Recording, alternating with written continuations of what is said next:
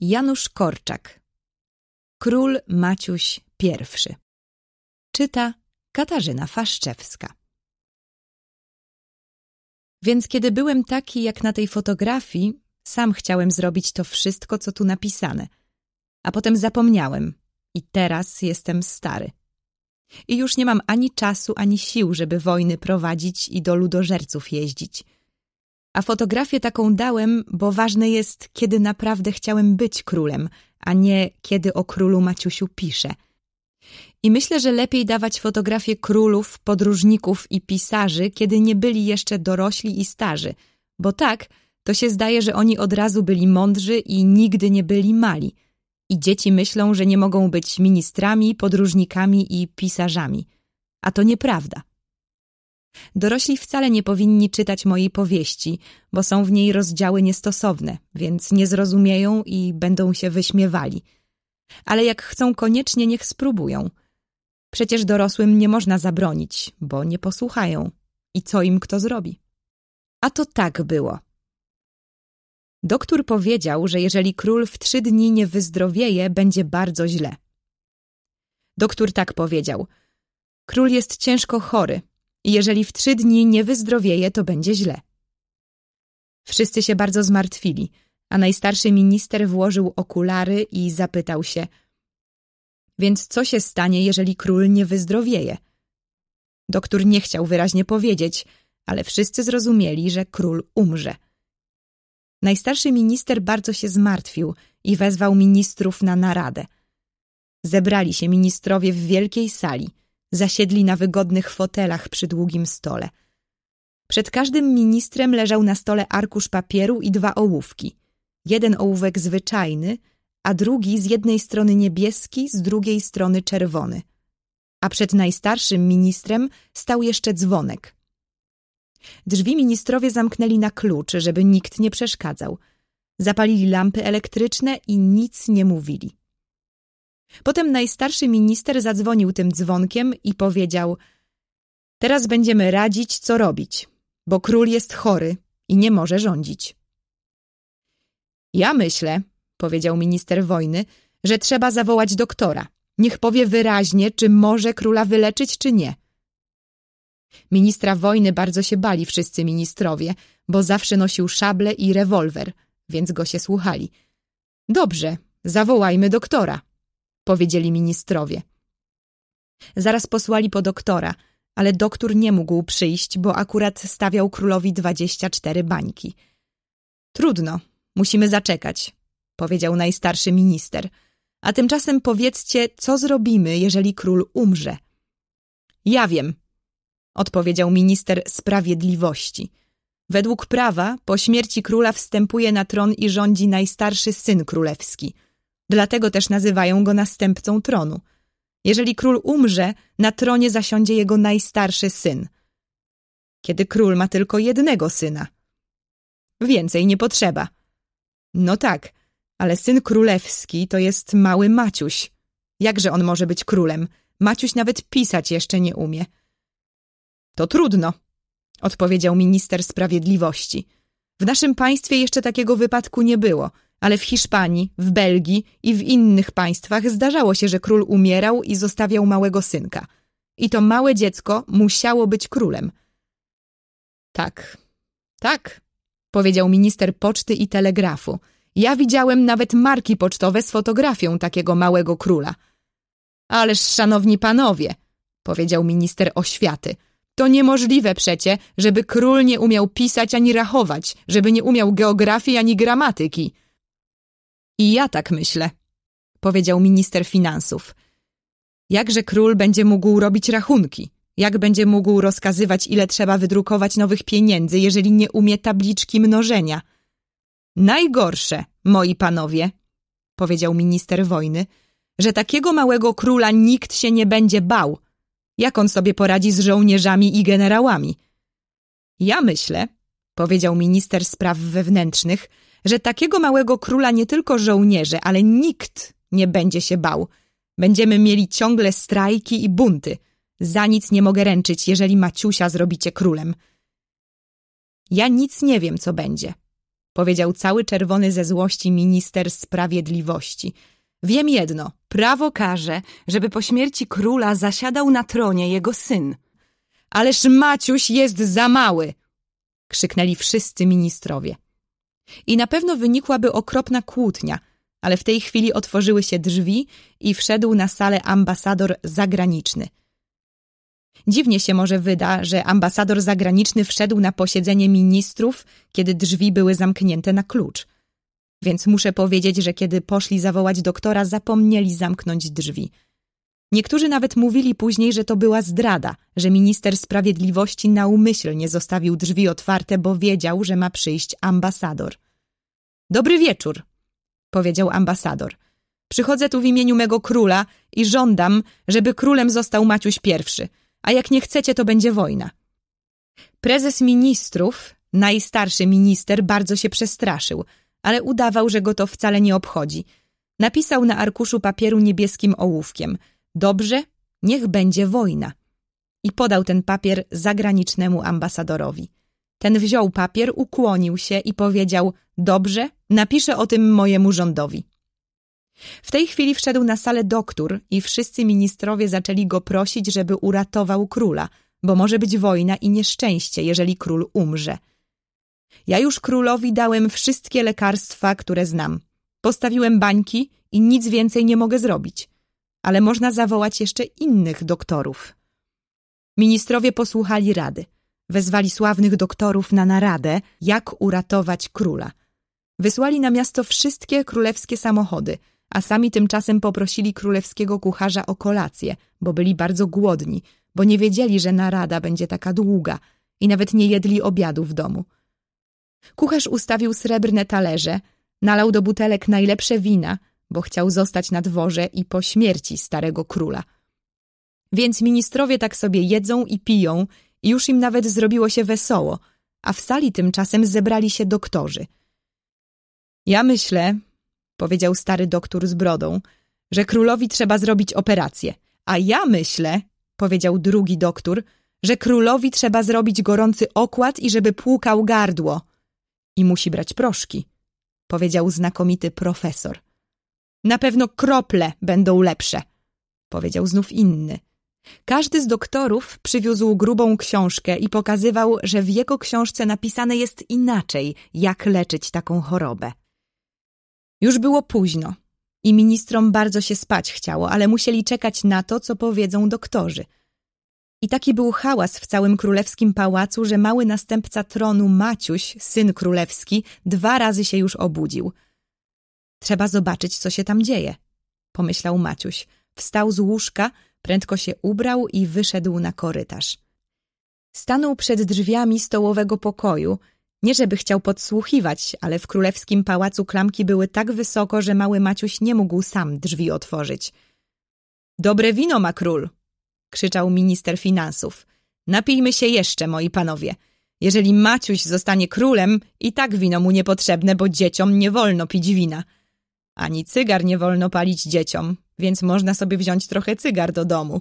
Głośno wołał minister handlu.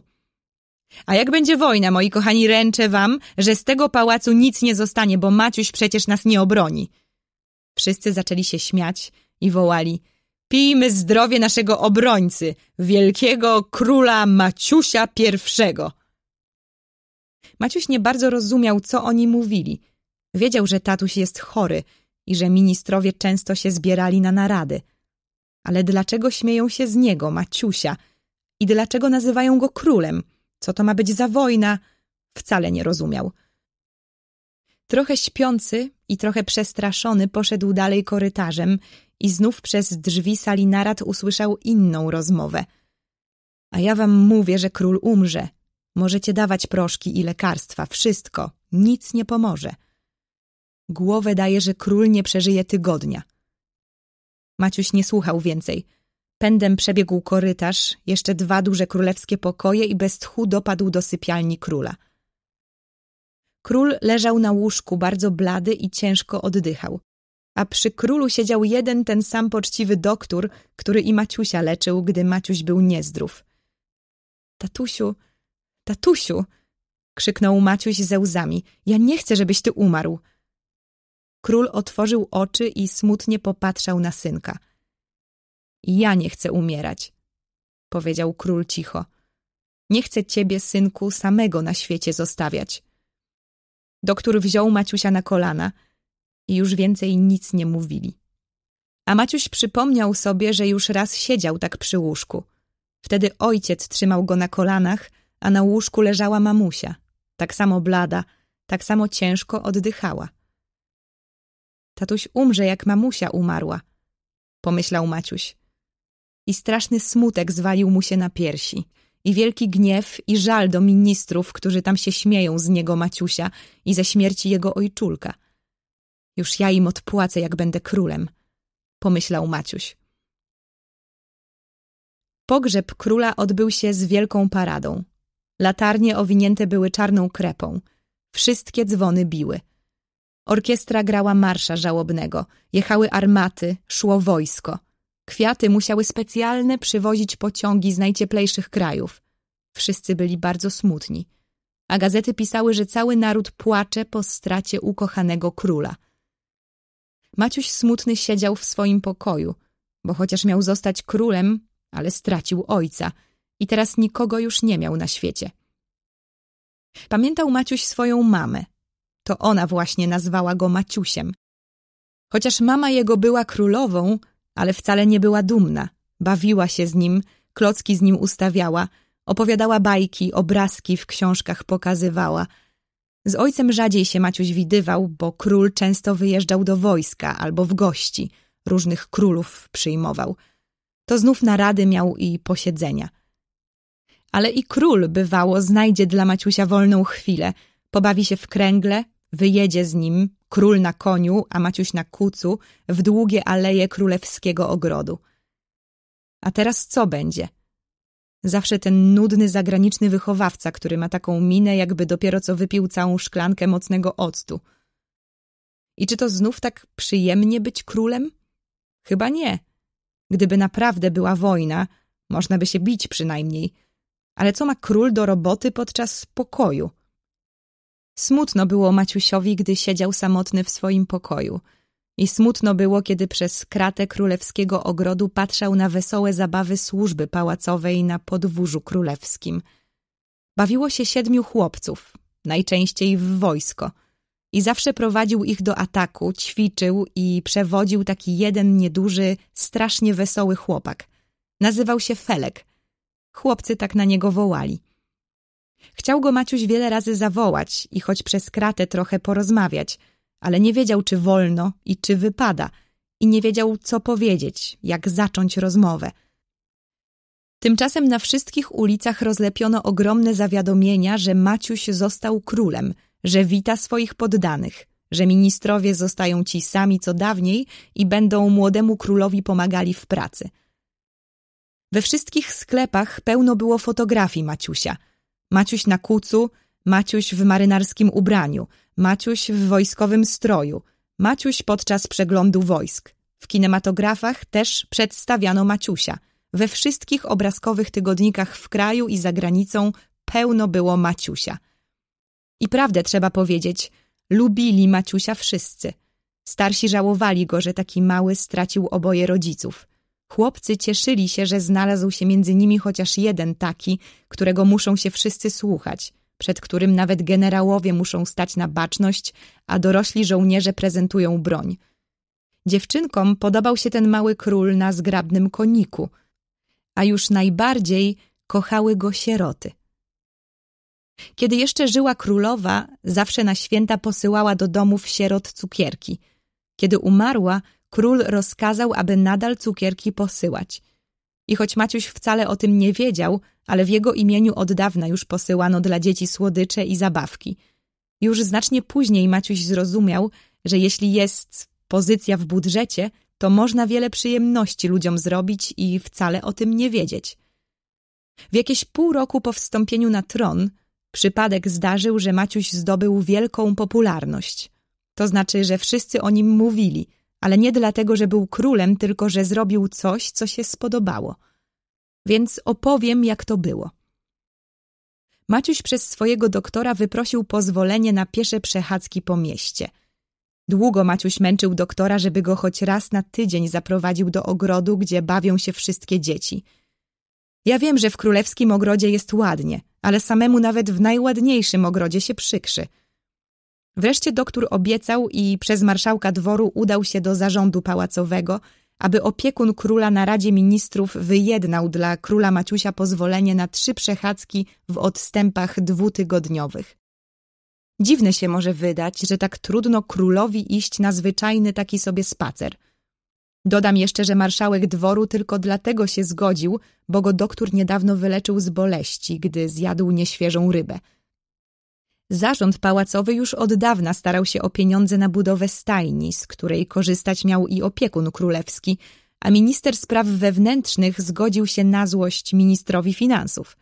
Bo za każdy spacer królewski policja otrzymywała trzy tysiące dukatów, a wydział sanitarny beczkę kolońskiej wody i tysiąc w złocie.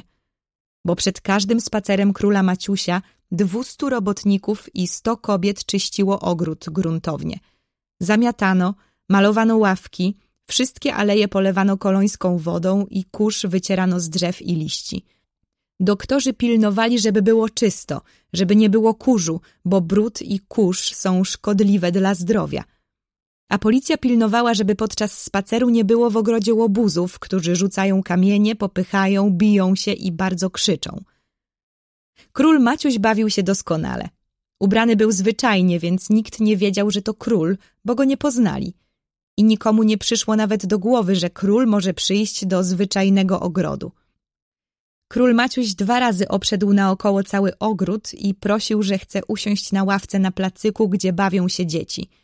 Ale jak tylko trochę siedział, doszła do niego dziewczynka i zapytała się czy kawaler chce się bawić w koło?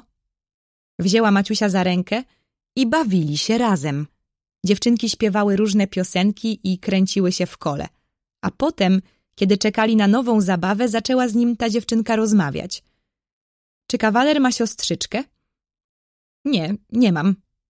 A czym jest kawalera tatuś? Mój tatuś umarł. On był królem. Dziewczynka może myślała, że Maciuś żartuje, bo się roześmiała i powiedziała Gdyby mój ojczulek był królem, musiałby mi kupić lalkę do samego sufitu. Król Maciuś dowiedział się, że ojciec dziewczynki jest kapitanem w straży ogniowej, że nazywa się ona Irenka i bardzo lubi strażaków, którzy pozwalają jej czasem jeździć na koniu. Maciuś byłby chętnie został długo jeszcze, ale miał pozwolenie tylko do godziny czwartej minut dwadzieścia sekund czterdzieści trzy. Niecierpliwie czekał Maciuś następnej przechadzki, ale deszcz padał, więc obawiano się o jego zdrowie. Za drugim razem stał się z Maciusiem wypadek. Bawił się tak samo z dziewczynkami w koło, aż zbliżyło się kilku chłopców i jeden zawołał Patrzcie, chłopak bawi się z dziewczynkami. I zaczęli się śmiać. I król Maciuś zauważył, że naprawdę on jeden bawi się w koło. Chodź lepiej z nami się bawić, powiedział chłopiec. I Maciuś uważnie spojrzał na niego. Ach, to był właśnie Felek. Ten sam Felek, z którym Maciuś tak dawno chciał się zaznajomić. Felek uważnie spojrzał teraz na niego i zawołał na cały głos. Ach, jaki on podobny do króla Maciusia! Maciusiowi strasznie się wstyd zrobiło, bo wszyscy zaczęli się na niego patrzeć, więc czym prędzej chciał uciec do adiutanta, który także dla niepoznaki ubrany był w zwyczajne ubranie. Ale z pośpiechu czy też ze wstydu upadł i starł sobie skórę na kolanie.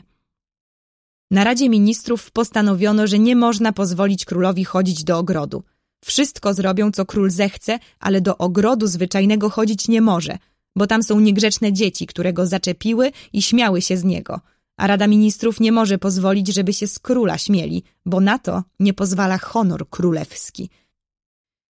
Zmartwił się bardzo Maciuś i długo myślał o tych swoich dwóch wesołych zabawach w zwyczajnym ogrodzie, aż przypomniał sobie życzenie Irenki. Ona chce mieć lalkę do samego sufitu. Ta myśl nie dawała mu spokoju. Przecież jestem królem, więc mam prawo rozkazywać. A tymczasem muszę się wszystkich słuchać. Uczę się czytać i pisać tak samo jak wszystkie dzieci. Muszę mieć uszy, szyję i zęby tak samo jak wszystkie dzieci. Tabliczka mnożenia jest taka sama dla królów jak dla wszystkich. Więc po co mi jest być królem? Zbuntował się Maciuś i podczas audiencji zażądał bardzo głośno od prezesa ministrów, żeby kupiono lalkę największą, jaka jest na świecie i posłano i ręce. Wasza królewska mość zauważyć raczy, począł mówić prezes ministrów. Maciuś od razu się domyślił, co nastąpi. Ten nieznośny człowiek będzie długo mówił wiele niezrozumiałych rzeczy i w końcu nic z lalki nie będzie. Przypomniał sobie Maciuś, jak raz ojcu ten sam minister tak samo zaczął coś tłumaczyć. Wtedy król tupnął nogą i powiedział, ja tego żądam nieodwołalnie. Więc i Maciuś tak samo tupnął nogą i bardzo głośno powiedział, panie ministrze, wiedz, że ja tego żądam nieodwołalnie. Prezes ministrów spojrzał zdziwiony na Maciusia. Potem zanotował coś sobie w notesie i mruknął – Przedstawię żądanie waszej królewskiej mości na Radzie Ministrów. Co mówiono na Radzie Ministrów, nikt nie wie, bo narada odbyła się przy drzwiach zamkniętych. Postanowiono jednak lalkę kupić i minister handlu dwa dni biegał po sklepach i oglądał największe lalki. Ale tak dużej lalki nigdzie nie było. Wtedy minister handlu wezwał na naradę wszystkich przemysłowców i jeden fabrykant podjął się w cztery tygodnie żądaną lalkę za drogie pieniądze zrobić w swojej fabryce. A kiedy lalka była gotowa, wystawił ją w oknie swego sklepu z napisem Dostawca dworu jego królewskiej mości wykonał tę lalkę dla Irenki, córki kapitana Straży Ogniowej. Zaraz gazety podały fotografię Straży Ogniowej podczas gaszenia pożaru, fotografię Irenki i lalki – Mówiono, że król Maciuś bardzo lubi patrzeć, jak straż ogniowa jedzie i jak się pali. Ktoś napisał listy do gazety, że gotów jest spalić swój dom, jeżeli ukochany król Maciuś lubi pożary. Wiele dziewczynek napisało listy do króla Maciusia, że też bardzo pragną mieć lalki. Ale sekretarz dworu listów tych wcale Maciusiowi nie czytał, bo zabronił mu surowo zagniewany prezes ministrów. Przed sklepem przez trzy dni stały tłumy ludzi, patrząc na królewski podarek i dopiero na czwarty dzień z rozporządzenia prefekta policji lalkę z wystawy wyjęto, żeby nie przeszkadzali przejeżdżać tramwajom i samochodom. Długo mówiono o lalce i o Maciusiu, który i ręce taki piękny dał podarunek.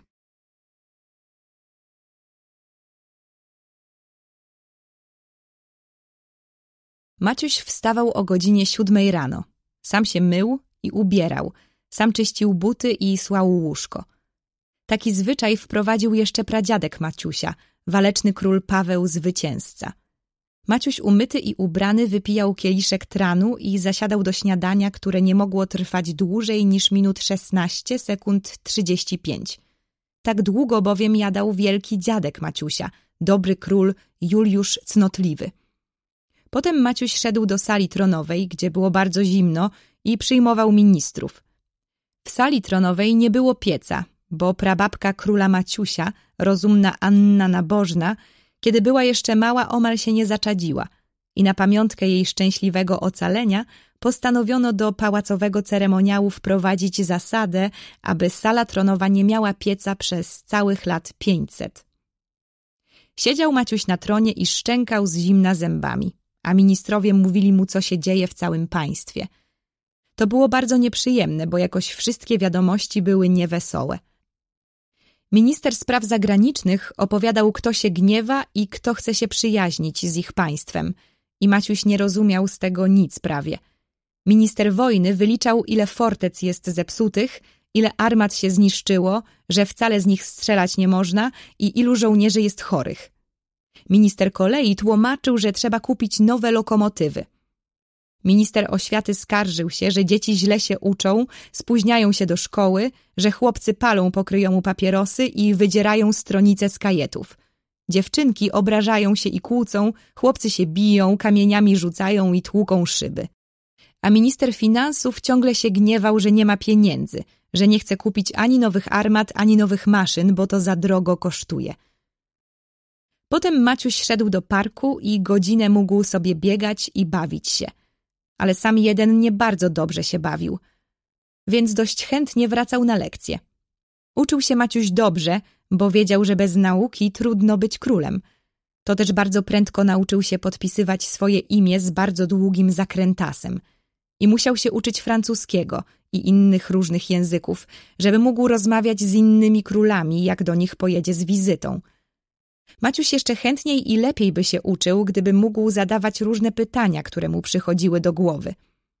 Przez długi czas myślał Maciuś nad tym, czy można wynaleźć takie szkło palące, które na odległość zapala proch. Gdyby Maciuś wymyślił takie szkło, to by wypowiedział wojnę wszystkim królom i w przeddzień bitwy wysadziłby w powietrze wszystkie nieprzyjacielskie prochownie. Wygrałby wojnę, bo tylko on jeden miałby proch. I wtedy od razu stałby się wielkim królem, chociaż jest taki mały. I cóż, nauczyciel wzruszył ramionami, skrzywił się i nic mu nie odpowiedział. Innym razem zapytał się Maciuś, czy nie mogłoby tak być, żeby ojciec, jak umiera, oddawał synowi swój rozum.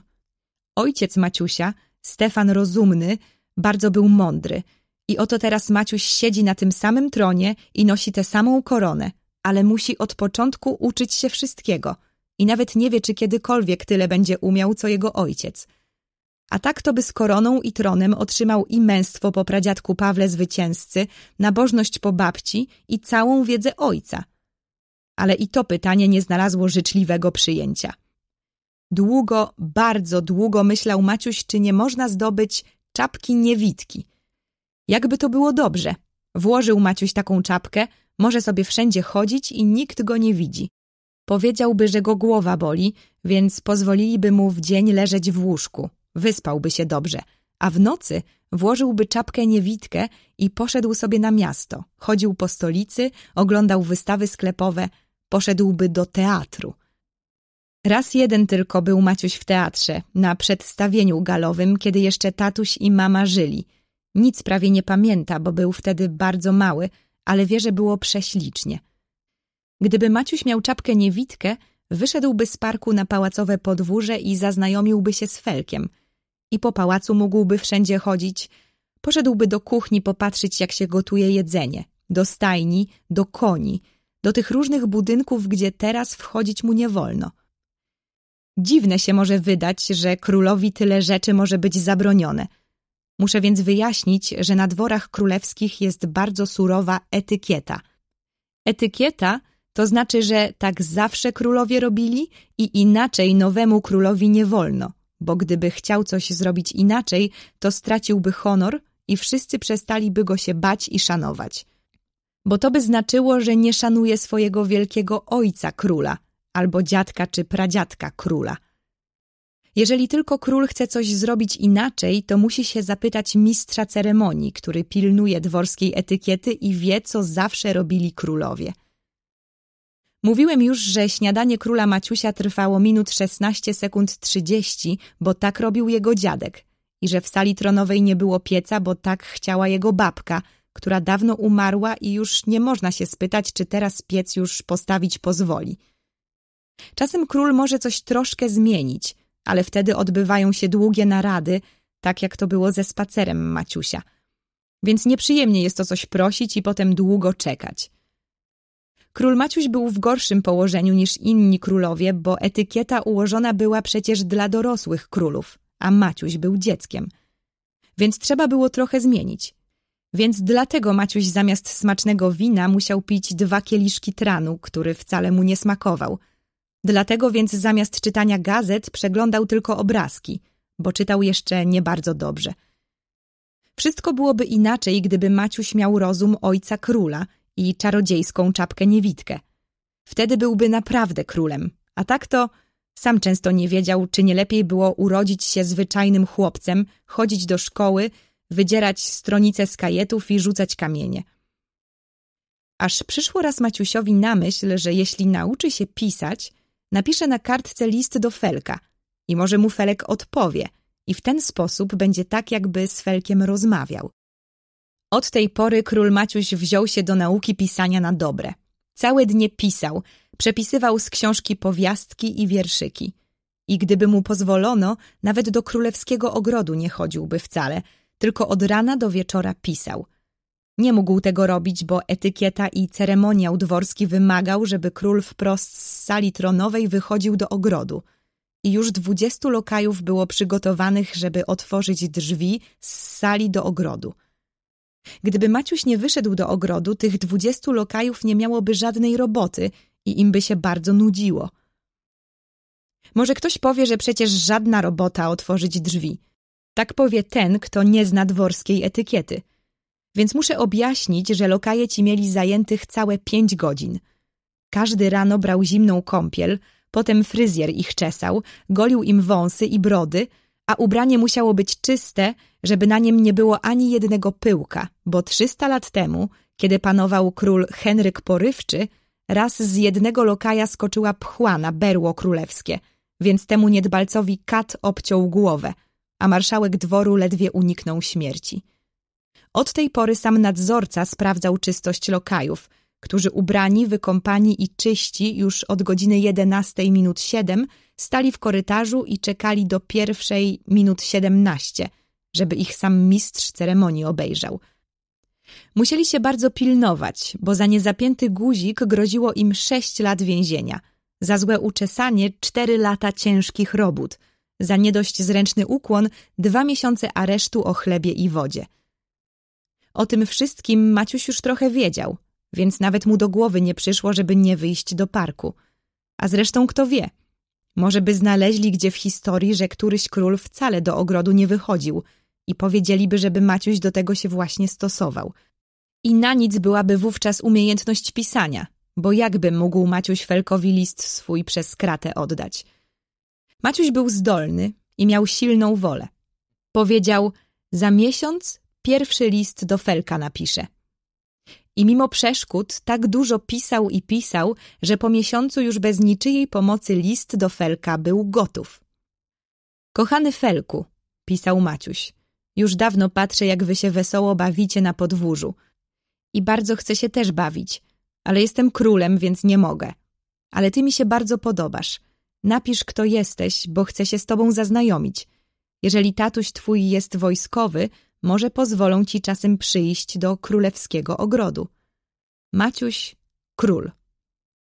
Mocno biło serce Maciusiowi, kiedy zawołał przez kratę Felka i oddał mu swoją kartkę. I bardzo mocno biło mu serce, kiedy na drugi dzień tą samą drogą otrzymał odpowiedź. Królu, pisał Felek, mój tatuś jest plutonowym straży pałacowej i jest wojskowy. I ja bardzo chcę być w królewskim ogrodzie – jestem ci królu wierny i gotów jestem iść za ciebie w ogień i wodę i bronić ciebie do ostatniej kropli krwi. Ile razy będziesz potrzebował pomocy, gwizdnij tylko, a stawię się na pierwsze wezwanie. Felek.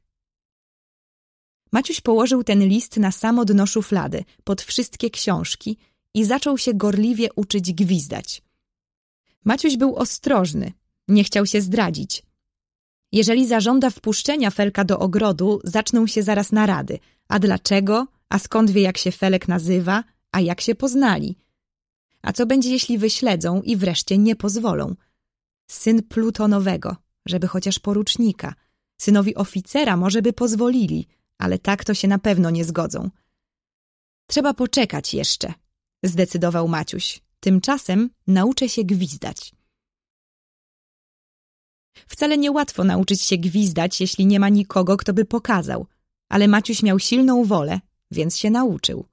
I gwizdnął. Gwizdnął tylko na próbę, żeby się przekonać, czy umie. I jakież było jego zdumienie, gdy w chwilę później stanął przed nim wyciągnięty jak struna Felek we własnej osobie. Jakeś ty się tu dostał? Przelazłem przez kratę. W ogrodzie królewskim rosły bardzo gęste maliny – więc tam ukrył się król Maciuś ze swym przyjacielem, żeby się naradzić, co dalej robić. Słuchaj, Felku, jestem bardzo nieszczęśliwym królem. Od czasu, kiedy nauczyłem się pisać, podpisuję wszystkie papiery. Nazywa się, że rządzę całym państwem, a właściwie robię to, co mi każą. A każą mi robić same nudne rzeczy i zabraniają wszystkiego, co przyjemne. A któż waszej królewskiej mości zabrania i rozkazuje? Ministrowie – powiedział Maciuś. Kiedy był tatuś, robiłem, co on kazał. No tak, byłeś wówczas z królewską wysokością, następcą tronu, a tatuś twój był jego królewską mością, królem. Ale teraz... Właśnie teraz jest stokroć gorzej. Tych ministrów jest cała kupa. Wojskowi czy cywile? Jeden jest tylko wojskowy. minister wojny. A reszta cywile?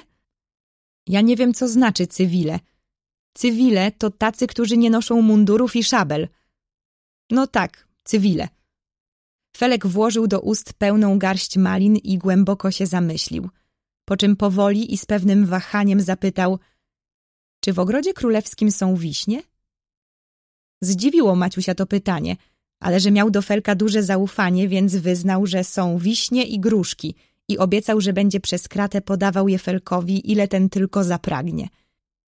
Więc dobrze, widywać się często nie możemy, bo mogą nas wyśledzić. Będziemy udawali, że się zupełnie nie znamy. Będziemy pisywali listy. Listy te kłaść będziemy na parkanie.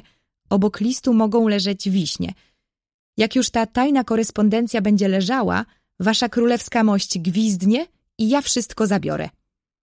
A jak ty mi odpiszesz, ty gwizdniesz. Ucieszył się Maciuś. Na króla się nie gwiżdżę, powiedział Felek porywczo. Ja mogę dać hasło kukułki. Stanę sobie z daleka i będę kukał. Dobrze, zgodził się Maciuś. A kiedy znów przyjdziesz? Felek długo coś ważył w sobie. Wreszcie odpowiedział – ja tu przychodzić bez pozwolenia nie mogę. Mój ojciec jest plutonowym i ma bardzo dobry wzrok. Ojciec mi nie pozwala zbliżać się nawet bardzo do parkanu królewskiego ogrodu i wiele razy mi zapowiadał Felek, uprzedzam cię, żeby ci kiedy nie strzeliło do głowy wybrać się na wiśnie do królewskiego ogrodu, bo pamiętaj, jak ci jestem rodzonym ojcem, że gdyby cię tam przyłapano, skórę z ciebie zedrę, żywego z rąk nie puszczę. Maciuś się stropił – to byłoby straszne. Znalazł z takim trudem przyjaciela. I oto z jego Maciusia winy ten przyjaciel ma być ze skóry odarty. Nie, zaprawdę zbyt to już wielkie niebezpieczeństwo. No, a jakże teraz wrócisz do domu? Zapytał niespokojnie Maciuś. Niech wasza królewska mość się oddali. Ja sobie jakoś poradzę. Maciuś uznał słuszność tej rady i wyszedł z zarośli. Czas był po temu najwyższy, bo zagraniczny guwerner, zaniepokojony nieobecnością króla, bacznie rozglądał się po królewskim ogrodzie. Maciuś i Felek działali wspólnie teraz, choć przedzieleni kratą. Maciuś wzdychał często w obecności doktora, który co tydzień ważył go i mierzył, żeby się przekonać, jak rośnie mały król i kiedy będzie już duży. Żalił się na samotność i raz nawet wspomniał ministrowi wojny, że bardzo chciałby się uczyć musztry. Może pan minister zna jakiegoś plutonowego, który by mógł mi udzielać lekcji? Owszem, chwalebne jest dążenie waszej królewskiej mości, by zdobyć wiadomości wojskowe. Dlaczego jednak ma to być plutonowy? Może być nawet syn plutonowego, powiedział Maciuś uradowany. Minister wojny zmarszczył brwi i zanotował żądanie króla. Maciuś westchnął. Wiedział już, co mu odpowie. Żądanie waszej królewskiej mości wniosę na najbliższe posiedzenie Rady Ministrów. Nic z tego nie będzie. Przyślą mu pewnie jakiegoś starego generała. Stało się jednak inaczej. Na najbliższym posiedzeniu ministrów jeden był tylko temat rozmów i narad. Królowi Maciusiowi wypowiedziały wojnę trzy naraz państwa. Wojna.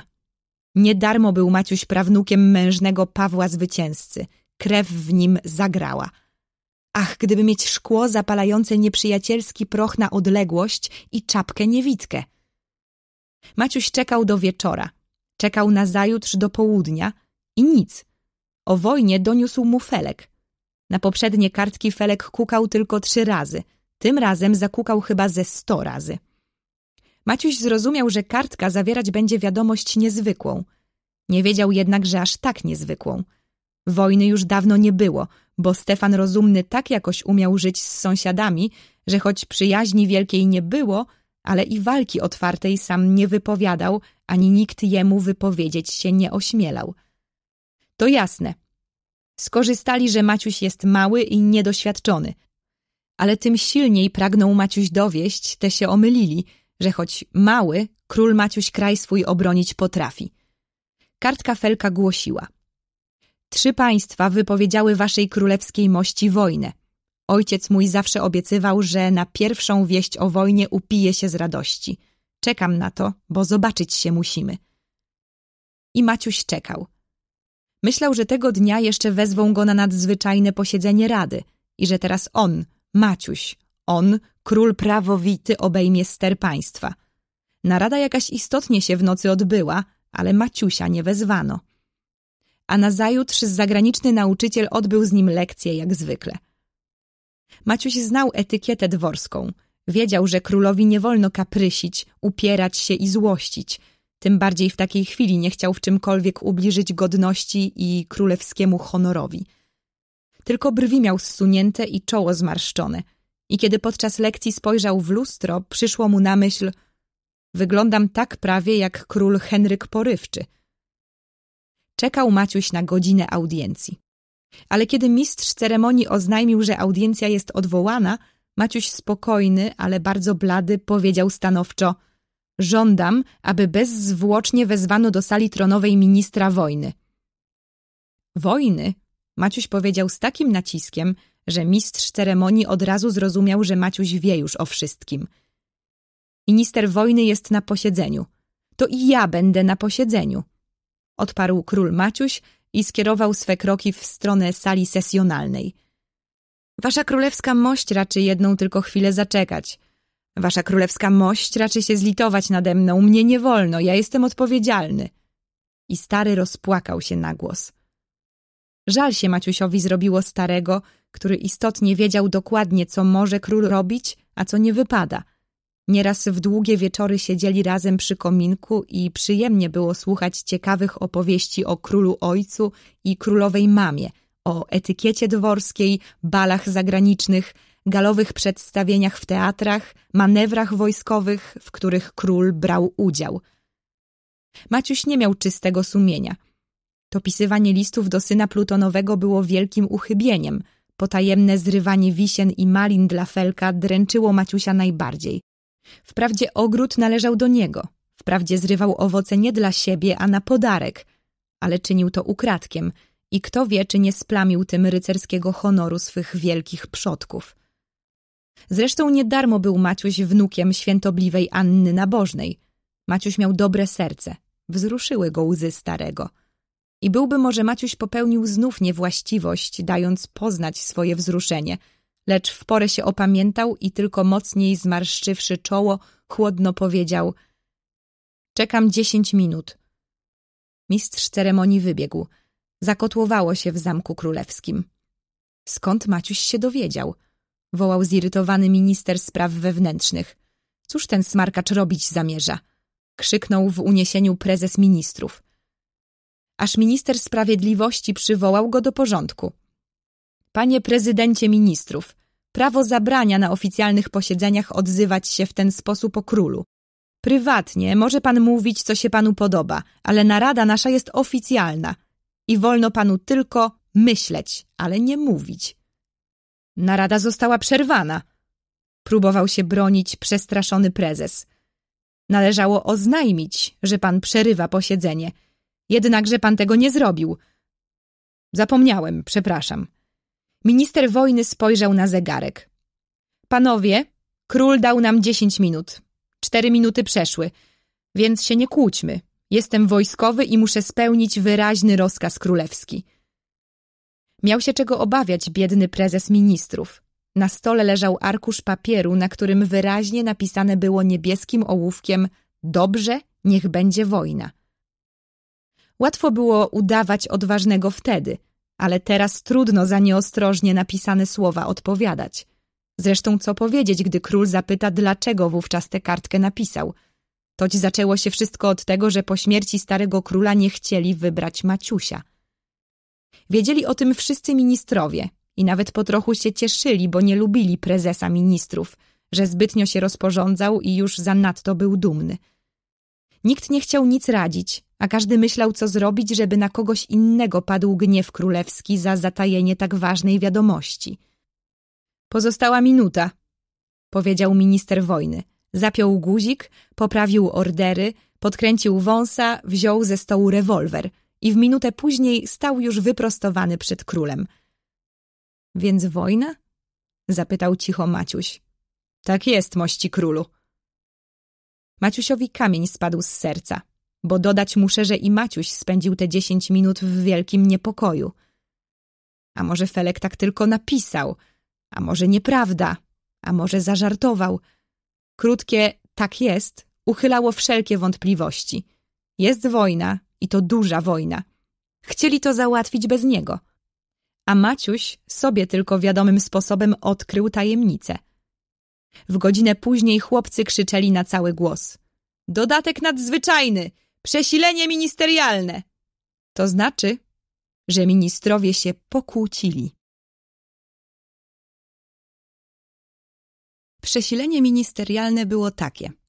Prezes udał obrażonego i nie chciał być więcej najstarszym ministrem. Minister kolei powiedział, że wojska wozić nie może, bo nie ma parowozów tyle, ile potrzeba. Minister oświaty powiedział, że nauczyciele pewnie pójdą na wojnę, więc w szkołach jeszcze więcej tłuc będą szyb i niszczyć ławek, więc i on się zrzeka. Na godzinę czwartą zwołana została nadzwyczajna narada. Król Maciuś, korzystając z zamieszania, wymknął się do królewskiego ogrodu i przeraźliwie gwizdnął raz i drugi, ale Felek się nie pokazał. Kogo tu się poradzić w tak ważnej chwili? Maciuś czuł, że ciąży na nim wielka odpowiedzialność, a nie widział drogi, co robić. Nagle przypomniał sobie Maciuś, że każdą ważną sprawę rozpocząć należy modlitwą. Tak go uczyła niegdyś jego dobra mama – Król Maciuś krokiem stanowczym zagłębił się dalej, gdzie go nikt nie widział i gorącą modlitwę skierował do Boga. Jestem małym chłopcem, modlił się Maciuś. Bez Twojej Boże pomocy nie dam rady. Z Twojej woli otrzymałem koronę królewską, więc pomóż mi, bo w wielkim jestem frasunku. Długo prosił Maciuś Boga o pomoc i łzy gorące spływały mu po twarzy. Ale przed Bogiem nawet królowi nie wstyd płakać. Modlił się król Maciuś na przemian i płakał. Aż zasnął, wsparłszy się o pień ściętej brzozy. I śniło mu się, że ojciec jego siedział na tronie, a przed nim stali wyprostowani wszyscy ministrowie. Nagle wielki zegar sali tronowej, ostatni raz nakręcony czterysta lat temu, zadzwonił tak jak dzwon kościelny. Mistrz ceremonii wszedł do sali, a za nim dwudziestu lokajów wniosło złotą trumnę. Wtedy król ojciec zszedł z tronu i położył się do tej trumny. Mistrz ceremonii zdjął koronę z głowy ojca i włożył ją na głowę Maciusia. Maciuś chciał usiąść na tronie, ale patrzy, tam znów siedzi jego ojciec, ale już bez korony i taki jakoś dziwny, jakby cień tylko. I ojciec powiedział, Maciusiu, mistrz ceremonii oddał ci moją koronę, a ja ci daję mój rozum i cień króla wziął w ręce głowę i Maciusiowi aż serce zabiło, co to teraz będzie. Ale ktoś szarpnął Maciusia i Maciuś się obudził. Wasza królewska mości, godzina czwarta się zbliża. Podniósł się Maciuś z trawy, na której spał przed chwilą jakoś przyjemniej mu było niż kiedy wstawał z łóżka. Nie wiedział Maciuś, że nie jedną noc spędzi tak pod niebem na trawie, że na długo pożegna się ze swym królewskim łóżkiem. I tak jak mu się śniło, mistrz ceremonii podał Maciusiowi koronę. I punkt o czwartej w sali posiedzeń zadzwonił król Maciuś i powiedział Panowie, zaczynamy obrady. Proszę o głos, odezwał się prezes ministrów. I zaczął długą przemowę o tym, że nie może dłużej pracować, że przykro mu zostawić króla samego w tak ciężkiej chwili, że jednak musi odejść, że jest chory. To samo powiedziało czterech innych ministrów. Maciuś ani trochę się nie przestraszył, tylko odpowiedział Wszystko to bardzo piękne, ale teraz jest wojna i nie ma czasu na choroby i zmęczenia. Pan, panie prezydencie ministrów, zna wszystkie sprawy, więc musi pan zostać. Jak wygram wojnę, to pomówimy jeszcze. Ależ w gazetach pisali, że ja ustępuję. A teraz napiszą, że pan zostaje, bo taką jest moja prośba. Król Maciuś chciał powiedzieć, taki mój rozkaz. Ale widocznie cień ojca poradził mu w tak ważnej chwili zamienić wyraz rozkaz na prośba. Panowie, musimy bronić ojczyzny, musimy bronić naszego honoru. Więc wasza królewska mość będzie się biła z trzema państwami? spytał minister wojny. A cóż pan chcesz, panie ministrze, żebym ich prosił o pokój? Jestem prawnukiem Juliana Zwycięzcy. Bóg nam dopomoże. Spodobała się ministrom taka przemowa, a prezes zadowolony był, że go król prosi. Jeszcze się trochę na niby upierał, ale się zgodził zostać. Długo trwała narada, a gdy się skończyła, chłopcy na ulicach krzyczeli Dodatek nadzwyczajny! Konflikt zażegnany! Co znaczy, że ministrowie się już pogodzili. Maciuś był trochę zdziwiony, że w naradach nic o tym nie wspominano, że on, Maciuś, ma mieć przemowę do ludu, że na białym koniu jechać będzie na czele dzielnego wojska. Mówili o kolejach, pieniądzach, sucharach, butach dla wojska, o owsie, wołach i świniach, jakby nie o wojnę szło, a o jakieś całkiem inne rzeczy. Bo Maciuś słyszał wiele o dawnych wojnach, ale nie znał wcale wojny współczesnej. Miał ją dopiero poznać, miał nie za długo zrozumieć, po co są te suchary i buty i co one z wojną mają wspólnego. Niepokój Maciusia wzrósł, gdy nazajutrz o zwykłej porze zjawił się jego zagraniczny guwerner na lekcję. Zaledwo jednak połowa lekcji przeszła, gdy odwołano Maciusia do sali tronowej. To wyjeżdżają posłowie państw, które wypowiedziały nam wojnę. A dokąd oni jadą? Do siebie. Dziwne się Maciusiowi zdawało, że im tak wolno spokojnie wyjechać. Wolał to jednakże, niż gdyby ich wbito na pal albo poddano torturom. A po co oni przyszli? Pożegnać się z waszą królewską mością. Czy ja mam być obrażony? Zapytał się cicho, żeby lokaje nie słyszeli, bo by stracili dla niego szacunek.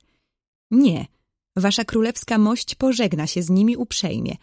Zresztą już oni to sami zrobią. Posłowie nie byli ani związani, ani nie mieli łańcuchów na nogach i rękach. Przyszliśmy pożegnać waszą królewską mość. Jest nam bardzo przykro, że wojna być musi. Robiliśmy wszystko, aby nie dopuścić do wojny. Trudno, nie udało się. Zmuszeni jesteśmy zwrócić waszej królewskiej mości otrzymane ordery, bo nie wypada nam nosić orderów państwa, z którym nasze rządy prowadzą wojnę. Mistrz ceremonii odebrał od nich ordery. Dziękujemy waszej królewskiej mości za gościnę w jego pięknej stolicy, skąd wynosimy najmilsze wspomnienia. I nie wątpimy, że drobny zatarg prędko się skończy i dawna serdeczna przyjaźń znów sprzymierzy nasze rządy. Maciuś wstał i głosem spokojnym odpowiedział Powiedzcie waszym rządom, że rad jestem szczerze, że wojna wybuchła. Postaram się możliwie prędko was zwyciężyć, a warunki pokoju postawię łagodne – tak czynili moi przodkowie. Uśmiechnął się z lekka jeden z posłów, nastąpił głęboki ukłon.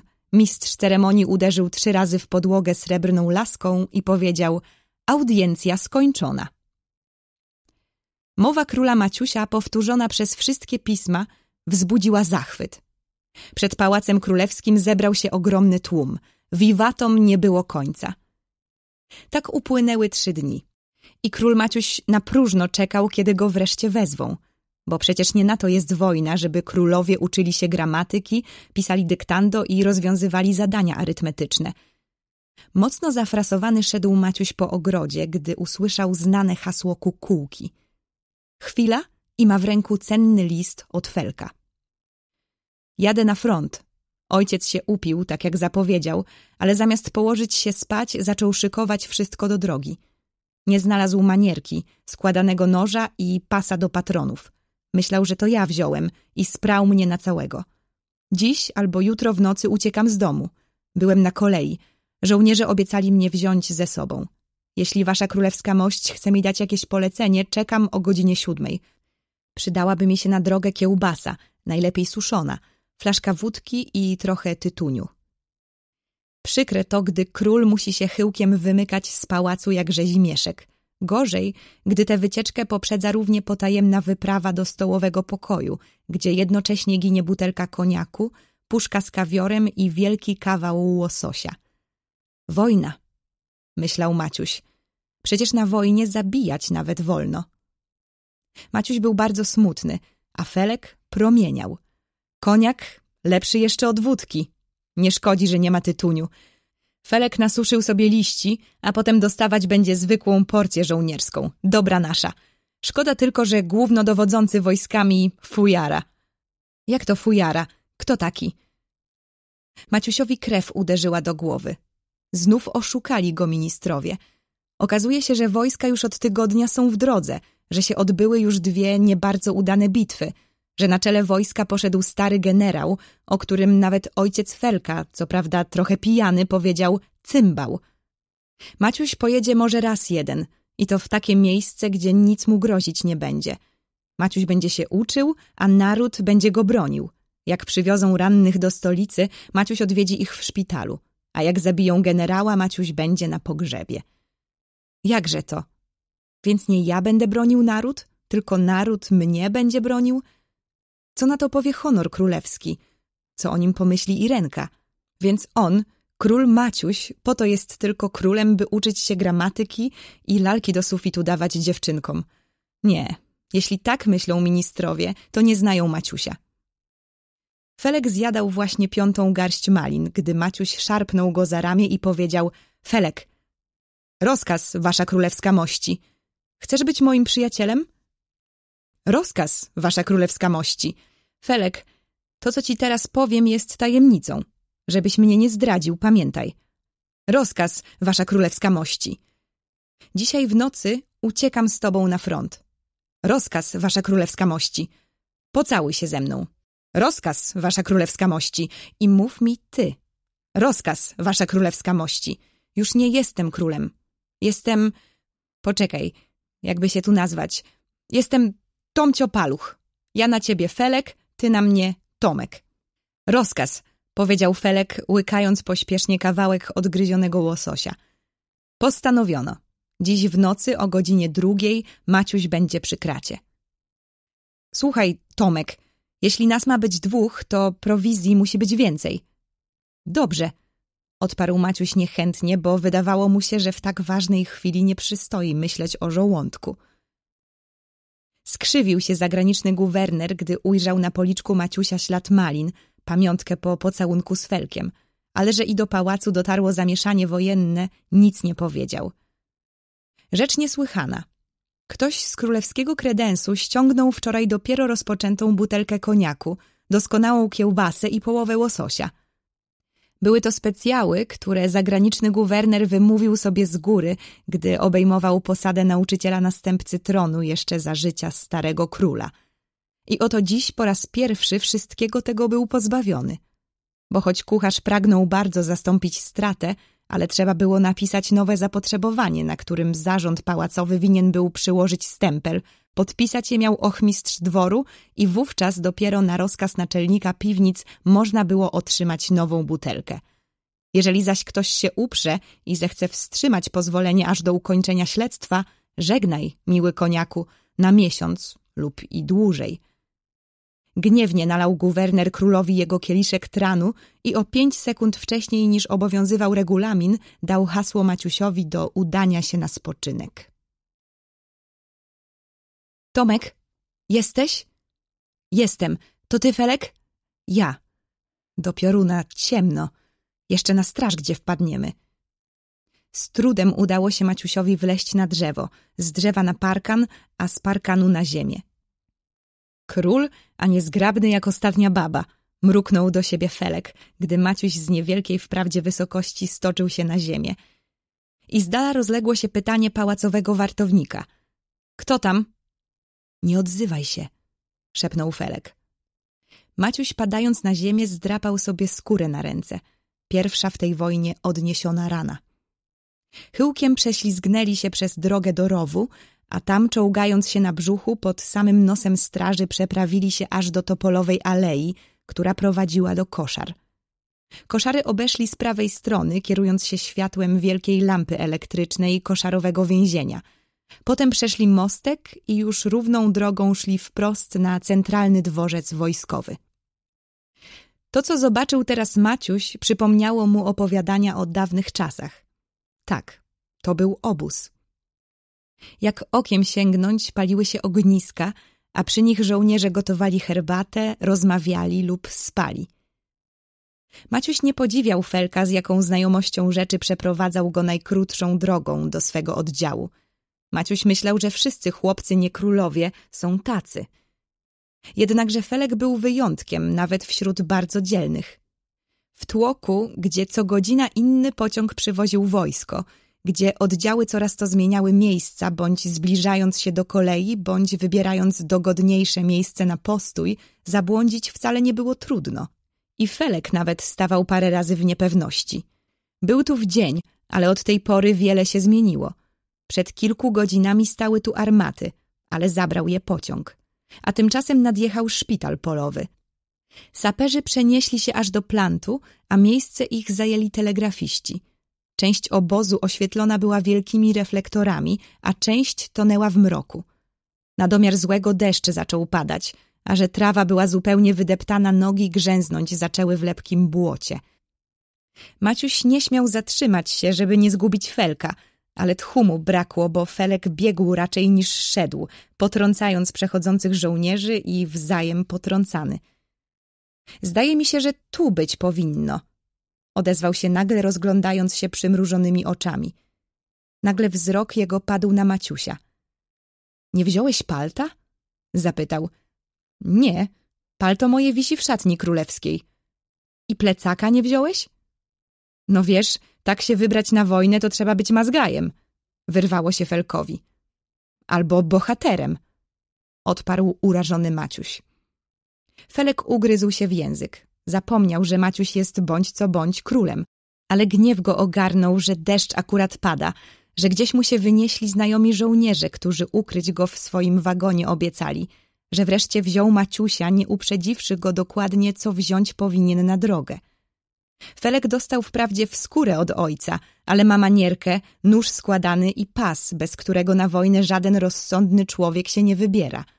A Maciuś, o zgrozo, w lakierowanych pantoflach i z zielonym krawatem, który źle zawiązany w pośpiechu i wymazany błotem, nadawał twarzy Maciusia tak żałosny widok, że Felek roześmiałby się, gdyby niewiele trwożnych myśli, które mu może zbyt późno przyszły w tej chwili do głowy.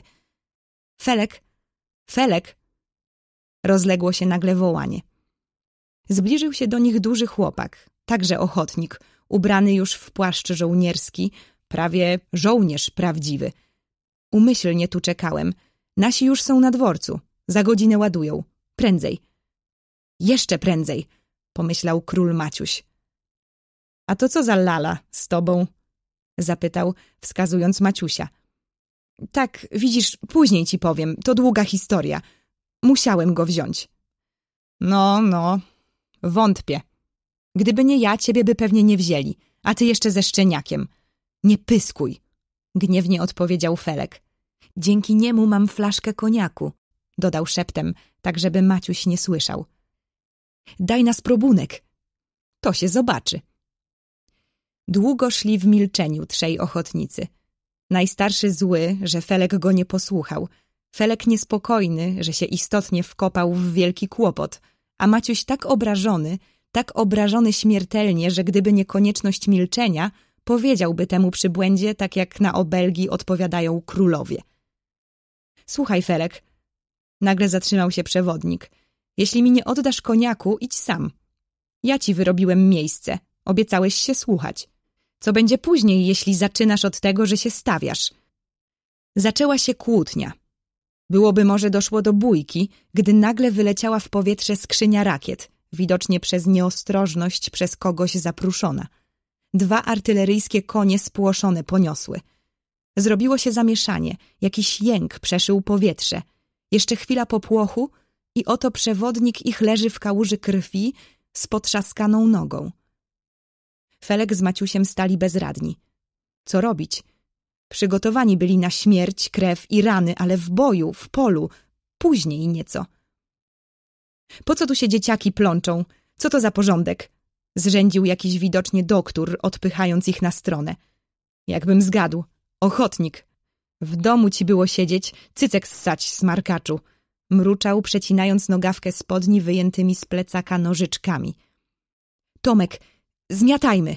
Zawołał nagle Felek, zauważywszy z daleka dwóch policjantów polowych, jak szli obok noszy, na które mieli zapewne położyć sanitariusze niefortunnego ochotnika.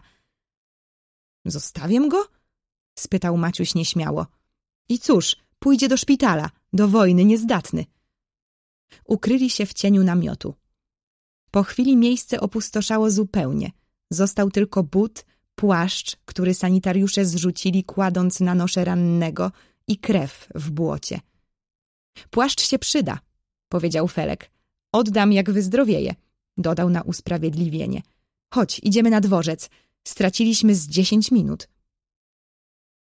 Oddział akurat sprawdzano, gdy przecisnęli się nie bez trudu na peron. Nie rozchodzić się, rozkazał młody porucznik. Zaraz tu wrócę.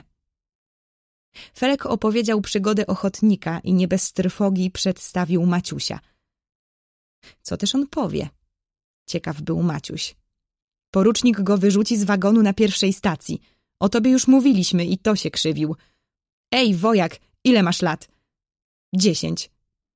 Nic z tego nie będzie. Chce, niech się do wagonów kieruje, ale go porucznik wyrzuci i nam pewnie na urąga. Jak mnie porucznik z wagonu wyrzuci, to sam pieszo pójdę, krzyknął buntowniczo Maciuś. Łzy go dusiły. Jak to on, król, który na białym koniu, na czele zastępów, ze wszystkich okien obsypywany kwiatami, winien był opuszczać stolicę, ukradkiem wymyka się jak złodziej, by spełnić swój święty obowiązek obrony kraju i poddanych. I oto jedna za drugą spadają na niego obelgi. Koniak i łosoś szybko rozchmurzyły oblicza żołnierzy. Królewski koniak, królewski łosoś, chwalili. Nie bez radości przyglądał się Maciuś, jak koniak guwernera zapijali żołnierze. No, mały kamracie, golnij i ty krzynę. Zobaczymy, czy umiesz wojować.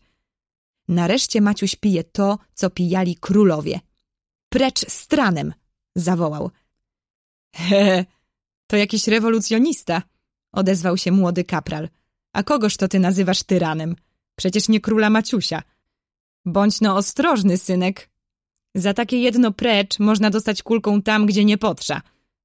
Król Maciuś nie jest tyranem. Żywo zaprzeczył Maciuś. Mały jeszcze, nie wiadomo, co z niego wyrośnie. Maciuś chciał jeszcze coś powiedzieć, ale Felek zręcznie na inny temat skierował rozmowę. Powiadam wam, my we trzech idziem, a tu jak nie huknie, myślałem, że bomba z aeroplanu, a to tylko skrzynia z rakietami. Potem gwiazdy takie spadły z nieba, a podjabła im rakiety do wojny, żeby oświetlać drogę, jak nie ma reflektorów. A tam obok stoi ciężka artyleria – Konie się spłoszyły i na nas, my oboje w bok, a on już nie zdążył. I bardzo go poraniło? Krwi było dużo, zaraz go zabrali. Ot, wojna, westchnął któryś. Macie tam jeszcze co z tego koniaku? Cóż tego pociągu nie widać? W tej chwili właśnie nadjechał sycząc pociąg. Gwar, zamieszanie, bieganina. Nie wsiadać jeszcze! zawołał biegnąc z dala porucznik ale głos jego stłumiła wrzawa. Maciusia i Felka wrzucili żołnierze do wagonu jak dwa pakunki. Znów jakieś gdzieś dwa konie opierały się, nie chcąc wejść do wagonu. Jakieś wagony mieli odczepiać czy doczepiać. Pociąg ruszył, coś stuknęło, znów wrócił. Ktoś wszedł do wagonu z latarką, wywoływał nazwiska.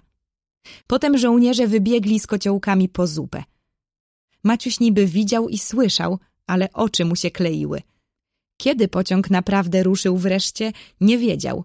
Kiedy się obudził, miarowy stuk kół o szyny wskazywał, że pociąg jest w pełnym biegu. Jadę, pomyślał król Maciuś i zasnął ponownie. Pociąg składał się z trzydziestu wagonów towarowych, którymi jechali żołnierze – z kilku odkrytych platform z wozami i karabinami maszynowymi i jednego osobowego wagonu dla oficerów. Obudził się Maciuś z lekkim bólem głowy. Prócz tego bolała go rozbita noga, plecy i oczy. Ręce miał brudne i lepkie, a przy tym dokuczało mu nieznośne swędzenie. Wstawajcie, raki, bo zupa wam wystygnie.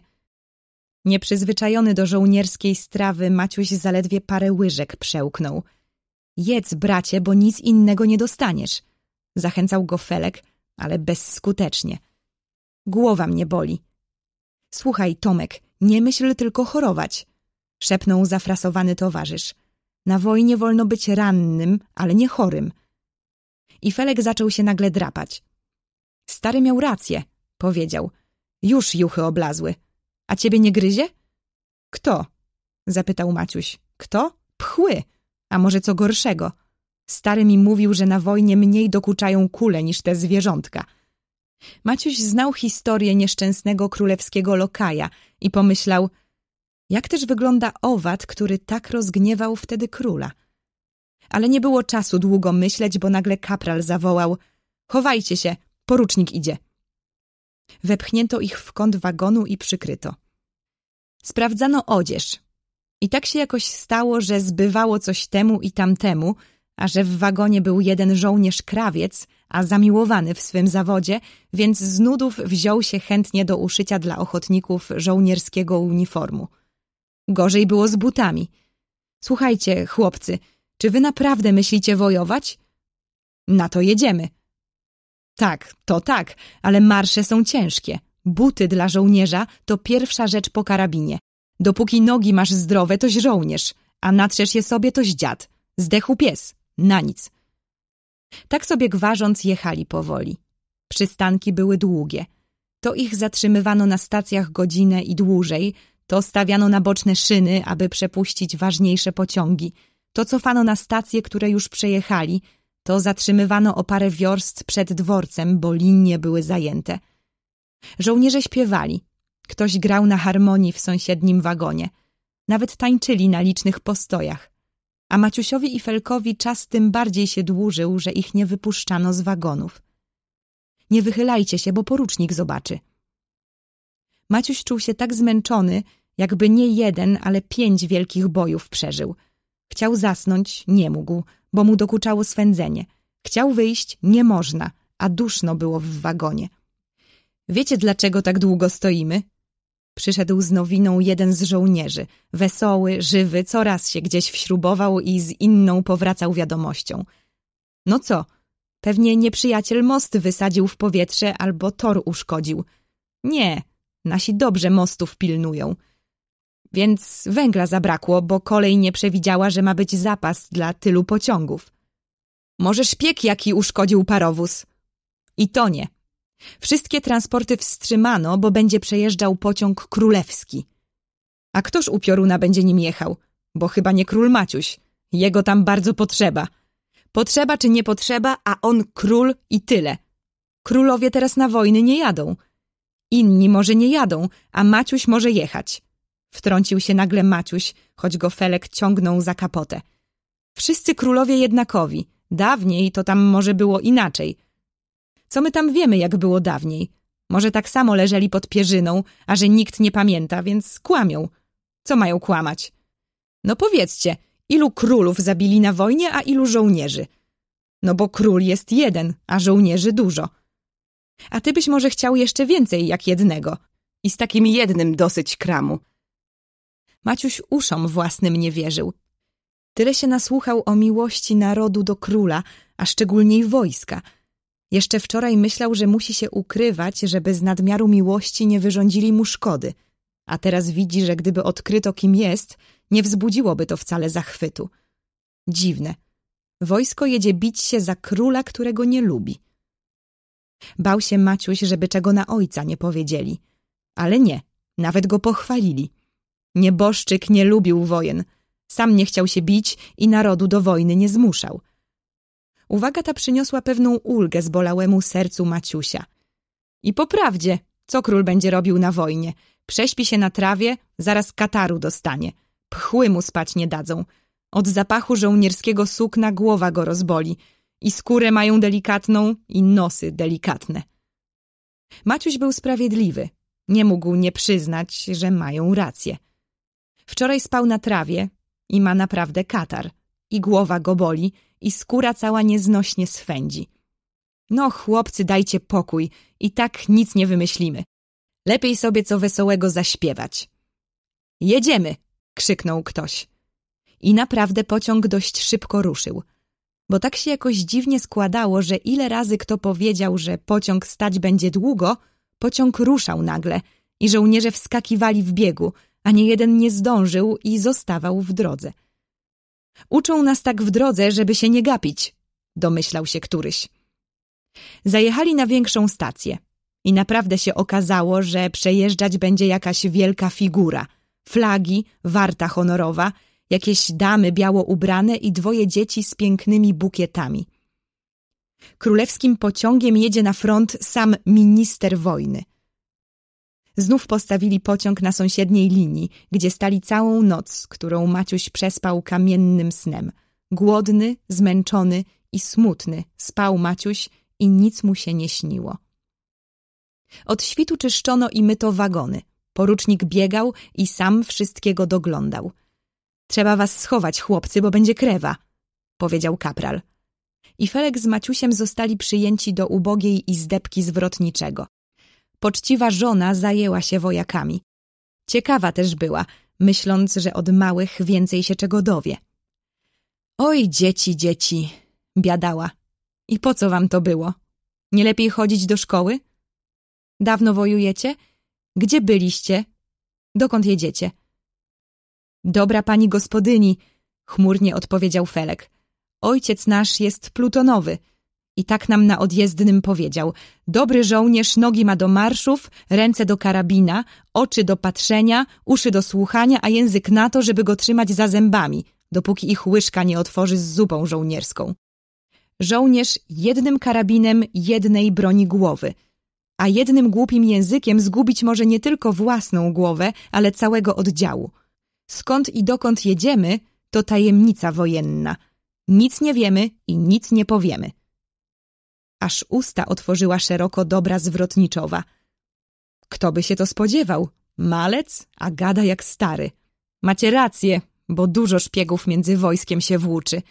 Ubierze taki siaki mundur żołnierski i wypyta, wywie się o wszystkim, a potem hajda do nieprzyjaciela. I z wielkiego szacunku nie tylko napoiła ich herbatą, ale i kiełbasy dała. Smakowało Maciusiowi śniadanie, tym bardziej, że i umył się jak należy. Pociąg królewski! Pociąg królewski! Rozległo się wołanie.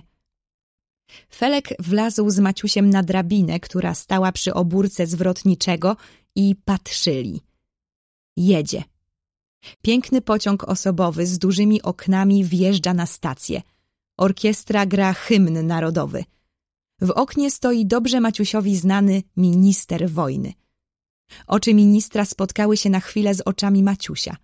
Maciuś drgnął i szybko się pochylił. Co by to było, gdyby go poznał minister? Minister nie mógł poznać Maciusia. Po pierwsze dlatego, że myśl jego była zajęta bardzo ważnymi sprawami, a po drugie dlatego, że już po ucieczce Maciusia, którą prezes ministrów ukrył przed wszystkimi, o czym później się powie, Maciuś podrobiony żegnał go na drogę w stolicy. Minister spraw zagranicznych kazał mu się przygotować do wojny z jednym, a bić się trzeba aż z trzema królami. Minister wojny miał teraz o czym myśleć. Łatwo powiedzieć, idź i bij się, kiedy aż trzech na ciebie idzie. Co z tego, że pobije jednego albo dwóch nawet, jeżeli go trzeci położy? Żołnierzy by może starczyło, ale ani karabinów nie ma ile potrzeba, ani armat, ani odzieży. To też minister taki plan obmyślił. Rzuci się z nienacka, rozbije pierwszego nieprzyjaciela, zabierze mu wszystko, co on przygotował do wojny i dopiero weźmie się do drugiego. Przykro było trochę Maciusiowi, gdy patrzał, jak wojsko stało na baczność, jak ministrowi dawano kwiaty i orkiestra bez przerwy grała. Mnie się to wszystko należy, pomyślał. Ale że był sprawiedliwy, więc zaraz sam sobie wszystko wytłumaczył. Tak, łatwo chodzić i salutować, słuchać muzyki i brać bukiety. Ale powiedz no, mój Maciusiu, czy wiedziałbyś, dokąd posyłać wojsko, kiedy nie umiesz jeszcze geografii? Bo co wie Maciuś? Zna trochę rzek i gór i wysp. Wie, że ziemia jest okrągła i obraca się dokoła osi, ale taki minister musi znać wszystkie fortece, wszystkie drogi, musi znać każdą ścieżkę w lesie. Prapradziadek Maciusia wygrał wielką bitwę, bo kiedy nieprzyjaciel prowadził na niego wojska, on schował się w lesie. Przeczekał, aż nieprzyjaciel wejdzie głęboko w las, a sam gęstymi ścieżkami zaszedł od tyłu i rozbił go na głowę. Nieprzyjaciel myślał, że spotka wojsko pradziadka z przodu, a on uderzył niespodzianie z tyłu i jeszcze go wepchnął w bagna. A Maciuś, czy zna swoje lasy i błota? Pozna je teraz. Gdyby siedział w stolicy, znałby tylko swój ogród królewski, a tak zobaczy całe swoje państwo. Mieli słuszność żołnierze, że śmieli się z Maciusia. Maciuś jest bardzo jeszcze małym i mało uczonym królem. Może i źle się stało, że wojna tak od razu wybuchła. Żeby chodzi za dwa lata, albo za rok jakiś.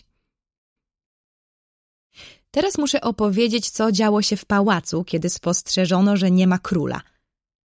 Wchodzi rano do sypialni najstarszy lokaj i oczom nie wierzy.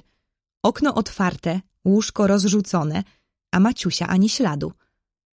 Mądry był królewski lokaj. Zamknął na klucz sypialnię, pobiegł do mistrza ceremonii, który spał jeszcze, obudził go i do ucha powiedział Jaśnie wielmożny mistrzu ceremonii, król zginął.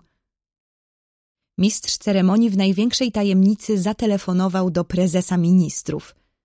Nie upłynęło dziesięć minut, gdy w szalonym pędzie zajechały trzy samochody. Prezesa ministrów, ministra spraw wewnętrznych, prefekta policji. Ukradli króla. To przecież jasne. Nieprzyjacielowi musiało bardzo na tym zależeć, żeby ukraść króla. Wojsko się dowie, że nie ma króla, więc bić się nie zechce. I bez boju nieprzyjaciel zawładnie stolicą. Kto wie, że nie ma króla? Nikt nie wie. To dobrze. Musimy się tylko dowiedzieć, czy Maciuś został uprowadzony, czy też zabity. Panie prefekcie policji, proszę to zbadać. Czekam za godzinę na odpowiedzi. W Parku Królewskim była sadzawka. Może utopili Maciusia. Sprowadzono z Ministerium Morskiego ubranie nurka. Ubranie nurka to jest taki żelazny klosz z okienkami i rurą, przez którą się pompuje powietrze. Prefekt policji włożył na głowę ten klosz, spuścił się na dno sadzawki, chodzi i szuka, a z góry mu marynarze pompują powietrze. Ale Maciusia nie znalazł. Wezwano do pałacu doktora i ministra handlu. Wszystko robiono w największej tajemnicy, ale coś trzeba było przecież powiedzieć, bo służba wiedziała, że się coś stało, kiedy ministrowie od samego rana latają jak opętani. Więc powiedzieli, że Maciuś jest niezdrów i doktor zapisał mu na śniadanie raki i dlatego prefekt policji wlazł do sadzawki. Zagranicznemu guwernerowi powiedziano, że Maciuś lekcji mieć nie będzie, bo leży w łóżku. Obecność doktora upewniła wszystkich, że to jest prawda. No dobrze, więc dziś możemy już być spokojni, powiedział minister spraw wewnętrznych. Ale co jutro zrobimy? Jestem prezesem ministrów i głowę mam nie od parady. Zaraz zobaczycie. Przyjechał minister handlu.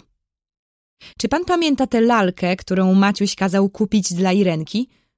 Doskonale pamiętam. A bo małą mi zrobił awanturę minister finansów, że na głupstwa wydaje pieniądze. Więc jedź pan w tej chwili do fabrykanta i powiedz pan, że na jutro musi być podług fotografii Maciusia zrobiona taka lalka, żeby nikt, ale to nikt nie poznał, żeby wszyscy myśleli, że to naprawdę żywy Maciuś. Prefekt policji wyszedł z sadzawki i dla niepoznaki wyciągnął dziesięć raków, które zaraz odesłano z wielkim hałasem do królewskiej kuchni. A doktor napisał pod dyktando receptę. Recepta. Zupa rakowa. Ex 10 raków dosis una. Stosowanie co dwie godziny łyżka. Kiedy dostawca jego królewskiej mości usłyszał, że sam minister handlu czeka go w gabinecie, aż ręce zatarł z radości. Znów Maciusiowi strzeliło coś do głowy. Obstalunek tym bardziej mu był potrzebny, że z chwilą wybuchu wojny wszyscy prawie ojcowie i wujaszki wyjechali i nikt nie miał głowy do kupowania lalek. Panie fabrykancie, terminowy obstalunek. Lalka musi być gotowa na jutro. To będzie trudno. Prawie wszyscy robotnicy poszli na wojnę.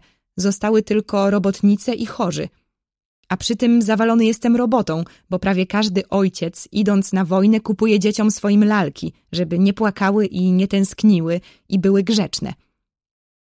Fabrykant kłamał jak najęty, bo nikt z jego robotników nie poszedł na wojnę, bo takim mało płacił za robotę, że wszyscy z głodu byli chorzy i niezdatni do służby wojskowej.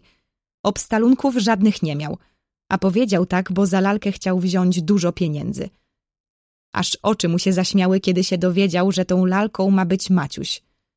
Uważa pan, król musi się często pokazywać. Będzie jeździł powozem po mieście, żeby nie myśleli, że się boi, że jest wojna i siedzi schowany. A po co dziecko wozić tak ciągle po mieście? Może być deszcz, zaziębi się albo co. A rozumie pan, że właśnie teraz dbać trzeba o zdrowie króla.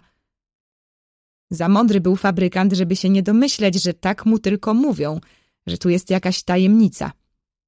Więc koniecznie na jutro? Na jutro, na dziewiątą rano. Fabrykant wziął pióro, niby to coś liczył. Maciusia musi przecież zrobić z najlepszej porcelany. Nie wie, czy mu starczy. Tak, to musi bardzo drogo kosztować. I robotnikom więcej zapłacić musi za tajemnicę. A tu maszyna mu się zepsuła. Ile to reparacja będzie kosztowała? No, i te obstalunki musi odłożyć. Liczył, liczył długo. Panie ministrze handlu, gdyby nie wojna, ja rozumiem przecież, że teraz są wielkie wydatki na wojsko i armaty. Gdyby nie wojna, musielibyście dwa razy więcej zapłacić. Więc niech będzie. No, już ostatnia cena. I powiedział taką sumę, że minister aż jęknął. Ależ to zdzierstwo! Panie ministrze, pan obraziłeś przemysł narodowy. Minister zatelefonował do prezesa, bo sam bał się tyle pieniędzy płacić. Ale bojąc się, żeby rozmowy ktoś nie podsłuchał zamiast lalka, powiedział armata. Panie prezesie ministrów, strasznie drogo chcą za tę armatę. Prezes ministrów domyślił się zaraz o co chodzi, więc powiedział nie targuj się pan, tylko powiedz, że musi za pociągnięciem sznurka salutować. Telefonistka bardzo się zdziwiła, co to za nowe armaty, które mają salutować. Fabrykant zaczął się rzucać. On do obstalunku dołoży, to nie jego rzecz. Niech się zwrócą do królewskiego mechanika albo zegarmistrza. On jest poważny przemysłowiec, a nie magik. Maciuś będzie zamykał oczy, ale salutować nie będzie i basta. Wreszcie i na to zgoda, ale nie opuści ani złamanego szelonga. Spocony i głodny wracał minister handlu do domu. Spocony i głodny wrócił prefekt policji do pałacu. Już wiem, jak Maciusia ukradli. Obejrzałem wszystko dokładnie. Było tak. Kiedy Maciuś spał, zarzucono mu na głowę worek i wyniesiono do królewskiego ogrodu, tam gdzie rosną maliny. Między malinami jest wydeptane miejsce. Tam Maciuś zemdlał, więc dano mu na otrzeźwienie maliny i wiśnie. Leży tam sześć pestek od wisien. Kiedy przenoszono Maciusia przez parkan, musiał się bronić, bo na korze drzewa są ślady błękitnej krwi. Dla niepoznaki wsadzono go na krowę. Sam prefekt widział ślady krowich nóg. Potem droga prowadzi do lasu, gdzie znaleziono worek.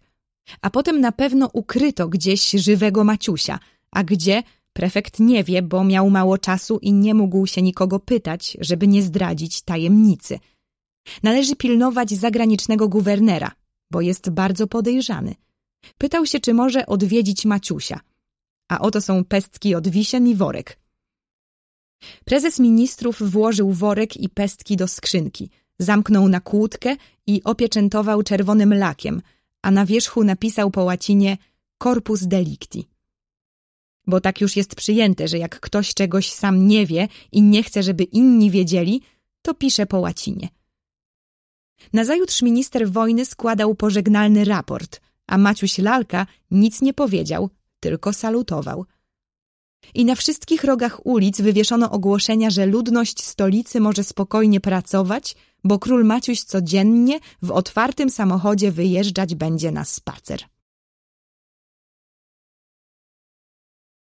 Plan ministra wojny udał się doskonale. Trzej nieprzyjaciele myśleli, że wojska Maciusia pójdą od razu na wszystkich. A tymczasem on zebrał żołnierzy w jedno miejsce, z całej siły uderzył na jednego i pobił go – Wziął wielką zdobycz i rozdał karabiny, buty i plecaki tym, którym nie wystarczało. Maciuś akurat wtedy przybył na front, kiedy odbywał się podział wojennego łupu. A to co za wojownicy? Zdziwił się główny intendent wojska. To jest ten, który daje odzież i jedzenie. My tacy sami wojacy jak wszyscy, powiedział Felek, tylko trochę mniejsi. Każdy wybrał sobie parę butów, rewolwer, karabin, plecak – i Felek żałował nawet, że zabrał ojcu pas i nóż składany i niepotrzebnie zupełnie dostał wtedy w skórę. Ale kto może przewidzieć, jakie niespodzianki przyniesie wojna? Niedarmo mówiono, że głównodowodzący nie był zanadto mądry. Zamiast, zabrawszy łupy, cofnąć się i okopać na miejscu, poszedł naprzód. Zabrał jakichś pięć czy sześć miast, do niczego mu niepotrzebnych, i dopiero kazał kopać okopy. Ale już było za późno, bo nieprzyjacielowi szli na pomoc ci dwaj inni. Tak później mówiono, ale oddział Maciusia nie wiedział nic, bo na wojnie wszystko trzyma się w tajemnicy. Przyszedł rozkaz, żeby iść tu i tu. Przyszedł rozkaz, żeby robić to i to. Idź i rób. O nic się nie pytaj i nic nie gadaj. Kiedy weszli do tego zagranicznego, zwyciężonego miasta, Maciusiowi wszystko bardzo się podobało. Spali w wygodnych, dużych pokojach, co prawda na podłodze, ale zawsze to lepsze niż ciasna chałupa albo zgoła pole. Z utęsknieniem czekał Maciuś na pierwszą bitwę, bo do tej pory dużo ciekawych rzeczy widział i słyszał, ale wojny prawdziwej nie widział. Co za szkoda, że się spóźnili. W mieście stali tylko jedną noc, a na drugi dzień ruszyli dalej. Stanąć i kopać. Maciuś nie znał zupełnie nowoczesnej wojny. Myślał, że wojsko tylko się bije, zabiera konie i jedzie coraz dalej i dalej, tratując nieprzyjaciela. Ale że wojska kopią rowy, przed tymi rowami wbijają paliki z drutem kolczastym i siedzą w tych rowach całe tygodnie, ani się Maciusiowi śniło. To też nie bardzo chętnie wziął się do roboty. Zmęczony był i słaby. Wszystkie kości bardzo go bolały. Bić się to królewskie zadanie, ale kopać to każdy inny lepiej zrobi od niego. A tu przychodzi rozkaz za rozkazem, żeby się śpieszyć, bo nieprzyjaciel się zbliża. Już nawet słychać było z daleka strzały armatnie. Aż tu raz wali samochodem pułkownik saperów, krzyczy, pięści zacisnął, grozi, że rozstrzela tych, którzy źle kopią. Jutro ma być bitwa, a oni nic nie robią. A ci dwaj po co tu? Krzyknął w ostatniej złości. Co to za wali góra i wyrwidąb? I mogła się cała złość pułkownika saperów skrupić na dwóch ochotnikach. Na szczęście nad głowami warczeć zaczął nieprzyjacielski aeroplan. Pułkownik popatrzał przez lornetę w niebo, ale prędko zawrócił, wsiadł do samochodu i czmychnął. A tu? Buch, buch, buch. Jedna za drugą trzy bomby opadły. Nikogo wprawdzie nie zraniły, ale wszyscy powskakiwali do wykopanych rowów, bo tam było bezpieczniej. Bomby i pociski armatnie tak są urządzone, że w nich jest dużo kul i kawałków żelaza. I jak pocisk się rozerwie, wszystko to ze środka się rozsypie na różne strony i rani i zabija. A kto siedzi w dole, w rowie, temu nad głową wszystko przelatuje. Chyba, że pocisk w sam rów upadnie – ale to rzadko się zdarza, bo kule armatnie parę wiorst niosą i trudno akurat w rów wycelować z takiej odległości. Te trzy bomby wiele Maciusia nauczyły. Już nie dąsał się i nie buntował, tylko wziął za łopatę i pracował tak długo, aż wreszcie zmęczone ręce same opadły i jak kłoda zwalił się ciężkim snem zmożony na dno samorowu. Nie budzili go żołnierze, ale sami przy świetle rakiet całą noc pracowali – a razem ze świtem spadł na nich pierwszy atak nieprzyjaciela. Pokazało się czterech nieprzyjacielskich jeźdźców na koniach. To byli ci, którzy ich szukali, gdzie są, żeby wojsko uprzedzić. Zaczęli strzelać do nich. Jeden spadł z konia, pewnie zabity, a trzech uciekło. Zaraz będzie bitwa, wołał porucznik. Leżeć w rowach, tylko karabiny wystawić i czekać. Brzmiał rozkaz. Istotnie nie za długo pokazało się wojsko nieprzyjacielskie. Zaczęto strzelać z obu stron. Ale oddział Maciusia ukryty był w rowach, a tamci szli przez otwarte pole. Kule tamtych przelatywały nad rowem, nad głowami ukrytych żołnierzy i tylko świst ich i brzęczenie słychać było, a tamtych gęsto kule raziły. Zrozumiał teraz Maciuś, że słusznie gniewał się wczoraj pułkownik saperów – i zrozumiał, że na wojnie każdy rozkaz musi być wykonany szybko i bez niepotrzebnego gadania. Tak, cywile mogą sobie słuchać lub nie słuchać, ociągać się i perorować, ale wojskowy jedno wie tylko. Rozkaz musi być bez zwłoki wykonany, każde polecenie ściśle spełnione. Naprzód to naprzód, w tył to w tył, kopać to kopać. Bitwa cały dzień trwała. Nareszcie nieprzyjaciel zrozumiał, że nic nie poradzi, bo tylko traci ludzi, a dojść do nich nie może, bo przeszkadzają druty kolczaste. Więc cofnął się i zaczął okopywać. Ale inna rzecz kopać spokojnie, gdy nikt nie przeszkadza, a inna kopać pod strzałami, gdy zewsząd kule padają. W nocy co chwila puszczano rakiety, więc było widno. I chociaż mniej strzelano, bo zmęczeni na przemian strzelali i spali, ale bitwa dalej trwała. Nie daliśmy się, mówili zadowoleni żołnierze. Nie daliśmy się, telefonował porucznik do sztabu, bo i telefon zdążyli już przeprowadzić. Jakież więc było ich zdziwienie i gniew, gdy nazajutrz otrzymali rozkaz, żeby się cofać. Dlaczego? Wykopaliśmy rowy, zatrzymaliśmy wroga, możemy się bronić. Gdyby Maciuś był porucznikiem, na pewno nie posłuchałby rozkazu. To pewnie pomyłka jakaś. Niech pułkownik tu przyjdzie, niech zobaczy, jak dobrze się biją. Tamtych tylu zabitych, a u nich jeden tylko ranny w rękę, bo kiedy strzelał z rowu, wysuniętą rękę drasnęła nieprzyjacielska kula. Skąd pułkownik z daleka może wiedzieć, co tu się dzieje? Była chwila, kiedy Maciuś gotów był krzyknąć na cały głos Ja jestem król Maciuś! Niech sobie pułkownik co chce rozkazuje, a ja nie pozwalam się cofać. Król jest starszy od pułkownika. Jeżeli tego nie zrobił, to że nie miał pewności, czy mu uwierzą i nie wyśmieją. I po raz drugi przekonał się Maciuś, że w wojsku rozumować nie wolno, a trzeba bezzwłocznie wykonywać rozkazy. Przykro było rzucać z takim mozołem wykopane rowy strzeleckie, zostawiać nawet część zapasów, chleba, cukru i słoniny – Przykro było wracać przez wieś, gdzie mieszkańcy zdziwieni pytali się Dlaczego uciekacie? Już w drodze dogonił ich konny wysłaniec z listem, żeby szli prędko, bez wypoczynków. Łatwo mówić, bez wypoczynku, ale po dwóch nieprzespanych nocach, gdy jedną noc kopali, a drugą noc się bili, iść bez wypoczynku nie można. Przy tym jedzenia mieli mało, a w dodatku byli źli i zmartwieni. Iść naprzód, ochota, ostatnich sił dobywasz i pędzisz, ale wracać się niechętnie. To sił prędzej braknie. Idą, idą, idą, idą, a tu nagle z dwóch stron strzały, bo i z prawej i z lewej strony. Rozumiem, krzyknął porucznik. Myśmy za daleko poszli naprzód, a nieprzyjaciel zaszedł od tyłu. Miał rację pułkownik, że kazał prędko uciekać. Byliby nas wzięli do niewoli. Ładna historia, musimy się przedzierać, ze złością powiedział jeden żołnierz. Och, jak było ciężko. Teraz nieprzyjaciel siedział w rowach i strzelał z dwóch stron, a oni mieli uciekać. Zrozumiał teraz Maciuś, dlaczego na Radzie Ministrów mówili o butach, owsie dla koni i o sucharach.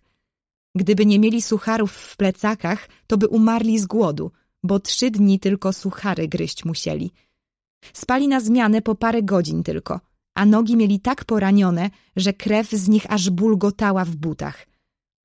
Cicho, jak cienie, uciekali lasami, a porucznik coraz to patrzał na mapie, gdzie jest jakiś parów, żeby się ukryć, albo gęstwina. I raz w raz zjawiali się jeźdźcy nieprzyjacielscy, żeby zobaczyć, którędy uciekają, żeby dać znać i kierować pościgiem. Gdybyście widzieli Maciusia, Wysechł przez te dnie jak patyczek, zgarbił się, zmalał jeszcze. Wielu żołnierzy rzucało karabiny, ale Maciuś trzymał swój karabin w zdrętwiałych palcach. Jak można w kilka dni tyle przeżyć? Oj, czulku, oj, czulku, myślał Maciuś. O jak ciężko być królem, który prowadzi wojny. Łatwo było powiedzieć, a bo my się boimy, zwyciężę was jak mój wielki pradziadek. Łatwo gadać, ale robić trudno. Och, jakim ja wtedy byłem lekkomyślnym dzieciakiem. Myślałem tylko o tym, jak będę na białym koniu opuszczał stolicę, a ludność sypać będzie kwiaty pod nogi konia. A nie myślałem, ilu ludzi zabiją. A ludzie padali od kul i może Maciuś dlatego tylko ocalał, że mały. Och, jakże się ucieszyli, gdy wreszcie spotkali swoje wojska. I nie tylko wojska, ale już gotowe, wykopane rowy – a teraz śmiać się z nas będą, pomyślał Maciuś. Ale się rychło przekonał, że nawet na wojnie jest sprawiedliwość. Kiedy się już w rowach strzeleckich wyspali i podjedli, kazano im iść do rezerwy. Nowi żołnierze zajęli okopy i strzelali, a oni przeszli jeszcze pięć wiorst do tyłu i tam zatrzymano ich w małym miasteczku. Tu na placu spotkał ich pułkownik saperów, ale wcale się teraz nie gniewał, tylko powiedział No co, zuchy, rozumiecie teraz, dlaczego potrzebne są rowy? O i jak zrozumieli! Potem oddzielili osobno tych żołnierzy, którzy rzucili swoje karabiny i osobno tych, którzy wrócili z karabinami. I do tych ostatnich zwrócił się generał z taką mową. Cześć wam za to, że zachowaliście broń. Bohaterów prawdziwych poznaje się nie w powodzeniu, a w porażce. Patrzcie, są tu ci dwaj malcy, zawołał pułkownik saperów. Niech żyją dzielni bracia, Waligura i Wyrwidąb. Od tej pory Felek został Waligurą, a Maciuś Wyrwidębem. I już inaczej o nich nie mówili. Ej, Waligura, przynieś no wody. Te, Wyrwidąb, dorzuć drew do ognia. I oddział pokochał swoich chłopaków. Tu na wypoczynku dowiedzieli się, że minister wojny strasznie się pokłócił z głównodowodzącym i dopiero król Maciuś ich pogodził. Maciuś nic nie wiedział o lalce, która go zastępowała w stolicy i dziwił się bardzo, że tak mówili, jakby on był w domu. Maciuś był jeszcze bardzo młodym królem i nie wiedział, co to jest dyplomacja. A dyplomacja to znaczy wszystko kłamać, żeby nieprzyjaciel nic nie wiedział. Ano, odpoczęli, podjedli i zasiedli w okopach. I zaczęła się tak zwana wojna pozycyjna. To znaczy, że i oni, i nieprzyjaciel strzelali, ale kule przelatywały nad głowami, bo żołnierze siedzieli pod ziemią. Tylko od czasu do czasu, jak im się zaczynało nudzić, szli do ataku, raz ci, raz tamci. I wtedy albo jedni, albo drudzy o parę wiorst szli naprzód, albo w tył. Żołnierze chodzili sobie w rowach, grali, śpiewali, grali w karty, a Maciuś pilnie się uczył. Uczył Maciusia porucznik, któremu też się nudziło. Postawi rano wartę, żeby patrzeli, czy nieprzyjaciel nie idzie do ataku, zatelefonuje do sztabu, że wszystko w porządku i cały dzień nie ma co robić.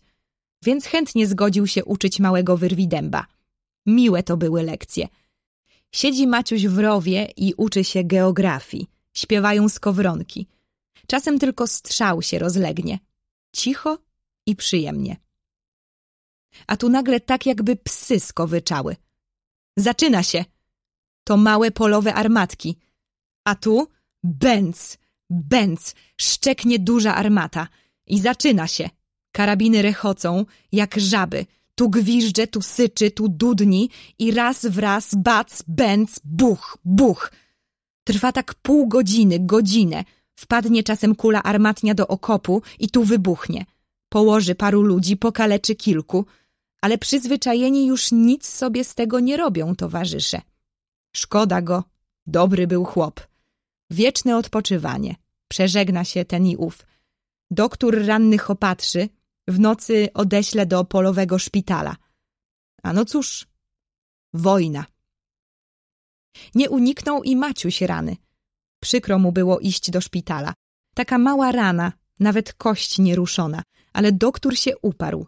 Odesłał. Leży Maciuś na łóżku. Po raz pierwszy od czterech miesięcy. Ach, jakie szczęście! Siennik, poduszka, kołdra, białe prześcieradło, ręcznik płócienny, stolik biały przy łóżku, kubek, talerz, łyżka podobna trochę do tych, którymi jadał w Pałacu Królewskim. Rana się prędko goiła. Siostry i lekarze bardzo byli mili i Maciuś czułby się nawet dobrze, gdyby nie straszne niebezpieczeństwo – Patrzcie, jaki on podobny do króla Maciusia, powiedziała raz żona pułkownika. Prawda, i mnie wydawał się jakiś znajomy, a nie mogłem sobie przypomnieć. I chcieli go fotografować do gazety. Za nic w świecie. Na próżno mu tłumaczyli, że może król Maciuś przyśle mu medal, jak przeglądając obrazki zobaczy takiego małego żołnierza. Poślesz ojcu, głupi, swoją fotografię, to się ucieszy. Nie i nie. Dosyć miał Maciuś tych fotografii. Zresztą bał się nie na żarty. A nuż poznają, domyślą się. Dajcie mu spokój, kiedy nie chce. A może ma rację. Jeszcze się król Maciuś obrazi. Będzie mu przykro, że jeździ samochodem po stolicy na spacer, gdy jego rówieśnicy otrzymują rany. Co to do pioruna za Maciuś, o którym ciągle mówią? Maciuś pomyślał do pioruna, bo już dawno zapomniał etykietę i nauczył się gwary żołnierskiej.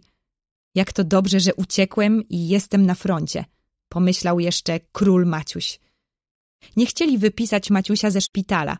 Nawet prosili bardzo, żeby został, że przyda się. Herbatę rannym dawać będzie, w kuchni pomoże. Oburzył się Maciuś. Nie, za żadne skarby. Niech sobie ten malowany Maciuś w stolicy rozdaje w szpitalach prezenty i chodzi na pogrzeby oficerów. On, prawdziwy król Maciuś, pójdzie znów do okopów. I wrócił. Gdzie Felek? Nie ma Felka. Felkowi znudziła się służba w okopach. Ruchliwy był chłopak, ani chwili nie mógł usiedzieć na miejscu. A tu siedź w rowie całymi tygodniami i łba nie wychylaj, bo zaraz strzelają, a porucznik się złości. Schylisz ty swój głupi łeb, czy nie? Woła porucznik. Postrzelą głupca, a potem wozić go trzeba po szpitalach, opatrunki robić i bez ciebie dosyć jest kłopotów. Raz i drugi skrzyczał tylko, a za trzecim razem wsadził go do paki na trzy dni na chleb, na wodę. A to tak było. W nieprzyjacielskich okopach zmienił się oddział. Stary poszedł na wypoczynek, a nowy oddział w nocy go zmienił.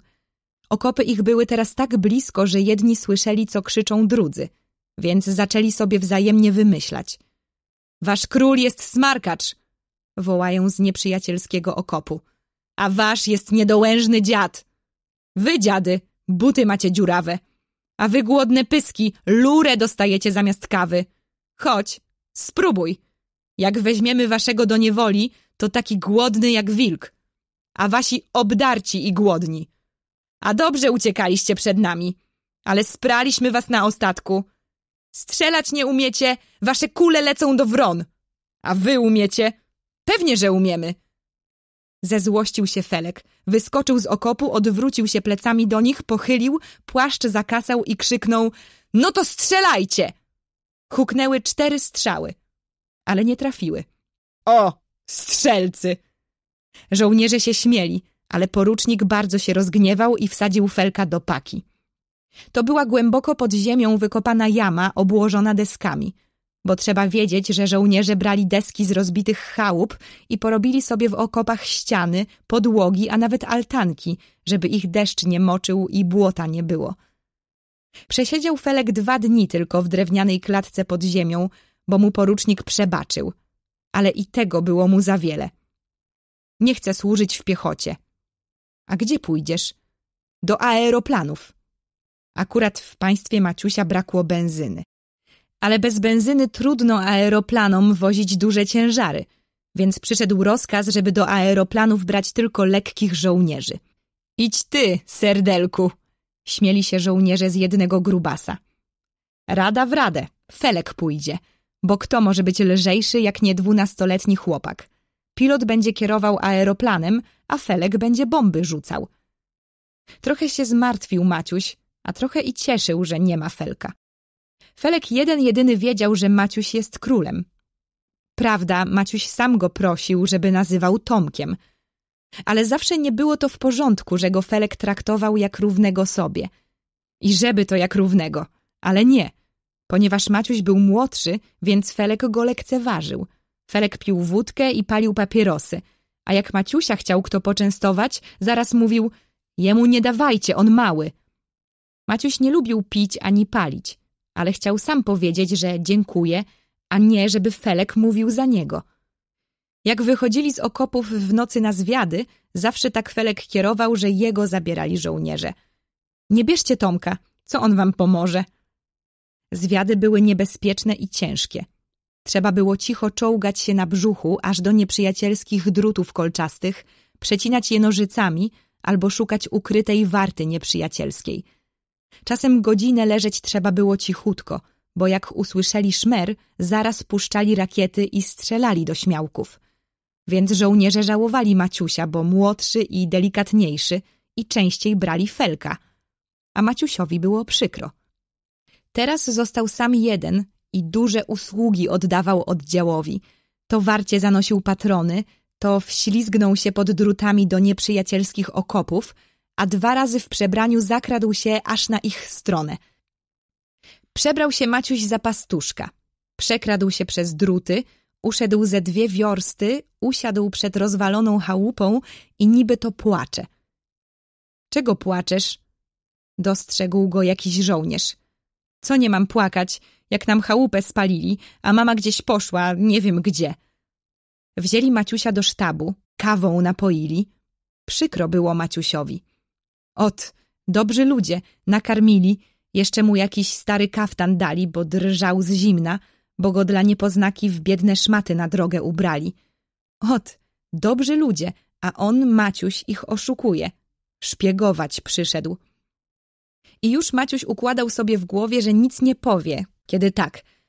Niech sobie mówią na niego, że głupi, że nic nie wie i niech go więcej nie posyłają. Nie chce być szpiegiem. Ale zawołali go do sztabowego oficera. Słuchaj, mały, jak ty się nazywasz? Tomek się nazywam. Więc słuchaj, Tomek. Możesz zostać przy wojsku, jak chcesz, póki twoja mama nie wróci. Dostaniesz ubranie, kociołek żołnierski, zupę i pieniądze. Ale musisz się do nich przekraść i zobaczyć, gdzie mają prochownię. Co to jest prochownia? Udał Maciuś, że nie wie. Więc go zaprowadzili. Pokazali mu, gdzie są kule armatnie, gdzie bomby i granaty, gdzie proch i patrony. Wiesz teraz? Wiem. No to pójdziesz, zobaczysz u nich, gdzie to wszystko mają schowane, a potem wrócisz tu i opowiesz. Dobrze, zgodził się Maciuś. A oficer nieprzyjacielski kontent, że mu się tak łatwo udało. Aż dał Maciusiowi tabliczkę całą czekolady. To tak? Pomyślał z ulgą Maciuś. Już jak mam być wywiadowcą, wolę dla swoich. Odesłali go do okopów i puścili w drogę. A żeby nie było słychać, że idzie, dla niepoznaki trochę strzelali, ale w górę. Wraca Maciuś, ale taki zadowolony, zagryza czekoladę, to pełznie na czworakach, to czołga się na brzuchu. Aż tu bac, bac, swoi do niego strzelają. I mogli go zabić nawet, bo zauważyli, że ktoś się skrada, a nie wiedzieli kto. Puśćcie tam trzy rakiety! krzyknął porucznik. Wziął lornetę, patrzy i aż się zatrząsł ze strachu. Nie strzelać! Zdaje się, że wyrwidąb wraca. I bez przeszkód wrócił już Maciuś. Wszystko opowiedział, co i jak. Zaraz porucznik zatelefonował do artylerii.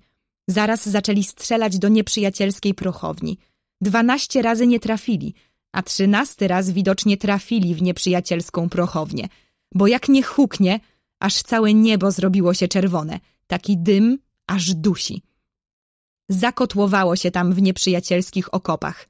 Porucznik podniósł w górę Maciusia i trzy razy powiedział Zuch, chłopak, zuch, chłopak, zuch, chłopak. Ano dobrze, jeszcze więcej go kochają, bo w nagrodę dano oddziałowi całą beczułkę wódki, a że nieprzyjaciel nie miał teraz prochu, więc przez trzy dni spać mogli spokojnie.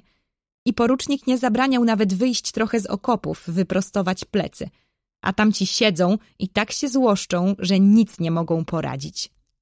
I znów wszystko poszło po staremu. W dzień Maciuś uczy się u porucznika, a czasem kopie trochę, bo deszcz ciągle psuje okopy. To go wyślą na wartę, to postrzela. I dużo razy myślał Maciuś, jakie dziwne. Tak bardzo chciałem wynaleźć szkło palące, żeby wysadzać w powietrze nieprzyjacielskie prochownie. I chociaż nie zupełnie, ale trochę się spełniło moje życzenie. I tak skończyła się jesień i nadeszła zima. Śnieg upadł. Przysłano im ciepłe odzienie. Biało było i cicho. I znów miał się Maciuś ważnej nowej rzeczy dowiedzieć. Przecież nie mogły tak wojska siedzieć tylko w okopach. Bo co by to było? Jakby się wojna skończyła? Cicho było w okopach na froncie, ale za to szła ogromna praca w stolicy. Trzeba było przygotować wszystko, żeby zebrawszy wojsko w jedno miejsce, z całej siły uderzyć na nieprzyjaciela i przełamać front. Bo jak tylko w jednym miejscu przerwać linię okopów, nieprzyjaciel musi wszędzie uciekać, bo przez tą przerwę wchodzą wojska i zaczynają strzelać od tyłu. Przez zimę porucznik został już kapitanem, a Maciuś dostał medal. O jakże się cieszył. Oddział ich dwa razy wymieniony był, że się dzielnie sprawuje. Sam generał przyjechał do ich okopu i czytał rozkaz.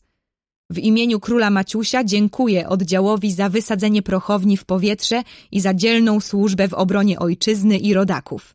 I daję wam tajne polecenie, żeby przerwać front nieprzyjacielski, jak tylko będzie ciepło.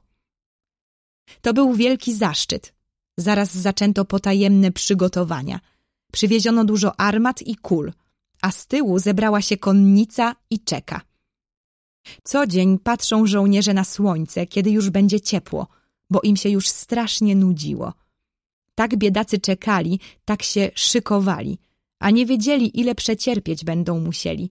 Kapitan ich taki wymyślił podstęp wojenny, żeby nie napadać wszystkimi siłami, tylko pierwszego dnia część wojska posłać do ataku, żeby szli tylko na niby i żeby się zaraz wrócili. Wtedy nieprzyjaciel będzie myślał, że oni słabi, a na drugi dzień dopiero rzuci wszystkie siły i przerwie linię okopów. Tak też i zrobił. Posłał połowę wojska do ataku. Przed atakiem długo kazał strzelać artylerii w nieprzyjacielskie druty kolczaste, żeby je porozrywać, poszarpać i zrobić wolną drogę dla piechoty. Naprzód! Och, jak przyjemnie wybiec z tych nieznośnych okopów, z tych mokrych rowów, biec z całej siły i krzyczeć Wiwat! Naprzód! Dalej! Przestraszył się nieprzyjaciel, kiedy zobaczył, że walą na niego na bagnety. Nawet strzelał mało i bezładnie – już doszli do drutów kolczastych, które były porozrzucane. A tu kapitan daje hasło do odwrotu.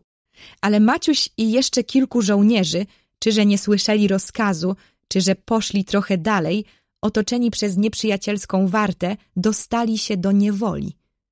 Aha, zlękli się wasi, drwili żołnierze.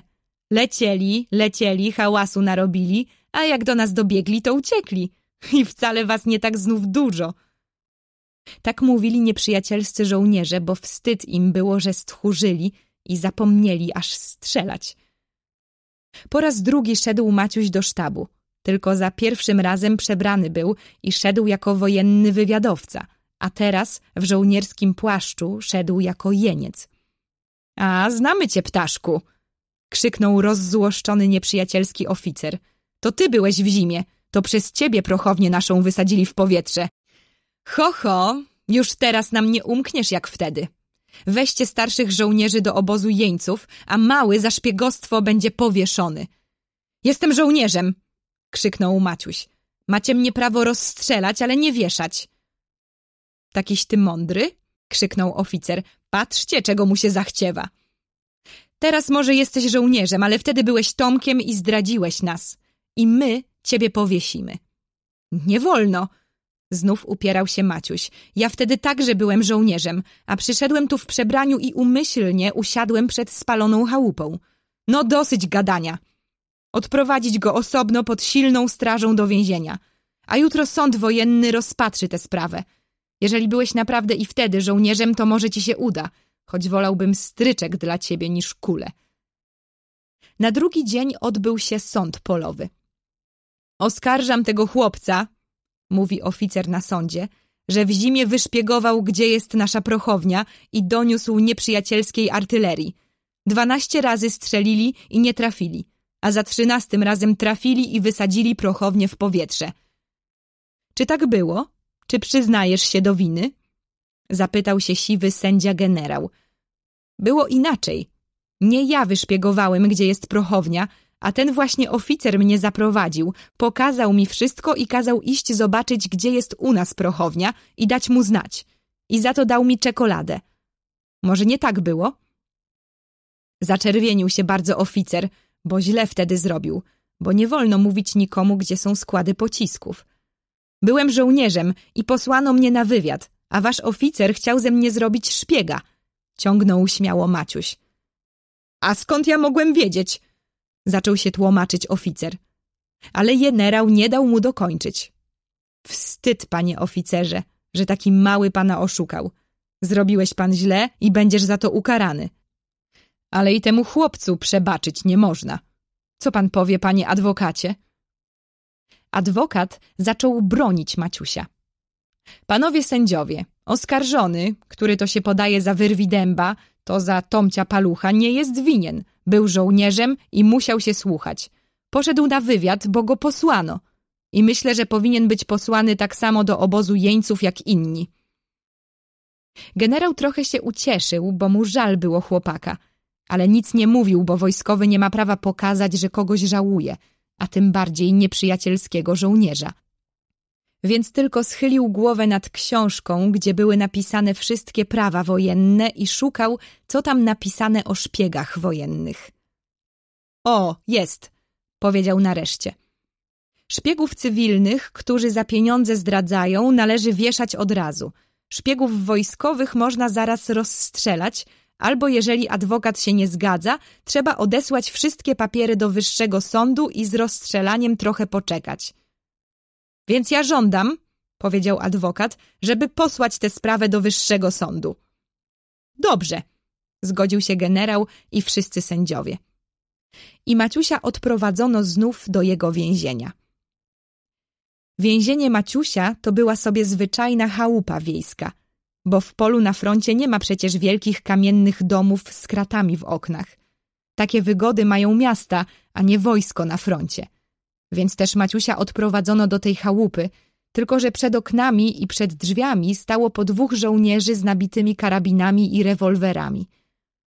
Siedzi więc Maciuś i myśli nad swoją dolą. Ale jakoś wcale nie traci nadziei. Mieli mnie powiesić, a nie powiesili. Może się i od kuli wykręcę. Tyle już kul kręciło się koło mnie. Zjadł z apetytem kolację, nawet bardzo smaczną, bo skazanych na karę śmierci dobrze żywią, już takie jest prawo. A Maciuś tak był traktowany jak skazany na śmierć. Usiadł Maciuś przy oknie i patrzy w niebo, jak aeroplany fruwają. Nasze to, czy nieprzyjacielskie? Myśli sobie a tu jak nie grzmotną od razu trzy bomby, a wszystkie blisko Maciusinego więzienia. Co było potem, Maciuś nie pamięta, bo znów spadł cały grat bomb. Jedna uderzyła w chałupę, coś się zakotłowało, jakieś jęki, krzyki, furczenie. Ktoś go pochwycił, ale Maciuś głowę miał zwieszoną. Potem coś klekotało nieznośnie, a kiedy się wreszcie ocknął, leżał na szerokim łóżku w jakimś pięknie umeblowanym pokoju. Jak się wasza królewska mość czuje? Pyta się, salutując, ten sam stary generał, który mu w zimie przypiął medal za wysadzenie prochowni. Jestem Tomek Paluch, wyrwidąb, żołnierz zwyczajny, panie generale, krzyknął, zrywając się z posłania Maciuś. A już, roześmiał się generał, zaraz się przekonamy. Hej, Zawołać tu Felka. Wszedł Felek w ubraniu lotnika. Powiedz, Felek, kto to jest? To jest jego królewska mość, król Maciuś I.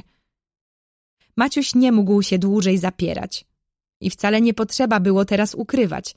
Przeciwnie, chwila wojenna wymagała najbardziej, żeby najgłośniej na całe wojsko i na całe państwo krzyknąć, że król Maciuś żyje i jest na froncie – czy wasza królewska mość może już wziąć udział w obradach? Mogę, odpowiedział Maciuś. Więc było tak.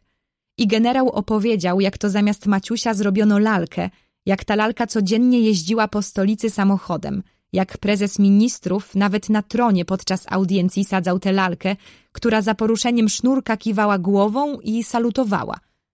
Do powozu wnoszono lalkę, bo król Maciuś, tak pisali w gazetach, dał słowo, że nogą nie stąpi na ziemię, dopóki ta ziemia nie będzie całkiem wolna od ostatniego nieprzyjacielskiego żołnierza. I długo się sztuka udawała.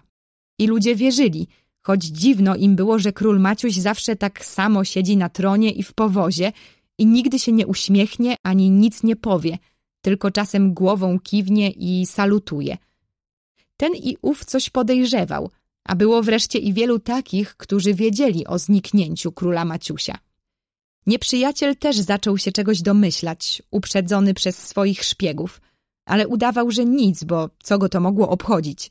Była zima, a zimą i tak siedzi się tylko w okopach. Dopiero kiedy się dowiedzieli, że wojsko Maciusia chce przerwać front, zaczęli na serio myszkować i całą tajemnicę poznali.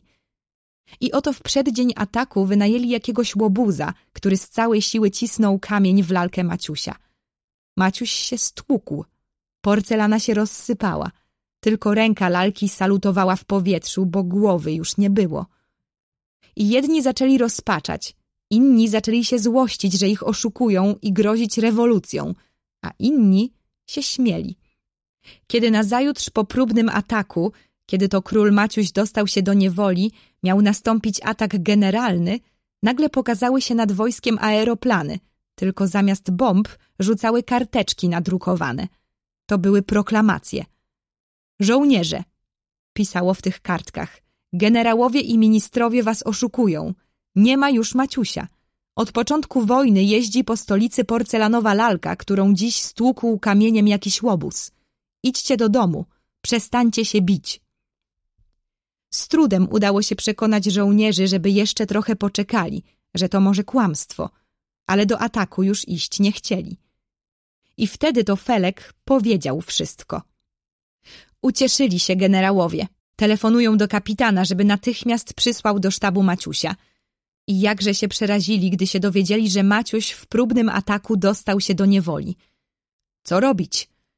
Powiedzieć zbuntowanym żołnierzom, że Maciuś w niewoli? Raz już oszukani nie zechcą uwierzyć. Na nadzwyczajnej naradzie postanowili napaść na nieprzyjaciela aeroplanami i wykraść w popłochu Maciusia. Wszystkie aeroplany podzielono na cztery oddziały. Jeden miał napaść na obóz jeńców, jeden na areszt, jeden na prochownię, a jeden na sztab oficerów. Tak też zrobili. Zarzucili bombami dom, gdzie byli wszyscy oficerowie, więc już nikt nie mógł dawać rozkazów. Rzucili dużo bomb tam, gdzie zdawało im się, że jest prochownia, ale to się nie udało, bo tam prochowni nie było. A trzeci oddział wpadł do obozu jeńców, szukając Maciusia, ale go nie znalazł. Tylko czwarty oddział porwał Maciusia i zemdlonego z wielkim trudem odwiózł Maciusia do siebie. Dzielnie się spisaliście, moi panowie. A ile straciliśmy aeroplanów? Wysłaliśmy 34 aeroplany, a wróciło 15. Jak długo trwał atak? Zapytał Maciuś.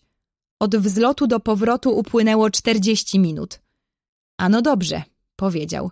Więc jutro atak generalny. Oficerowie aż w ręce z radości klasnęli. A to niespodzianka. Doskonale.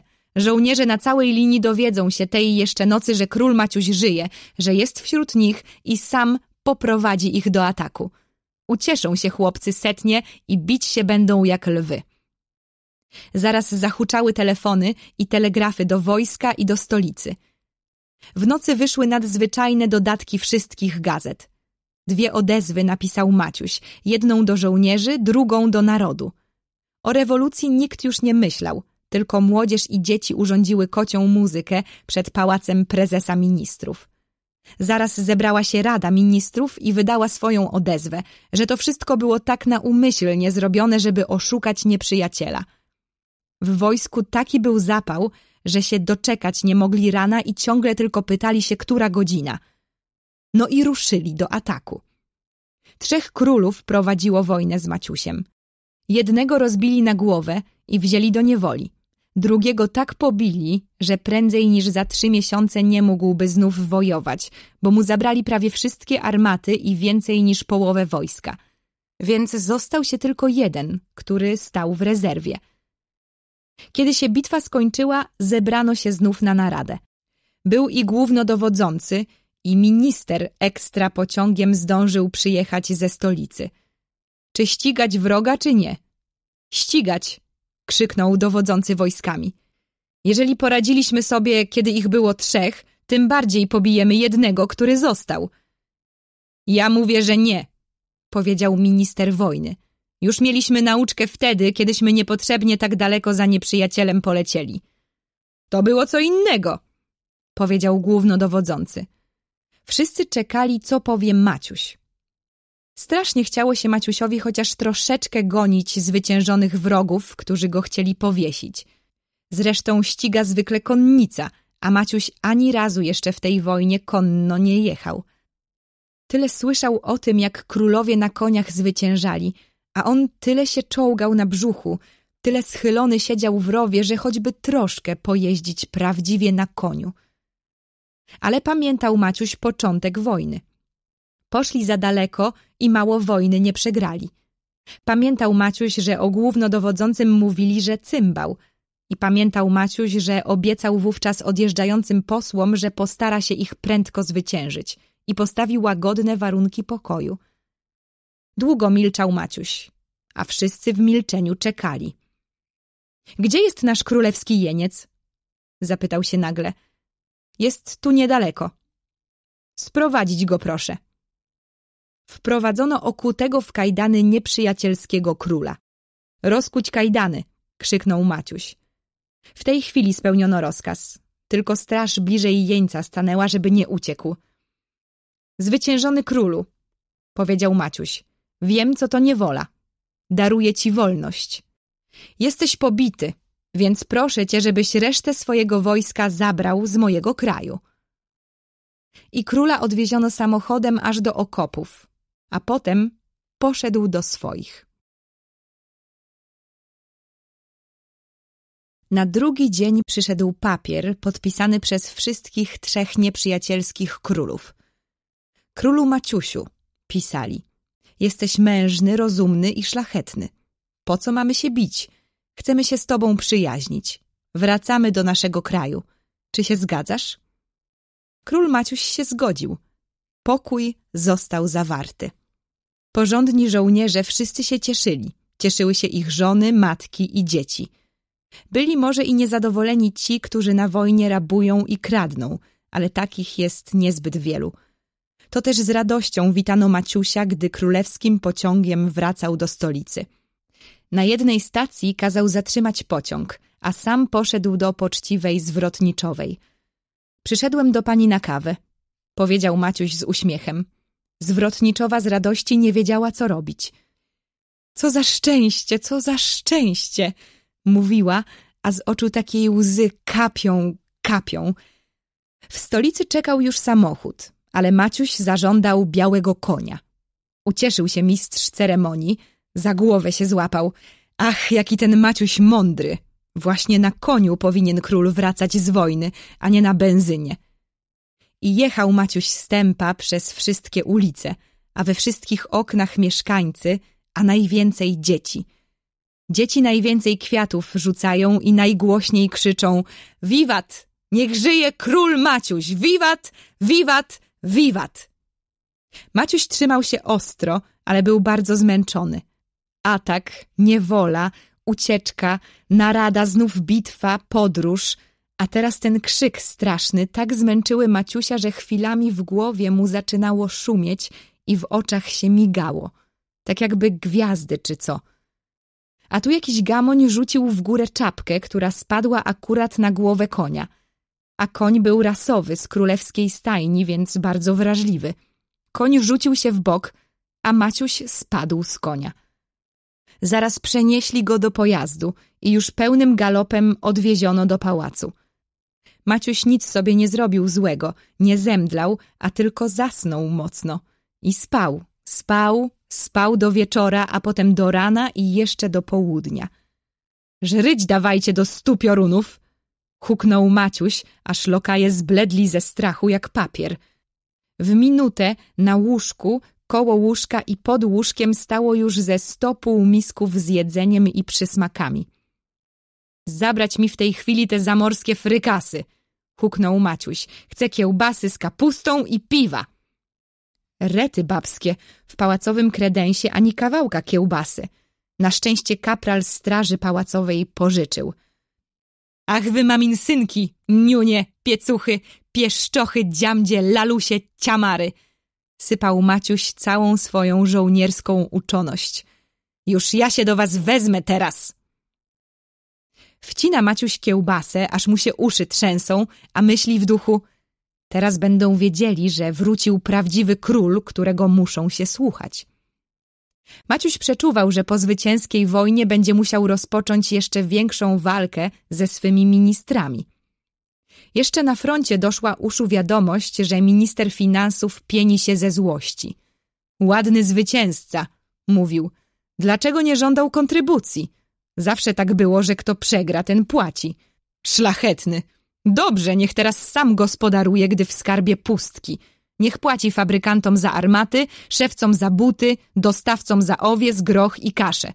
Dopóki była wojna, wszyscy czekali, a teraz płać, jak nie ma z czego. Wściekły był i minister spraw zagranicznych. Jak świat światem, nigdy jeszcze nie zawierano pokoju bez ministra spraw zagranicznych. A cóż to ja od parady? Urzędnicy śmieją się ze mnie. Ministrowi handlu fabrykant spokoju nie dawał. Płać, mówi, za lalkę porcelanową. I prezes ministrów niezbyt miał czyste sumienie. I prefekt policji trochę się obawiał, że wtedy nie bardzo mądrze ucieczkę Maciusia wytłumaczył. Maciuś trochę wiedział, reszty się domyślał i postanowił zrobić z nimi porządek. Dość tych ministerialnych rządów. Albo się muszą słuchać, albo fora ze dwora. Teraz prosić prezesa ministrów nie będzie, gdy mu się zechce chorować. Oblizał się Maciuś po kiełbasie, splunął na dywan i kazał wylać na siebie kubeł zimnej wody. To jest kąpiel żołnierska, powiedział zadowolony. Włożył koronę na głowę i wszedł do sali posiedzeń. Był tam minister wojny. A gdzie reszta? Nie wiedzieli, że wasza królewska mość chce z nimi odbyć naradę. Może myśleli, że po powrocie z wojny zasiądę do lekcji z zagranicznym guwernerem, a oni będą robili co chcą? Do pioruna mylą się bardzo. Panie ministrze, ogłaszam naradę na godzinę drugą. Kiedy się zbierzemy w sali, ma się cichaczem zebrać w korytarzu pluton żołnierzy. Plutonowy ma stać przed drzwiami i słuchać, a jak klasnę w ręce, ma wejść z żołnierzami na salę. Panu mogę powiedzieć prawdę. Jeżeli zechcą zrobić tak, żeby wszystko było po staremu, jak przed wojną, każe ich do stu tysięcy bomb i kartaczy aresztować. Ale to tajemnica. Rozkaz, wasza królewska mość, skłonił się minister. Maciuś zdjął koronę i poszedł do pałacowego ogrodu. Tak dawno tu nie był. Ach, prawda, zawołał. Zupełnie zapomniałem o Felku. Gwizdnął. W odpowiedzi otrzymał hasło kukułki. Chodź, Felek, nie bój się. Teraz jestem już prawdziwym królem i nie potrzebuję się przed nikim tłumaczyć. No tak, ale mój ojciec co powie? Powiesz ojcu, że jesteś królewskim faworytem i zabraniam, by cię tknął bodaj palcem. Gdyby wasza królewska mość zechciał to napisać, bardzo chętnie. Chodź do mego gabinetu. Felek nie dał sobie tego dwa razy powtarzać. Panie sekretarzu stanu, proszę napisać papier, że Felek jest mianowany moim faworytem. Wasza królewska mości, przy dworze nie było takiego stanowiska. Jeżeli nie było, teraz już jest, bo taka moja królewska wola. Może waszej królewskiej mości wola rozkaże napisanie papieru odroczyć do posiedzenia ministrów. Zwłoka niezbyt wielka, a zawsze trochę formalniej. Maciuś gotów był ustąpić, ale Felek nieznacznie pociągnął go za rękaw. Żądam natychmiastowego napisania papieru do pioruna, huknął Maciuś. Sekretarz poskrobał się w głowę i napisał dwa papiery. Na jednym napisane było Ja, król Maciuś, żądam nieodwołalnie, by bezzwłocznie napisany i do podpisu podany a po złożeniu pieczęci wręczony był mi papier o mianowaniu Felka nadwornym królewskim faworytem. W razie niewypełnienia natychmiast tej mojej woli i tego mojego kategorycznego rozkazu winny oporu ulegnie najsurowszej, najbezwzględniejszej karze. Co wiadomym panu sekretarzowi dworu czynię i własnoręcznym swym podpisem stwierdzam – Sekretarz tłumaczył, że tylko po podpisaniu tego papieru będzie miał prawo wydać ten drugi. Król Maciuś podpisał, po czym sekretarz wydał opatrzone pieczęcią mianowanie Felka faworytem. Potem przeszli do królewskiej bawialni. Oglądali zabawki, książki, rozmawiali, wspominali swe przygody wojenne. Potem jedli razem obiad. Potem poszli razem do ogrodu, gdzie Felek przywołał swoich rówieśników z podwórza – doskonale się bawili, aż do posiedzenia ministrów. Muszę iść, powiedział smutnie Maciuś. Gdybym ja był królem, nic i nigdy bym nie musiał. Nie rozumiesz tego, mój Felku. I my, królowie, nie zawsze możemy robić, co byśmy chcieli. Felek wzruszył ramionami na znak, że jest innego zdania i dość niechętnie, chociaż z papierem podpisanym przez samego króla, wrócił do domu, wiedząc, że spotka się z surowym wzrokiem ojca i znanym mu pytaniem Gdzieś się wałęsał, kundlu jeden? Chodź no tu, gadaj. Co po tym pytaniu zwykle następowało, Felek wiedział. Tym razem miało być inaczej. Zaczęły się skargi i biadania. Minister skarbu mówił, że nie ma pieniędzy. Minister handlu mówił, że kupcy dużo stracili przez wojnę i nie mogą płacić podatków. Minister kolei mówił, że wagony musiały tyle wozić na front, że się popsuły zupełnie i trzeba je poprawiać. I to musi dużo kosztować. Minister oświaty mówił, że dzieci przez czas wojny bardzo się rozpuściły, bo ojcowie wyjechali, a matki nie mogły sobie z nimi dać rady, więc nauczyciele żądają podwyższenia pensji i wprawienia potłuczonych szyb. Pola przez wojnę nie zasiane, towarów przez wojnę mało i tak w kółko przez całą godzinę. Prezes ministrów wypił szklankę wody, co zawsze czynił, kiedy miał długo mówić. Maciuś strasznie nie lubił, kiedy prezes ministrów pił wodę. Panowie, dziwne jest nasze posiedzenie. Gdyby ktoś nie wiedział, a słyszał to wszystko, myślałby, że wojna skończyła się nieszczęśliwie, że zostaliśmy pobici. A przecież jesteśmy zwycięzcami. Do tej pory bywało tak, że zwyciężeni płacili kontrybucje, że ten, który pobił wrogów, bogacił się. I to było słuszne. Bo to państwo wojnę wygrywa, które nie skąpi na armaty, na proch i na jedzenie dla wojska. Myśmy wydali najwięcej pieniędzy i myśmy zwyciężyli. Nasz bohaterski król Maciuś sam mógł ocenić, że wojsko miało wszystko, czego mu było potrzeba. Ale dlaczego my mamy płacić? Oni nas zaczepili, oni z nami zaczęli, myśmy im przebaczyli i w tym nasza wspaniałomyślność i dobroć. Ale dlaczego nie mieli nam zwrócić kosztów wojny?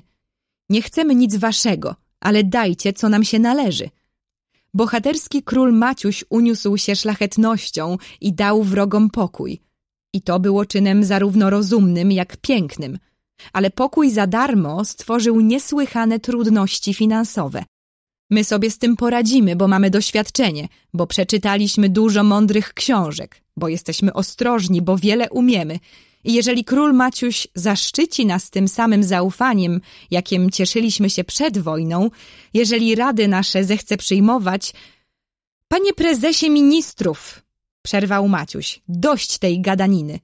Tu nie o rady chodzi, a o to, że wy chcecie rządzić, a ja mam być porcelanową lalką. Więc mówię, że do pioruna, do stu tysięcy bomb i kartaczów ja się nie zgadzam. Wasza królewska mości, dosyć. Nie zgadzam się i basta. Ja jestem królem i ja królem zostanę. Proszę o głos, odezwał się minister sprawiedliwości. Proszę, tylko krótko. Według prawa Dodatek piąty do paragrafu 777-555 Księgi XII tomu 814 Zbioru Praw i Przepisów na stronicy piątej w wierszu 14 czytamy Jeśli następca tronu nie ma ukończonych 20 lat, panie ministrze sprawiedliwości, mnie to nic nie obchodzi. Rozumiem. Wasza królewska mość pragnie pogwałcić prawo. Gotów jestem podać prawo, które to przewiduje – jest paragraf 105 486. Panie ministrze sprawiedliwości, to mnie nic nie obchodzi. I na to jest prawo. Jeśli król lekceważy prawa zawarte w paragrafach, czy pan przestanie do cholery, czy nie? Jest i o cholerze prawo.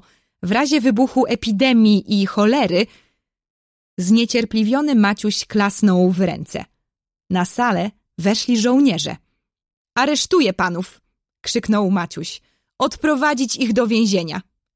I na to jest prawo! zawołał uradowany minister. To się nazywa dyktatura wojskowa. Oj, to jest już bezprawie! krzyknął, gdy żołnierz kolbą potrącił parę żeber. Ministrowie biali jak kreda szli do więzienia. Minister wojny został wolny. Złożył ukłon wojskowy i wyszedł. Zapanowała grobowa cisza. Maciuś został sam. Założył ręce w tył i chodził długo po sali. A ile razy przechodził koło lustra, spoglądał w nie i myślał Podobny jestem trochę do Napoleona. Co tu robić? Na stole pozostała kupa papierów. Czy podpisać je, czy wszystkie podpisać? Co w nich napisane? Dlaczego na jednych pisze się zezwalam, na drugich odłożyć albo zabronić? Może nie wszystkich ministrów należało aresztować. Może w ogóle nie należało tego robić. Bo co teraz będzie? I za co właściwie? Co oni złego zrobili? Prawdę powiedziawszy, Maciuś zrobił głupstwo. Dlaczego się tak pospieszył z zawarciem pokoju? Mógł wezwać ministrów. Na pewno minister finansów powiedziałby o kontrybucji. Kto mógł wiedzieć, że są jakieś kontrybucje? Choć co prawda, to prawda. Dlaczego ma płacić ten, który zwyciężył? A zresztą oni sami zaczęli. A może napisać do królów? Ich jest aż trzech, to im łatwiej razem zapłacić niż jemu jednemu. Ale jak się pisze takie papiery? Jak on mówił, ten minister, tom 814, ileż jest tych książek? A Maciuś przeczytał dopiero dwa zbiorki powiastek i życiorys Napoleona. To strasznie mało. Coraz cięższe myśli dręczyły Maciusia, gdy nagle przez otwarte okno usłyszał hasło kukułki. Nareszcie nie jest sam. Słuchaj, Felek, co ty byś zrobił na moim miejscu? Ja bym na miejscu waszej królewskiej mości dalej się bawił w ogrodzie i na ich posiedzenia wcale bym nie chodził. Ja bym robił, co mnie się podoba, a oni niechby sobie robili, co im się podoba. Maciuś pomyślał, że Felek jest jednak bardzo prosty chłopak i nie rozumie, że król musi przecież rządzić dla szczęścia narodu, a nie w berka i palanta grać tylko. Ale nic, nie powiedział mu tego. Trudno, Felku, stało się. Już oni siedzą w więzieniu. Niech siedzą, jeśli taka wola waszej królewskiej mości. Ba, patrz ile tu papierów niepodpisanych. A jak nie podpiszę, nie będzie ani kolei, ani fabryk, no nic. No, to podpisać trzeba. Nie, poczekaj, słuchaj, ja bez nich nic nie wiem. Nawet starzy królowie nie mogą się obejść bez ministrów. No to można ich wypuścić. Maciuś mało nie rzucił się Felkowi na szyję z radości. Takie proste, a nie przyszło mu do głowy. Rzeczywiście nic się złego nie stało. Może ich w każdej chwili wypuścić. Ale postawi im warunki. Nie będzie im się wolno tak rozporządzać. Będą musieli się go słuchać. Nie żeby on, król, musiał wykradać z kredensu albo z ogrodu własnego coś dla przyjaciela, albo przez kratę z zazdrością patrzeć na zabawy chłopców – on też się chce bawić. Chce, żeby jego nauczycielem był poczciwy kapitan, pod którego rozkazami przebył całą wojnę. Cóż on wreszcie chce tak złego? Chce być wesołym chłopcem, jak każdy, żeby go nie męczyli. Felek nie mógł być długo, bo miał jakieś ważne interesy na mieście. Przyszedł tylko pożyczyć trochę pieniędzy. Niewiele, tylko na tramwaj i może na papieros i czekoladę. Ależ bardzo chętnie masz, Felku i Maciuś znów został sam. Mistrz ceremonii jakoś go unikał, guwerner gdzieś się schował, a lokaje przesuwali się cicho jak cienie. I nagle Maciusiowi przyszło na myśl, czy oni wszyscy nie uważają go czasem za tyrana. I strach go ogarnął. To byłoby przecież okropne. Maciuś był prawnukiem Henryka Porywczego, który ludzi zabijał jak wrony. Co tu robić? Co robić, żeby choć Felek znów przyszedł albo kto? I cicho wszedł do pokoju stary doktor Maciusia. Ucieszył się Maciuś szczerze. Mam ważny interes, zaczął doktor nieśmiało. Boję się jednak, że mi wasza królewska mość odmówi. A cóż ja, tyran jestem, czy co? Zapytał się Maciuś, uważnie patrząc doktorowi w oczy. E, skąd by znów tyran? Tylko że przychodzę w trudnej sprawie. Jakiej? Chciałem prosić o parę drobnych ulg dla uwięzionych. Mów śmiało, doktorze. Na wszystko z góry się zgadzam. Ja się na nich wcale nie gniewam. Ja ich wypuszczę z więzienia, tylko muszą mi obiecać, że się za bardzo rozporządzać nie będą. O, to prawdziwie królewskie słowa, zawołał uradowany doktor i śmiało zaczął wyliczać prośby uwięzionych. Prezes ministrów prosi o poduszkę, materac i pierzynę, bo nie może spać na słomie, bo kości go bolą. A ja spałem na ziemi, wtrącił Maciuś. Minister zdrowia prosi o szczoteczkę i proszek do zębów. Minister handlu prosi o biały chleb, bo nie może jeść czarnego więziennego chleba. Minister oświaty prosi o książkę do czytania. Minister spraw wewnętrznych prosi o proszek, bo ze zmartwienia dostał boleści. No, a minister sprawiedliwości? On o nic nie prosi, bo wyczytał w 745 tomie praw, że uwięzieni ministrowie dopiero po trzech dniach pobytu w więzieniu mają prawo składać prośby do łaski królewskiej, a oni siedzą dopiero trzy godziny. Maciuś kazał posłać wszystkim ministrom pościel pałacową, polecił wysłać im zaraz królewski obiad i wieczorem kolację z winem, a ministra sprawiedliwości pod strażą kazał sprowadzić do siebie. Kiedy przyszedł minister sprawiedliwości, Maciuś kazał mu uprzejmie usiąść na krześle i zapytał. Czy to będzie zgodne z prawem, jeśli wypuszczę was jutro z kozy? Niezupełnie mości królu, ale dyktatura wojskowa uznaje procedurę przyspieszoną i jeśli to tak nazwiemy, będzie wszystko formalnie. Panie ministrze, a czy jak ja ich wypuszczę, oni mogą mnie wsadzić do kozy? Nie mają prawa – choć z drugiej strony tom 949 omawia stronę prawną tak zwanego zamachu stanu. Nie rozumiem, przyznał król Maciuś. Ile trzeba czasu, aby to wszystko zrozumieć? Chyba z pięćdziesiąt lat, odpowiedział minister. Maciuś westchnął. Korona zawsze zdawała mu się ciężką, ale teraz tak mu ciężyła, jakby była kulą armatnią. Ministrom zdjęto kajdany. Wprowadzono ich do więziennej jadalni. Przybyli też z wolności minister sprawiedliwości i wojny. Straż z obnażonymi szablami zajęła swoje miejsca i zaczęła się narada. Maciuś ułożył w nocy taki plan. Wy będziecie się zajmowali dorosłymi, a ja będę królem dzieci.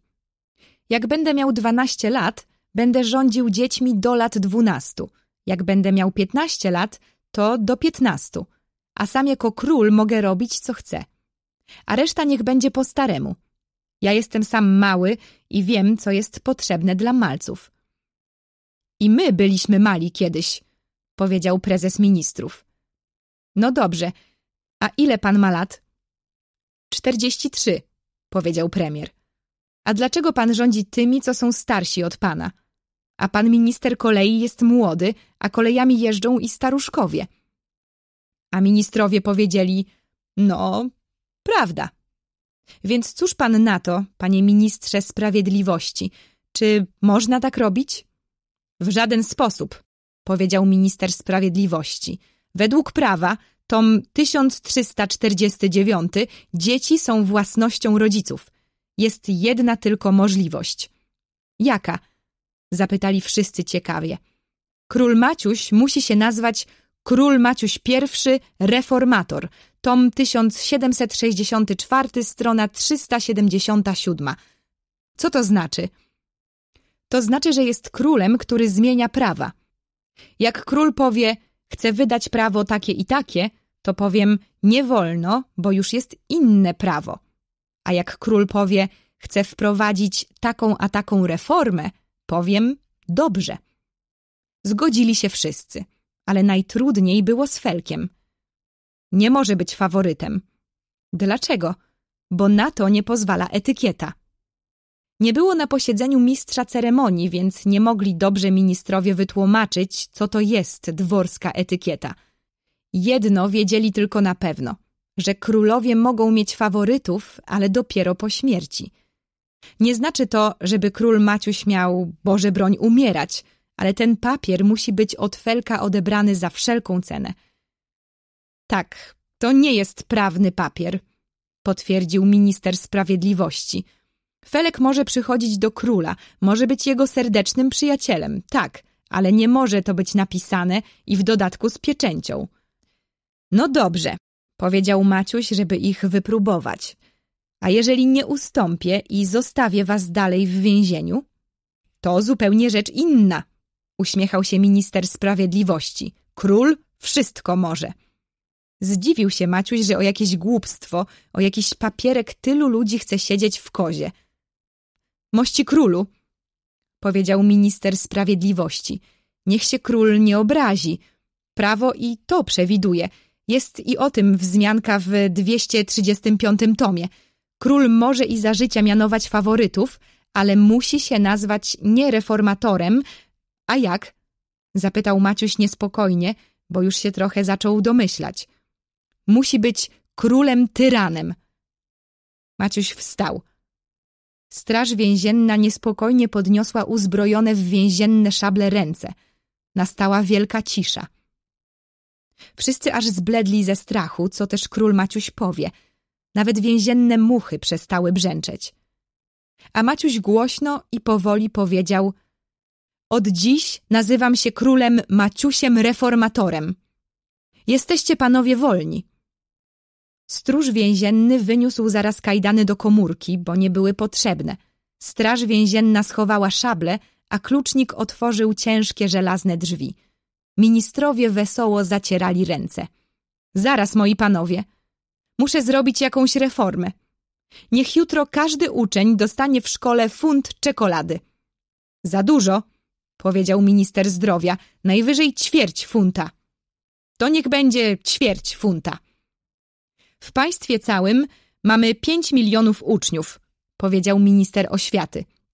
Jeżeli mają dostać czekoladę, łobuzy i leniuchy, wszyscy, zawołał Maciuś, wszyscy bez wyjątku. Taką ilość czekolady mogą przygotować nasze fabryki dopiero w dziewięć dni, a koleje mogą je rozwieść po całym państwie w tydzień. Jak widzi wasza królewska mość, rozkaz może być spełniony dopiero za trzy tygodnie. No, trudno, powiedział Maciuś, a w duszy pomyślał sobie, jak to dobrze, że mam doświadczonych pomocników. Bez nich nie wiedziałbym nawet, ile potrzeba czekolady, bez nich nie wiedziałbym, kto ma ją zrobić. Nie przyszło mi do głowy, że trzeba ją przecież porozwozić po całym państwie. Ale głośno Maciuś tego nie mówił. Udawał nawet, że jest trochę niezadowolony, więc dodał, więc proszę, żeby jutro ogłoszono o tym w gazetach. Przepraszam bardzo, powiedział minister sprawiedliwości. Wszystko to bardzo piękne, ale to nie jest reforma. To jest tylko królewski dar dla dzieci szkolnych. Gdyby król Maciuś wydał prawo, że każdy uczeń dostawać będzie codziennie na koszt skarbu czekoladę, to co innego. To by było już prawo. A tak, to jest funda, prezent, niespodzianka. No niech będzie funda, zgodził się Maciuś, bo był już zmęczony i bał się, że jeszcze będą gadali. Posiedzenie zamknięte. Żegnam panów. Maciuś pojechał królewskim samochodem do swego pałacu. Wpadł prędko do ogrodu, gwizdnął na Felka. Widzisz, Felek, teraz jestem już prawdziwym królem. Już wszystko dobrze. Waszej królewskiej mości, ale mnie nie bardzo. Dlaczego? Zapytał zdziwiony Maciuś. Bo mnie ojciec tak sprał za ten papier, że mi szrapnele przed oczami latały. Sprał cię, powiadasz? Zdumiał się Maciuś. A tak, Prawo królewskie, powiada, dawać ci fawory, a moje ojcowskie prawo, kundlu jeden, kości ci porachować. W pałacu ty królewski, a w domu ty plutonowski, a ojcowska ręka pewniejsza od królewskiej łaski. Maciuś był ostrożny. Już wiedział, że tak od razu nic nie należy robić. W życiu tak jak na wojnie. Jeżeli chcesz zwyciężyć, musisz dobrze się przygotować do ataku. Pospieszył się z tym papierem i głupstwo palnął. Sobie kłopotu narobił i Felkowi bólu. A teraz wstyd i ujma dla jego królewskiego honoru, bo jakże on, król, daje papier, a jakiś plutonowy bije za jego papier królewski. Słuchaj, Felek, troszkę pospieszyliśmy się. Pamiętasz, ja nawet chciałem trochę zaczekać. Ja ci muszę jedną rzecz wytłumaczyć. i opowiedział Maciuś, jak było z tą czekoladą. Królowie nie mogą robić wszystkiego, co chcą. No tak, wasza królewska mość, słuchaj, Felek, mów mi dalej po imieniu. Przecież razem wojowaliśmy, przez ciebie z niewoli się wyrwałem. Rada w radę postanowili, że na odosobnieniu będą mówili sobie po dawnemu. Sztaba, Waligura, sztaba, wyrwi dębie. Teraz lżej już było Maciusiowi odebrać nieszczęsny papier. Dam ci za ten papier łyżwy, dwie lanki, album z markami, palące szkło i magnes. A stary znów mnie zbije. Prawda, mój Felku, bądź cierpliwy. Sam widzisz, że królowie nie mogą też tak od razu. Królowie muszą słuchać się prawa. A co to jest? Sam jeszcze nie wiem dobrze.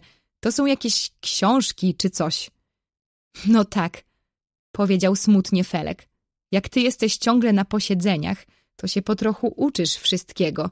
A ja co? Nie martw się, mój złoty Felku, zobaczysz, że będzie dobrze. Jeżeli mogę rozdać pięciu milionom dzieci czekoladę, to przecież mogę i dla ciebie dużo dobrego zrobić. Tylko to musi być prawnie zrobione. Ty wcale nie wiesz, jak ja teraz długo wieczorem nie mogę zasnąć w łóżku. Leżę i leżę. I myślę i myślę. I męczę się, żeby coś takiego zrobić, żeby wszystkim było dobrze. Teraz będzie już łatwiej, bo co ja mogłem wymyślić dla dorosłych? Papierosy im dam, mają pieniądze, to sobie sami kupią. Wódkę dam, no to się popiją i co będą mieli? Ja nie wiem, mówi Felek. Ty tak zaraz myślisz o wszystkich. Ja bym sobie tu kazał w parku zrobić huśtawkę, karuzelę z muzyką. Widzisz, Felek, ty nie jesteś królem, więc tego nie rozumiesz. Dobrze, niech będzie karuzela, ale nie jedna. Zaraz na przyszłym posiedzeniu powiem, żeby we wszystkich szkołach urządzić huśtawki i karuzelę z muzyką. I kręgielnie, i strzelnice. No widzisz. Jak tylko ministrowie wyszli z więzienia, zaraz poszli do cukierni na kawę ze śmietanką i ciastka z kremem. Chociaż odzyskali wolność, nie było im wesoło. Widzieli, że z Maciusiem nie będzie łatwo. Przede wszystkim trzeba będzie pożyczyć pieniędzy. Czy nie można wydrukować nowych pieniędzy? Teraz nie można, bo już za dużo wydrukowaliśmy podczas wojny. Trzeba trochę poczekać. Ba, czekaj tu, kiedy trzeba tyle płacić. Więc też mówię, że musimy pożyczyć od zagranicznych królów. Zjedli po cztery ciastka z kremem, wypili kawę ze śmietanką i poszli do domu. A na drugi dzień prezes ministrów poszedł do króla na audiencję i powiedział, że trzeba pożyczyć dużo pieniędzy od bogatszych królów. To jest bardzo trudne przedsięwzięcie, bo muszą bardzo mądrze napisać papier do zagranicznych królów i dlatego co dzień odbywać się będą po dwie narady. Dobrze, powiedział Maciuś, wy się naradzajcie, a ja od dziś zaczynam lekcję u swojego kapitana. Przyjechał minister wojny z kapitanem. Maciuś serdecznie się z nim przywitał. Zapytał się nawet, czy nie można mianować go majorem, ale nie można, bo kapitan był niedawno jeszcze porucznikiem, więc był za młody.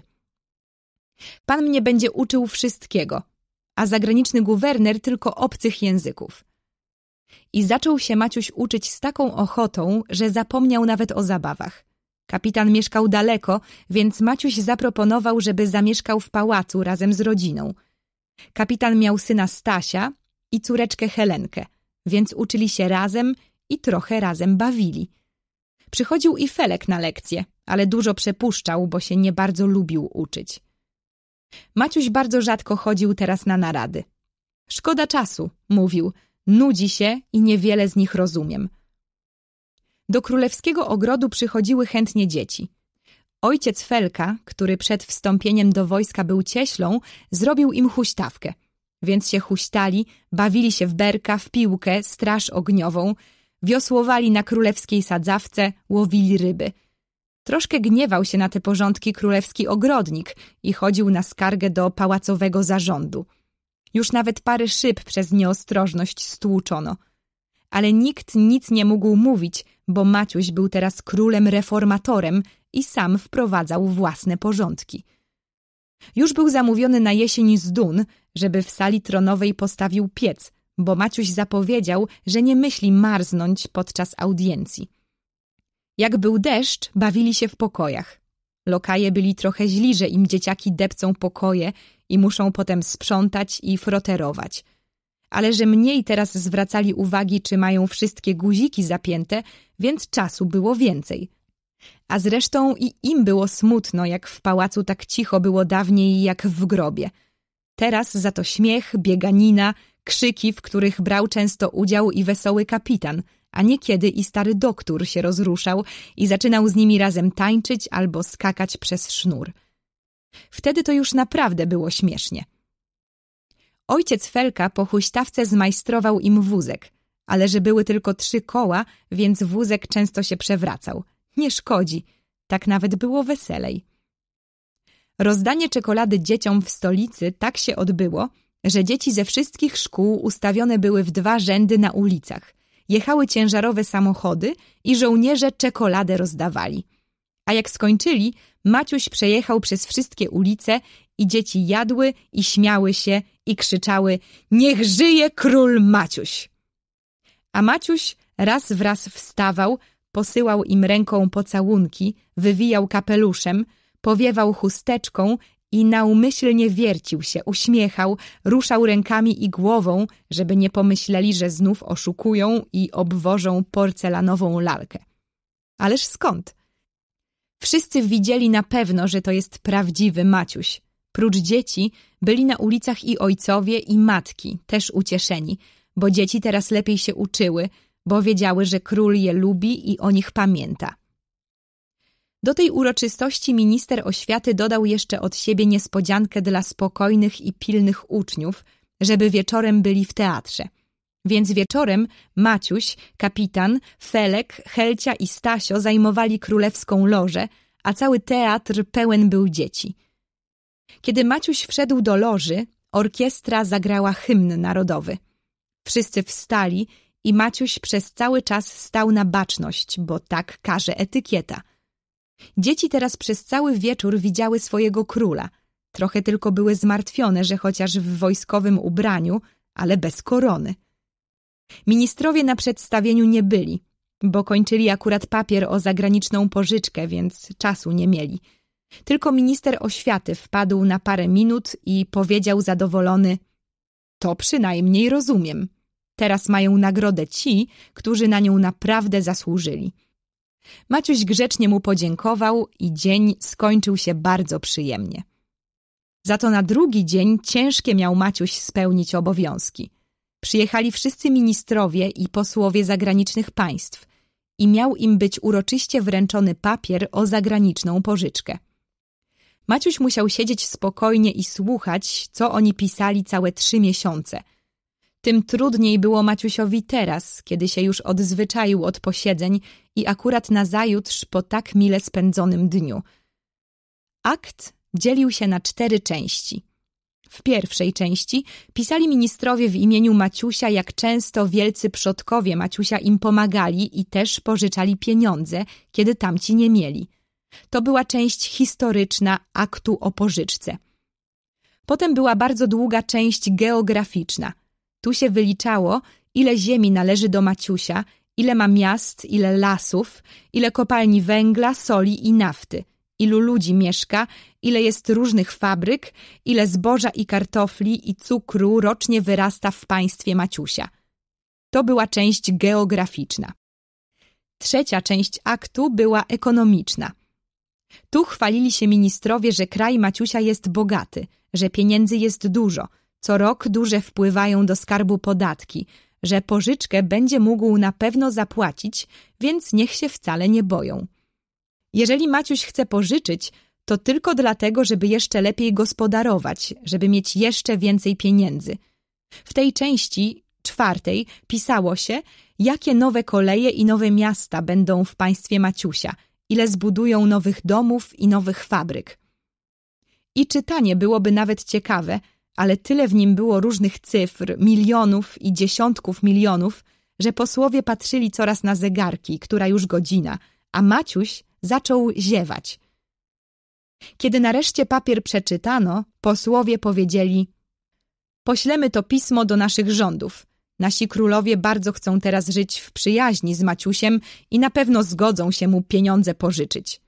Teraz dali Maciusiowi złote pióro wysadzane drogimi kamieniami i Maciuś dopisał Wasze królewskie mości, ja was pobiłem i nie wziąłem żadnej kontrybucji, a teraz proszę, żebyście mi pożyczyli pieniądze, więc nie bądźcie świniami i pożyczcie. Król Maciuś I, reformator. Maciuś został zaproszony w goście do zagranicznych królów. Pisali, że proszą bardzo króla Maciusia, kapitana, doktora, Stasia i Helcie. Król Maciuś może być pewien, że nie pożałuje. Zrobimy wszystko, co będzie w naszej mocy, żeby się dobrze bawił i żeby otrzymał wszystko, co zechce. Strasznie się Maciuś ucieszył. Maciuś znał tylko jedno zagraniczne miasto z wojny, a teraz miał poznać trzy stolice, trzy zagraniczne pałace i królewskie ogrody. A bardzo był ciekawy, czy tam jest inaczej. W jednej stolicy był podobno śliczny ogród zoologiczny, gdzie były zwierzęta z całego świata. W drugiej znów był podobno taki wysoki dom, że, jak mówił Felek, już prawie sięgał do nieba. A w trzeciej były sklepy z takimi ładnymi wystawami, że można patrzeć cały rok i nawet się nie znudzi. Ministrowie bardzo byli źli, że ich nie zaproszono, ale nic nie mogli zrobić. Tylko minister finansów zaklinał Maciusia, żeby pieniędzy nie brał i nic nie podpisywał, bo go oszukają. Już niech się pan nie boi, powiedział Maciuś. Młodszy byłem, a oszukać się od nich nie dałem, więc i teraz się nie dam. Mości królu, oni teraz będą udawali przyjaciół, niby że już po wojnie, ale będą się zawsze starali wszystko na swoją stronę. Niby to ja nie wiem, powiedział Maciuś, ale w duszy rad był, że go ostrzeżono i postanowił sam żadnych papierów tam nie podpisywać. Bo rzeczywiście, dziwne mu było, dlaczego nikogo z ministrów nie zaprosili. Będę się pilnował, dodał Maciuś. Wszyscy zazdrościli Maciusiowi, że jedzie tak daleko. Pakowali kufry, krawcy przynosili nowe ubrania, szewcy nowe buty. Mistrz ceremonii biegał po całym pałacu, żeby czego nie zapomnieć – Helcia i Stasio aż skakali z radości. Wreszcie zajechały dwa samochody. Do jednego wsiadł król Maciuś i kapitan, do drugiego doktor, Helcia i Stasio. Wśród wiwatów przejechali miasto. Na dworcu oczekiwał ich królewski pociąg i wszyscy ministrowie. Maciuś jechał już raz z wojny królewskim pociągiem, ale był bardzo zmęczony, więc nie mógł się tak dobrze przyjrzeć wszystkiemu. Teraz było zupełnie co innego. Jechał sobie dla przyjemności, więc mógł o niczym nie myśleć. Należał mu się przecież wypoczynek po takiej ciężkiej wojnie i po takiej pracy. Z radością i ze śmiechem opowiadał, jak ukryty pod derką chował się przed porucznikiem, a teraz swym nauczycielem. Mówił o zupie, o pchłach, które go gryzły, o spotkaniu z ministrem wojny, kiedy z drabinki nad obórką patrzał na pociąg, którym teraz jedzie. O, tu staliśmy cały dzień. O, z tej stacji cofnęli nas z powrotem. Pociąg królewski składał się z sześciu wagonów. Jeden to była sypialnia. Każdy miał swój pokój z wygodnym łóżkiem, umywalką, stolikiem i krzesełkiem. Drugi wagon, stołowy, pośrodku stał stół, naokoło krzesła, na podłodze piękny dywan, wszędzie kwiaty. Trzeci wagon był biblioteką, a teraz prócz książek były tam najładniejsze zabawki króla. W czwartym była kuchnia, w piątym wagonie jechała służba pałacowa, kucharz i lokaje, a w szóstym były kufry pełne rzeczy. Dzieci na przemian wyglądały przez okno i bawiły się. Zatrzymywali się na dużych stacjach, kiedy trzeba było dolać wody do parowozu – Wagony szły tak leciutko, że ani hałasu nie było, ani żadnego trzęsienia. Wieczorem położyli się jak zwykle, a rano obudzili się już wszyscy za granicą. Jak tylko Maciuś umył się i ubrał, zjawił się poseł króla zagranicznego z pozdrowieniem. Wsiadł do pociągu w nocy. Nie chciał niepokoić króla Maciusia, ale czuwa od samej granicy, bo teraz Maciuś jest pod jego opieką. Kiedy będę w stolicy waszego króla? Za dwie godziny. Maciusiowi bardzo przyjemnie było, że królewski poseł nie mówił w zagranicznym języku, bo chociaż rozumiał i mówił już Maciuś w paru obcych językach, ale zawsze przyjemniej mówić po swojemu. Jakie przyjęcie zgotowano Maciusiowi, trudno powiedzieć. Wjeżdżał do stolicy obcego państwa nie jak zwycięzca miasta, jego fortecy i murów, ale jak zwycięzca serc całej ludności. Stary siwy król tego państwa ze swymi dorosłymi dziećmi i z wnukami oczekiwał go na stacji. Na dworcu tyle było zieleni i kwiatów, jakby to był najpiękniejszy ogród, a nie dworzec kolejowy. Z gałązek i kwiatów upleciono napis. Witaj, gorąco oczekiwany młody przyjacielu. Wygłoszono cztery długie mowy powitalne, w których Maciusia nazywano dobrym, mądrym i walecznym królem. Przepowiadano, że panować będzie tak długo jak żaden król jeszcze. Ofiarowano mu chleb i sól na srebrnej tacy. Zawieszono mu na piersi najwyższy order lwa z ogromnym brylantem. Stary król ucałował go tak serdecznie, że się Maciusiowi przypomnieli jego zmarli rodzice i łzy napłynęły mu do oczów. Orkiestra, sztandary, bramy triumfalne, na balkonach dywany i flagi. Na rękach wyniesiono go do samochodu. Na ulicach tyle było ludzi, jakby się z całego świata zjechali. Ponieważ zwolniono ze szkół uczniów na trzy dni, wszystkie dzieci były na ulicy. Tak Maciusia nigdy jeszcze nie witała jego własna stolica. Kiedy już zajechali do pałacu, na placu zebrał się tłum ludzi. Nie chcieli się rozejść, dopóki Maciuś nie wyjdzie na balkon. Niech nam coś powie! krzyczeli. Już prawie był wieczór, kiedy im się wreszcie Maciuś pokazał na królewskim balkonie. Jestem waszym przyjacielem! krzyknął Maciuś. Huknęły na wiwat armaty, zapalono fajerwerki i ognie bengalskie. Z rakiet na niebie sypały się gwiazdy czerwone, niebieskie i zielone. Było ślicznie. I zaczęły się bale, teatry, w dzień wycieczki za miasto, gdzie były śliczne, wysokie góry, zamki w lasach starych, potem polowanie, potem przegląd wojska, znów obiad galowy, znów teatr. Wnuki i wnuczki starego króla chciały oddać Maciusiowi wszystkie swoje zabawki. Dostał dwa prześliczne konie, małą armatę z prawdziwego srebra, na własność dostał nowy kinematograf z najładniejszymi obrazami. Aż przyszło najpiękniejsze. Cały dwór pojechał samochodami do morza, gdzie się odbyła na niby bitwa morska – Maciuś pierwszy raz w życiu jechał admiralskim okrętem, który nazwano imieniem Maciusia. Tak całych dziesięć dni goszczono Maciusia, który chętnie byłby został dłużej, ale musiał jechać do drugiego króla. Był to właśnie król, którego Maciuś uwolnił z niewoli. Ten król był biedniejszy, więc skromniej przyjął Maciusia, ale jeszcze serdeczniej. Ten król miał dużo przyjaciół między dzikimi królami i zaprosił ich razem z Maciusiem. Tu Maciuś miał bardzo ciekawe bale, gdzie byli Murzyni, Chińczycy i Australijczycy. Jedni byli żółci i mieli warkocze, inni znów czarni i w nosie i w uszach nosili ozdoby z muszel i kości słoniowej. Maciuś się bardzo zaprzyjaźnił z tymi dzikusami. Od jednego dostał cztery śliczne papugi, które mówiły jak ludzie – od drugiego dostał krokodyla i węża boa w szklanej ogromnej klatce, a od trzeciego dwie nadzwyczaj ucieszne małpki tresowane, które umiały takie śmieszne sztuki, że Maciuś śmiał się, ile razy na nie spojrzał. Tu właśnie widział Maciuś ten największy na świecie ogród zoologiczny, gdzie były ptaki pingwiny, podobne do ludzi, białe niedźwiedzie, żubry, wielkie indyjskie słonie, lwy, tygrysy, wilki, lisy, aż do najmniejszych stworzonek lądowych i morskich.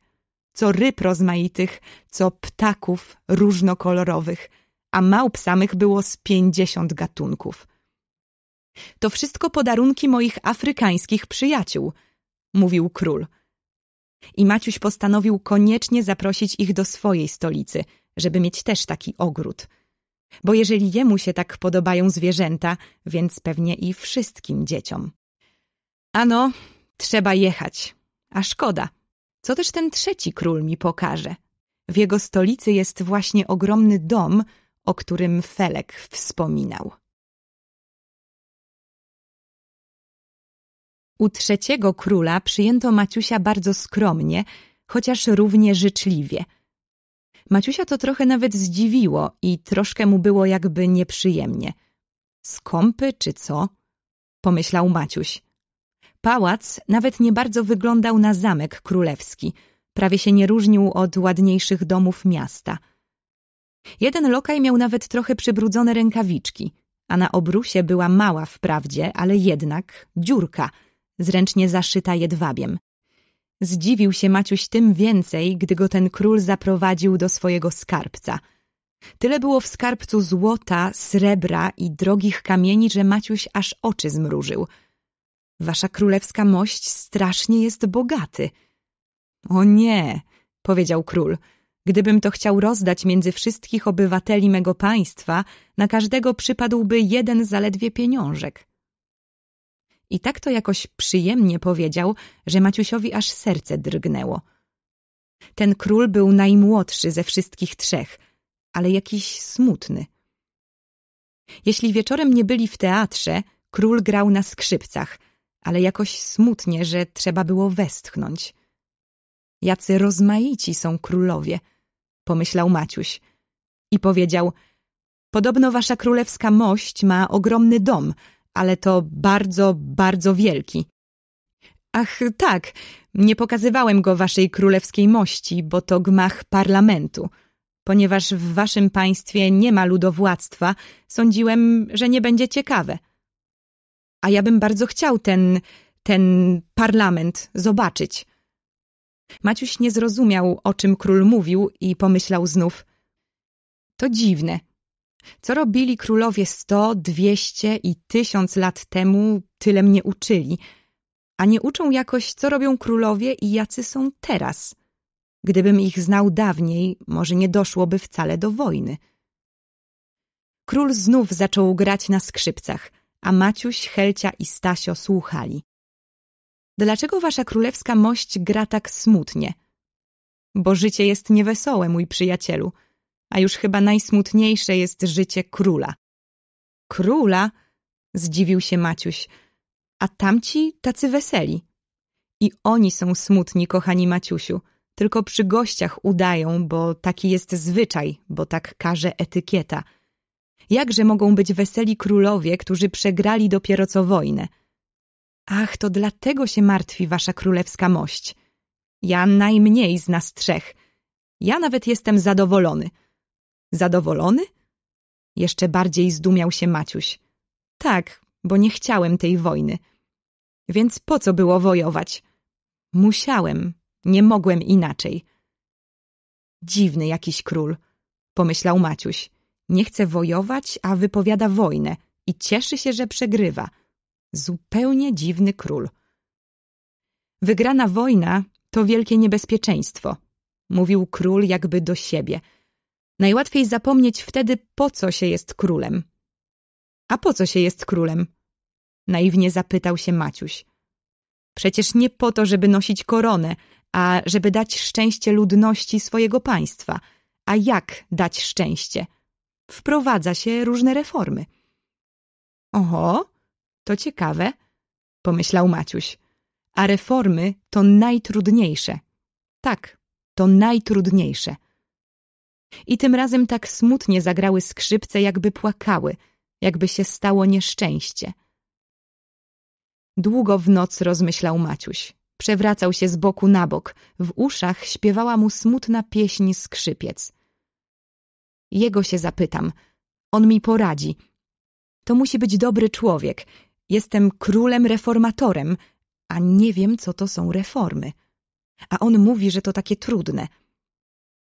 To znów myślał, może on kłamie. Może oni się umówili między sobą, żeby właśnie ten trzeci dał mi do podpisania jakiś akt.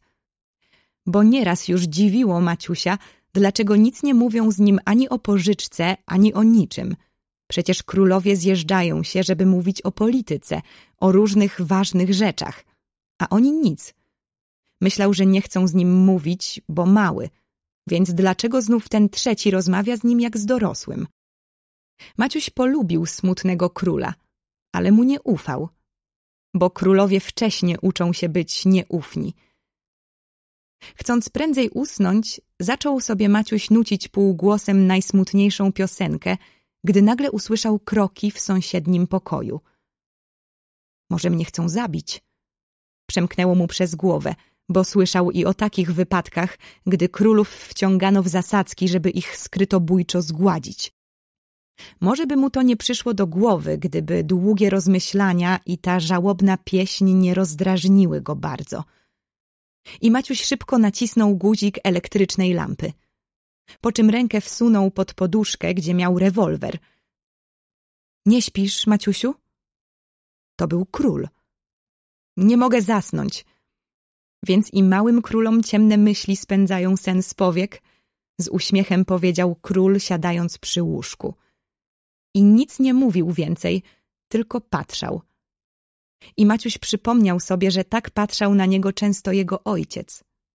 Maciuś nie lubiał wtedy, gdy ojciec tak patrzał, a teraz było mu przyjemnie. Tak, tak, Maciusiu, bardzo się zdziwiłeś, kiedy ci powiedziałem, że nie chciałem z tobą wojować, a wojowałem, bo ty myślisz jeszcze, że królowie mogą robić, co chcą. Wcale tak nie myślę, Wiem, że nam wiele rzeczy każe robić etykieta, a wiele prawo. Ach, więc wiesz. Tak, my sami wydajemy złe prawa, a potem musimy się do nich stosować. A czy nie można dobrych praw wydawać? Można. Trzeba. Młody jesteś, Maciusiu, ucz się i wydawaj dobre, mądre prawa. I król wziął rękę Maciusia – Położył na swojej ręce, tak jakby porównywał swoją dużą z Maciusiną małą. Potem pogłaskał ją jakoś bardzo czule, nachylił się i pocałował rękę Maciusia. Maciuś się strasznie zawstydził, a król zaczął mówić prędko i cicho. Słuchaj, Maciusiu, mój dziadek dał ludowi wolność, ale nie było dobrze. Jego zamordowali, a lud dalej nie był szczęśliwy.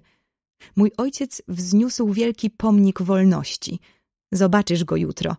Jest ładny, ale cóż z tego, kiedy dalej są wojny, są biedni, są nieszczęśliwi. Ja zbudować kazałem ten wielki gmach parlamentu. I cóż, nic. Dalej jest to samo. Nagle jakby sobie coś przypomniał. Wiesz, Maciuś, zawsze my źle robili, że dawaliśmy reformy dorosłym – Spróbuj ty od dzieci, może ci się uda. No, śpij, drogie dziecko. Przyjechałeś, żeby się zabawić, a ja ci głowę zawracam po nocy. Dobranoc. Kiedy nazajutrz Maciuś pragnął wrócić do tej rozmowy, król nie chciał już mówić. Za to objaśnił mu dokładnie znaczenie parlamentu. Był to naprawdę ogromny i piękny dom, we środku podobny trochę do teatru, a trochę do kościoła – na podwyższeniu siedzieli panowie przed stołem, tak jak w jego pałacu podczas narady. Tylko tu jeszcze było strasznie dużo foteli. I tam siedzieli różni panowie, i z nich wychodzili mówcy i wchodzili jakby na ambonę i tak mówili jakby kazanie. A naokoło były loże i w tych lożach różni znów ministrowie, a z boku przy wielkim stole siedzieli tacy, którzy pisali do gazet – a wyżej publiczność. Akurat kiedy weszli, przemawiał ktoś bardzo gniewnie do ministrów. My nie pozwolimy! Krzyczał i bił pięściami. Jeżeli nas nie posłuchacie, nie będziecie więcej ministrami. Nam potrzeba mądrych ministrów. Drugi mówił, że ministrowie są bardzo mądrzy i innych nie potrzeba. Potem się pokłócili. Zaczęli wszyscy krzyczeć. Ktoś jeden krzyknął precz z rządem inny wstydźcie się. A kiedy Maciuś wychodził już z sali, krzyknął ktoś precz z królem. Dlaczego oni się pokłócili? Bo im źle na świecie. A co będzie, jak naprawdę wyrzucą ministrów? Wybiorą innych. No, a ten, co krzyknął precz z królem, on zawsze tak krzyczy. Wariat? Nie, tylko nie chce króla. A czy mogą wyrzucić króla? Owszem, Mogą. A co wtedy będzie? Wybiorą kogoś i inaczej go nazwą. To było bardzo ciekawe, prawie tak jak dwie małe małpki od kacyka murzyńskiego Wejbina. A tymczasem w gazetach Maciusinej stolicy pisano przez cały miesiąc o tym, jak przyjmują Maciusia zagraniczni królowie, jak lubią go, szanują, jakie mu dali ładne prezenty. A ministrowie, korzystając z przyjaźni, chcieli pożyczyć bardzo dużo pieniędzy i mieli nadzieję, że im się to bardzo prędko uda. Więc bali się powrotu Maciusia do stolicy, bo nie chcieli, żeby im w ostatniej chwili coś popsuł – Dobrze, że się nie obrazili zagraniczni królowie za dopisek Maciusia na akcie o pożyczce. Ale jak świat światem, żaden, największy nawet król reformator nie pisał na akcie urzędowym tylko nie bądźcie świniami. Więc uradzili ministrowie, żeby Maciuś jeszcze przez miesiąc siedział za granicą, niby że jest zmęczony i musi odpocząć. Maciuś bardzo się ucieszył i prosił, że chce jechać nad morze. I pojechali. Maciuś, kapitan, Stasio, Helcia i doktor. Tylko, że teraz Maciuś przebrał się w cywilne ubranie. Jechał zwyczajnym pociągiem i mieszkał w zwyczajnym hotelu, a nie w pałacu. I nazywano go teraz nie królem, a księciem. I to wszystko nazywało się, że król mieszka nad morzem incognito.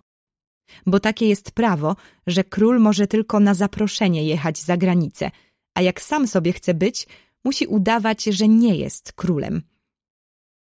Dla Maciusia było to wszystko jedno. Nawet było przyjemniej, bo mógł się bawić ze wszystkimi dziećmi i był tak jak wszyscy. Było pysznie. Kąpali się w morzu, zbierali muszelki, robili z piasku warowne zamki, wały i fortece. Jeździli łódką po morzu, konno, zbierali jagody w pobliskim lesie i suszyli grzyby – Czas tym prędzej upływał, że Maciuś rozpoczął przerwane lekcje, a że jak wiele razy już mówiłem, chętnie się uczył i lubił swego nauczyciela, więc tych trzy godziny lekcji wcale mu nie psuły humoru. Serdecznie polubił Maciuś Stasia i Helcie. Były to dzieci bardzo dobrze wychowane, nigdy się z nim nie kłóciły, albo tylko bardzo rzadko i na krótko. Raz pokłócił się z Helcią o grzyb. Był to ogromny prawdziwiec – Maciuś powiedział, że on pierwszy zobaczył, a Helcia, że ona. Maciuś byłby jej nawet odstąpił, bo jeden grzyb, dla króla szczególniej, nie ma wielkiego znaczenia. Ale po co się chwali i mówi nieprawdę? Jak zobaczyłem grzyb, krzyknąłem – o, patrzcie! i pokazałem palcem, a ty dopiero doleciałaś. Ja go zerwałam, bo ty byłaś bliżej, ale ja pierwszy zobaczyłem – Helcia się rozzłościła, rzuciła grzyb i podeptała nogami. Nie potrzebuję tego grzyba. Ale zaraz widziała, że źle zrobiła. Bardzo się zawstydziła i zaczęła płakać. Jakie te dziewczynki są dziwne, pomyślał Maciuś. Sama podeptała, a teraz płacze. Innym razem Stasio zrobił bardzo ładną fortecę z dużą wieżą. Trudno jest z piasku zrobić wysoką wieżę, bo piasek musi być bardzo mokry, więc trzeba go kopać głęboko. Namordował się Stasio, chociaż we środek włożył kij, żeby się lepiej trzymało i chciał, żeby fala morska uderzyła w jego fortecę. A Maciusiowi przyszło nagle do głowy i krzyknął – zdobędę twoją twierdzę! Wskoczył na nią z całego rozpędu i zawalił. Stasio się rozgniewał – ale musiał przyznać, że królowi trudno się powstrzymać, jak widzi fortecę, więc się trochę tylko dąsał i zaraz się przeprosił. Czasem kapitan opowiadał, jak walczył w afrykańskich pustyniach z dzikimi plemionami. To znów doktor opowiadał, jak choroba podobna jest do wroga, który napada człowieka, jak we krwi są tacy jakby żołnierze, takie małe, białe płateczki krwi, które rzucają się na zarazę i albo zwyciężą, wtedy człowiek jest zdrów, albo są pobite, wtedy człowiek umiera. Są w człowieku i gruczoły, bardzo podobne do fortec. Tam jest mnóstwo korytarzy, rowów i zasadzek i jak zarazę wciągną do takiego gruczołu, ona tam zabłądzi, a wtedy te żołnierzyki krwi rzucają się i zabijają zarazę. Zaprzyjaźnili się z rybakami, którzy ich nauczyli, jak poznać po niebie, czy będzie burza i czy będzie duża, czy taka sobie burza. Ciekawie było słuchać i przyjemnie się bawić, ale czasem Maciuś pobiegł gdzie daleko w las, albo też odłączył się, niby że idzie szukać muszelki. Siadał i myślał długo, co zrobi, kiedy wróci do domu. A może zrobić tak, jak jest u smutnego króla, który gra na skrzypcach. Może i lepiej, kiedy rządzi cały naród, a nie tylko król i ministrowie. Bo cóż, król może być mały, a ministrowie mogą być nie bardzo mądrzy albo i nieuczciwi. Co wtedy robić?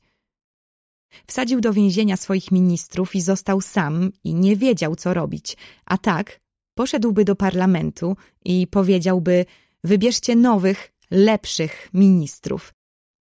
Często rozmyślał Maciuś, ale chciał się i kogoś poradzić. Wyszedł raz sam tylko z doktorem i tak sobie zapytał się – czy wszystkie dzieci są zdrowe, jak ja? Nie, Maciusiu. Teraz doktor nie nazywał go królem, bo Maciuś był inkognito nad morzem. Nie, Maciusiu. Jest bardzo wiele dzieci słabych i chorych. Wiele dzieci mieszka w niezdrowych, wilgotnych i ciemnych mieszkaniach. Nie wyjeżdżają na wieś, mało jedzą, często są głodne, więc chorują. Maciuś znał już ciemne i duszne mieszkania i znał głód. Przypomniał sobie Maciuś, jak czasem wolał spać na zimnej ziemi na dworzu niż w chałupie chłopskiej. Przypomniał sobie Maciuś, jak dzieci na krzywych nogach, bardzo blade, przychodziły do obozu i prosiły o trochę zupy z żołnierskiego kotła i jak łapczywie jadły. Myślał, że tylko podczas wojny tak jest, a tymczasem słyszy, że i bez wojny dzieciom chłód i głód często dokucza. A czy nie można zrobić, zapytał się Maciuś, żeby wszyscy mieli ładne domki z ogródkami i pożywne jedzenie? To bardzo trudne. Myślą dawno ludzie, ale do tej pory nikt jeszcze nie wymyślił. A ja czym mogę wymyśleć? Możesz, rozumie się, że możesz. Król wiele może zrobić. Na przykład ostatni król, który grał na skrzypcach, bardzo wiele zbudował szpitali, domów dla dzieci. U niego najwięcej dzieci w lecie wyjeżdża na wieś. Wydał takie prawo, że każde miasto musi zbudować domy, dokąd wysyła słabe dzieci na całe lato. A jak jest u mnie? Nie, u nas nie wydano jeszcze takiego prawa. No to ja je wydam, powiedział Maciuś i tupnął nogą. Mój doktorze kochany, dopomóż mi, bo znów pewnie ministrowie będą mówili, że trudno, że tego, tamtego im brak, a ja przecież nie wiem, czy mówią prawdę, czy tylko trajlują. Nie, Maciusiu, oni mają rację. To nie jest łatwe. No dobrze, wiem. Ja chciałem dać czekoladę na drugi dzień. Oni obiecali, że dadzą za trzy tygodnie, a dali dopiero po dwóch przeszło miesiącach. Ale w końcu dali. No tak, czekoladę łatwiej dać. Ale jeżeli królowi ze skrzypcami było łatwo, dlaczego mnie ma być trudno? I jemu było trudno. No dobrze, więc niech będzie trudno, a ja to przecież zrobię, żeby nie wiem co. Akurat słońce zachodziło nad morzem, takie wielkie, czerwone i piękne. Maciuś myślał, jak zrobić, żeby wszystkie dzieci w jego kraju mogły patrzeć na słońce, na morze, łódkami jeździć, kąpać się i grzyby zbierać. No tak, powiedział jeszcze Maciuś, kiedy wracali z przechadzki. Taki ten król dobry. A dlaczego jeden krzyknął precz z królami? Zawsze się znajdą niezadowoleni. Nie ma na świecie ani króla, ani ministra, których by wszyscy chwalili. Przypomniał sobie Maciuś, jak żołnierze na froncie wyśmiewali królów albo mówili na nich różne rzeczy. Gdyby Maciuś nie był na wojnie, myślałby, że go naprawdę wszyscy tak kochają, że czapki muszą rzucać do góry z radości, kiedy go widzą. Od tej rozmowy Maciuś jeszcze pilniej się uczył i pytał się często, kiedy już wrócą do domu. Trzeba zacząć moje reformy, myślał. Jestem królem i nie mogę być gorszy od innych, którzy wszystkie dzieci posyłają w lecie na wieś do lasu. Maciuś wrócił do stolicy akurat wtedy, kiedy już wszystko było gotowe, żeby dostać pieniądze od zagranicznych królów. Trzeba było tylko, żeby król podpisał, kiedy i jak będzie pożyczkę spłacał. Król Maciuś podpisał i zaraz wyjechał główny kasjer państwowy z workami i skrzyniami na zagraniczne srebro i złoto. Niecierpliwie czekał Maciuś na pieniądze, bo chciał wprowadzić swoje trzy reformy. Pierwszą, żeby zbudować we wszystkich lasach, na górach i nad morzem dużo domów, żeby dzieci biedne mogły wyjeżdżać na całe lato na wieś. Drugą, żeby we wszystkich szkołach były huśtawki i karuzele z muzyką. Trzecią, żeby w stolicy urządzić wielki ogród zoologiczny, gdzie w klatkach byłyby dzikie zwierzęta, lwy, niedźwiedzie, słonie, małpy i węże i ptaki. Ale spotkał Maciusia zawód. Kiedy pieniądze przyszły, okazało się, że ministrowie nic dać nie mogą na reformy Maciusia, bo z góry już było obliczone, ile który minister weźmie na swoje wydatki. Więc tyle trzeba wydać na nowe mosty, tyle na koleje, tyle na budowę nowych szkół, tyle na zapłacenie długów wojennych. Gdyby wasza królewska mość wcześniej był powiedział, to byśmy więcej pożyczyli, mówili ministrowie. A myśleli sobie, jak dobrze, że Maciusia na naradach nie było. Przecież tyle pieniędzy, ile potrzeba na reformy Maciusia, królowie zagraniczni nie chcieliby pożyczyć. Ano dobrze. Kiedy wyście mnie tak oszukali, już teraz wiem, co zrobię. Wziął i napisał wszystko do króla, który grał na skrzypcach. Ja chcę wprowadzić takie same reformy, jak wasza królewska mość wprowadziłeś u siebie. I potrzeba mi dużo pieniędzy. Ministrowie pożyczyli dla siebie, a teraz ja chcę pożyczyć dla siebie. Długo czekał Maciuś i już myślał, że nie dostanie wcale odpowiedzi, aż tu raz podczas lekcji mówią, że przyszedł na audiencję poseł tego króla. Zaraz się Maciuś domyślił i prędko poszedł do sali tronowej. Poseł prosił, żeby wszyscy wyszli, bo to jest tajemnica, którą może powiedzieć tylko królowi – więc jak wszyscy wyszli, poseł powiedział, że można pożyczyć Maciusiowi pieniądze, ale żeby dał konstytucję, żeby rządził cały naród. Bo jak pożyczymy tylko Maciusiowi, możemy stracić, a jak pożyczymy całemu narodowi, to zupełnie co innego. Tylko, powiedział poseł, ministrowie pewnie się nie zgodzą. Muszą się zgodzić, powiedział Maciuś. Co oni sobie myślą? Jeżeli się zgodzili, żebym był królem reformatorem, no to już. Ale ministrowie nadspodziewanie łatwo się zgodzili. Ministrowie strasznie się bali, żeby ich Maciuś nie wsadził do więzienia, więc tak sobie obliczyli. Jak trzeba będzie coś zrobić, powiemy, że tak chce cały naród i my nic nie możemy poradzić. My tylko musimy to robić, co nam każe cały naród, a całego narodu już Maciuś do kozy nie wsadzi zaczęły się narady. Ze wszystkich miast i ze wszystkich wsi przyjeżdżali do stolicy najmądrzejsi ludzie. I radzili, radzili całe dnie i całe noce. Bo bardzo trudno było obmyśleć, żeby cały naród mówił, co chce, żeby robić. W gazetach pisali tak dużo o tym Sejmie, że nawet nie było miejsca na obrazki.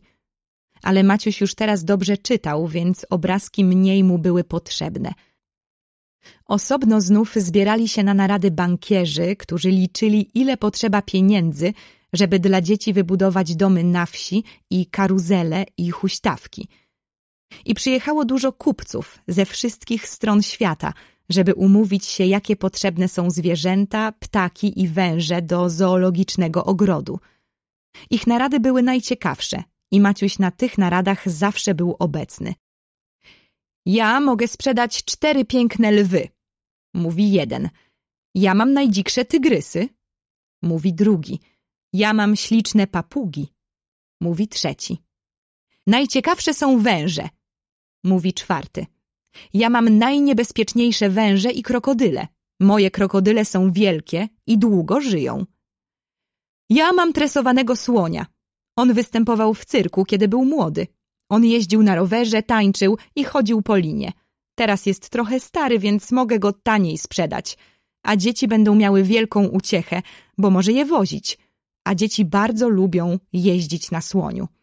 O niedźwiedziach proszę nie zapominać, mówi specjalista od niedźwiedzi. Mogę sprzedać cztery zwyczajne i dwa białe niedźwiedzie. Ci kupcy dzikich zwierząt wszyscy byli dzielni myśliwi, a między nimi był jeden prawdziwy Indianin i dwóch murzynów. I dzieci z całej stolicy ciekawie im się przyglądały i cieszyły, że król tyle dla nich ciekawych zwierząt kupuje. Aż tu raz na naradę przychodzi murzyn taki czarny, jakiego jeszcze nie było. Tamci murzyni byli ubrani zwyczajnie i mówili europejskimi językami. Oni trochę mieszkali w Afryce, a trochę w Europie. A ten ani słowa nie mówił, żeby go można zrozumieć. Ubrany był w muszle i prawie goły, a we włosach miał tyle różnych ozdób z kości, że trudno było uwierzyć, że taki ciężar może uradzić na głowie – w państwie Maciusia był jeden bardzo stary profesor, który znał pięćdziesiąt różnych języków, więc posłali po niego, żeby przetłumaczył, czego chce ten strasznie czarny murzyn.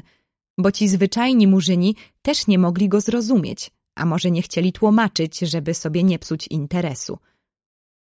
Bo książę murzyński, tak, to był prawdziwy książę, powiedział – Wielki jak drzewo baobab, potężny jak morze, szybki jak piorun i jasny jak słońce królu Maciusiu. Przywożę ci przyjaźń mojego władcy, który oby żył siedem tysięcy lat i doczekał się stu tysięcy praprawnuków. Władca mój ma w swoich lasach więcej zwierząt dzikich niż jest gwiazd na niebie i mrówek w mrowisku. Nasze lwy więcej zjadają ludzi w dzień niż cały królewski dwór w miesiąc a dwór królewski składa się z króla, jego dwustu żon i tysiąca dzieci, oby żyły pięć tysięcy lat bez jednego roku. Świetny królu Maciusiu, nie wierz tym oszustom, którzy mają lwy bez zębów, tygrysy bez pazurów, stare słonie i farbowane ptaki. Moje małpy są mądrzejsze od nich, a miłość mego króla dla Maciusia jest większa niż ich głupota. Oni żądają od ciebie pieniędzy, Mojemu królowi złoto niepotrzebne, bo w jego górach jest złota dosyć. On tylko chce, żebyś mu pozwolił przyjechać do siebie w gości na dwa tygodnie, bo jest bardzo ciekawy zwiedzić wasze kraje, a biali królowie nie chcą go przyjąć, bo mówią, że jest dziki, więc nie wypada się z nim przyjaźnić. Gdybyś, Maciusiu, pojechał do niego w gościnę, przekonałbyś się, że wszystko, co mówię, jest szczerą prawdą. Kupcy dzikich zwierząt wiedzieli, że źle, więc powiedzieli Czy wasza królewska mość wie, że to jest poseł z kraju ludożerców i nie radzimy waszej królewskiej mości ani do nich jechać, ani ich tu zwozić? Maciuś poprosił profesora, żeby się zapytał, czy naprawdę ten król jest ludożercą. O jasny jak słońce królu Maciusiu. Mówiłem, że lwy w naszych lasach więcej zjadają ludzi w jeden dzień niż cały królewski dwór w miesiąc. Jedno ci tylko powiem – o biały jak piasek królu Maciusiu, że ani ciebie, ani nikogo z twoich poddanych mój król by nie jadł. Mój król jest gościnny i wolałby pozjadać wszystkie dwieście swoich żon i tysiąc dzieci, oby żyły pięć tysięcy lat bez jednego roku, niż odgryźć jeden bodaj palec twojej ręki. Więc dobrze, jadę, powiedział Maciuś. A kupcy dzikich zwierząt zaraz wyjechali źli, że nie zrobili dobrego interesu. Prezes ministrów wrócił do domu taki zły, że żona bała się nawet zapytać, co się stało. Prezes jadł obiad i nic nie mówił, a dzieci siedziały cichutko, żeby nie oberwać. Prezes ministrów przed obiadem wypijał kieliszek wódki, a podczas obiadu pił tylko wino. A dziś wino odepchnął i wypił pięć kieliszków wódki. Mój mężu, zaczęła żona nieśmiało, żeby go więcej nie rozgniewać. Widzę, że znów miałeś zmartwienie w pałacu. Zmarnujesz zdrowie z tym wszystkim. To coś niesłychanego. Wybuchnął wreszcie prezes ministrów. Ty wiesz, co robi Maciuś? Ministrowa głęboko westchnęła. Ty wiesz, co robi Maciuś? Maciuś jedzie w gości do króla ludożerców, rozumiesz? Do najdzikszych murzynów z całej Afryki. Tam jeszcze żaden z białych królów nie był, rozumiesz? Jego tam zjedzą. Z pewnością go zjedzą, jestem w rozpaczy. Mój mężu, czy nie ma sposobu, żeby mu odradzić? Owszem, jak chcesz, to odradzaj, bo ja drugi raz w kozie siedzieć nie myślę. Uparty jest i lekkomyślny. No dobrze, Ale co by było, gdyby, nie daj Boże, jego zjedli? Ach, kobieto, zrozum, że mamy teraz zrobić tak, żeby rządził cały naród i król musi podpisać papier, to się nazywa manifest i musi być uroczyste otwarcie pierwszego Sejmu. Kto podpisze manifest? Kto otworzy Sejm, jak Maciuś będzie zjedzony w brzuchu tego dzikusa? Za rok już mogą go zjeść, ale teraz on jest potrzebny koniecznie. Ministrom szło jeszcze o jedną rzecz. Samego puścić Maciusia w tak niebezpieczną drogę nie wypadało, a jechać nikt nie chciał. A Maciuś nie na żarty szykował się w drogę. Rozeszła się po całym mieście wiadomość, że król jedzie do kraju ludożerców. Dorośli kiwali głowami, a dzieci strasznie mu zazdrościły. Mości królu, powiedział doktor, być zjedzonym jest bardzo niezdrowo – Prawdopodobnie zechcą waszą królewską mość upiec narożnie, a że białko ścina się od gorąca, więc wasza królewska mość, ukochany doktorze, powiedział Maciuś. Już miałem być zabity, rozstrzelany i powieszony i jakoś mi się udało. Może ten dziki książę mówi prawdę. Może oni są gościnni i nie ugotują mnie. Już postanowiłem tak, obiecałem, a królowie muszą słowa dotrzymywać. Próbował i kapitan odwieść od tego zamiaru Maciusia. Tam jest gorąco. Trzeba jechać dwa tygodnie na wielbłądach. Tam są różne choroby i Maciuś może umrzeć. Zresztą tym dzikusom nie można bardzo wierzyć, bo oni są wiarołomni. Ja ich znam, bo z nimi walczyłem. Biali właśnie dlatego ich zabijają, żeby nie byli tacy dzicy i zdradzieccy. Maciuś kiwał głową, że to wszystko prawda, a mimo to szykował się do drogi. Musi być w stolicy ogród zoologiczny. Musi przywieźć dużo lwów, tygrysów, słoni i różnych małp. Jak się jest królem, trzeba spełniać swe obowiązki. A książę afrykański prosił, żeby się Maciuś śpieszył, bo książę nie mógł żyć bez ludzkiego mięsa dłużej niż tydzień. On przywiózł sobie w wielkiej tajemnicy beczkę solonych murzynów i po trochu ich zjadał, ale już mu się zapas zaczął wyczerpywać, więc chciał prędzej jechać. Ułożono wreszcie, kto ma pojechać, więc stary profesor, który znał pięćdziesiąt języków, kapitan, ale bez dzieci, bo ich matka się bała, a w ostatniej chwili przyłączył się Felek i doktor. Doktor nie znał afrykańskich chorób, więc kupił grubą książkę o tych chorobach i do walizki włożył wszystkie lekarstwa, które były potrzebne – w ostatniej już chwili przyjechał jeden angielski marynarz i francuski podróżnik, żeby ich Maciuś wziął ze sobą. Bagażu wzięli mało, bo ciepłe ubranie było im niepotrzebne, a przy tym na wielbłądach nie można wozić za dużo kufrów. Ano siedli na pociąg i jadą. Jadą, jadą, jadą, jadą, aż dojechali do morza. Przesiedli się na okręt i płyną. Na morzu zaskoczyła ich wielka burza. Dostali morskiej choroby i po raz pierwszy doktor stosował swoje lekarstwa. Doktor był bardzo zły na tę podróż. Po co ja jestem królewskim doktorem? Biadał przed kapitanem okrętu. Żebym był zwyczajnym doktorem, to bym sobie siedział w wygodnym gabinecie i chodził do szpitala, a tak muszę się tłuc po świecie – Zresztą być zjedzonym w moim wieku to jest bardzo nieprzyjemna rzecz.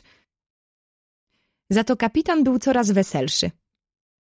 Przypominał sobie, kiedy to uciekł z domu rodziców, zapisał się do Legii Cudzoziemskiej i walczył z murzynami. Młody był wtedy i wesoły chłopak. Najbardziej cieszył się Felek.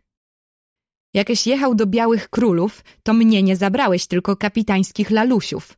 A jak jedziesz do ludożerców, tamci cię opuścili, a Felek jedzie. Mój Felku, tłumaczył się zawstydzony Maciuś, nie byłeś zaproszony, a etykieta każe, żeby na zaproszenie brać tylko tych, kogo chcą. A Stasio i Helcia chcieli ze mną jechać, tylko im mama nie pozwoliła. Ja się nie gniewam, powiedział Felek.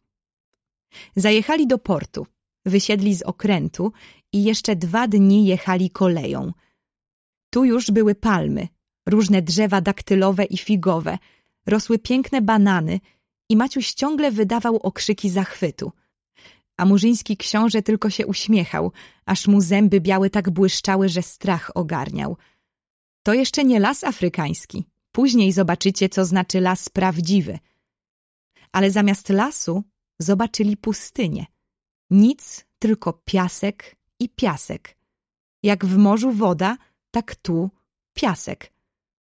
W ostatniej wsi był jeszcze mały oddział białych żołnierzy i parę sklepów białych ludzi. Powiedzieli im, że są podróżnikami i jadą do kraju ludożerców. Ano, chcecie, to jedźcie. Było dużo takich, którzy jechali, ale nie pamiętamy, żeby kto wracał. A może nam się uda, powiedział Maciuś. Próbujcie, ale żebyście nie mieli do mnie pretensji, że was nie uprzedziłem, nie ostrzegłem. To bardzo dzicy ludzie, do których wy jedziecie. Murzyński książę kupił trzy wielbłądy i pojechał, żeby wszystko przygotować, a ich zostawił i kazał czekać, aż wróci. Słuchajcie, powiedział oficer małego garnizonu. Wy mnie nie oszukujcie, bo ja jestem cwaniak. Wy nie jesteście zwyczajni podróżnicy. Jedzie z wami jakichś dwóch małych chłopaków, jakiś staruszek i ten dzikus, który z wami przyjechał, to musi być jakaś bardzo ważna osoba. On ma w nosie taką muszlę, jaką wolno nosić tylko, jeżeli ktoś z królewskiej rodziny. Ano, widzą, że nie ma co, więc powiedzieli wszystko. Ten oficer słyszał już o Maciusiu, bo przychodziła poczta raz na parę miesięcy i przywoziła gazety. Tak, to co innego. Może wam się uda, bo przyznać muszę, że oni są bardzo gościnni. I mówię z góry, że albo wcale nie wrócicie, albo dostaniecie strasznie dużo prezentów, bo oni mają tyle złota i brylantów, że sami nie wiedzą, co z tym robić. I za każde głupstwo, jakieś trochę prochu albo lusterko, albo fajkę, dają parę garści złota. Humory podróżników się poprawiły. Stary profesor leżał cały dzień na piasku, na słońcu, bo doktor powiedział, że to jest bardzo zdrowe na nogi, a jego bolały nogi. Wieczorem chodził do murzyńskich szałasów i tam rozmawiał i zapisywał nowe wyrazy, których jeszcze nauka nie znała. Felek tak się obiadł owocami, że aż doktor musiał mu ze swojej apteczki dać łyżkę rycyny. A Anglik z Francuzem brali Maciusia od czasu do czasu na polowanie. Maciuś nauczył się jeździć na wielbłądach i było bardzo przyjemnie. Aż tu raz w nocy wpada do ich namiotu przestraszony murzyn służący i krzyczy, że jest zdrada, że ich napadają. O ja nieszczęśliwy, poszedłem w służbę do białych. Moi mi tego nie darują, oni mnie zamordują. Oj, ja nieszczęśliwy, co ja teraz pocznę? Zerwali się wszyscy ze swoich składanych polowych łóżek, chwytają za broń, co kto miał i patrzą. Noc ciemna. Nic nie widać. Tylko tam z daleka, z pustyni zbliża się jakaś gromada, słychać jakiś hałas. Dziwno, że z garnizonu białych nikt ani strzela, ani nie widać żadnego zamieszania. Naczelnik garnizonu znał dobrze obyczaje dzikich plemion i od razu zrozumiał, że to nie jest napad, tylko nie wiedział co, więc posłał jednego gońca, żeby się dowiedzieć. To szła karawana po króla Maciusia. Na przodzie królewski wielbłąd, ogromny, z piękną budką na grzbiecie. Sto wielbłądów, równie pięknie odzianych. I pełno pieszych murzynów żołnierzy, którzy mieli stanowić przyboczną straż karawany. Co by to było, gdyby oficer garnizonu nie był tak doświadczony? Mógł zacząć strzelać i byłoby okropnie nieprzyjemnie. Maciuś serdecznie mu podziękował, że tak mądrze zarządził, dał mu order i zaraz na drugi dzień raniutko ruszyli w drogę. Podróż była bardzo ciężka. Strasznie było gorąco. Murzyni byli przyzwyczajeni do upałów, ale biali wcale nie mogli oddychać. Maciuś siedział w swojej budce. Dwóch czarnych murzynów wachlowało go wielkimi wachlarzami ze strusich piór. Karawana szła powoli, a przewodnik niespokojnie rozglądał się wokoło, czy aby nie idzie tak zwana trąba powietrzna. Bo wtedy jest straszny wiatr, który sypie gorący piasek na podróżnych. A były wypadki, że piach zasypał całą karawanę i wszyscy ginęli. Nikt nie rozmawiał przez cały dzień, a dopiero wieczorem, jak było chłodno, trochę lepiej się czuli. Doktor dawał Maciusiowi jakieś chłodzące proszki – ale to niewiele pomagało. Maciuś był zahartowany przez wojnę i niejedną przeżył ciężką chwilę, a ta gorąca podróż była najcięższa ze wszystkiego, co w życiu przeżył. Głowa go często bolała, wargi mu popękały, język taki się zrobił suchy, że był jak drewno. Opalił się i zesechł. Oczy od białego piasku zaczerwieniły się i piekły, a na skórze pokazały się czerwone, swędzące krostki. Spał Maciuś źle. W nocy męczyły go straszne sny. To mu się zdawało, że go ludożercy zjadają, to, że go palą na stosie. Ach, jaka przyjemna jest woda w porównaniu z piaskiem, jak przyjemnie jechać okrętem. Ale co robić? Wracać już nie można, bo by się z niego śmieli. Dwa razy zatrzymywali się na oazach. Co to było za szczęście patrzeć znów na zielone drzewa i pić chłodną wodę, a nie paskudną, ciepłą i śmierdzącą wodę ze skórzanych worków. Na pierwszej oazie zatrzymali się dwa dni, a na drugiej musieli całych pięć dni przesiedzieć, bo i wielbłądy tak były zmęczone, że nie mogły iść dalej. Jeszcze tylko cztery wschody i cztery zachody słońca spędzimy w pustyni i będziemy w domu. Cieszył się książę ludożerców. Przez tych pięć dni dobrze wypoczęli. I przed wyjazdem murzyni już tak się wzmocnili, że rozpalili ogniska i tańczyli strasznie dziki wojenny taniec. Ostatnie cztery dni podróży już nie były takie ciężkie, bo pustynia się kończyła, więc piasek nie był tak gorący. Nawet tu i ówdzie rosło już trochę krzaków i spotykało się nawet ludzi. Maciuś chciał się zapoznać z tymi ludźmi, ale mu nie pozwolili, bo to byli rozbójnicy pustyni. Nie zaczepiali ich, bo karawana była duża, ale chętnie napadali, jak mniej ludzi jechało. Nareszcie! Już widać z daleka las, już wionął wilgotny chłód. Podróż się skończyła, ale nie wiadomo, co ich teraz czeka. Uniknęli śmierci w gorących piaskach. Może teraz zginą z rąk dzikich murzynów.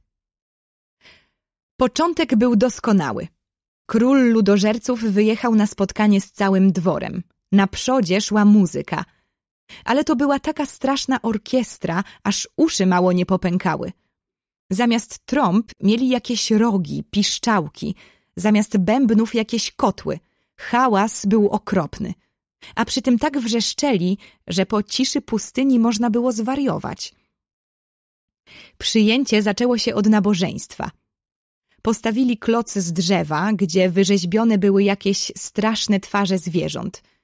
Kapłan miał na twarzy też straszną maskę. Znów ryczeli coś, a tłomacz powiedział, że to wszystko znaczy, że król ludożerców oddaje Maciusia pod opiekę swoich bogów. Kiedy Maciuś po nabożeństwie zeszedł ze swego słonia, król i wszyscy jego synowie zaczęli fikać kozły w powietrzu i podskakiwać. I to trwało z pół godziny, a potem król miał przemowę do Maciusia. Biały przyjacielu jaśniejszy od słońca, dziękuję ci, że przyjechałeś. Jestem najszczęśliwszy z ludzi na świecie, że mogę ciebie oglądać. Proszę cię i błagam, daj znak ręką, że się zgadzasz, a oto ten wielki miecz pogrążę w swoje serce i dostąpię najwyższego honoru, by być zjedzonym przez swojego drogiego gościa. To mówiąc, przyłożył ostrze długiej dzidy do piersi i czekał. Maciuś powiedział przez tłumacza, że w żaden sposób się nie zgadza, że chce z nimi się przyjaźnić, rozmawiać i bawić, ale nie chce go zjadać. Wtedy król, jego sto żon i wszystkie czarne dzieci zaczęli głośno płakać, zaczęli chodzić na czworakach i fikać żałobne koziołki do tyłu, na znak, że nimi gardzi biały przyjaciel, że ich nie kocha jak należy, skoro ich jeść nie chce, a może nie ufa, że są smaczni i godni zjedzenia. Maciusiowi strasznie się chciało śmiać z tych dziwnych zwyczai, ale udał poważnego i nic nie mówił. Opowiadać wszystko, co widział Maciuś i co robił na dworze króla ludożerców nie ma potrzeby, bo opisał to uczony profesor w grubej książce pod tytułem 49 dni w dzikim kraju ludożerców na dworze króla Bum-Drum. Napisał uczestnik wyprawy i tłumacz króla Maciusia Reformatora. Biedny król Bum-Drum Starał się z całych sił, żeby urozmaicić i uprzyjemnić pobyt Maciusia na swoim dworze, ale jego zabawy i przyjemności takie były dzikie, że Maciuś tylko z ciekawością patrzał, a czasem i nieprzyjemnie mu było. Wielu zabaw Maciuś wcale nie chciał. Miał na przykład bum-drum starą fuzję, którą z wielką pompą wyjęto ze skarbca i dano, żeby Maciuś strzelił z niej do celu, do najstarszej córki Bumdruma. Maciuś nie chciał, Bumdrum się obraził. Znów zaczęli fikać żałobne koziołki, a co najgorsza, obraził się ludożerski kapłan. On udaje naszego przyjaciela, a nie chce się z nami bratać, powiedział. Już ja wiem, co zrobię. I wieczorem do muszli, z której Maciuś pił wino, nalał pokryjomu trucizny. To była taka trucizna, że kto wypił, ten zaraz wszystko widział czerwone, potem niebieskie, potem zielone, a potem czarne. I umierał. Siedzi Maciuś w najlepsze w namiocie królewskim, na złotym krześle przy złotym stole, ale mówi Co to jest, że wszystko zrobiło się czerwone i ci ludożercy czerwoni i wszystko czerwone. Jak to usłyszał doktor, zaraz skoczył i zaczął machać zrozpaczony rękami, bo wiedział z książek o takiej truciźnie i napisane było, że na wszystkie choroby afrykańskie są lekarstwa, a na te nie ma. I doktor nie miał lekarstwa w swojej apteczce na tę truciznę. A Maciuś nic nie wie, taki wesół, i mówi O, teraz wszystko zrobiło się niebieskie. Jak ładnie wszystko wygląda. Profesorze, krzyknął doktor, przetłomacz pan tym dzikusom, że Maciusia otruli. Profesor prędko powiedział. Król ludożerców złapał się za głowę, fiknął żałobnego koziołka i wybiegł jak strzała. Masz, pij, biały przyjacielu! krzyknął, podając Maciusiowi jakiś strasznie gorzki i kwaśny płyn w misce z kości słoniowej. E, nie chcę! krzyknął Maciuś. Och, jak mi zielono przed oczami. I złoty stół zielony, i doktor zielony. Bum-drum chwycił Maciusia w pół, położył go na stole, włożył mu między zęby strzałę z kości słoniowej i przemocą wlał do ust gorzki trunek. Maciuś wyrywał się, pluł, ale połknął i był uratowany. Wprawdzie zaczęły mu latać przed oczami już czarne kółka, które się prędko kręciły – ale tych czarnych kółek było tylko sześć, a reszta wszystko było jeszcze zielone. I Maciuś nie umarł, tylko trzy dni spał. Starszy kapłan ludożerców bardzo się zawstydził, że tak zrobił, że chciał otruć Maciusia. Ale Maciuś mu przebaczył. I w nagrodę kapłan obiecał pokazać najciekawsze sztuki magiczne, które wolno mu pokazywać tylko trzy razy w życiu. Wszyscy usiedli przed namiotem, rozłożono tygrysie skóry i ten czarnoksiężnik zaczął.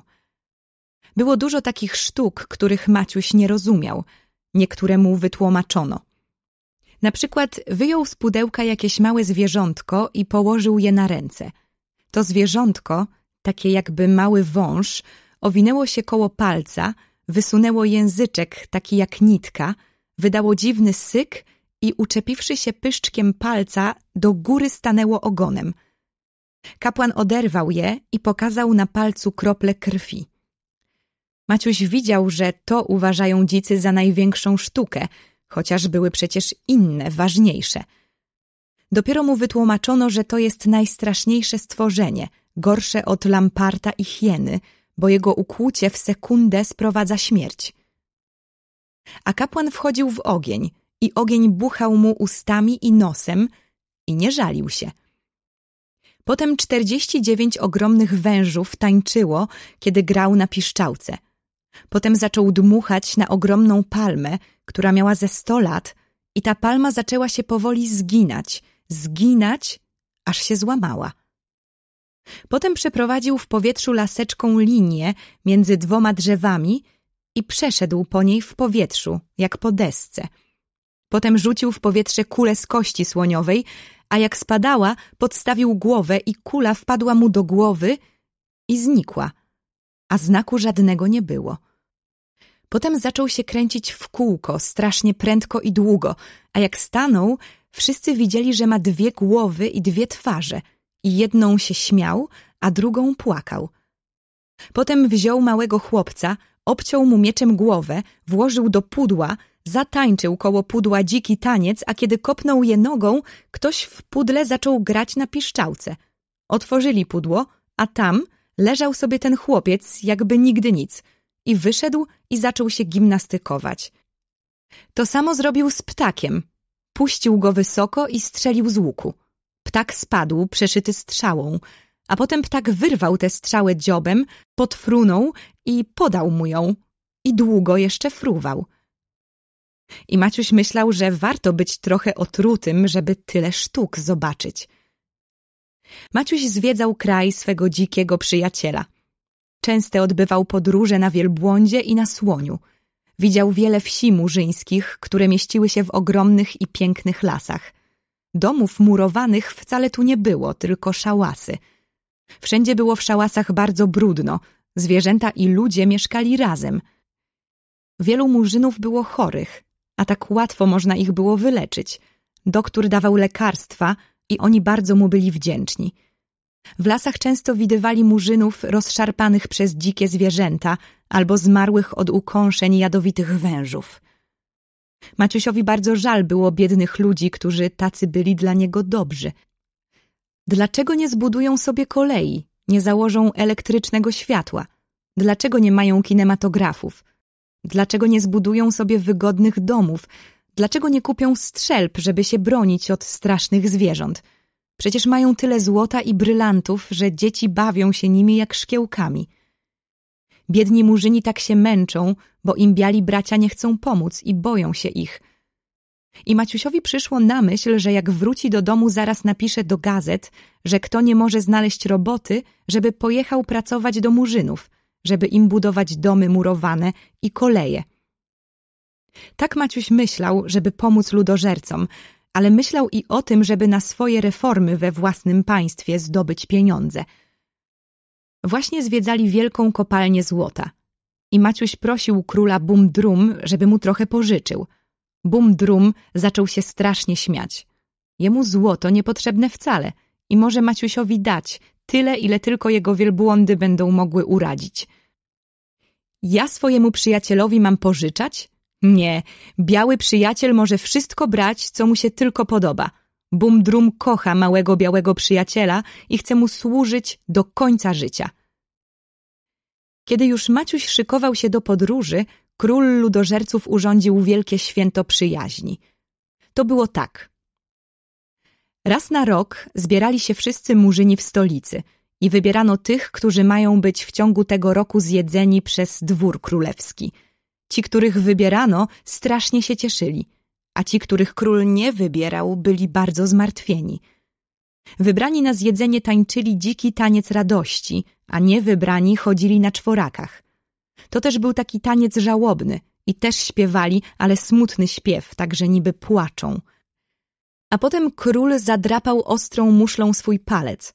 To samo zrobił Maciuś i król ludożerców zlizał krople krwi z serdecznego palca Maciusia. I to samo musiał zrobić Maciuś. Maciusiowi nieprzyjemna była ta ceremonia, ale nauczony smutnym doświadczeniem, kiedy mało go nie otruli, nie wzbraniał się i zrobił wszystko, co od niego żądali. Bo po tej wymianie krwi były jeszcze inne ceremonie. Wrzucono Maciusia do sadzawki, gdzie było dużo wężów i krokodyli i król Bumdrum wskoczył do sadzawki i wydobył Maciusia. Potem nasmarowano Maciusia jakimś tłuszczem i musiał wskoczyć do płonącego ogniska. Ale zaraz za nim wskoczył Bumdrum i tak szybko go wyciągnął z ognia, że mu się tylko trochę włosy osmaliły, ale się nie poparzył wcale.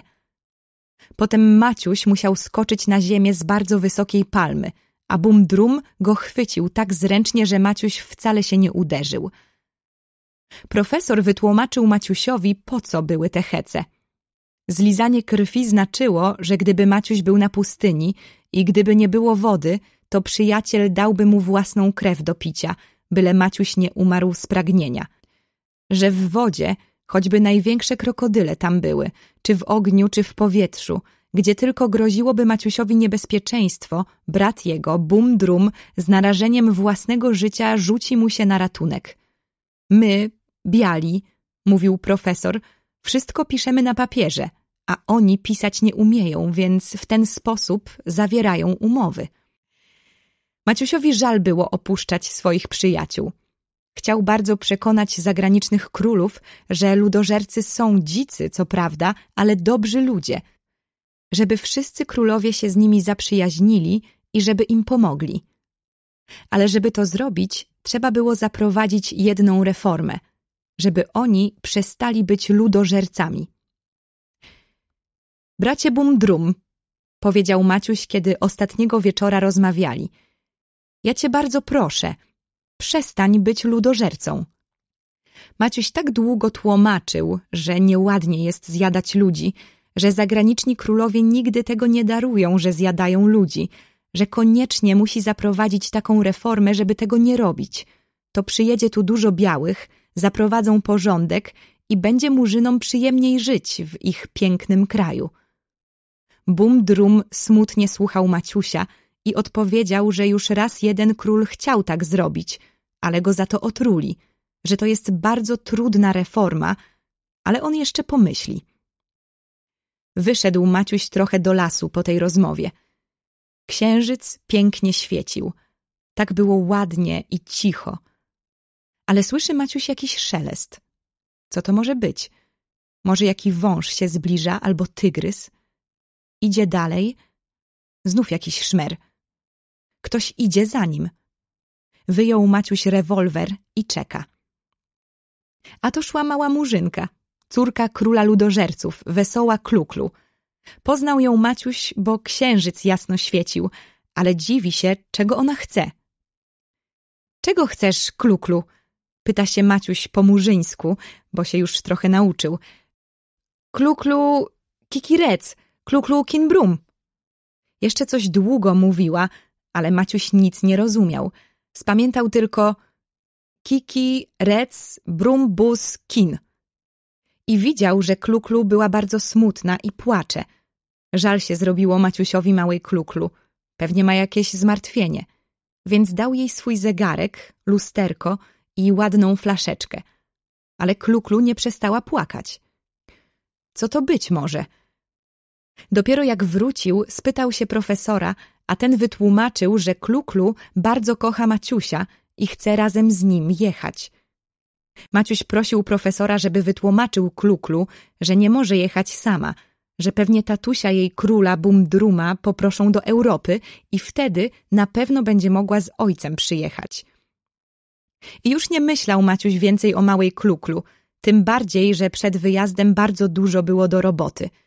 Na pięćset wielbłądów ładowano skrzynie ze złotem i drogimi kamieniami, różne owoce smaczne, napoje, różne afrykańskie przysmaki, wina i cygara na prezent dla ministrów.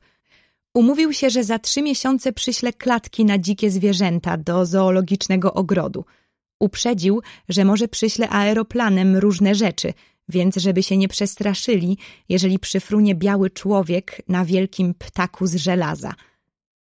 Rano wsiedli i pojechali. Droga była ciężka ale wszyscy byli zahartowani, więc pustynia ich już bardzo nie zmęczyła. Tymczasem ministrowie Maciusia opracowali całą konstytucję i czekają. Czekają, czekają, a Maciuś nie wraca i nie wraca. Gdzie się podział, nie wiadomo. Okrętem dojechał do Afryki, koleją jechał aż do ostatniej osady murzyńskiej koło pustyni. Mieszkali w namiotach i oficer białego garnizonu rozmawiał z nimi. Potem przyjechały wielbłądy od króla ludożerców, ale dalej nikt nic nie wiedział. Aż tu przychodzi telegram, że król Maciuś żyje, że już wsiadł na okręt i wraca do domu. Jak się Maciusiowi wszystko udaje? Mówili z zazdrością zagraniczni królowie. Szczęśliwy ten Maciuś, mówili ministrowie i ciężko wzdychali – bo myśleli, że jeśli im było trudno poradzić sobie z Maciusiem, kiedy wrócił z wojny, to ile trudniej będzie teraz, kiedy wraca z kraju ludożerców. Jak wrócił z wojny, to nas do kozy wsadził, a teraz kto wie, czego się tam nauczył. Jeszcze nas pozjada. Maciuś wracał bardzo wesoły, że mu się podróż tak udała. Opalił się na słońcu, urósł, miał doskonały apetyt i nie wiedząc, co mówili między sobą ministrowie, postanowił sobie zażartować. Jak się zebrali na królewską naradę, król Maciuś pyta się, czy koleje już naprawione? Naprawione, mówi minister. To dobrze, bo inaczej byłbym pana kazał ugotować w krokodylowym sosie. A nowych fabryk dużo zbudowano? Dużo, mówi minister przemysłu. To dobrze, bo jak nie, to bym zrobił z pana nadziewaną bananami pieczeń. Ministrowie takie mieli przestraszone miny, że Maciuś wybuchnął śmiechem. Panowie, mówi Maciuś, nie bójcie się mnie wcale. Nie tylko ja sam nie zrobiłem się ludożercą, ale mojego przyjaciela Bumdruma uda mi się, mam nadzieję, przekonać, żeby rzucił ten swój dziki zwyczaj zjadania ludzi. I dopiero Maciuś zaczął opowiadać swoje przygody, które ministrowie z pewnością uważaliby za żart, gdyby nie to, że wraz z Maciusiem przyjechał cały pociąg złota, srebra i drogich kamieni. A już zupełnie się ministrowie rozchmurzyli, kiedy Maciuś rozdał im podarki króla Bumdruma, doskonałe cygara i smaczne afrykańskie wina. Odczytano prędko manifest, gdzie Maciuś powoływał do rządzenia cały naród. W gazetach będzie zawsze napisane, co ministrowie i król chcą zrobić. Potem każdy może napisać albo powiedzieć na Sejmie, czy mu się to podoba, czy nie. I cały naród wreszcie powie, czy chce, żeby tak ministrowie zrobili, czy nie. No dobrze, mówi Maciuś. A teraz proszę zapisać, co ja chcę zrobić dla dzieci. Więc teraz mam już pieniądze i mogę zająć się dziećmi. Więc każde dziecko dostaje na lato dwie piłki, a na zimę łyżwy. Każde dziecko co dzień po szkole dostaje jeden cukierek i jedno ciastko słodkie z cukrem. Dziewczynki będą co rok dostawały lalki, a chłopcy scyzoryki. Huśtawki i karuzele powinny być we wszystkich szkołach. Prócz tego w sklepach do każdej książki i do każdego kajetu mają być dodawane ładne, kolorowe obrazki. To jest dopiero początek, bo ja myślę jeszcze wiele innych reform wprowadzić. Więc proszę obliczyć, ile to będzie kosztowało i ile czasu potrzeba, żeby wszystko zrobić. A za tydzień proszę mi dać odpowiedź. Można sobie wyobrazić, jaka radość zapanowała w szkołach, jak się o wszystkim dowiedziały dzieci. Już to, co Maciuś dawał, było dużo – a piszą, że to dopiero początek i będzie więcej różnych rzeczy. Kto umiał pisać, pisał do króla Maciusia list, że prosi jeszcze o to i o to. Całe worki listów przychodziły od dzieci do królewskiej kancelarii. Sekretarz listy otwierał, czytał i wyrzucał. Tak się zawsze robiło na królewskich dworach. Ale Maciuś o tym nie wiedział. Dopiero raz widzi, że lokaj niesie kosz z papierami do królewskiego śmietnika – może tam jest jaka rzadka marka, pomyślał Maciuś, bo zbierał marki. Miał nawet cały album. Co to za papiery i koperty? Pyta się Maciuś. A bo ja wiem, mówi lokaj. Patrzy Maciuś, a to są wszystko listy do niego. Zaraz kazał te listy zanieść do swojego pokoju i wezwał sekretarza. Co to za papiery, panie sekretarzu? Pyta się Maciuś. To są listy nieważne do waszej królewskiej mości. A pan każe je wyrzucać? Tak się zawsze robiło. To źle się robiło, krzyknął porywczo Maciuś. Jeżeli list jest do mnie pisany, ja jeden tylko mogę wiedzieć, czy ten list jest ważny, czy nie. Proszę moich listów wcale nie czytać, tylko odsyłać do mnie, a ja będę wiedział, co z nimi robić. Wasza królewska mości, do królów przychodzi bardzo dużo różnych listów, a jakby się dowiedzieli, że je królowie czytają, to by się nagromadziły takie kupy, że nie można by sobie poradzić. I tak dziesięciu urzędników nic innego nie robi, tylko czyta listy i wybiera te, które są ważne. A jakie listy są ważne? Pyta się Maciuś. Ważne są listy od zagranicznych królów, od różnych fabrykantów, od różnych wielkich pisarzy a nieważne jakie. Do waszej królewskiej mości najwięcej piszą dzieciaki. Co komu przyjdzie do głowy, siada i pisze, a niektóre tak gryzmolą, że nawet przeczytać trudno. No dobrze, jak wam trudno czytać listy dzieciaków, to ja będę czytał, a tych urzędników może pan wziąć do innej roboty. Ja też jestem dzieciak, jeśli pan chce wiedzieć, a wygrałem wojnę z trzema dorosłymi królami i odbyłem podróż, na którą się nikt nie mógł odważyć. Królewski sekretarz nic nie odpowiedział, tylko się nisko ukłonił i wyszedł. A Maciuś zabrał się do czytania. Król Maciuś miał taką naturę, że jak się wziął do czego, to robił z zapałem. Godzina upływa za godziną, a Maciuś czyta i czyta. Już kilka razy zaglądał mistrz ceremonii przez dziurkę od klucza do królewskiego gabinetu, co tam Maciuś robi, że nie przychodzi na obiad. Ale widzi króla pochylonego nad papierami, więc boi się wejść. Rychło się Maciuś przekonał, że nie da rady. Niektóre listy były napisane bardzo niewyraźnie. Te Maciuś prędko zaczął odrzucać. Ale były bardzo ładnie napisane i bardzo ciekawe listy – Jakiś chłopiec napisał do Maciusia list, co zrobi, jak dostanie łyżwy. Drugi opisuje, co mu się śniło.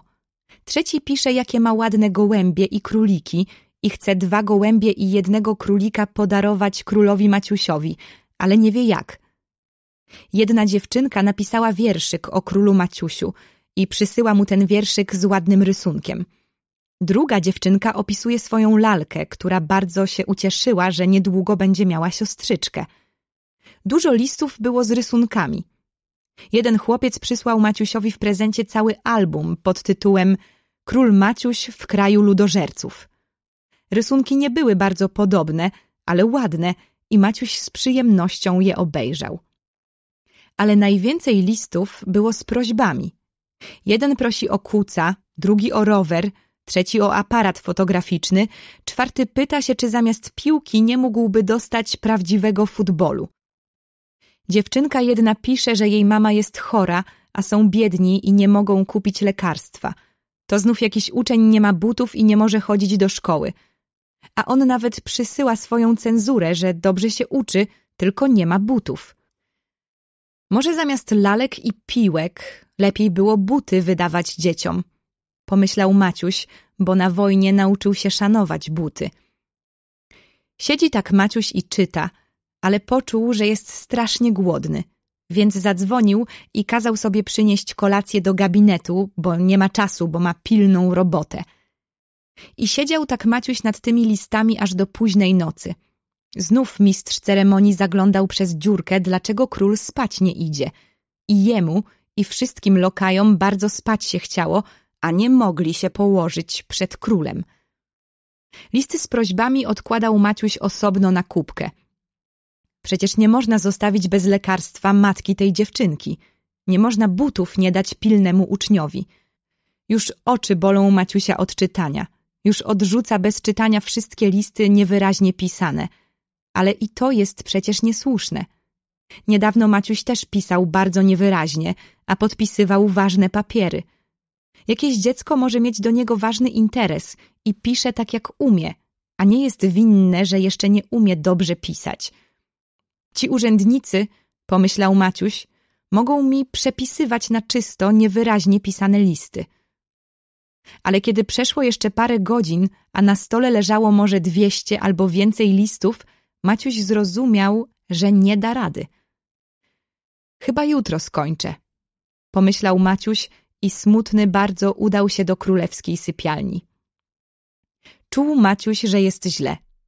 Jeżeli co dzień tyle listów będzie musiał czytać, to już na nic więcej nie będzie miał czasu. A rzucać do śmietnika listy to przecież straszne świństwo. To są ważne listy i ciekawe listy. Tylko dlaczego jest ich tak dużo? Na drugi dzień Maciuś wstał bardzo wcześnie. Wypił tylko szklankę mleka i udał się do swego gabinetu. Lekcji nie miał i czytał listy do samego obiadu. Był tak zmęczony jak po ciężkim marszu wojennym albo po podróży na pustyni. I kiedy głodny bardzo myślał o obiedzie, wszedł do gabinetu sekretarz stanu, a za nim czterech ludzi. Dzisiejsza korespondencja do waszej królewskiej mości, powiedział sekretarz. Maciusiowi się zdawało, że sekretarz stanu się uśmiechnął I to go tak rozgniewało, że tupnął nogą i krzyknął Co to jest do stu ludożerców i krokodyli? Czy pan chce, żebym oślepł zupełnie? Przecież takiego worka listów żaden król nie może przeczytać. Jak pan śmie żartować z króla? Ja pana do więzienia wsadzę. Ale im więcej Maciuś krzyczał, tym więcej rozumiał, że nie ma słuszności. Tylko nie wypadało mu się przyznać. Siedzą tam u pana urzędnicy darmozjady i nic nie robią. Oni tylko umieją listy rzucać do śmietnika albo dawać mnie do czytania. Na szczęście wszedł akurat prezes ministrów. Kazał zabrać worek z listami, sekretarzowi kazał zaczekać w sąsiednim pokoju, że on się z królem sam rozmówi w sprawie królewskiej korespondencji. Maciuś zupełnie się uspokoił, kiedy widział, jak czterech lokai zabiera nieszczęsny worek, ale dalej udawał zagniewanego. Panie prezesie ministrów, nie mogę na to pozwolić, żeby listy do mnie nieczytane szły do śmietnika. Dlaczego nie mam wiedzieć, czego potrzeba dzieciom mojego państwa? Dlaczego chłopiec nie ma z braku butów chodzić do szkoły? To jest niesprawiedliwe i bardzo się dziwię, że minister sprawiedliwości na takie rzeczy pozwala. Prawda, że mój przyjaciel, król Bum-Drum, chodzi też bez butów, ale u nich jest gorący klimat i oni są jeszcze dzicy. Długo trwała narada króla Maciusia z prezesem ministrów. Wezwano i sekretarza, który od dwudziestu lat przeglądał pisane do króla ojca i nawet do króla dziadka jeszcze listy i duże miał doświadczenie. Wasza królewska mości, za życia króla dziadka przychodziło dziennie sto listów. To były dobre czasy. W całym państwie umiało wtedy pisać tylko sto tysięcy mieszkańców. Od czasu jak król Paweł Rozumny zbudował szkoły, umiało już pisać dwa miliony mieszkańców. I wtedy zaczęło przychodzić dziennie od sześciuset do tysiąca listów. Wtedy sam już nie mogłem nadążyć i wziąłem pięciu urzędników. A od czasu, jak miłościwie nam panujący król Maciuś podarował córce kapitana straży ogniowej lalkę, zaczęły pisać listy dzieci. Przychodzi dziennie pięć, dziesięć tysięcy listów. Najwięcej listów przychodzi w poniedziałki, bo w niedzielę dzieci nie mają szkoły, więc mają dużo czasu, a że króla lubią, więc do niego piszą. Właśnie chciałem prosić, żeby wziąć jeszcze pięciu urzędników, bo ci, co są, rady sobie dać nie mogą, ale wiem, wiem, powiedział Maciuś. Ale co za pożytek z czytania, kiedy potem te listy idą do śmietnika? Listy muszą być czytane, bo jest książka, do której każdy list jest pod numerem wpisany i jeżeli można go przeczytać, zapisuje się, kto i o czym pisze. Maciuś chciał się przekonać, czy sekretarz mówi prawdę i zapytał A czy między wczorajszymi listami, które lokaj niósł do śmietnika, była prośba o buty? Nie pamiętam, ale zobaczymy. Dwaj urzędnicy wnieśli ogromną księgę i tam rzeczywiście pod numerem 47 miliardów zapisane było imię, nazwisko, adres tego chłopca i w linii treść listu zapisane było prośba o buty do szkoły. Jestem urzędnikiem od lat dwudziestu i w mojej kancelarii zawsze był porządek. Maciuś był sprawiedliwy. Podał sekretarzowi rękę i powiedział serdecznie panu dziękuję. Więc wymyślili taki sposób. Listy czytane będą tak jak dotychczas przez urzędników. Ciekawsze listy wybierane będą dla Maciusia, ale żeby tych listów nie było więcej jak sto. Listy z prośbami czytane będą osobno i dwóch urzędników będzie sprawdzało, czy tam napisano prawdę. Ten chłopiec pisze, że mu potrzebne buty. A może kłamie. Jak mu król pośle buty, on je może sprzeda i kupi sobie różne głupstwa. Maciuś musiał przyznać, że to słuszna uwaga. Pamiętał, jak na wojnie w ich oddziale był jeden żołnierz, który sprzedawał buty i kupował wódkę, a potem znów przychodził po buty, że mu się podarły – to wielka szkoda, że ludziom nie można wierzyć. Ale co robić? Można jeszcze i tak zrobić, że jak urzędnicy sprawdzą, że to prawda, królewska kancelaria pośle po dziecko i ono przyjdzie na audiencję i wasza królewska mość sam będzie dawał, o co ono prosiło. Owszem, to dobra myśl, pomyślał Maciuś. Ja chcę na audiencji przyjmować nie tylko zagranicznych posłów i ministrów, ale i dzieci. Więc dobrze, Teraz już Maciuś wiedział, co ma jako król dzieci robić. Rano będzie miał lekcję do dwunastej. O dwunastej królewskie śniadanie. Potem godzina audiencji dla posłów i ministrów. Potem do obiadu czytanie listów. Po obiedzie audiencja dla dzieci. Potem posiedzenie z ministrami aż do kolacji. A potem spać. Kiedy już plan dnia został ułożony, Maciusiowi się smutno zrobiło. Przecież ani godzinki nie miał na zabawę. Ano trudno. Jest królem, chociaż mały jeszcze, a król musi dbać nie o siebie, a o wszystkich. Może później trochę, jak już wszystkim da to, co im potrzebne, będzie miał Maciuś i dla siebie jakąś godzinę dziennie. Zresztą podróżowałem. Byłem na tylu zabawach. Byłem miesiąc nad morzem. Byłem w kraju ludożerców. Teraz mogę się już nie bawić, a wziąć się do pracy królewskiej. Jak postanowiono, tak i zrobiono. Rano uczył się Maciuś, potem czytano mu listy. Czytał urzędnik bardzo prędko, a że siedzieć na miejscu tak długo było Maciusiowi trudno, więc słuchał, chodząc po gabinecie z założonymi w tył rękami. Doktor poradził, że jak jest ciepło i ładna pogoda, żeby czytanie listów odbywało się w królewskim ogrodzie. I tak naprawdę było przyjemniej. Audiencje były bardzo liczne. Przychodzili zagraniczni posłowie pytać się, kiedy król Maciuś zbierze pierwszy parlament, bo chcą przyjechać i zobaczyć, jak naród zacznie rządzić. Albo przychodzili ministrowie z fabrykantami, którzy mieli zbudować huśtawki i karuzele w całym państwie, żeby zapytać się, jak król chce, żeby to było zrobione – to znów przyjeżdżali z całego świata różni dzicy ludzie, że ich królowie chcą żyć w przyjaźni z królem Maciusiem. A jeżeli król Maciuś przyjaźni się z Bumdrumem, królem ludożerców, to pewnie i nimi nie pogardzi, bo chociaż dzicy, ale już przestali zjadać ludzi. U nas już od trzydziestu lat nie zjadają ludzi, mówi jeden. U nas ostatniego człowieka zjedzono czterdzieści lat temu – i to nawet był wyjątkowy wypadek, bo to był wielki leniuch, przy tym hultaj, więc i tak żadnego pożytku z niego nie było. A że był tłusty, więc kiedy miał już w sądzie piątą sprawę, że nic nie chce robić, wszyscy jednogłośnie postanowili, żeby go zjeść. Król Maciuś był już teraz ostrożniejszy. Sam nic nie obiecywał. Kazał wszystko zapisywać, co oni mówili i mówił, żeby przyszli po odpowiedź za tydzień – bo musi się poradzić z ministrem spraw zagranicznych, że w ogóle to wszystko zobaczy się dopiero na posiedzeniu ministrów. Audiencja dzieci była bardzo przyjemna. Wpuszczano po kolei do sali tronowej chłopców i dziewczynki i Maciuś dawał im, o co go w listach prosili. Każde dziecko miało swój numer i paczka, która była przygotowana, miała taki sam numer – bo nikogo nie wpuszczano na audiencję, dopóki urzędnik nie sprawdził, że to, o co prosi, naprawdę mu jest potrzebne i dopóki na rozkaz Maciusia nie kupiono tego w sklepie. Więc był porządek i każdy wychodził zadowolony. Jeden dostał ciepłe palto, drugi książki, które mu były potrzebne do nauki, a nie miał za co kupić. Dziewczynki często prosiły o grzebienie i szczoteczki do zębów. Kto ładnie rysował, dostawał farby – Jeden chłopiec bardzo prosił o skrzypce, bo dawno już grał na organkach, ale mu się znudziło.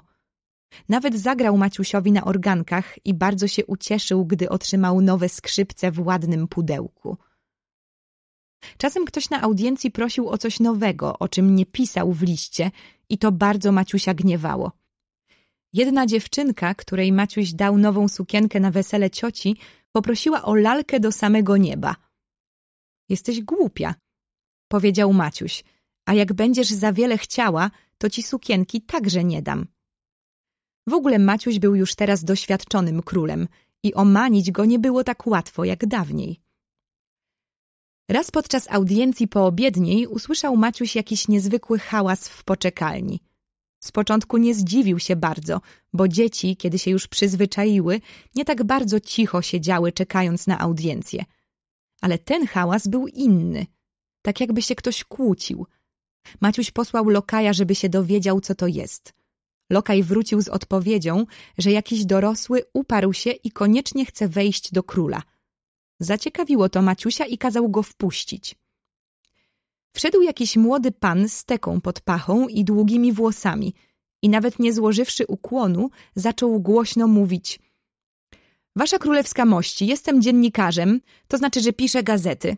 Już od miesiąca staram się dostać na audiencję, a oni mnie nie wpuszczają. Ciągle mówią jutro, jutro, a potem mówią, że król jest zmęczony i znów każą przyjść jutro. Aż dziś udawałem, że jestem ojcem jednego dziecka. Myślałem, że może prędzej się dostanę, ale lokaje mnie poznali i znów nie chcieli wpuścić. A ja mam bardzo ważną sprawę, a nawet parę spraw i jestem pewien, że wasza królewska mość zechce mnie wysłuchać. Dobrze, powiedział Maciuś. Niech pan zaczeka, aż załatwię dzieci, bo to są ich godziny, a potem rozmówię się z panem. A czy wasza królewska mość pozwoli mi zostać w sali tronowej? Będę spokojnie stał i nie będę przeszkadzał, a jutro napiszę do gazet, jak odbywa się audiencja u króla, bo to będzie bardzo ciekawe dla tych, którzy czytają gazety. Maciuś kazał dać dziennikarzowi krzesło i on przez cały czas coś zapisywał do swego kajetu. No, proszę mówić, powiedział Maciuś, kiedy już ostatni chłopiec wyszedł z sali tronowej. Królu, zaczął dziennikarz, nie będę wiele czasu zajmował, powiem krótko. Ale pomimo tej zapowiedzi, dziennikarz mówił bardzo długo i ciekawie. Maciuś słuchał uważnie, wreszcie przerwał.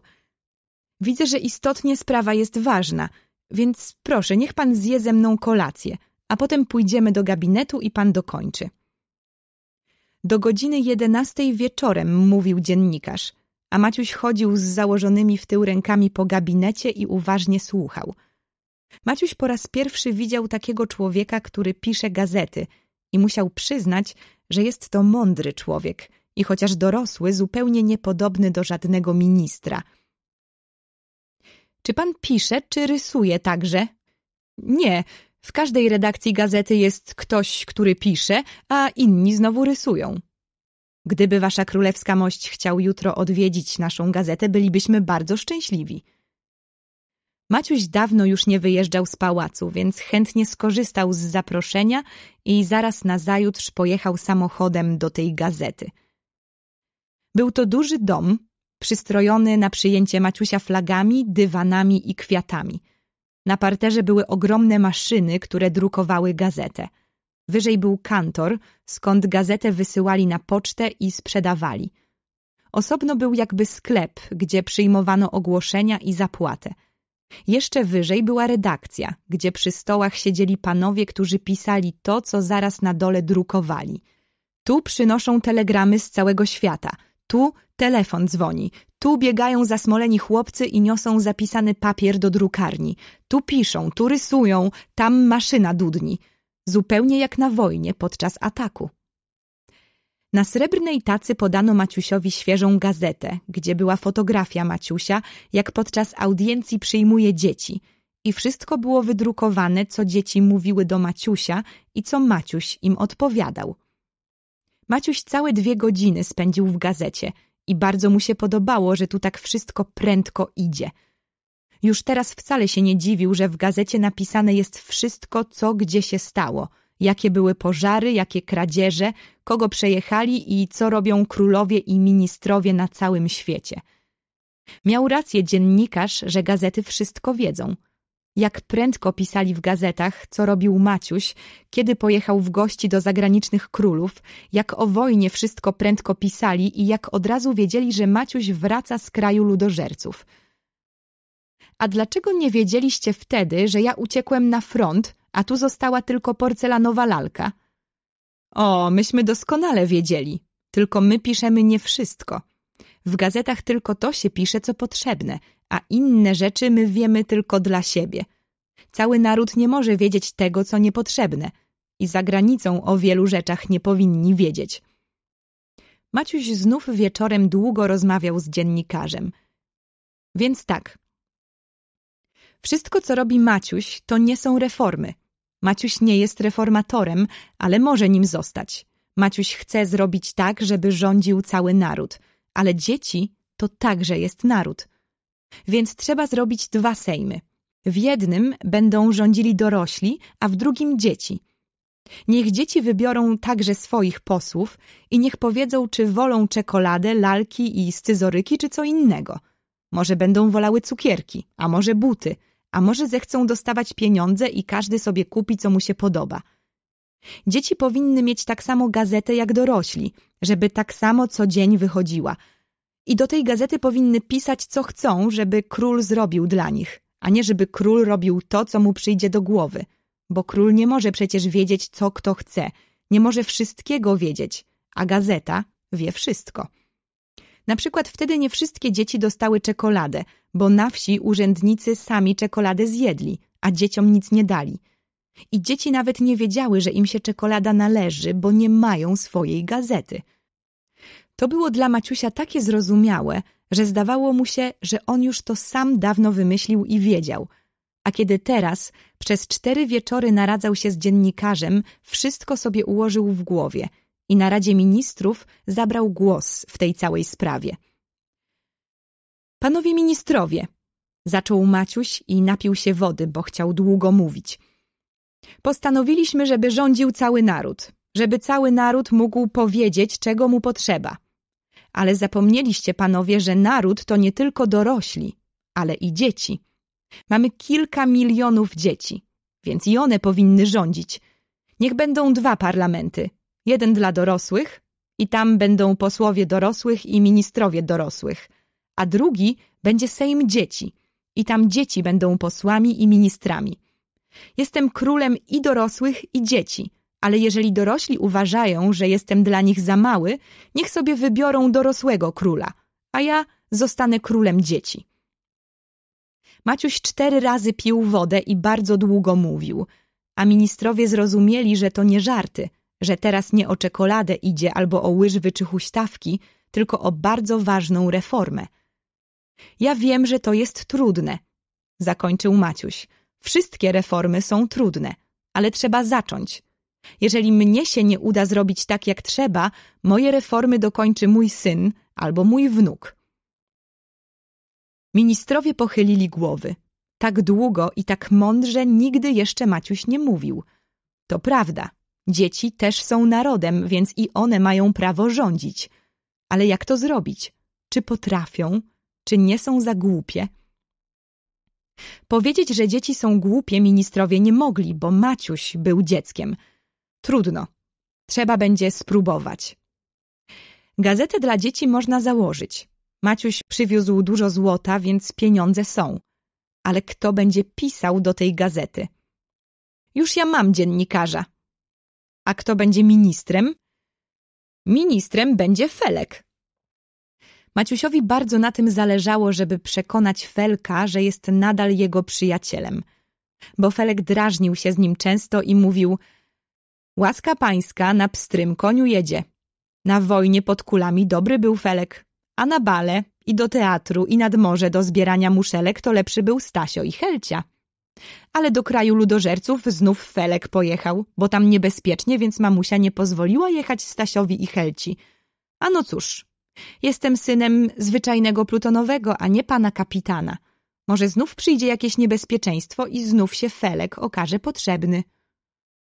Bardzo jest nieprzyjemnie, jeżeli kogo oskarżają, że jest dumny, albo jeszcze gorzej, że jest niewdzięczny – i teraz właśnie nadarzyła się sposobność, żeby przekonać Felka, że się mylił, że Maciuś pamięta o nim nie tylko w biedzie.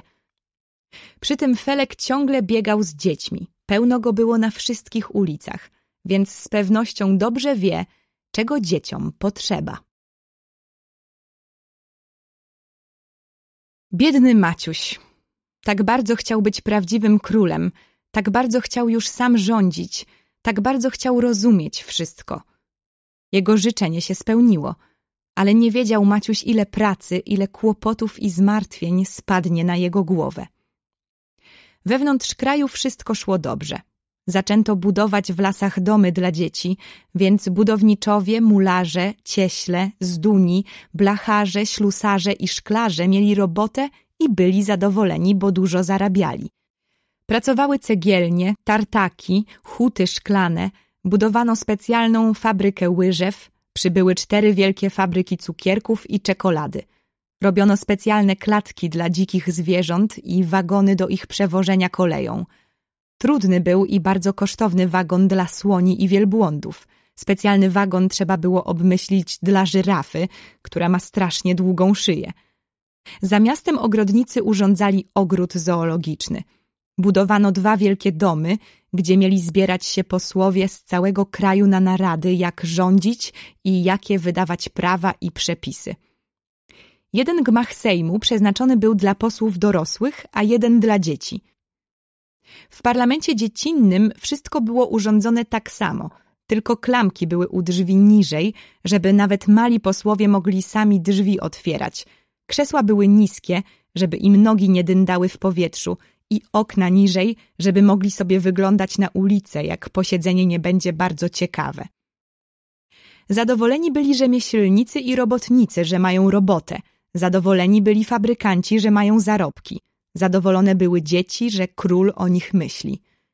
Dzieci czytały swoją gazetę, gdzie każdy pisał co chce i te, które nie umiały czytać, teraz uczyły się na gwałt czytać i pisać, bo chciały wiedzieć, co będzie i chciały do swojej gazety pisać, co im się podoba. Więc rodzice i nauczyciele byli zadowoleni, że dzieci są takie pilne – i bujek teraz było w szkołach mniej, bo każdy chciał, żeby go lubili, żeby go wybrali na posła. Teraz Maciusia kochało nie tylko wojsko, a prawie wszyscy. I podziwiali, że taki mały król tak prędko się nauczył i tak dobrze rządzi. Ale naród nie wiedział, jakie kłopoty ma Maciuś. A najgorsze było to, że zagraniczni królowie coraz więcej zaczęli zazdrościć Maciusiowi. Co on sobie myśli? Mówili. My już dawno rządzimy, a Maciuś chce być od razu najpierwszy. Wielka sztuka być dobrodziejem za cudze pieniądze. Bum drum dał mu złoto, a Maciuś się rozporządza. Czy wypada, żeby biały król przyjaźnił się z ludożercami? Wszystko to wiedział Maciuś od swoich szpiegów i minister spraw zagranicznych ostrzegał, że może być wojna. Maciuś bardzo nie chciał teraz wojny. Nie chciał się odrywać od roboty – co by to było? Rzemieślnicy znów musieliby iść do okopów i domy byłyby nieskończone. A Maciuś chciał, żeby już w tym roku w lecie dzieci wyjechały na wieś, a w jesieni, żeby się zebrały oba sejmy, dla dorosłych i dla dzieci. Więc co robić, żeby nie było wojny? Pytał się Maciuś, chodząc wielkimi krokami po gabinecie, założywszy ręce do tyłu. Trzeba, żeby zagraniczni królowie pokłócili się między sobą i żeby najsilniejsi zaprzyjaźnili się z Maciusiem. Ach, to by było doskonale. Ja myślę, że trzeci smutny król, który gra na skrzypcach, mógłby się z nami zaprzyjaźnić. On mi wtedy mówił, że nie chciał ze mną wojować wcale i jego najmniej pobiłem, bo był w rezerwie. I on sam mi radził, żebym zrobił reformę dla dzieci. To bardzo ważne, co mi wasza królewska mość mówi, powiedział minister spraw zagranicznych. Tak, on może się z nami zaprzyjaźnić, ale ci dwaj to zostaną zawsze naszymi wrogami. Dlaczego? zapytał Maciuś. Ten pierwszy gniewa się, że u nas lud będzie rządził. A co to jego obchodzi?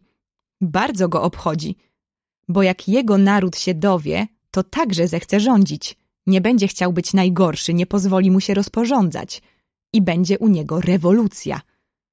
No, a drugi? Drugi? Hmm, z nim można się porozumieć. On się najbardziej o to gniewa, że dzicy królowie teraz więcej nas lubią niż jego. Dawniej czarni i żółci królowie jemu przysyłali prezenty, a teraz nam. Można się z nim umówić, żeby sobie zatrzymał żółtych królów, a my będziemy się przyjaźnili z czarnymi. A no dobrze, trzeba spróbować, bo ja nie chcę wojny, powiedział stanowczo Maciuś. Tegoż wieczora zasiadł król Maciuś do napisania listu do smutnego króla, który grał na skrzypcach. Donieśli mi moi szpiegowie, że zagraniczni królowie zazdroszczą, że mi bum drum przysyła złoto i że pewnie znów napadną na mnie. Więc proszę, żeby wasza królewska mość został moim przyjacielem i żeby się z nimi pogniewał. Dużo pisał Maciuś o swoich reformach, prosił o radę, co dalej robić. Pisał o tym, ile ma pracy, jak trudno być królem. I prosił, żeby smutny król się nie martwił, jak ktoś w parlamencie krzyknie precz z królami, bo taki jeden może być o coś zły, że król nie zrobił tego, co on chciał, ale za to inni są zadowoleni. Była późna noc, kiedy Maciuś odłożył pióro.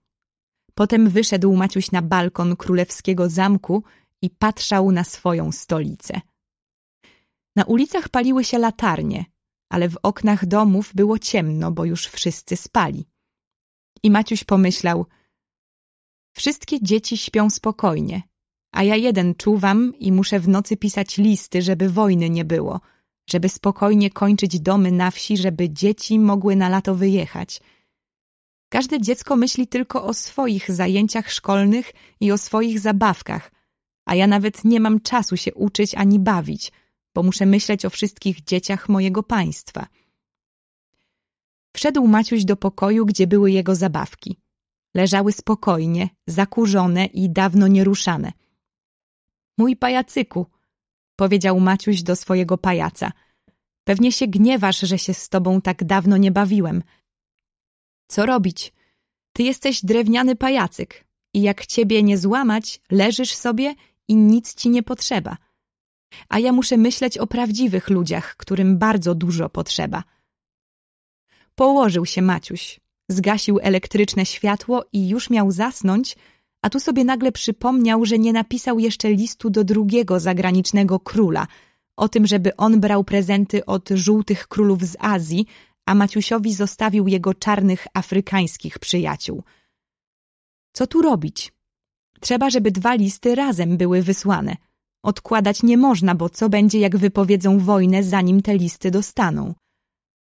Więc wstał Maciuś, chociaż ze zmęczenia bolała go głowa i pisał do samego rana długi list do drugiego zagranicznego króla.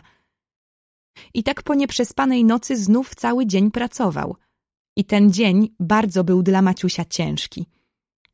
Bo przyszedł telegram z morskiego miasta, że król Bumdrum przysłał cały okręt dzikich zwierząt i złota, ale że zagraniczny król nie pozwala, żeby przez jego państwo przejeżdżało to wszystko. Przyszli ambasadorowie zagranicznych królów. Powiedzieli, że nie chcą, żeby wozić prezenty ludożerców przez ich państwa, że raz pozwolili, to nie znaczy, że muszą się Maciusia słuchać, że Maciuś sobie za dużo pozwala, że Maciuś ich raz zwyciężył, to jeszcze nic nie znaczy, bo oni kupili teraz nowe armaty i wcale się Maciusia nie boją. W ogóle mówili tak, jakby chcieli się kłócić. Jeden nawet tupnął nogą, aż mistrz ceremonii musiał mu zwrócić uwagę, że etykieta nie pozwala tupać, jak się rozmawia z królem. Maciuś naprzód zaczerwienił się ze złości, bo płynęła w nim krew Henryka Porywczego. I kiedy powiedzieli, że się Maciusia nie boją, już chciał krzyknąć i ja się was nie boję także. Zresztą możemy spróbować i zobaczymy. Ale po chwili Maciuś zbladł i tak zaczął mówić, jakby nie rozumiał, o co im chodzi. Panowie ambasadorowie, niepotrzebnie się gniewacie. Ja wcale nie chcę, żeby się wasi królowie bali – Właśnie dziś w nocy napisałem listy, że chcę się z waszymi królami przyjaźnić. Proszę oddać te listy. Tu są tylko dwa listy, ale zaraz napiszę i do trzeciego. Jeżeli prezentów Bumdruma nie chcecie za darmo przewieźć przez wasz kraj, ja chętnie zapłacę. Nie wiedziałem, że to waszym królom sprawi przykrość. Ambasadorowie nie wiedzieli, co Maciuś napisał do ich królów, bo koperty były zalepione i zalakowane królewską pieczęcią – więc już nic nie mówili, tylko pomruczeli coś pod nosem i poszli sobie. A Maciuś miał naradę z dziennikarzem, drugą naradę z Felkiem, potem z ministrami.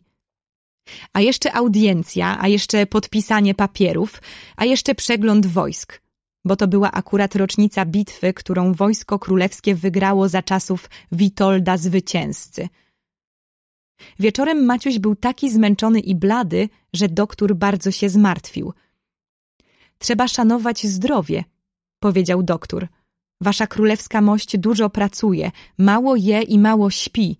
Wasza królewska mość rośnie i może zachorować na suchoty i będzie pluł krwią. Ja już wczoraj plułem krwią, powiedział Maciuś. Doktor jeszcze bardziej się przestraszył. Zbadał Maciusia, ale wyjaśniło się, że to nie suchoty, tylko Maciusiowi wypadł ząb i dlatego Maciuś pluł krwią. Gdzie jest ten ząb? Zapytał się mistrz ceremonii. Wyrzuciłem go do kosza z papierami. Mistrz ceremonii nic nie powiedział, ale pomyślał sobie Ładne nastały czasy. Królewskie zęby wyrzuca się do śmietnika. Bo w etykiecie dworskiej było powiedziane, że królewskie zęby powinny być oprawiane w złoto i zbierane do skrzynki wysadzanej brylantami, a skrzynka przechowywała się w skarbcu. Trzeba koniecznie urządzić zjazd królów. Po pierwsze, Maciuś był u nich z wizytą, więc teraz powinien ich do siebie poprosić. Po drugie, trzeba uroczyście w obecności wszystkich królów otworzyć pierwsze posiedzenie parlamentu. Dalej trzeba pokazać im nowy ogród zoologiczny. I co najważniejsza, trzeba rozmówić się, czy oni chcą żyć w przyjaźni, czy nie. Wysyłano list za listem, telegram za telegramem. Ministrowie wyjeżdżali i przyjeżdżali. Sprawa była ważna. Albo przyjaźń z królami i spokojna praca, żeby wszystko było dobrze i żeby wszystkim było dobrze, żeby było dużo pracy i za pracę dobra zapłata, żeby wszystko było tanie i dobre, albo nowa wojna. To też posiedzenia odbywały się i w dzień, i w nocy. To samo było w pałacu Maciusia – to samo u zagranicznych królów. Przychodzi ambasador i mówi Mój król chce żyć w zgodzie z Maciusiem. A dlaczego wasz król szykuje nowe wojska i buduje nowe fortece? Jeżeli ktoś nie chce wojny prowadzić, to nie buduje nowych fortec. Mój król, mówi ambasador, przegrał jedną wojnę, więc się teraz musi pilnować, ale to wcale nie znaczy, że chce napaść na Maciusia ale szpiegowie donosili, że ten pierwszy król najwięcej się odgraża. Właściwie nawet nie sam król chciał wojować, bo był stary i zmęczony, ale jego najstarszy syn, następca tronu, koniecznie chciał wojny z Maciusiem. Szpiegowie Maciusia podsłuchali nawet jedną rozmowę starego króla z synem. Ojciec jest stary już i niedołężny, mówi syn. Najlepiej będzie, jeżeli ojciec odda mi tron, to ja sobie już z Maciusiem poradzę.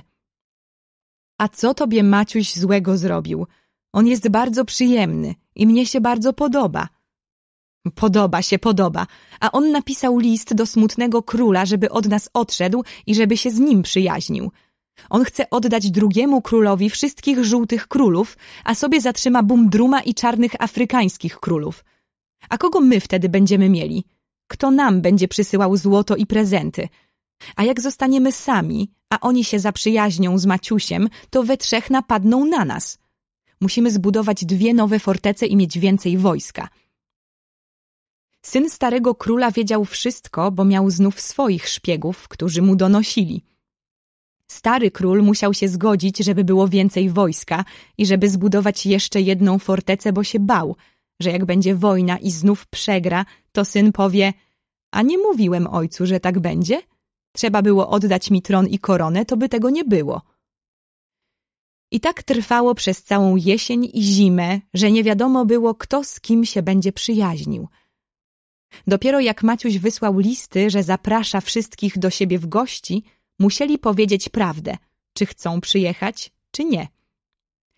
Odpowiedź na zaproszenie przyszła taka.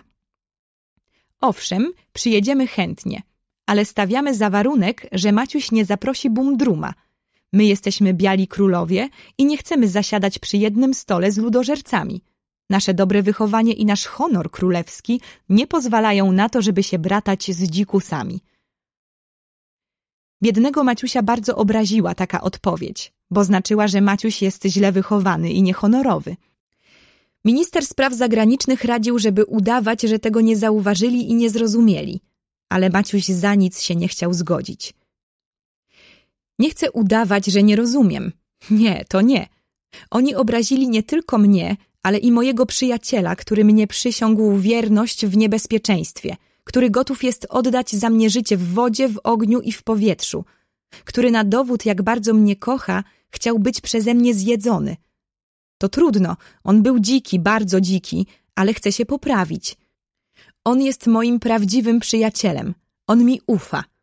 Ani on u mnie, ani ja u niego szpiegów nie mamy. A biali królowie są fałszywi i zazdrośni. I ja im to wszystko napiszę. Przestraszył się nie na żarty minister spraw zagranicznych. Wasza królewska mość nie chce wojny, a taka odpowiedź to na pewno wojna. Można im napisać, ale inaczej. Znów całą noc nie spał Maciuś, ale razem z ministrami układali odpowiedź. Więc tak. Król Maciuś właśnie dlatego zaprzyjaźnił się z Bumdrumem, żeby Bumdrum przestał być ludożercą. Bumdrum obiecał Maciusiowi, że więcej już ludzi jeść nie będzie.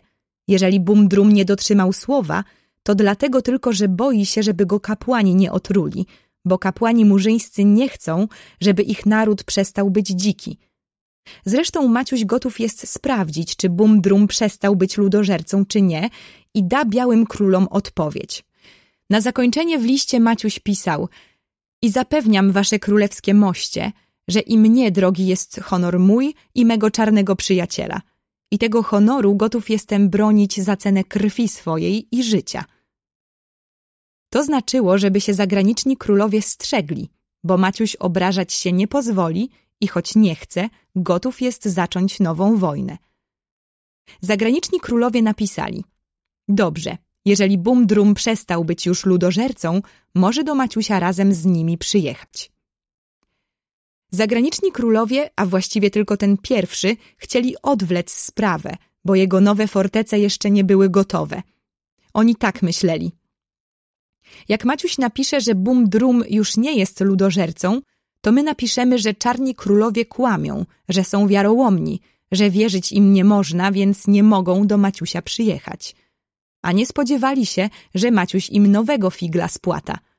A Maciuś tymczasem, jak tylko dostał odpowiedź, oświadczył Jadę aeroplanem do króla Bumdruma, żeby się przekonać, czy on już nie je ludzkiego mięsa. Na próżno ministrowie odradzali Maciusiowi tak niebezpiecznej podróży – Wiatr może strącić aeroplan, pilot może zabłądzić, może zabraknąć benzyny, coś może się zepsuć w motorze. Nawet fabrykant, który miał ten aeroplan zrobić i na pewno dużo miał zarobić, odradzał Maciusiowi.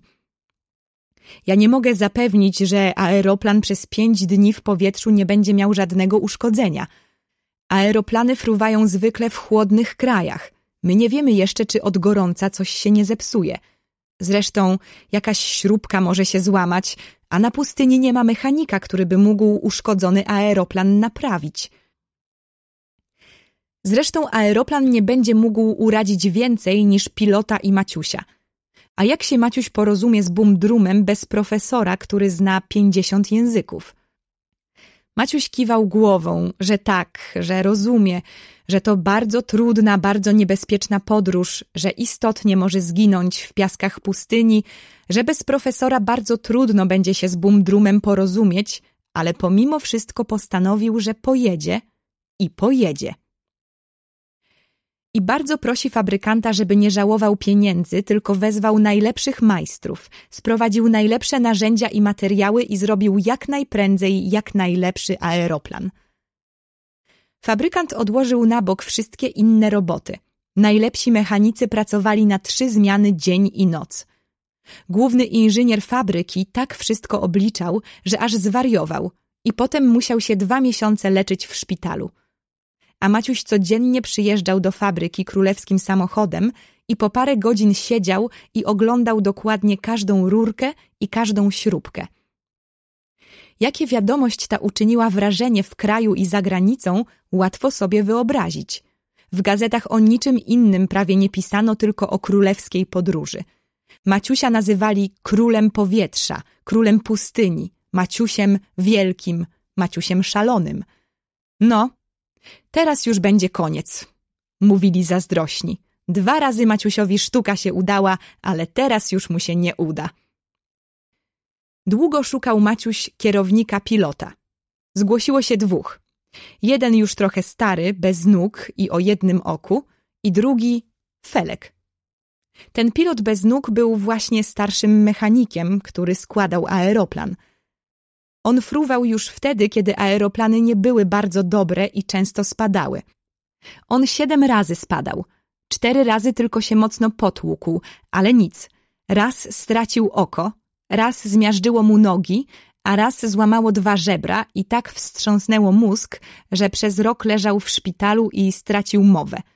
I teraz mówił nie bardzo wyraźnie. Ostatni wypadek zniechęcił go do fruwania, ale że kochał strasznie aeroplany więc wstąpił do fabryki, żeby choć je robić i patrzeć, kiedy już latać nie może. Ale z królem Maciusiem pojedzie. Ręce ma mocne, a jedno dobre oko za dwoje oczu wystarczy. Łatwo zrozumiał Felek, że nie może się porównać z tak doświadczonym pilotem, a ustąpił tym chętniej, że jak wszyscy myślał, że w tę podróż można się wybrać, ale nie można wrócić. A szalony Maciuś ze swym beznogim towarzyszem pojechał.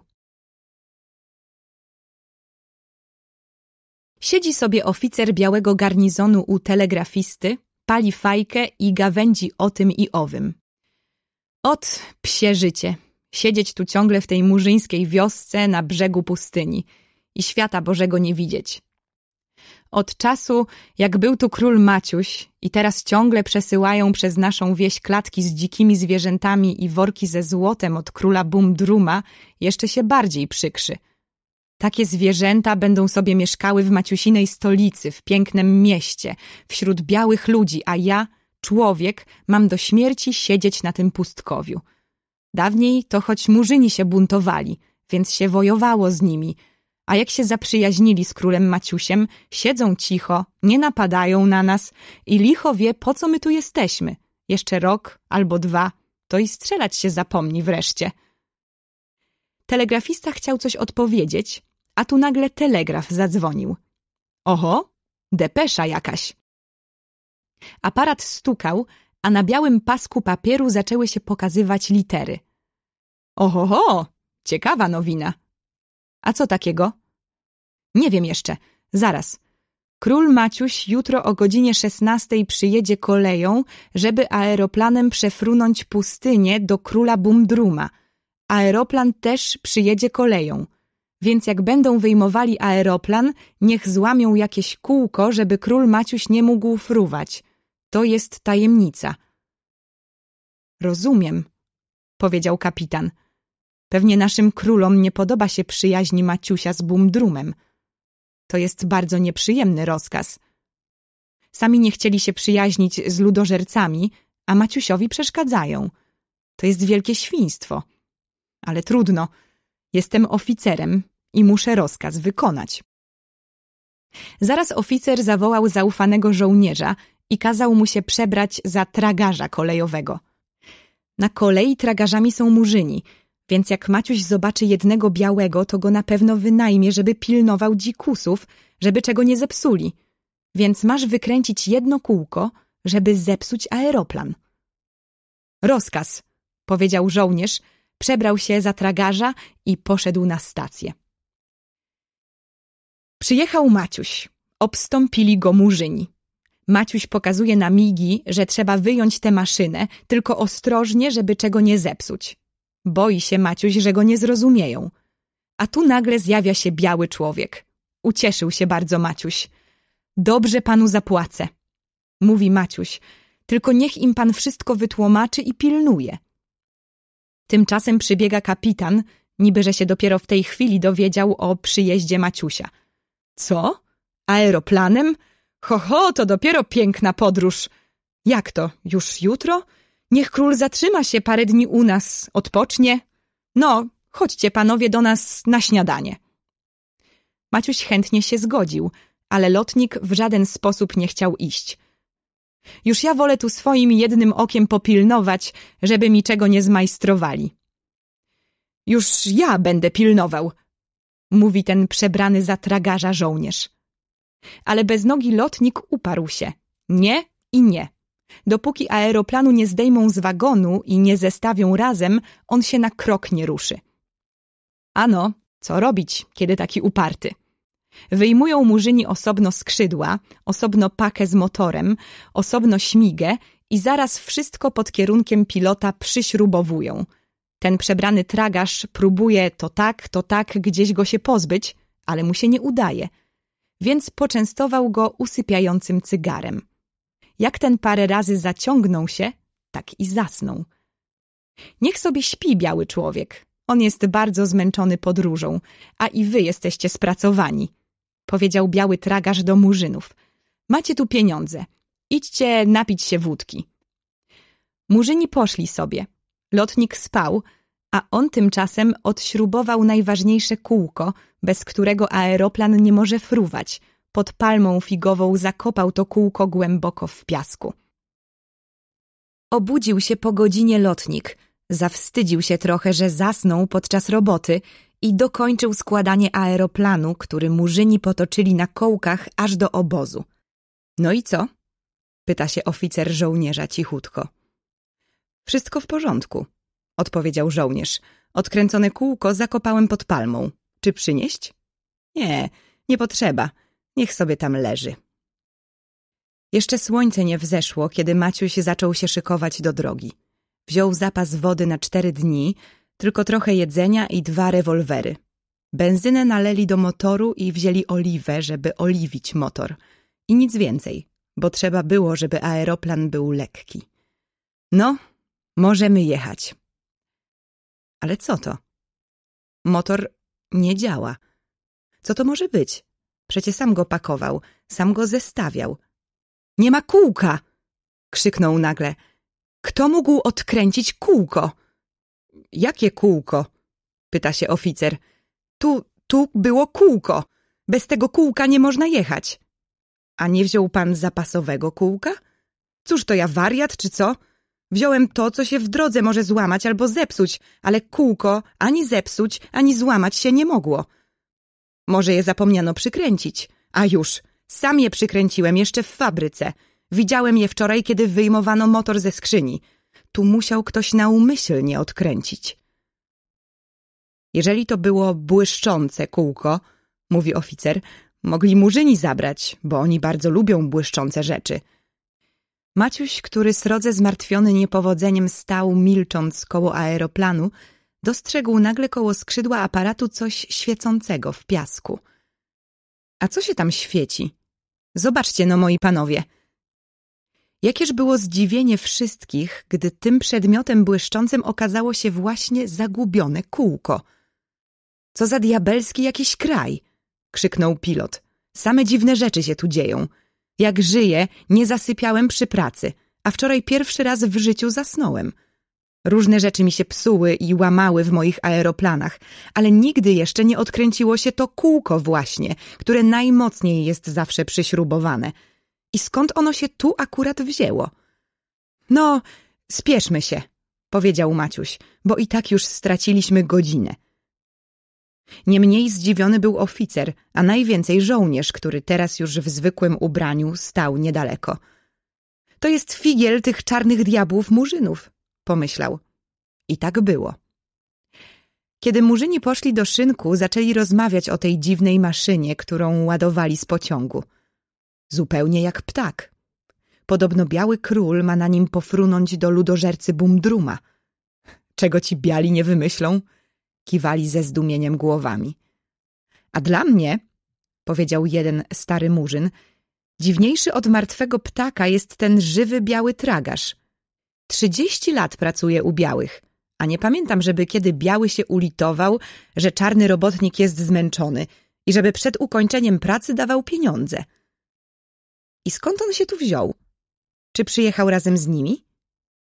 Ja wam daję słowo, że to jest jeden z tutejszych, przebrany za tragarza. Jak na białego za dobrze mówi naszym językiem. A czy nie zauważyliście, że ten bez nóg mechanik zasnął, kiedy mu biały tragarz dał cygaro? To z pewnością było usypiające cygaro. W tym coś jest, zgodzili się na jedno. Po skończonej pracy biały tragarz poszedł sobie, a oni usiedli niedaleko palmy, pod którą zakopane było kółko. I nagle jeden młody murzyn zawołał – Oho, tam jest świeżo poruszony piasek. Tam coś zakopano. Pamiętam doskonale, że przed robotą piasek pod palmą nie był ruszony. Zaczęli kopać. Znaleźli kółko i zaraz się domyślili wszystkiego. Co robić? Biali chcą zrobić Maciusiowi grandę, a murzyni kochają Maciusia – Mało to oni zarabiają teraz pieniędzy od czasu, jak zdejmują z wielbłądów bumdruma ciężkie klatki, skrzynie i worki i ładują do wagonów tego ogniem ziejącego smoka, którego biali nazywają koleją. Co robić? Jeżeli pójdą do Maciusia i oddadzą kółko, oficer białego garnizonu może ich surowo ukarać. Rada w radę, postanowili w nocy zakraść się do obozu i kółko podrzucić. Tak też zrobili. I dzięki pomocy poczciwych murzynów mógł Maciuś z trzygodzinnym wprawdzie opóźnieniem puścić się w drogę. Zabłądzili. Kto sam nie przeżył, ten nie zrozumie wcale, ile grozy mieści się w tym słowie. Jeżeli zabłądziłeś w lesie, masz chociaż drzewa wokoło, możesz trafić na chatkę leśniczego, masz w lesie jagody, strumyk, możesz się wody napić, zasnąć pod drzewem. Jeżeli zabłądzi okręt, są ludzie na okręcie. Mogą rozweselić, pocieszyć, jest zapas jedzenia, wyspy jakieś się widzi – ale tak we dwóch zabłądzić w powietrzu nad pustynią to chyba najstraszniejsze, co może spotkać człowieka. Ani zapytać się, ani zobaczyć, ani bodaj zasnąć tylko, żeby się orzeźwić trochę. Siedzisz na tym strasznym ptaku i wiesz, że pędzi jak strzała, ale nie wie dokąd. I wiesz, że pędzi do puty, dopóki ma benzynę i oliwę.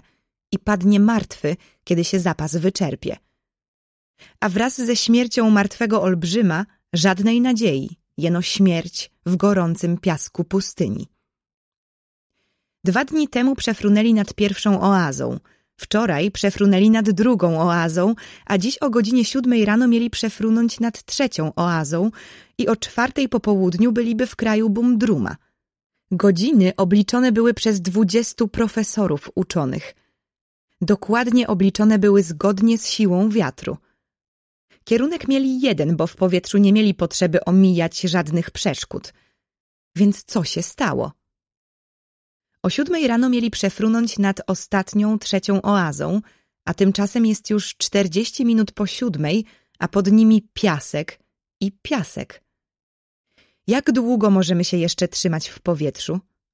Jeszcze najwyżej sześć godzin, Benzyny może by starczyło na dłużej, ale oliwy ta bestia tyle wypija, że rady sobie dać nie można. Gorąco jest, to jej się chce pić, nie dziwota. Rozumieli tę potrzebę napoju, bo i oni mieli niewielki zapas wody. Niech wasza królewska mość pije, mówi lotnik. Mnie mniej wody potrzeba, bo nogi moje zostały w kraju i już im woda niepotrzebna.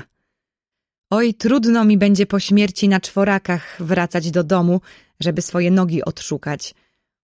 Żartował niby, ale Maciuś widział, że odważny lotnik łzy ma w oczach. Czterdzieści pięć minut po siódmej. Pięćdziesiąt minut po siódmej. Ósma godzina. A oazy nie widać. Gdyby jakaś burza albo co, nie żal by było ginąć. Ale tak wszystko szło dobrze. O dziesięć sekund za wcześnie minęli pierwszą oazę – o cztery sekundy za późno minęli drugą oazę. Fruną z tą samą szybkością, no niechby o pięć minut się spóźnili. Ale cała godzina? Już prawie u celu. Już dziś miała się zakończyć ta ostatnia niebezpieczna podróż Maciusia. Wszystko zależało od tej podróży. No i co? Może zmienić kierunek, radzi Maciuś. Kierunek łatwo zmienić. Mój aeroplanik posłuszny jest na skinienie – jak on ślicznie idzie. To nie jego wina, co się stało. Nie martw się, mój drogi ptaszku. Zmienić kierunek. Ale dlaczego? I na jaki?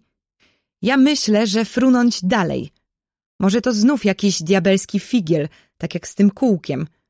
Bo w jakiś sposób ono zginęło i dlaczego się zaraz znalazło? Znów chcę pić motor. Masz, durniu, kieliszek oliwy, ale pamiętaj, że pijaństwo zawsze sprowadza nieszczęście – a ciebie specjalnie marny los czeka. Oaza! krzyknął nagle Maciuś, który nie odrywał oczu od lunety. Tym lepiej, powiedział pilot. Tak samo spokojny teraz w szczęściu, jak przed chwilą spokojny był w nieszczęściu. Jak oaza, to oaza. Spóźnienie o godzinę i pięć minut. To nic strasznego. Mamy zapas na trzy godziny więcej niż potrzeba, bo wiatr nam nie przeszkadza. Ano, napijemy się teraz razem. Lotnik nalał kubek wody dla siebie, stuknął nim o oliwiarkę.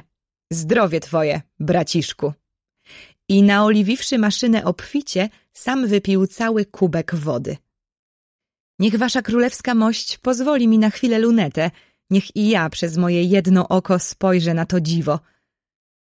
Hehe, ładne drzewka ma Bumdrum. A czy wasza królewska mość jest pewien, że Bumdrum przestał być ludożercą? Być zjedzonym to jeszcze nie najgorsze, jeżeli się wie, że cię przynajmniej pochwalą, żeś smaczny. Ale ja z pewnością jestem twardy i łykowaty. Przy tym bez nóg ważę mniej i rosół na połamanych żebrach nie byłby wcale pożywny. Maciuś wydziwić się nie mógł, jak ten milczący człowiek, który prawie nic nie mówił przez całą drogę koleją, nagle zrobił się rozmowny i wesoły. A czy wasza królewska mość jest pewien, że to ta sama oaza? Bo może znów najedziemy na przeklęte piaski. To może już tu lepiej lądować. Tak bardzo znów Maciuś nie był pewien, bo z góry wszystko wygląda inaczej, ale lądować nie można, bo na pewno spotkaliby zbójców pustyni albo wpadliby w szpony dzikich zwierząt. Może zniżymy lot, żeby się blisko przyjrzeć.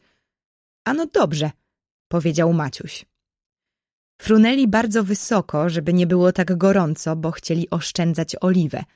Ale teraz nie mieli potrzeby się obawiać, kiedy zaledwie kilka godzin drogi dzieliło ich od końca podróży.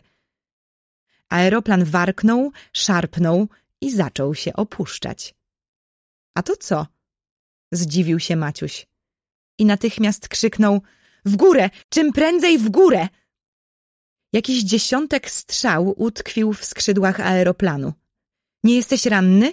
Zapytał Maciuś niespokojnie pilota. Ani trochę. Ładnie nas przyjmują te czarne mordy, dodał. Jeszcze parę strzał świsnęło koło aeroplanu i znów wznieśli się wysoko. Teraz jestem pewien, że ta sama oaza. Zbójcy pustyni nie zapuszczają się zbyt daleko, bo nic by tam nie mieli do roboty. Oni kręcą się w bliskości lasów Bumdruma i obozują w najbliższej oazie.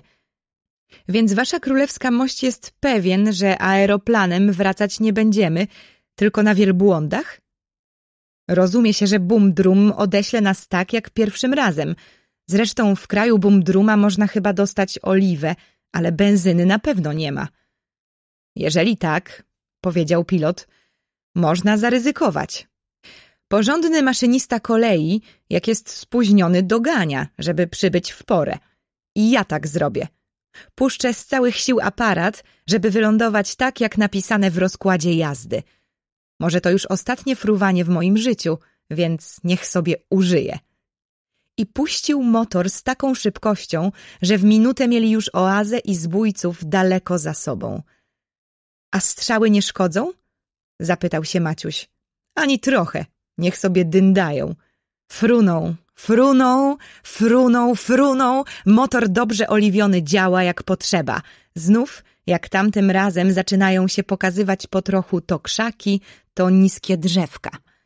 Ho, ho, mój konik czuje już stajnie, żartuje lotnik. Wypili resztę wody, dojedli zapasy, żeby nie lądować o głodzie – bo nie wiadomo jak długo trwać będą uroczystości powitania, zanim ich nakarmią. A zresztą nie wypada przyjechać w gości takim wygłodzonym, żeby nie pomyśleli, że oni tu naumyślnie przyjechali tylko, żeby ich murzyni nakarmili. Ostrożnie zaczęli się opuszczać, zwolnili biegu, bo Maciuś już z daleka dostrzegł szary pasek lasów Bumdruma. No dobrze, mówi pilot, ale czy tam w lesie jest jaka polanka? Bo na drzewa przecie nie spadniemy. Co prawda raz lądowałem w lesie, a właściwie nie ja, ale aeroplan mnie lądował. Wtedy właśnie straciłem oko. Ja byłem wtedy jeszcze młody i aeroplany były młode i nieposłuszne. Akurat przed pałacem, to jest królewskim szałasem Bumdruma, była obszerna polanka – i teraz już zupełnie nisko kołując nad lasem, aeroplan szukał tej polanki.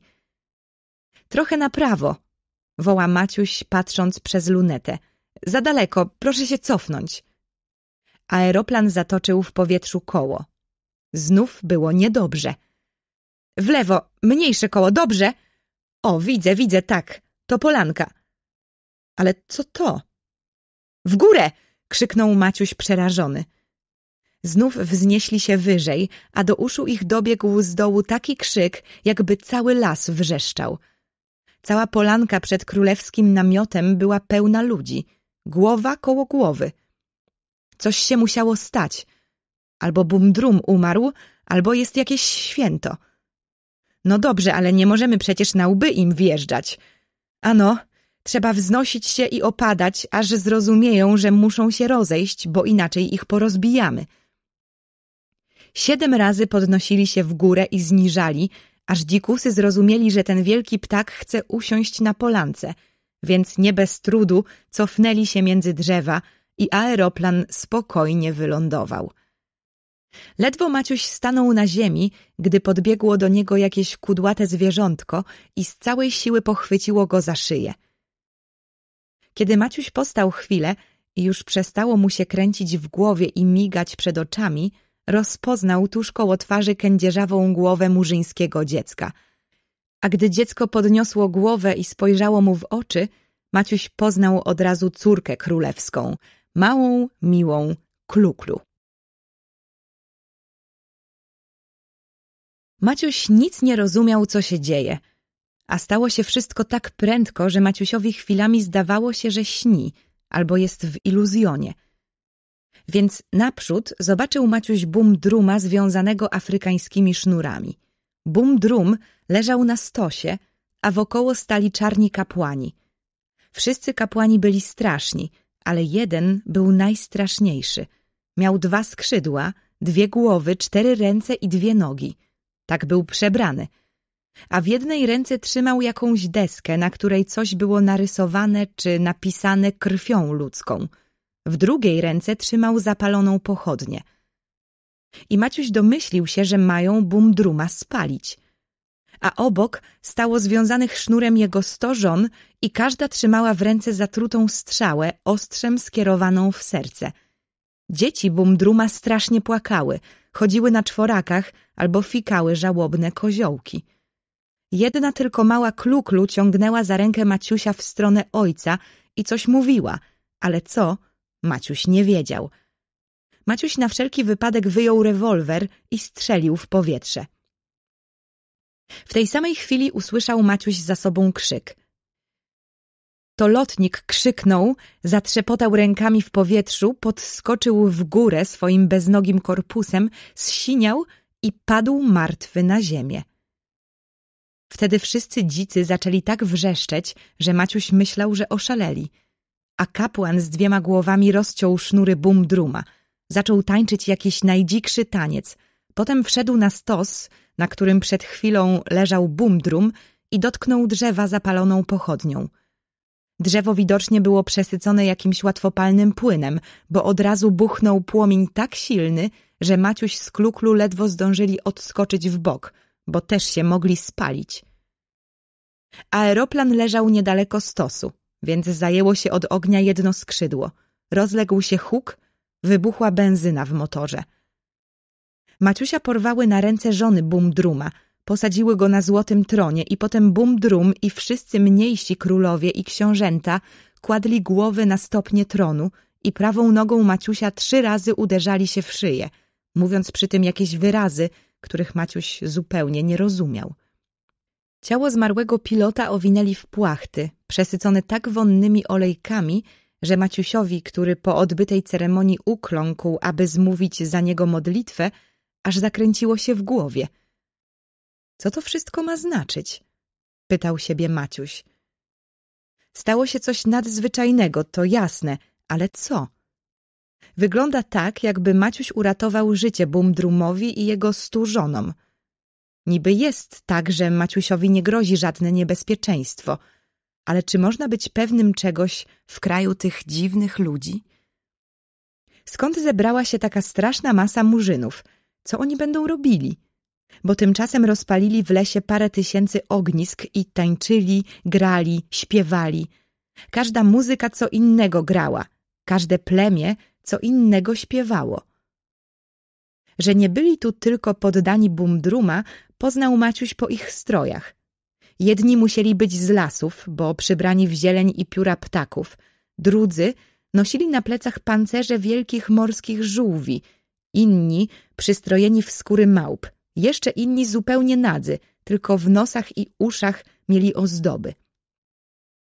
Nie bał się Maciuś, bo już nieraz patrzał odważnie śmierci w oczy, ale sam jeden, daleko od domu, wśród tylu tysięcy dzikusów, sam jedniusieńki, nie, tego było za wiele nawet dla mężnego serca Maciusia. A gdy przypomniał sobie jeszcze poczciwego towarzysza, który w tak tajemniczy sposób zginął, taka go opanowała żałość, że wybuchnął głośnym płaczem. Maciuś zajmował osobny szałas ze skór lwich i tygrysich i myślał, że może się swobodnie wypłakać, że go nikt nie usłyszy. Ale się omylił. Mała Kluklu czuwała. Mała Kluklu nie odstępowała Maciusia ani na krok. I teraz znów zobaczył ją przy świetle ogromnego brylanta.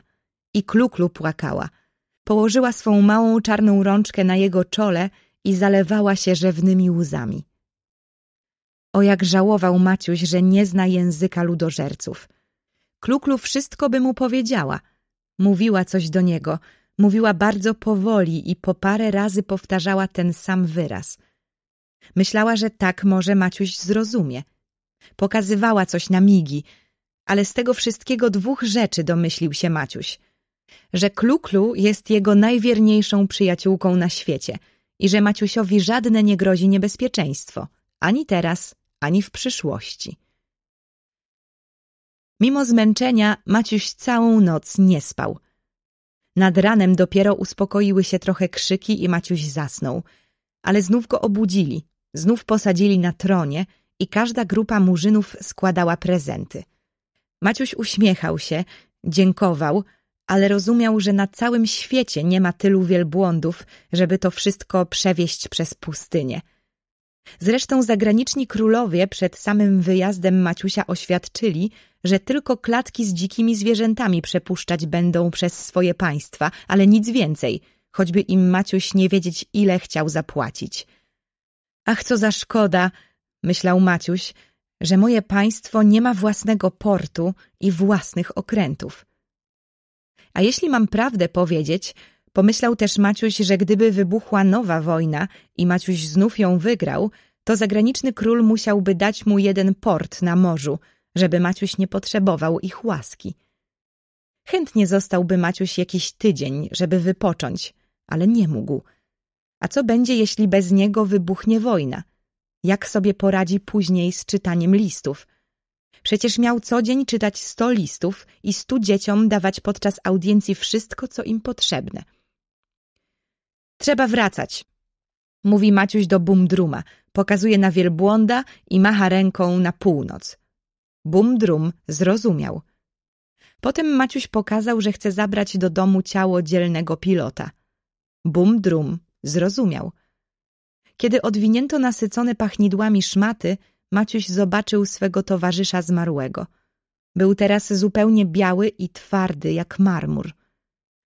Włożono go do hebanowej skrzyni i pokazano Maciusiowi na migi, że może go zabrać.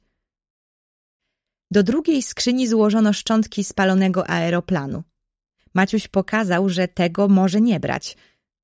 Zdziwiło go bardzo, że Bumdrum strasznie się ucieszył, jak gdyby spalony aeroplan był czymś nadzwyczajnie ważnym. No dobrze, ale najważniejszego Maciuś nie wiedział – czy Bumdrum jest jeszcze ludożercą, czy nie. Nie było innego sposobu, tylko wziąć Bumdruma ze sobą. I Maciuś wziął Bumdruma i znaną już drogą ruszyła królewska karawana przez pustynię. I dopiero w swoim gabinecie, w swojej stolicy zrozumiał Maciuś te wszystkie dziwne rzeczy, których był świadkiem w kraju ludożerców. Profesor, który znał pięćdziesiąt języków, tak wytłumaczył Maciusiowi. Kiedy jeden z przodków Bumdruma chciał przestać być ludożercą i jego otruli. Najstarszy kapłan dziki ogłosił takie stare podanie. Przyjdzie czas, kiedy ludożercy się zmienią. Będzie tak.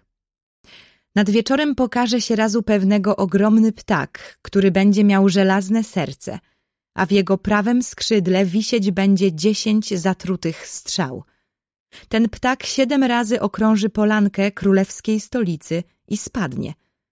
Ten ptak będzie miał ogromne skrzydła, cztery ręce, dwie głowy, troje oczu i dwie nogi. Jedna głowa i dwie ręce tego ptaka zatrują się jedną z dziesięciu strzał i umrą. Dwa razy rozlegnie się piorun. Wtedy najstarszy kapłan będzie spalony.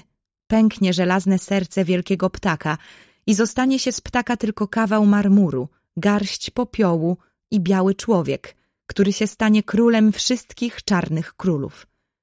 I wtedy murzyni przestaną być ludożercami i zaczną się uczyć od białych ich różnych sztuk i mądrości. A dopóki ten ptak się nie pokaże, nic zmieniać nie wolno. A każdy król, który zechce coś wcześniej zmienić, musi zginąć od ognia albo od trucizny. Bumdrum wybrał ogień i akurat wtedy, kiedy miało się odbyć uroczyste spalenie Bumdruma i otrucie jego stu żon, zjawił się aeroplan z dwoma podróżnymi. Maciuś dał dwa pioruny, a lotnik, to jest dwie ręce i jedno oko ptaka, zginął, zakłuwszy się przez nieostrożność jedną z dziesięciu strzał zbójców pustyni. Najstarszy kapłan dobrowolnie się spalił, wielki ptak spłonął, a Maciuś został królem nie tylko wszystkich ludożerców, ale wszystkich czarnych królów. Tylko, że od tej pory ludożercy już nigdy ludzi jeść nie będą. Chcą się uczyć czytać i pisać. Nie będą do nosa kładli muszli i kości i ubierać się będą tak, jak wszyscy ludzie. To doskonale, zawołał Maciuś. Niech bum drum przyśle tu ze stu murzynów. Nasi krawcy nauczą ich szyć ubrania. Nasi szewcy nauczą ich robić buty. Nasi murarze nauczą ich budować domy. Poślemy im gramofony, żeby się nauczyli ładnych melodii. Najprzód poślemy trąby, bębny i flety, potem skrzypce i fortepiany. Nauczymy ich naszych tańców i poślemy im szczotki do zębów i mydło. Jak się przyzwyczają, może przestaną być tacy czarni. Choć prawdę powiedziawszy, nie szkodzi wcale, że oni inaczej wyglądają. Wiem, co zrobię! krzyknął nagle Maciuś. Urządzę w stolicy Bumdruma telegraf bez drutu. Wtedy będzie łatwo załatwiać z nimi wszystkie interesy, bo jeździć ciągle tak daleko jest trudno. I Maciuś wezwał królewskich rzemieślników i kazał zrobić dla Bumdruma dwadzieścia ubrań, dwadzieścia palt i par butów i dwadzieścia kapeluszy. Fryzjer ostrzygł mu włosy, a Bumdrum na wszystko pozwalał – było mu tylko trochę nieprzyjemnie, kiedy zjadł pudełko pasty do czyszczenia butów i kawałek pachnącego mydła, które mu dano do mycia. Od tej pory czterech lokajów pilnowało Bumdruma, żeby przez omyłkę znów jakiego głupstwa nie zrobił. Zaraz na drugi dzień po przyjeździe Maciusia prezes ministrów zwołał naradę, ale Maciuś prosił, żeby odłożyć. Akurat spadł śliczny, biały, wilgotny śnieg, w Parku Królewskim zebrało się ze dwudziestu chłopaków. Był między nimi i Felek, i Stasio. Bawili się tak dobrze, że Maciusiowi aż się serce rwało do zabawy. Panie prezesie ministrów, powiedział Maciuś. Ja wczoraj dopiero wróciłem z ciężkiej i niebezpiecznej podróży. Załatwiłem wszystko dobrze, więc chociaż jestem królem, czy nie mogę choć jeden dzień trochę odpocząć? Przecież jestem małym chłopcem i lubię się bawić – jeżeli nie ma nic bardzo ważnego i można jeden dzień zaczekać, to wolę, żeby jutro była narada, a dziś będę się cały dzień bawił z chłopcami. Taki ładny śnieg, pewnie już ostatni w tym roku. Prezesowi ministrów żal się zrobiło Maciusia, bo chociaż Maciuś nie prosił go o pozwolenie, tylko pytał się, czy można, ale tak wyszło, że Maciuś bardzo go prosi o pozwolenie na tę zabawę. Ach, jeden dzień można zaczekać – powiedział premier. I Maciuś aż podskoczył z radości. Włożył krótkie futerko, żeby mu nie przeszkadzało i po chwili już lepił kule śniegowe i rzucał się z chłopakami. Z początku w Maciusia nie rzucali kulami. Nie wiedzieli, czy wolno. Ale Maciuś zauważył, że w niego nie celują, więc krzyknął Wymawiam! Słuchajcie, to nie zabawa, że ja w was rzucam, a wy nie. Tak to nie sztuka. Już wy się nie bójcie, potrafię się obronić. Kule przecież to nie zatrute strzały. Więc dobrze. Teraz podzielili się na dwie partie. Ci napadają, ci się bronią. Hałas taki, aż lokaje wybiegli zobaczyć, co się dzieje. Ale zauważyli króla, więc tylko się zdziwili, nic nie powiedzieli i odeszli. Nikt nie poznałby króla, gdyby go nie znał. Tak samo był cały zaśnieżony, bo się parę razy przewrócił i niejedną kulę dostał w plecy, w głowę i w ucho. Bronił się zajadle. Słuchajcie! krzyknął nagle. Umówmy się tak, że kto zostanie uderzony kulą, ten będzie się liczył, że zabity i już w bitwie udziału brać nie może. Wtedy będziemy wiedzieli przynajmniej, kto wygrał. To nie było dobrze, bo za prędko wszyscy byli zabici. Więc wymówili, że kto trzy razy dostanie kulą, będzie zabity. Co prawda niektórzy oszukiwali i nawet trzy razy uderzeni dalej się bili. Ale już było lepiej. Mniej było hałasu, lepiej lepili kule i uważniej celowali. Potem zmienili tak, że zabity był, kto się przewrócił. Śliczna, prześliczna była zabawa. Potem ulepili ze śniegu ogromnego bałwana. Dali mu do trzymania miotłę, zrobili mu oczy z węgla i nos z marchwi. Raz w raz wbiegał Maciuś do królewskiej kuchni. Panie kucharzu, proszę o dwa węgielki. Panie kucharzu, proszę o marchew na nos dla bałwana ze śniegu. Kucharz był zły, bo za Maciusiem wpadali wszyscy chłopcy, a że w kuchni było gorąco, więc śnieg topniał i brudziła się podłoga. Dwadzieścia osiem lat jestem królewskim kucharzem, ale takiego chlewa w mojej kuchni jeszcze nie pamiętam. Mruczał kucharz i gniewnie poganiał kuchcików, żeby wycierali podłogę. Szkoda, że w kraju Bumdruma nie ma śniegu, pomyślał Maciuś. Nauczyłbym dzieci murzyńskie lepić bałwany. Kiedy już bałwan był gotów, Felek zaproponował jazdę sankami. Były cztery małe saneczki dla dzieci królewskich i cztery kuce. Zaprzężono kuce. Sami będziemy powozili, powiedział Maciuś do stajennych. Będziemy się ścigać naokoło parku. Kto pierwszy pięć razy objedzie cały park? Dobrze, zgodzili się chłopcy. I już Maciuś siadał do sanek, gdy nagle zobaczył prezesa ministrów, który szedł szybko w ich stronę. Pewnie po mnie, posmutniał i westchnął Maciuś. I tak było, naprawdę. Przepraszam, stokrotnie przepraszam waszą królewską mość. Jest mi niezmiernie przykro, że muszę przerwać zabawę waszej królewskiej mości. No trudno, bawcie się beze mnie, powiedział Maciuś do chłopców. Więc co się takiego stało? Przyjechał nasz najważniejszy szpieg zagraniczny, szeptem powiedział minister. Ten szpieg przywiózł takie nowiny, których nie mógł pisać, bo się bał, że jego list może wpaść w czyjeś ręce. Musimy się zaraz naradzić, bo on za trzy godziny jedzie za granicę. Akurat pierwsze sanki przewróciły się, bo kuc dawno już nie był zaprzęgany i zły taki zamiast naprzód w bok skoczył – ze smutkiem spojrzał Maciuś, jak chłopcy śmiejąc się podnosili się ze śniegu i ustawiać zaczęli sanki. Ale co robić? Poszedł. Ciekaw był Maciuś zobaczyć prawdziwego szpiega, bo do tej pory tylko słyszał o nich. Maciuś myślał, że wprowadzą jakiegoś chłopaka bosego albo dziada z workiem na plecach. A tymczasem zobaczył bardzo eleganckiego pana – że w pierwszej chwili nawet myślał, że to minister rolnictwa, którego mniej znał, bo minister gospodarował na wsi i rzadko przyjeżdżał na posiedzenia. Jestem szefem szpiegów u pierwszego króla zagranicznego, powiedział elegancki pan. Przyjechałem uprzedzić waszą królewską mość, że syn tego króla skończył wczoraj budowę fortecy. Ale to jeszcze nie najgorsze.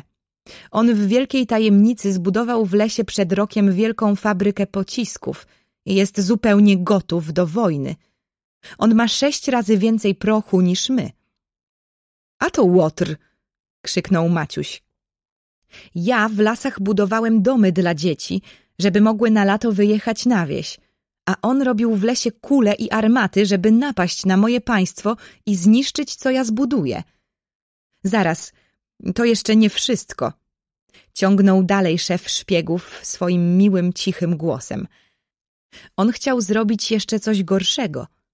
Wiedząc, że wasza królewska mość wyśle do zagranicznych królów zaproszenie na uroczystość otwarcia Sejmu, przekupił naszego sekretarza i ten zamiast zaproszenia miał wysłać sfałszowane wypowiedzenie wojny. Ach to łotr! Ja od razu wtedy widziałem, kiedy byłem u nich w gościach, że on mnie nie cierpi. Jeszcze nie skończyłem. O, on jest bardzo mądry, ten syn starego króla. Gdyby sekretarzowi nie udało się tu zamienić listów, były przygotowane takie same dwa papiery ze sfałszowanym podpisem Maciusia Króla na dworach Smutnego Króla i Przyjaciela Żółtych Królów. A teraz wasza królewska mość pozwoli mi stanąć w jego obronie. A jakże pan może bronić takiego wiarołomnego zbója? To trudno. On dba o swój kraj tak, jak my dbamy o nasz kraj. My chcemy być pierwsi i oni chcą. Gniewać się nie ma potrzeby, trzeba tylko pilnować się i wszystkiemu w porę zaradzić. Więc co ja mam robić? Wasza królewska mość podpisze zaraz zaproszenia do zagranicznych królów i ja te listy w tajemnicy zabiorę. Jutro na posiedzeniu będziecie radzili, jak i kiedy zaprosić zagranicznych królów, niby że listy jeszcze nie wysłane. Sekretarzowi trzeba pozwolić zmienić te listy i dopiero w ostatniej chwili je otworzyć. I wtedy go aresztować. No dobrze, ale co będzie z fortecą i tą fabryką armat? Ach, głupstwo! Uśmiechnął się szef szpiegów. Fortecę i fabrykę wysadzi się w powietrze. Właśnie przyjechałem w tej sprawie do waszej królewskiej mości, żeby otrzymać pozwolenie. Maciuś zbladł. Jakże to? Przecież nie ma wojny. Co innego podczas wojny wysadzać w powietrze nieprzyjacielskie prochownie, ale tak? Niby zapraszać z wizytą do siebie, niby nic nie wiedzieć, co on robi i wyrządzać mu taką szkodę? Ja rozumiem, mówił dalej szef szpiegów. Wasza królewska mość myśli, że to jest nieszlachetne, nieładne. Jeżeli wasza królewska mość nie pozwoli, ja tego nie zrobię. Ale nie będzie dobrze. On ma sześć razy więcej prochu niż my. Maciuś chodził po gabinecie strasznie zdenerwowany. A jakże pan to zrobi? Zapytał się Maciuś. Pomocnik głównego inżyniera tej fabryki jest przez nas przekupiony. On wie dokładnie, gdzie co jest. Tam jest jeden nieduży budynek na skład desek. O tym nikt nie będzie wiedział. Tam leży dużo wiórów, wióry się zapalą, wybuchnie pożar. No to go zgaszą. Nie zgaszą pożaru. Uśmiechnął się szef szpiegów i przymrużył oczy. Bo tak się dziwnie stanie, że akurat pęknie główna rura wodociągowa i w całej fabryce nie będzie ani kropli wody. Wasza królewska mość będzie spokojny. A robotnicy czy zginą? Zapytał znów Maciuś. Pożary zwykle wybuchają w nocy, więc dużo robotników nie zginie, a w razie wojny zginęłoby ludzi sto, tysiąc razy więcej. Wiem, wiem, powiedział Maciuś. Wasza królewska mości, musimy tak zrobić, wtrącił nieśmiało prezes ministrów. Ja wiem, że musimy. Z gniewem powiedział Maciuś. Więc po co mnie pytacie się, czy pozwalam? Nam nie wolno inaczej. Musimy, nie wolno, więc proszę fabrykę spalić, ale fortecy tymczasem nie ruszać. Maciuś szybko podpisał zaproszenia na otwarcie parlamentu do trzech zagranicznych królów i poszedł do swego pokoju.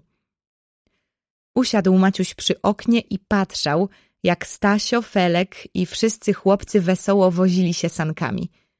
Oparł ciężko głowę na rękach i pomyślał Teraz rozumiem, dlaczego smutny król tak smutnie gra na skrzypcach. I rozumiem, dlaczego on wtedy nie chciał, a musiał ze mną prowadzić wojnę.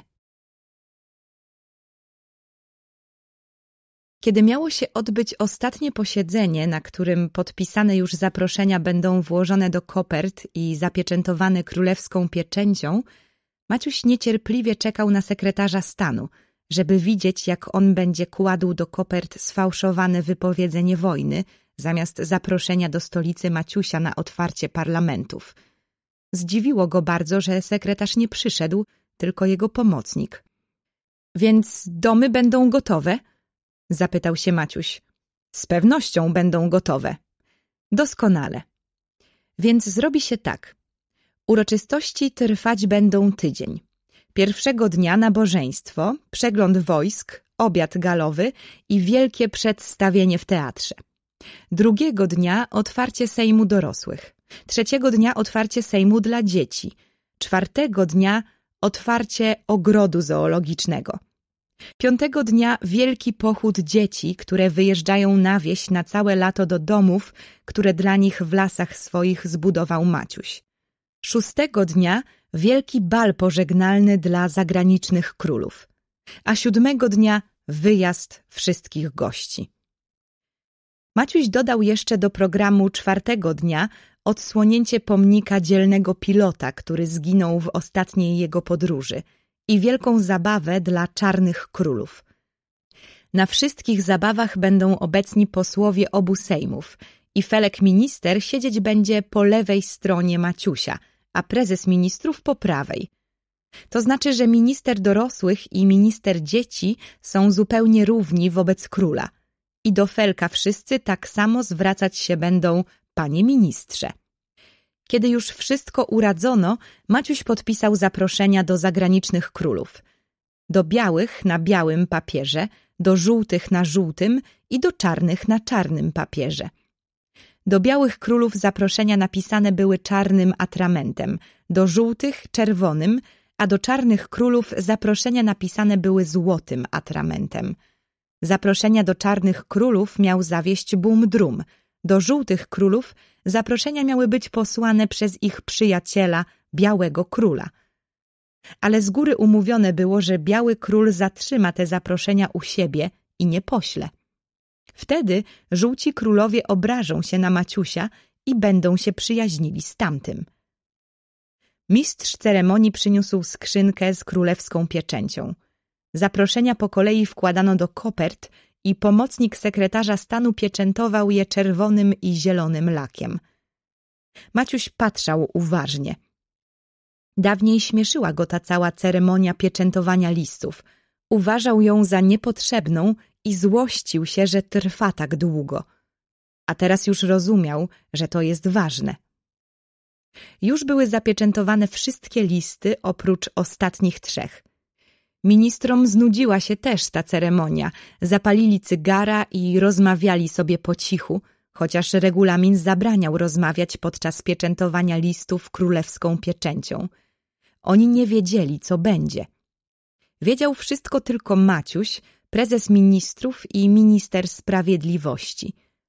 Potem nawet bardzo się obraził minister spraw zagranicznych, że jemu nic nie powiedzieli – Pomocnik sekretarza stanu zbladł, ale ręce mu ani trochę nie drżały. I kiedy miał włożyć zaproszenie do białych królów, nagle zaczął kasłać. Niby, że nie może znaleźć chustki do nosa, zaczął szukać w kieszeniach. I tak zręcznie wyjął z kieszeni razem z chustką takie same arkusze, a tamte schował, że zauważyć mogli tylko ci, którzy o wszystkim wiedzieli. Przepraszam, waszą królewską mość – powiedział pokornie, ale w moim gabinecie jest wybita szyba i tam się zaziębiłem. O, nie szkodzi, powiedział Maciuś. Nawet to moja wina, bo tę szybę ja wybiłem, kiedy bawiliśmy się kulami śniegowymi. Ale on taki kontent, że mu się dobrze udało, a tu nagle minister sprawiedliwości mówi Panowie ministrowie, proszę o uwagę. Odłóżcie panowie cygara.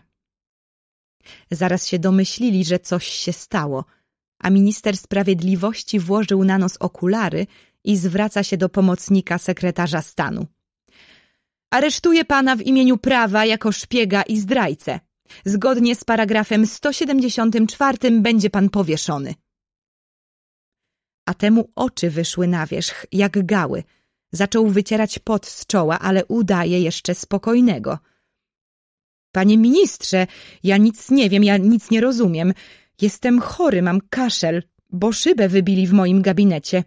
Muszę iść do domu, położyć się do łóżka. Nie, bratku, nie uciekniesz mi.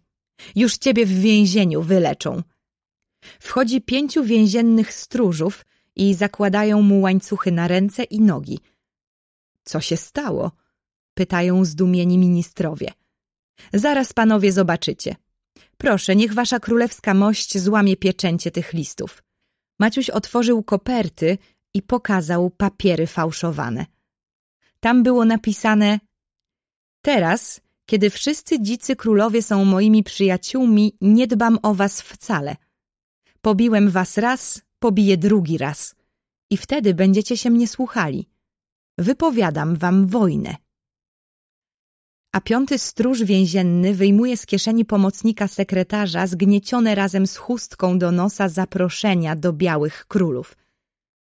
Okutemu w kajdany kazano podpisać protokół, że to wszystko prawda.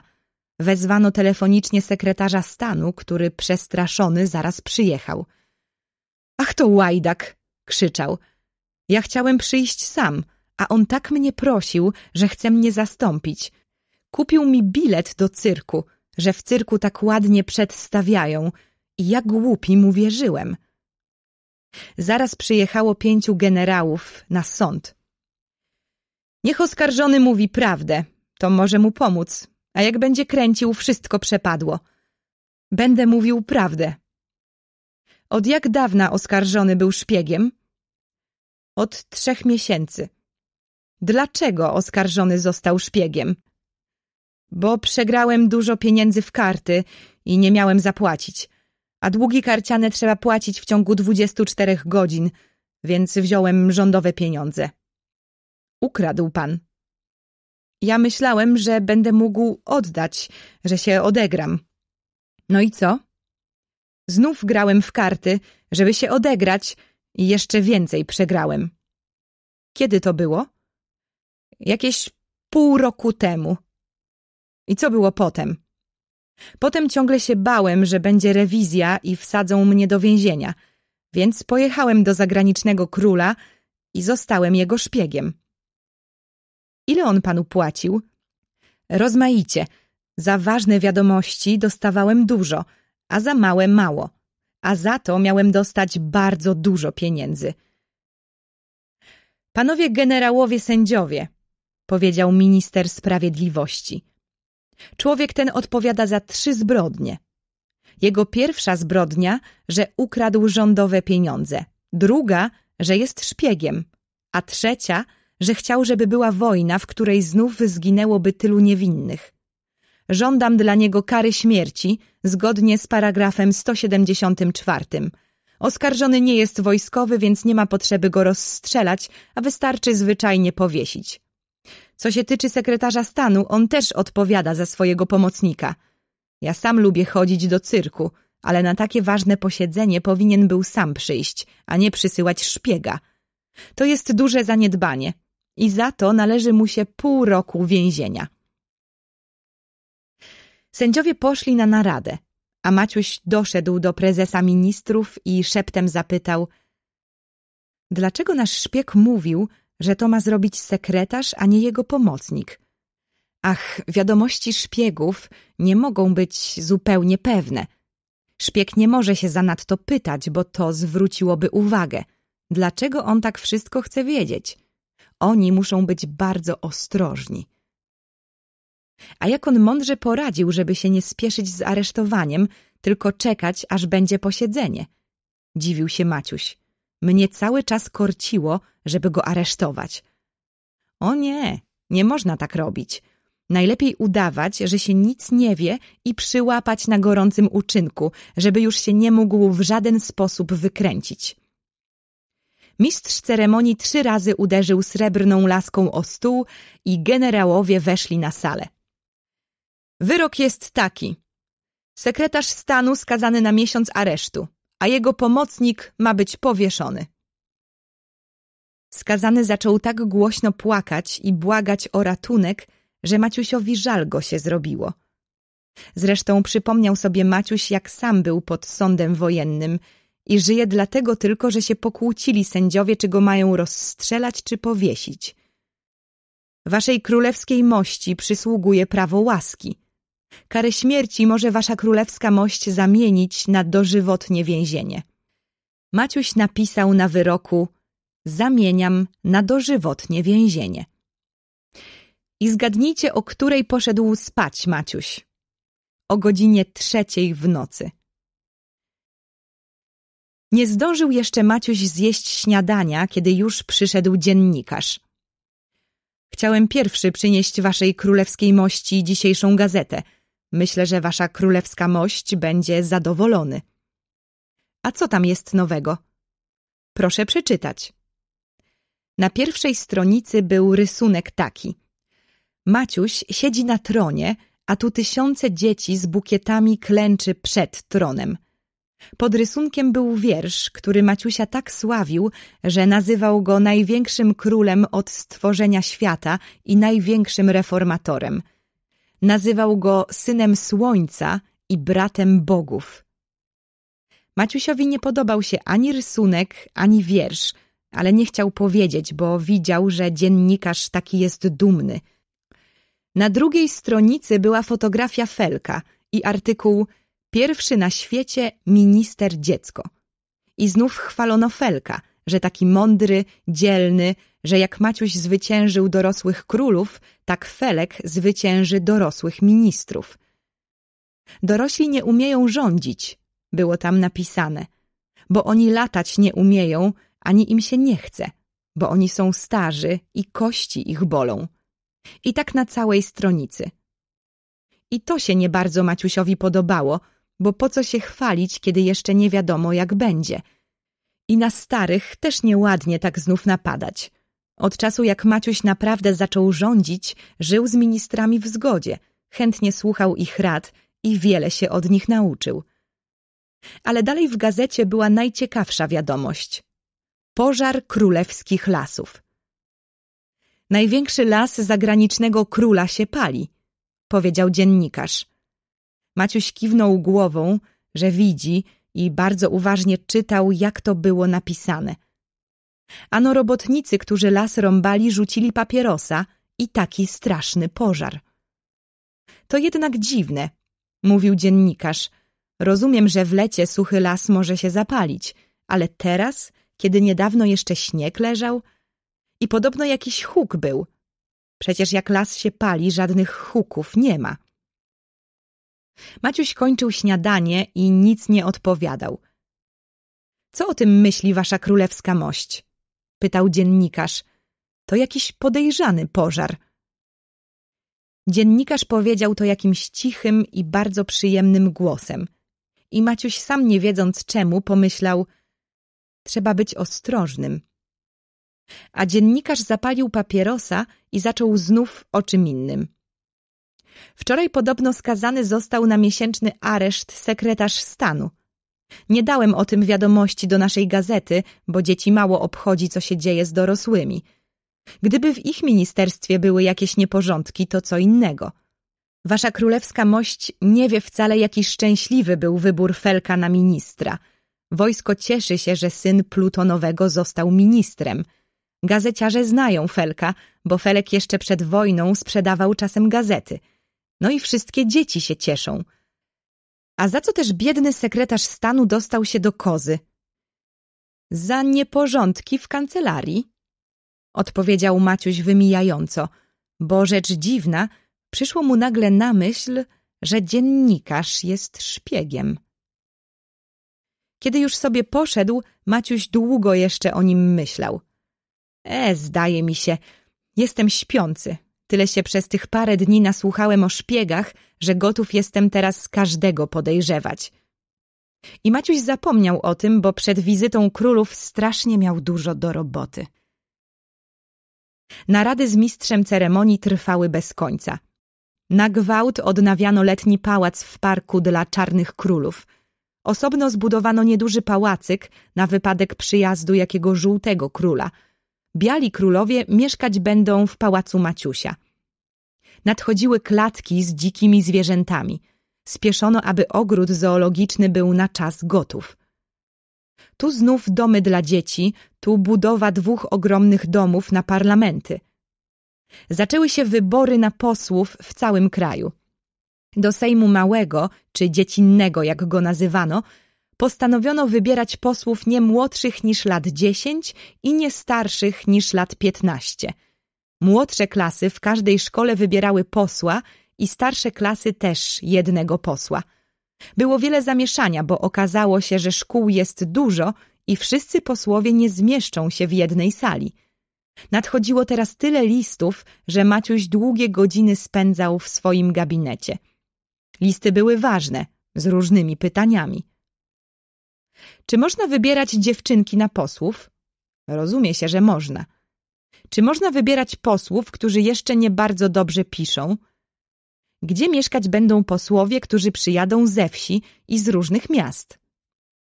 Czy ma być otwarta dla posłów szkoła, żeby się mogli uczyć i nie tracili roku, jak będą w stolicy na naradach?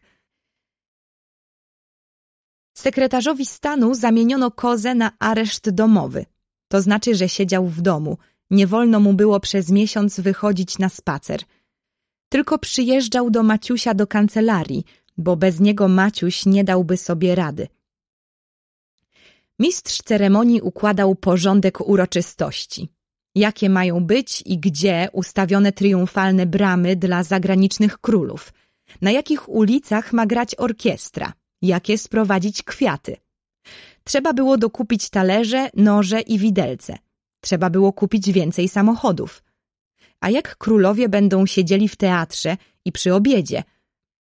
Żeby ważni królowie mieli lepsze miejsca – żeby nie posadzić obok siebie królów, którzy się nie bardzo lubią. Sprowadzano wina, owoce, kwiaty z ciepłych krajów, malowano domy, które były brudne, poprawiano bruki na ulicach. Maciuś nie spał, nie jadł, tylko pracował. Przyszedł do waszej królewskiej mości budowniczy. Ogrodnik pragnie się rozmówić z waszą królewską mością – Przyszedł minister spraw zagranicznych. Przyjechał ambasador Żółtego Króla. Jakichś dwóch panów pragnie się widzieć z waszą królewską mością. Czegóż oni chcą? Zapytał się zniecierpliwiony już Maciuś, którego trzeci raz odwoływano od obiadu.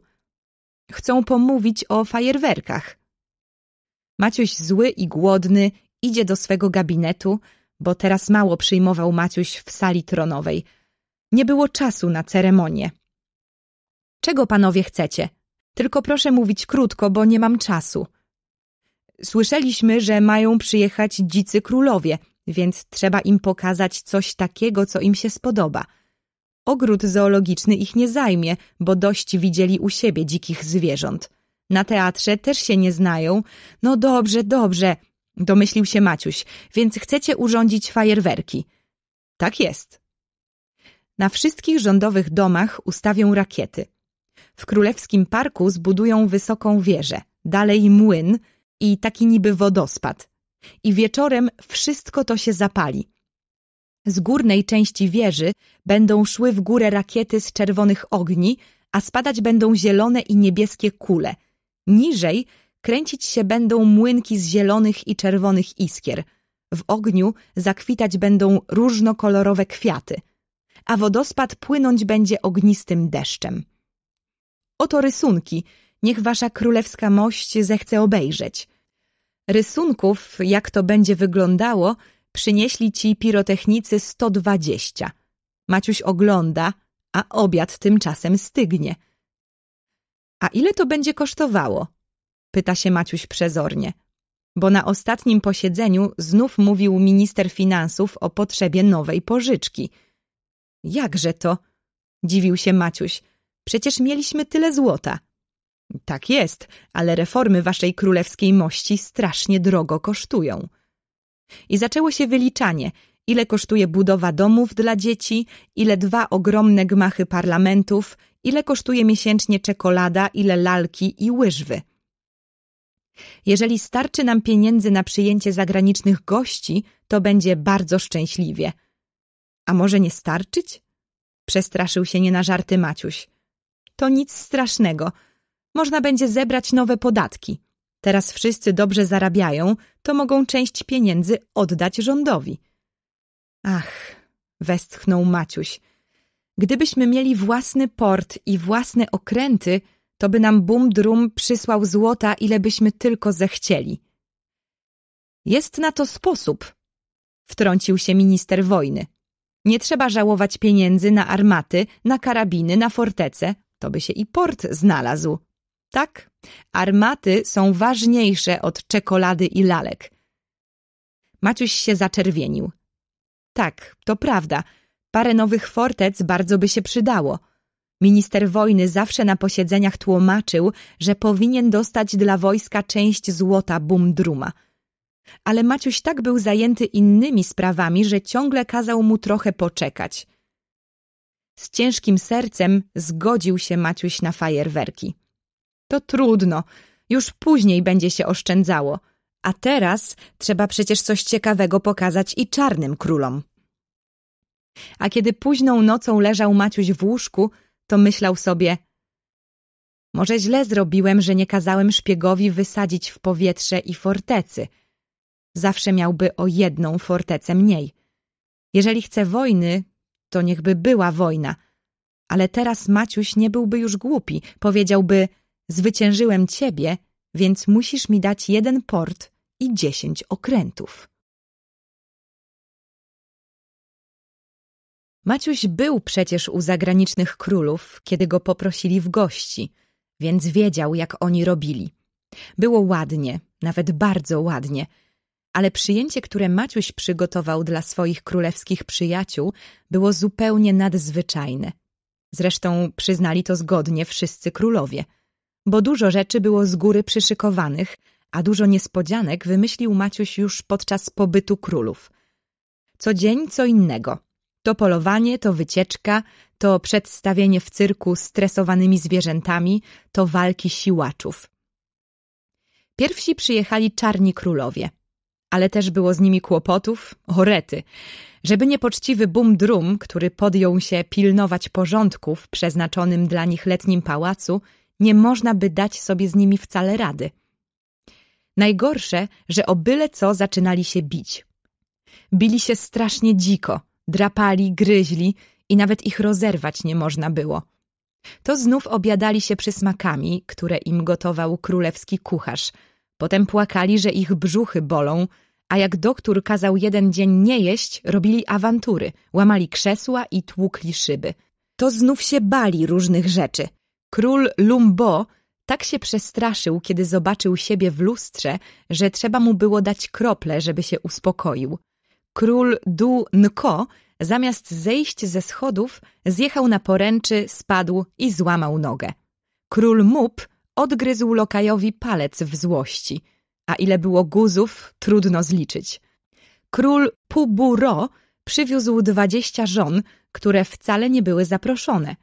Król Dulko-Cyn w wielkiej tajemnicy przywiózł kiełbasę zrobioną z czterech murzynów. Znów awantura, kiedy mu kiełbasę odebrano. Król Braput wlazł na drzewo i siedział tam pięć godzin, a jak chciano go zdjąć, pluł, kopał i gryzł. Musiano wezwać strażaków, którzy puścili na niego strumień wody, taki silny, że spadł do rozstawionej sieci. Bumdrum bardzo się wstydził za swoich ziomków i bał się, że całą uroczystość zepsują.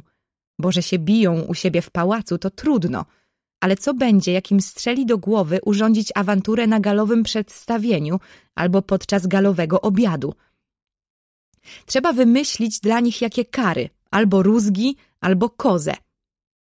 Maciuś długo się opierał, ale widział, że inaczej sobie Bumdrum z nimi nie poradzi. W jednym z pokoi królewskiego pałacu było muzeum. Tam były różne narzędzia, którymi karał swoich poddanych Henryk Porywczy – były tam szydła do wykłuwania oczów, kleszcze do wyrywania paznokci i łamania palców, straszne piły do obcinania rąk i nóg, różne żelazne dyscypliny, rzemienie, kije i pałki. Aż włosy stawały na głowie, gdy się na to patrzało. Nie lubił Maciuś muzeum.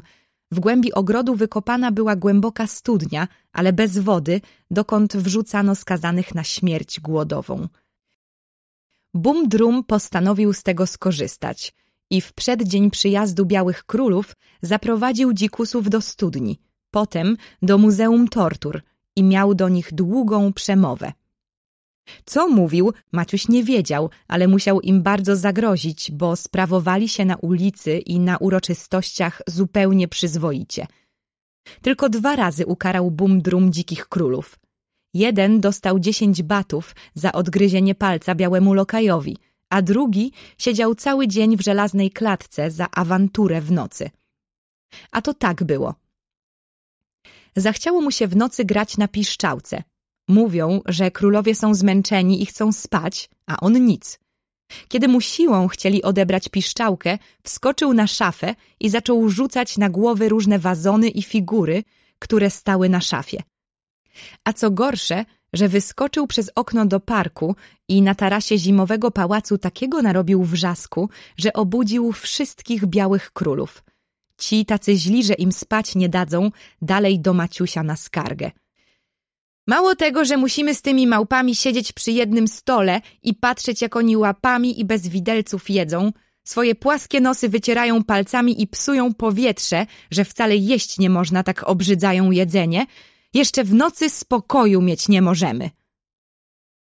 Ledwo udało się Maciusiowi wytłumaczyć, że oni się poprawią, że Bum Drum też był dziki, a w dwa miesiące nauczył się myć pachnącym mydłem i nawet używa wykałaczek. Groziło już, że biali królowie wyjadą i z trudem udało się przekonać ich, że mogą jeść osobno, jeśli wolą, że tylko najmniej dzicy murzyni siedzieć będą razem. Bo i między czarnymi królami było trzech zupełnie porządnych i wykształconych, którzy nawet nosili spodnie i kołnierzyki i umieli nakręcać gramofon. Może biali królowie nie ustąpiliby tak łatwo, ale jedni czekali na polowanie, drudzy na walki siłaczów, a wszyscy czarni, żółci i biali czekali na fajerwerki.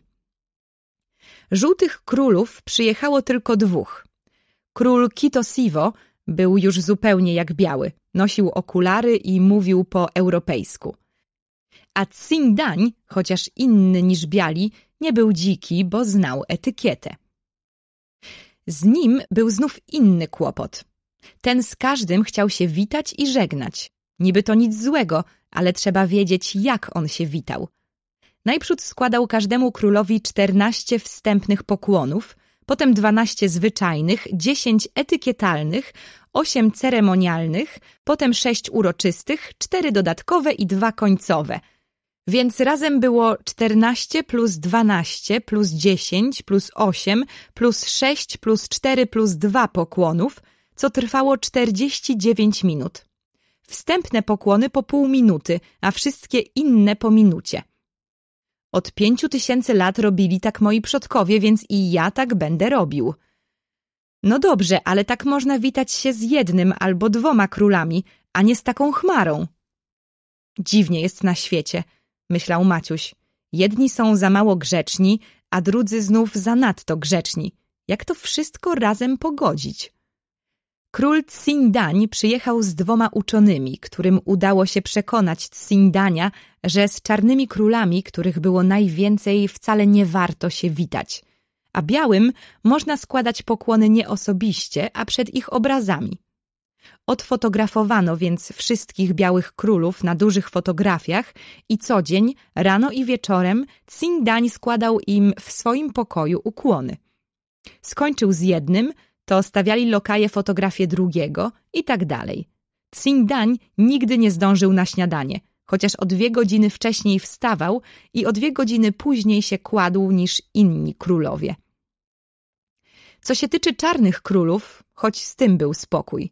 Jedni na powitanie dwa razy wysadzali język, inni cztery razy, inni wsadzali serdeczny palec prawej ręki w lewą dziurkę nosa, jeszcze inni uderzali się piętami w plecy, podskakując do góry trzy, a inni sześć razy. Zdziwił się Maciuś ogromnie, gdy mu Bum-Drum powiedział, że w ubiegłym stuleciu przez lat piętnaście trwała straszna wojna między dwoma czarnymi królami, wyłącznie o to, że gdy jeden wsadzał na powitanie palec prawej ręki do lewej dziurki nosa, drugi postępował przeciwnie. Zbuntował się cały naród. Wdali się w spór kapłani i inni królowie. Jedni mówią tak, drudzy tak. Zaczęli walczyć, kto ma rację. Palili szałasy i całe wsie. Zabijali kobiety i dzieci, brali do niewoli, rzucali lwom na pożarcie niewolników. Aż wybuchła zaraza i był taki głód, że dłużej nie mogli wojować i każdy został przy swoim. I teraz ci dwaj królowie nie witali się wcale i przy stole siedzieli z daleka. Powiadam, siedzieli przy stole. I to była trudna sprawa. Napocił się poczciwy bum-drum, zanim zrozumieli, że krzesła służą do siedzenia, a nie do rozbijania głów. Ale kto miał prawdziwą uciechę, to dzieci w stolicy Maciusia. Szkoły były zamknięte, bo i tak nikt na lekcje nie przychodził. Dzicy królowie nie lubili jeździć samochodami, a chodzili pieszo po mieście. A za każdym chmara chłopaków. Miała też i policja za swoje. Po uroczystości prefekt policji skarżył się, że schudł tak, że mu siedem kilo wagi ubyło. Bo pomyślcie tylko, rozleźli się te małpy po mieście i pilnuj tu, żeby jaki łobuz kamieniem w nich nie cisnął, żeby ich nie przejechali, no i żeby oni nie zjedli kogo, bo i o to nie trudno było. Maciuś musiał mu dać order. W ogóle dużo różnych orderów rozdał Maciuś podczas uroczystości. Czarni królowie zawieszali sobie ordery w nosach, a biali na piersiach i bardzo byli zadowoleni. Jeszcze miał Maciuś jedną przykrość, bo czarnym królom nie spodobało się polowanie. I nic dziwnego. Nie mogło się podobać polowanie na zające i sarny ludziom, którzy przyzwyczaili się zabijać słonie, tygrysy i krokodyle. Może i białym królom jedno mniej, drugie więcej się podobało, ale byli dobrze wychowani i udawali, że wszystko im się podoba, bo wiedzieli, że Maciuś się stara. A dzicy królowie byli źle wychowani, a może nawet myśleli, że Maciuś z nich zażartował – bo wszczeli taki piekielny hałas i tak groźnie zaczęli potrząsać swymi łukami i dzidami, w które się na to nieszczęsne polowanie uzbroili, że biali królowie wsiedli do samochodów i chcieli zmykać, a Bum Drum biegał jak szalony i machał rękami, uspokajając wzburzonych, co mu się wreszcie udało. Polowanie odbyło się bez przygód. Biali królowie postrzelili nawet dwa dziki, jednego niedźwiedzia – i myśleli, że czarni królowie zrozumieją wreszcie, że i w Europie są niebezpieczne zwierzęta. Ten, który zabił niedźwiedzia, już do końca polowania stał razem z czarnymi, niby jakich kolega, i na migi chwalił się, że umie strzelać, że jest bardzo ważnym myśliwym. Oglądał ich łuki i strzały i nawet prosił, że chce nocować w letnim pałacu. A na drugi dzień przy śniadaniu opowiadał, że czarni są bardzo mili, że się od nich wiele można nauczyć i nawet kto wie, czy nie smaczniejsze jest jedzenie, jeżeli się je niesie do ust palcami, a nie ostrymi i zimnymi widelcami. Stała się rzecz niesłychana. Córka Bumdruma, mała i dzielna Kluklu, przyjechała do Maciusia w klatce z małpami. A było to tak. Ogród zoologiczny był już zupełnie gotów. Wszystkie zwierzęta umieszczone już były w swoich klatkach. We środę miało się odbyć uroczyste otwarcie ogrodu, a w czwartek oddany będzie do zabawy dzieciom. Ale miała nadejść jeszcze jedna skrzynia z trzema tak rzadkimi małpami, jakich nie posiadał jeszcze żaden biały król w swoim zwierzyńcu. Te skrzynie mieli rozpakować podczas uroczystości. Otworzyli tak, żeby małpy od razu wbiegły do klatki. Wszyscy stoją i patrzą – jak tylko odbito deskę, zaraz wyskoczyła do klatki jedna, potem druga małpa, a trzeciej nie ma. Odsunięto trochę skrzynię od drzwiczek klatki, a tu wyskakuje mała kluklu i rzuca się Bumdrumowi do nóg i coś mu po murzyńsku mówi. Bumdrum rozgniewał się strasznie i chociaż już nie taki dziki, chciał kopnąć nieposłuszną kluklu, ale Maciuś wziął ją w obronę. Kluklu zrobiła źle, że uciekła z domu. Kluklu zrobiła źle, że w nocy sama odbiła skrzynię, jedną małpę wypuściła i sama zajęła jej miejsce. Ale Kluklu poniosła już karę, bo nawet dla murzyńskiego dziecka sześć tygodni jechać w skrzyni z małpami jest rzeczą bardzo nieprzyjemną. A przecież Kluklu nie była zwyczajnym czarnym dzieckiem, a przyzwyczajoną do wygód córką królewską – Zresztą i w skrzyni nie miała tych wygód co małpy, bo nie mogła dochodzić do okienka skrzyni, przez które dawano im żywność, bo się obawiała, żeby jej nie odkryto w drodze i nie odesłano do domu. Królu Bum-Drum, przyjacielu Bum-Drum, powiedział wzruszony Maciuś. Możesz być dumny ze swojej córki. Na nic podobnego nie zdobyłaby się nie tylko dziewczynka, ale żaden biały chłopak. Mogę ci podarować tę niesforną dziewczynę, którą tak bronisz, powiedział rozzłoszczony Bumdrum. Dobrze, zgodził się Maciuś Niech zostanie w moim pałacu, niech się uczy, a gdy zostanie królową, będzie taką samą reformatorką wśród czarnych, jak ja jestem królem reformatorem wśród białych. Rzecz dziwna. W godzinę po tej całej awanturze Kluklu zachowywała się tak, jak gdyby tu już była bardzo dawno. A kiedy stary profesor, który znał pięćdziesiąt języków, przemówił do niej po murzyńsku i wytłumaczył, co chce z nią zrobić Maciuś, odpowiedziała od razu – ja tak samo myślałam. Mój złoty, lwi, krokodylowy profesorze. Tylko zaraz zacznij mnie uczyć waszego języka, bo inaczej nie mogę powiedzieć, co myślę, a mam plany bardzo ważne, a nie lubię ani czekać, ani odkładać. Okazało się, że Kluklu zna już 112 europejskich wyrazów, których nauczyła się podczas pobytu Maciusia w Afryce. To nadzwyczajne jednak, jaka ta mała ludożerka jest zdolna, dziwił się profesor. Nadzwyczajną ma pamięć. Bo Kluklu nie tylko pamiętała wyrazy, ale i skąd się każdego wyrazu nauczyła, od kogo słyszała. Okazało się, że siedząc w klatce nauczyła się wielu wyrazów od marynarzy. Fe, Kluklu, mówił profesor, skąd ty znasz te brzydkie wyrazy? Chyba nie rozumiesz, co one znaczą. A Kluklu, te trzy wyrazy powiedział tragarz, kiedy brał na plecy klatkę. Te cztery wyrazy powiedział, kiedy się potknął i mało nie przewrócił. Tak mówił nasz przewoźnik, kiedy nam jeść dawał.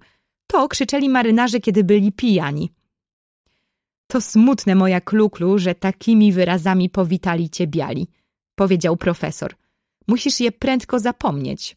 My, biali, ładnie między sobą mówimy. Bardzo chętnie będę cię uczył, miła, dzielna, biedna kluklu. Aż do końca uroczystości kluklu była na pierwszym planie. We wszystkich wystawach najwięcej było teraz fotografii kluklu. Chłopcy najgłośniej krzyczeli i najwyżej rzucali na wiwat czapki, kiedy ukazała się w samochodzie kluklu. A kiedy podczas otwarcia Sejmu Dziecięcego kluklu powiedziała w europejskim języku w imieniu moich czarnych rodaków, dzieci murzyńskich, witam ten pierwszy na świecie parlament dziecięcy. Zerwała się taka burza oklasków i taki zapanował zachwyt, że nawet Felek, chociaż energiczny, nie mógł sobie poradzić. Aż zirytowany krzyknął do jednego z posłów, który się darł jak szalony. Te, słuchaj, jak nie przestaniesz, to dostaniesz w zęby. To odezwanie się Felka wywarło złe wrażenie wśród białych królów, ale nie dali po sobie poznać. Chętnie opisałbym szczegółowo wszystkie zabawy i uroczystości – ale zabrakłoby miejsca na opis ważniejszych rzeczy, bo przecież nie o zabawach powinno się pisać w książce o królu reformatorze. Bo czytelnicy tej książki powinni dobrze pamiętać, że Maciuś nie od tak sobie zaprosił do siebie gości, a szło mu o ważne sprawy polityczne. Tu między gośćmi był i stary król ze swoim synem, wrogiem zawziętym Maciusia. Tu był i drugi król, przyjaciel żółtych. Tu był i smutny król, z którym Maciuś już parę razy prowadził dłuższą rozmowę. Drogi Maciusiu, mówił smutny król, muszę przyznać, że zacząłeś bardzo odważnie, że twoje reformy są bardzo ciekawe i ważne. Do tej pory idzie ci wszystko dobrze, nawet świetnie, ale pamiętaj, reformy okupuje się ciężką pracą, łzami i krwią. Ty zaczynasz dopiero. Nie łudź się, że tak zawsze będzie i nie ufaj zbytnio swym siłom. O, wiem, odparł Maciuś, że to trudno. I opowiedział, ile pracuje, ile nocy nie spał, ile razy jadł zimny obiad. Najgorsze, że nie mam własnego portu, żalił się Maciuś, i robią mi trudności z przewożeniem złota. Zamyślił się smutny król i powiedział – Wiesz, Maciusiu, ja myślę, że stary król dałby ci jeden ze swoich portów.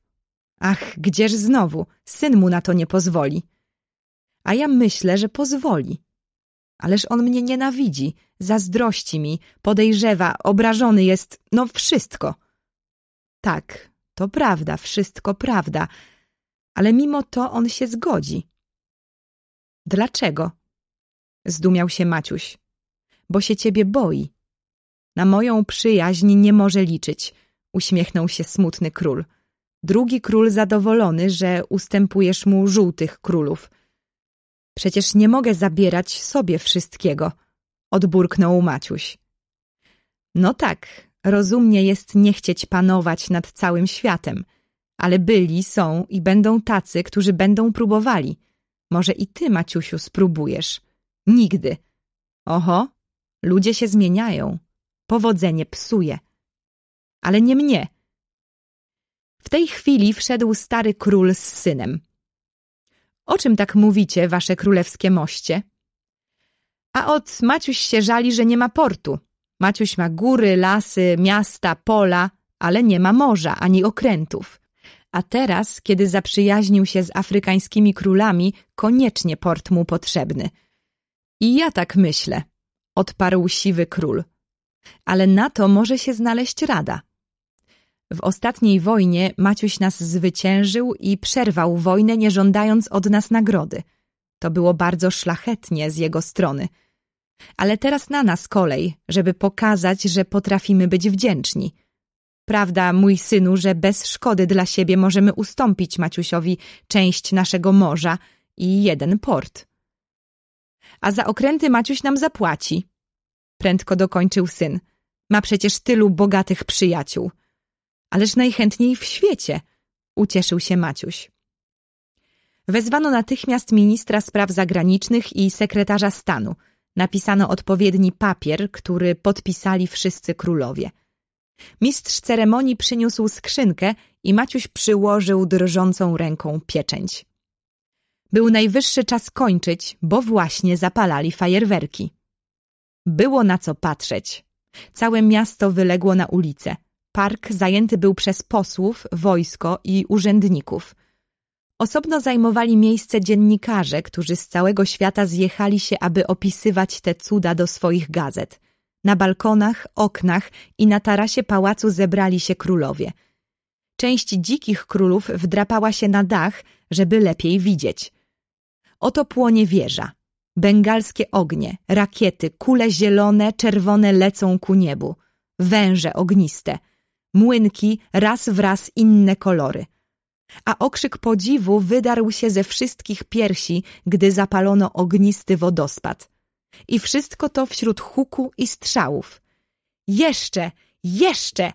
wołali afrykańscy królowie, zdumieni i oczarowani, nazywając Maciusia królem stubarwnego nieba i pogromcą ognia. Ale trzeba było wcześniej iść spać, bo na jutro rano naznaczony był odjazd. Sto orkiestr grało na ulicach, kiedy samochody królewskie odwoziły gości na kolej. I dziesięciu królewskimi pociągami opuścili biali, czarni i żółci królowie gościnną stolicę Maciusia. Odnieśliśmy wielkie dyplomatyczne zwycięstwo, rzekł prezes ministrów, zacierając ręce w powrotnej drodze. Co to znaczy? zapytał Maciuś. Oto geniusz, powiedział prezes. Wasza królewska mość, nie wiedząc wcale, zrobiłeś rzecz wielką.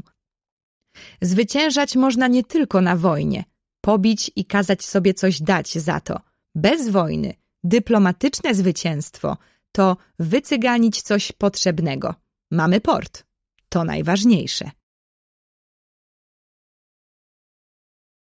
Maciuś wstawał o godzinie szóstej rano. Inaczej nie zdążyłby wszystkiego zrobić. Zmienił teraz plan dnia tak, że codziennie dwie godziny się uczył. Przybyły mu posiedzenia Sejmu, a prócz czytania listów musiał przeczytać dwie gazety dla dorosłych i dla dzieci, żeby wiedzieć, co się w całym państwie dzieje. Gdy więc pewnego dnia o godzinie ósmej cicho było jeszcze w królewskiej sypialni, zaniepokojono się w pałacu nie na żarty. Maciuś musi być chory. Ja myślę, dawno można się było tego spodziewać. Żaden z dorosłych królów nie pracuje tyle, co on. Mizerny był ostatnio bardzo i nie jadł prawie nic, a żadnej uwagi nie można było zrobić, bo złościł się zaraz.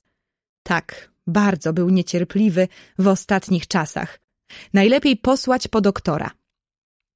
Przyjechał przestraszony doktor i bez zameldowania, bez zastukania nawet, w palcie wszedł, a raczej wbiegł do królewskiej sypialni.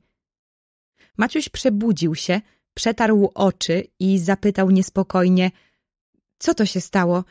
Która godzina? Doktor bez żadnych wstępów zaczął mówić bardzo prędko, bo się bał, żeby mu Maciuś nie przerwał. Drogi ukochany Maciusiu, dziecko moje miłe, znam ciebie od kołyski. Stary jestem, na życiu własnym mi nie zależy. Każ mnie powiesić, rozstrzelać, wsadzić do więzienia, wszystko mi jedno. Twój ojciec, umierając, powierzył ciebie mojej opiece. Nie pozwolę ci wstać z łóżka i basta. Kto przyjdzie ci głowę zawracać, każe go zrzucić ze wszystkich schodów. Maciuś, ty chcesz w rok zrobić to, co inni królowie robią w dwadzieścia lat. Tak nie można. Patrz, jak ty wyglądasz. Nie jak król, ale jak dziecko ostatniego żebraka. Jeśli prefektowi policji ubyło na wadze, to on grubas i nawet zdrowo dla niego. Ale tobie, Maciuś, ubyło, a ty przecież rośniesz. O wszystkie dzieci dbasz. Jutro wyjeżdża na wieś dwadzieścia tysięcy dzieci. Dlaczego masz się zmarnować? No, spójrz tylko sam. To dla mnie taki wstyd, taki wstyd, że ja stary niedołęga. Doktor podał Maciusiowi lustro. No patrz, Maciusiu, patrz. I stary doktor się rozpłakał. Maciuś wziął lustro. Prawda, biały jak papier, wargi blade, oczy podkrążone i smutne, szyja długa i chuda. Rozchorujesz się i umrzesz, mówił płacząc doktor, i nie dokończysz swego dzieła. Ty już jesteś chory. Maciuś odłożył lustro i przymknął oczy. I dziwnie mu przyjemnie, że doktor ani razu nie nazwał go królem, że nie pozwala mu wstać z łóżka i każe zrzucić ze schodów wszystkich, którzy mają do niego interes. Jak to dobrze, że jestem chory, pomyślał Maciuś i wyciągnął się wygodnie na łóżku. Maciuś myślał, że jest tylko zmęczony. Dlatego nie chciało mu się jeść, chociaż był głodny. Dlatego nie mógł zasnąć wieczorem, a w nocy miał nieprzyjemne sny. To śniło mu się, że czarni królowie rzucili się na dzieci i zjadają je. To, że wali mu się na głowę ognisty deszcz i parzy go i pali. To, że obcięli mu dwie nogi i wyjęli jedno oko. To, że siedzi w tej studni skazany na śmierć głodową – Często bolała go głowa, a na lekcji tak nic nie rozumiał, że mu wstyd było Stasia i Helci. A najwięcej czarnej kluklu, która po trzech tygodniach nauki sama czytała już gazetę, pisała dyktando i umiała pokazać na mapie drogę od Maciusinej stolicy do państwa ojca Bumdruma. A co się robi, jak król jest chory? Kto wtedy rządzi? Zapytał Maciuś cichym głosem. W lecie i tak parlamenty mają wakacje. Pieniądze są, trzeba je tylko przywieźć. Port jest, okręty są, domy w lasach wybudowane, resztę zrobią urzędnicy i ministrowie, a Maciuś pojedzie sobie na dwa miesiące i odpocznie. Ale miałem przecież pojechać do portu, który otrzymałem. Miałem obejrzeć okręty.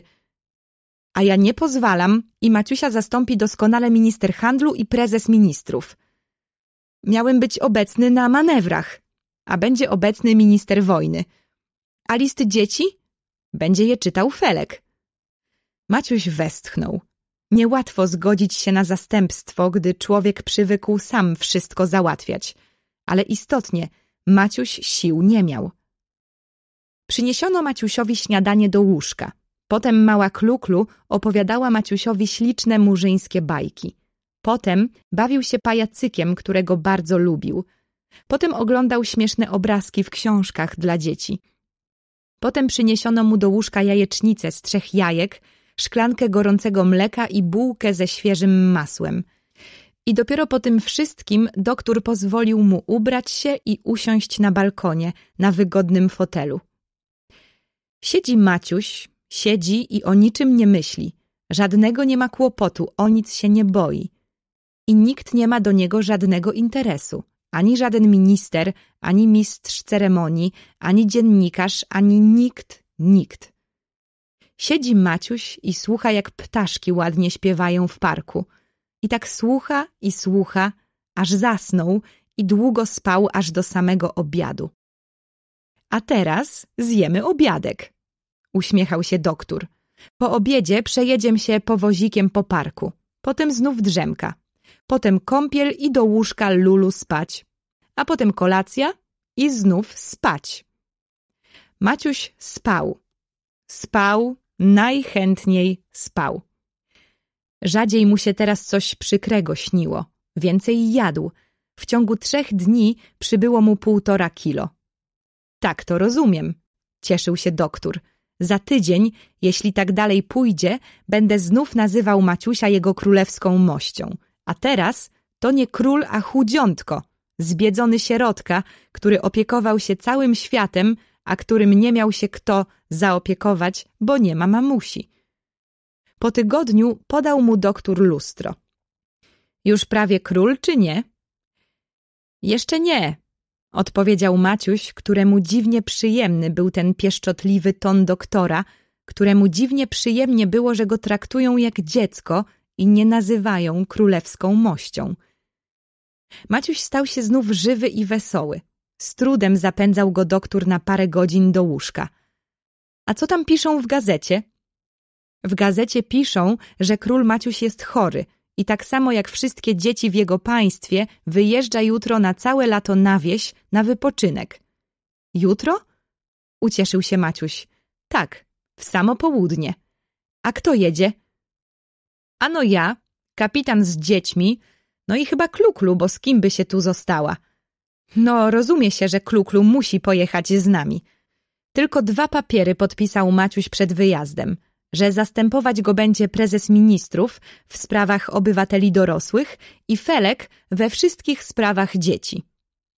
Dwa tygodnie nic nie robił Maciuś, tylko się bawił. Zabawy prowadziła Kluklu.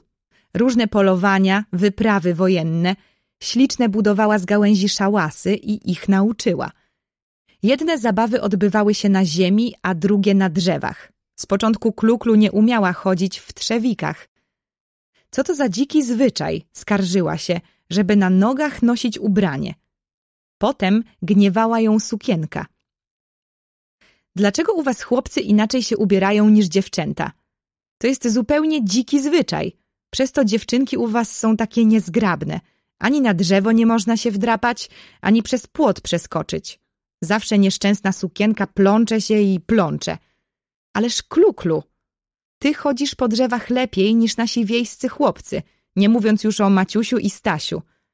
Alboż to drzewa? Śmieje się kluklu. To są patyki, dobre dla dwuletnich dzieci, a nie takiej jak ja, dorosłej dziewczyny. Raz podziwiały dzieci, jak zręcznie przeskoczyła wiewiórka z drzewa na drzewo. I ja to umiem, powiedziała żywo kluklu i zanim Maciuś, Staś i Helcia zdążyli się połapać, co ona chce zrobić, Kluklu zrzuciła sukienkę i sandałki, skoczyła za wiewiórką i rozpoczęła się gonitwa. Wiewiórka skacze z gałęzi na gałęź, a Kluklu za nią. Wiewiórka hop z drzewa na drzewo, a Kluklu za nią. Z pięć minut trwała gonitwa, aż wiewiórka zmęczona skoczyła na ziemię, Kluklu za nią. Myślały dzieci, że się zabije – ale ona tak zręcznie spadając to chwytała się, to odpychała gałęzie, że spadła na ręce i trzyma wiewiórkę. Złapała ją za kark, tak że wiewiórka nie mogła jej nawet ugryźć. Czy to bardzo trujące zwierzątko? Ta wasza małpka północy? Ani trochę. U nas tylko żmije są trujące. Kluklu szczegółowo wypytała, jak wygląda żmija – Uważnie przyjrzała się na obrazku i poszła w las. Cały dzień szukali kluklu. Nie ma i nie ma. Dopiero wieczorem wróciła potargana, podrapana i głodna, ale przyniosła w szklanej bańce trzy żywe żmije. Jakże ty je złapałaś? Pyta się zdumiony Maciuś. Tak jak się łapie wszystkie jadowite węże, odpowiedziała z prostotą. Dzieci wiejskie bały się kluklu z początku – ale potem bardzo ją szanowały i lubiły. Chociaż dziewucha, a najpierwsza między chłopakami. Mój Boże, jacy to muszą u nich być chłopcy. Akurat tacy sami, wcale nie lepsi, tłumaczyła Kluklu. To tylko u białych dziewczynki noszą długie włosy i suknie i przez to nic nie mogą robić. Ale nie tylko w rzucaniu kamieniami i strzelaniu z łuku, w zbieraniu grzybów i orzechów była Kluklu pierwsza. Nie mówię już o botanice, zoologii, geografii i fizyce, w których Kluklu była najzdolniejszą uczennicą. Wystarczyło jej raz zobaczyć na obrazku jakąś roślinę albo muszkę, żeby ją poznać zawsze na łące lub w lesie. Dowiedziała się, że jakaś roślina rośnie na błocie, hajda do wiejskich chłopaków na zwiady. Gdzie tu są błota? O, daleko, będzie ze dwie mile. Daleko może, ale nie dla kluklu. Zakradnie się do kredensu, odłamie pajdę chleba i kawał sera, już jej nie ma. I nawet jej nie szukają. Oho, kluklu gospodarowała w kredensie, znów jakaś wyprawa.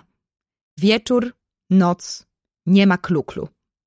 Nocowała w lesie, a rano wraca i niesie z triumfem bukiet błotnych kwiatów, a jeszcze i żaby, trytony, jaszczurki, pijawki. Jej zielnik najbogatszy, jej kolekcja owadów, motyli i kamieni największa. W jej akwarium rodzi się najwięcej ślimaków i pływa najwięcej rybek. A taka zawsze wesoła i w uśmiechu pokazuje swoje białe, ostre ząbki. Ale umiała być kluklu poważna. Ach, Maciusiu, kiedy widziałam przepiękne fajerwerki i ognisty wodospad, myślałam wtedy, co by to było za szczęście, gdyby i czarne dzieci mogły patrzeć na te wasze dziwy. Mam do ciebie, Maciusiu, wielką, wielką prośbę. Jaką? pyta się Maciuś. Żebyś sprowadził do swojej stolicy pięćdziesięcioro dzieci czarnych, żeby tak jak ja mogły się uczyć – a potem wróciły do Afryki i nauczyły wszystkiego wszystkie czarne dzieci. Maciuś nic nie odpowiedział, bo postanowił zrobić Kluklu niespodziankę. I tegoż wieczora napisał list do stolicy. Kochany Felku, kiedy wyjeżdżałem, ustawiano na dachu telegraf bez drutu. Robota miała być skończona na 1 sierpnia. Telegrafem bez drutu mieliśmy się porozumiewać z Bumdrumem – więc proszę cię, żebyś pierwszą depeszę wysłał do Bumdruma taką, żeby przysłał pięćdziesiąt dzieci murzyńskich, dla których otwieram szkołę w mojej stolicy. Tylko proszę cię, żebyś nie zapomniał. Maciuś.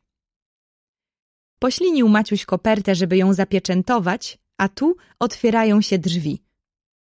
Felek, jak to dobrze, że przyjechałeś. Akurat list miałem do ciebie wysłać. Przyjechałem w ważnej misji, urzędowo, powiedział poważnie Felek. Wyjął złotą papierośnicę i poczęstował Maciusia cygarem. Niech wasza królewska mość skosztuje. Prima sort, extra fine, godne królewskiego nosa. Ja nie palę, powiedział Maciuś. Otóż to właśnie, rzekł Felek, to źle. Król musi się szanować. I w tej sprawie właśnie urzędowo przyjechałem z misją ratyfikacji mego kontrprojektu. Moje ultimatum jest takie.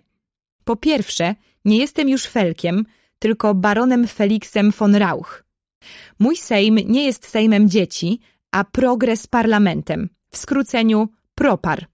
Dalej, raz trzeba skończyć z tym Maciusiem. Wasza królewska mość ma już dwanaście lat powinien się uroczyście koronować i nazwać Cezarem Mateuszem I. Inaczej wszystkie reformy pójdą do luftu. Ja miałem inny projekt, bronił się Maciuś. Chciałem, żeby dorośli wybrali sobie króla, a ja zostałbym Maciusiem, królem dzieci. Koncepcja waszej królewskiej mości może być kodyfikowana w swej prymitywnej formie, powiedział Felek. Nie śmiem narzucać osobie królewskiej mego moratorium. Jednakże co się tyczy mojej osoby urzędowej, pragnę być baronem von Rauch, ministrem proparu. Maciuś się zgodził. Dalej żądał Felek własnej kancelarii, dwóch samochodów i pensji dwa razy wyższej niż wynosi pensja prezesa ministrów. Maciuś się zgodził – Dalej żądał Felek tytułu hrabiego dla dziennikarza Progazu, to jest gazety dzieci, która nazywać się ma Progres Gazetą, w skróceniu Progaz. Maciuś się zgodził. Felek miał już gotowe, w stolicy przygotowane do podpisu papiery. Maciuś podpisał. Strasznie przykra była dla Maciusia ta cała rozmowa i Maciuś zgodziłby się na wszystko, byle się jak najprędzej skończyła. Maciusiowi tak było teraz dobrze, tak odzwyczaił się od narad i posiedzeń i tak nie chciał pamiętać ani o tym, co było, gdy tak ciężko pracował, ani o tym, co go czeka, gdy wakacje się skończą, że pragnął, aby Felek możliwie prędko sobie wyjechał. Pomógł mu w tym doktor, który dowiedziawszy się o przyjeździe Felka, wpadł zły do pokoju Maciusia. Mój Felku, prosiłem cię, żebyś królowi głowy nie zawracał. Panie doktorze, proszę o ton spokojniejszy i nazywanie mnie tak, jak się istotnie nazywam. A jak się istotnie nazywasz? Pyta się zdziwiony doktor. Jestem baronem von Rauch. Od kiedy? Od chwili, gdy jego królewska mość łaskawie udzielił mi tego tytułu tym oto oficjalnym aktem. I Felek wskazał na leżący na stoliku papier, na którym nie wysechł jeszcze świeży podpis Maciusia. Długa służba przy dworze nauczyła doktora karności. Zmienił więc natychmiast ton i spokojnie, ale stanowczo powiedział Panie baronie von Rauch, jego królewska mość jest na urlopie zdrowotnym, a za przebieg kuracji ja jestem odpowiedzialny. I w imię tej odpowiedzialności żądam, aby pan baron von Rauch natychmiast wyjechał, gdzie pieprz rośnie. Odpowiesz mi pan za to, zagroził Felek, zabrał papiery do teki i jak niepyszny się wyniósł. Maciuś szczerze był wdzięczny doktorowi, tym bardziej, że Kluklu wymyśliła nową zabawę – chwytanie koni na lasso. Brało się sznurek długi i mocny, przywiązywało na końcu ołowianą gałkę. Dzieci ustawiały się za drzewami, niby myśliwi. Stajenny wypuszczał dziesięć kuców z królewskiej stajni. Oni chwytali te kuce na lasso, a potem dosiadali je na oklep i ujeżdżali. Kluklu nie umiała jeździć konno, bo w jej kraju jeździ się na wielbłądach i słoniach. Ale szybko się nauczyła. Tylko nie lubiła jeździć po damsku i nie znosiła siodła. Siodła dobre są dla staruszków, którzy lubią wygodę, a ja, jak jadę na koniu, to chcę siedzieć na koniu, a nie na poduszce. Poduszka dobra jest w nocy w łóżku, a nie przy zabawie. Ależ uciechę miały dzieci wiejskie tego lata, bo wszystkie prawie zabawy były wspólne. Ale nie tylko nauczyły się od kluklu nowych zabaw, nowych bajek i piosenek, robienia łuków, szałasów, plecenia koszyków, kapeluszy, nowego sposobu odszukiwania i suszenia grzybów. Kluklu, która przed dwoma miesiącami mówić jeszcze nie umiała, została nauczycielką pastuszków, których uczyła czytać. O każdej nowej literze mówiła Kluklu, że jest podobna do jakiegoś robaczka. Jakże? Znacie różne muszki, robaki, owady, zioła, znacie ich setki, a głupich trzydziestu literek nie możecie spamiętać. Możecie, tylko wam się zdaje, że to coś bardzo trudnego. Tak samo jak kiedy się pierwszy raz pływa, albo siądzie na konia, albo stanie na lodzie. Wystarczy sobie powiedzieć, to łatwe i będzie łatwe. I mówili pastuszki, czytać jest łatwo. I zaczynali czytać. A ich matki aż w ręce klaskały ze zdziwienia. Ależ ta czarna dziewucha jest zuch, no! Nauczyciel gardło sobie cały rok zrywał, bił linią, targał za uszy i za kudły i nic, jak głąby, a ona powiedziała tylko, że litery to muchy i nauczyła. A jak ona krowę wydoiła, było na co patrzeć. A u mnie ciele zachorowało. Takie dziecko, a tylko spojrzała i mówi, to ciele zdechnie za trzy dni. I bez niej wiedziałam, boż to jedno ciele mi zdechło, a ona, jeżeli u was rośnie, mówi, takie zioło, to mogę ciele uratować. Poszłam z nią, bo byłam ciekawa. Szuka, szuka, to powącha, to pogryzie. Nie ma, powiada. Trzeba będzie to spróbować, bo ma podobną gorycz do tamtego. Nazbierała, dosypała trochę popiołu gorącego, zmieszała i wszystko tak zręcznie jak aptekarz potem wsypała do mleka i daje. A ciele jakby rozumiało. Pije, chociaż gorzkie, niesmaczne, beczy, a pije i oblizuje się. I co powiecie? Zdrowe. No, Czy nie dziw? Kiedy skończyło się lato i kobiety i mężczyźni i dzieci żałowali Maciusia, bo król, i kapitańską parkę, bo grzeczna, i doktora, bo leczył i niejednemu pomógł, ale najwięcej żałowali kluklu. Mądre, wesołe i poczciwe dziecko. Szkoda, że taka czarna. Choć jak się przyzwyczaić, nie brzydka, dodawali. Z ciężkim sercem wracał Maciuś do stolicy, a i powitanie nie było przyjemne. Już na stacji zauważył Maciuś, że coś się święci. Dworzec obstawiony był wojskiem. Mniej było flag i kwiatów. Prezes ministrów miał minę trochę zakłopotaną. Był i prefekt policji, który dawniej nie przychodził na powitanie Maciusia. Siedli do samochodów i jadą, ale innymi ulicami. Dlaczego nie jedziemy ładnymi ulicami? A bo tam są pochody robotników. Robotników? Zdziwił się Maciuś, który przypomniał sobie wesoły pochód dzieci, które wyjeżdżały na lato do domów, które im w lasach wybudował. A dokąd oni wyjeżdżają? Oni nie wyjeżdżają, przeciwnie, dopiero niedawno wrócili. To są ci, którzy budowali domy dla dzieci. Już zbudowali te domy i teraz nie mają roboty, więc robią awantury. I nagle zobaczył Maciuś ten pochód. Szli robotnicy z czerwonymi sztandarami i śpiewali. Dlaczego oni mają czerwone sztandary? Przecież narodowe sztandary nie są czerwone.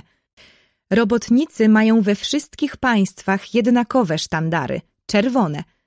Oni mówią, że czerwony sztandar jest wszystkich robotników całego świata. Maciuś zamyślił się. A może zrobić tak, żeby dzieci z całego świata, białe, czarne i żółte, też miały jednego koloru sztandar. Jaki by wybrać kolor? Samochód przejeżdżał akurat przez smutną, szarą, wąską ulicę. Przypomniał sobie Maciuś zielony las, łąkę zieloną na wsi i głośno powiedział Czy by nie można zrobić tak, żeby dzieci całego świata miały swój zielony sztandar? Można, powiedział prezes ministrów i jakoś nieprzyjemnie się skrzywił. Smutny chodził Maciuś po swoim pałacu i smutna chodziła Kluklu. Trzeba się wziąć do pracy, trzeba się wziąć do pracy, powtarzał Maciuś, ale mu się okropnie nie chciało. Baron von Rauch, zameldował lokaj. Wszedł Felek. Jutro pierwsze posiedzenie powakacyjne proparu, mówi Felek. Zapewne wasza królewska mość zechce im coś powiedzieć. A cóż ja im powiem? Zwykle królowie mówią, że ich cieszy, że naród wypowie swoją wolę i życzą powodzenia w pracy. Dobrze, przyjadę, zgodził się Maciuś. Ale nie jechał chętnie. Taki tam będzie pewnie krzyk. Tyle dzieci, tak się wszyscy będą patrzyli na niego. Ale kiedy zobaczył Maciuś, że oto zebrały się z całego państwa, żeby radzić, jak rządzić, żeby wszystkim było dobrze i wesoło, jak poznał po ubraniu dzieci wiejskie, z którymi tak niedawno dobrze się bawił, to nowa energia napłynęła w Maciusia i powiedział bardzo ładną mowę. Jesteście posłami, mówił Maciuś.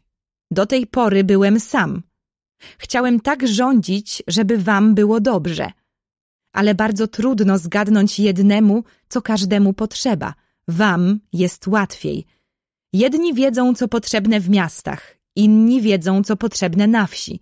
Młodsi wiedzą, co potrzebne malcom, inni, co potrzebne starszym dzieciom.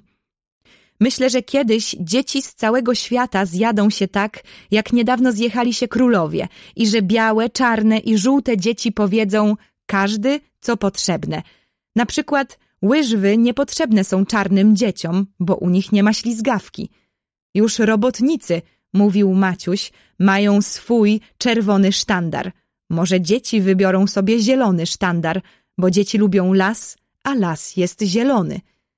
I tak długo, długo mówił Maciuś, a posłowie słuchali. I jemu było przyjemnie. Potem wstał dziennikarz i powiedział, że wychodzi co dzień gazeta dla dzieci, żeby mogły czytać ciekawe nowiny. i jak ktoś chce, coś może napisać. I zapytał się, czy im było dobrze na wsi. I tu zaczął się taki hałas, że nie wiadomo było, co kto mówi. Na salę weszła policja, przywołana przez Felka. Trochę się uciszyło. Felek powiedział, że kto będzie hałasował, że go się za drzwi wyrzuci, żeby każdy mówił po kolei. Pierwszy zaczął mówić jeden chłopak w wytartej marynarce i bez butów. Ja jestem posłem i chcę odpowiedzieć, że nam wcale nie było dobrze. Nie było żadnych zabaw, jedzenie było złe, a jak padał deszcz, to się z sufitów lała na łeb woda, bo dachy były dziurawe. I bielizny nie zmieniali, krzyknął ktoś. Pomyje nam dawali na obiad, jak świniom. Nie było żadnego porządku. I jeszcze nas bili i zamykali za byle co w komórce.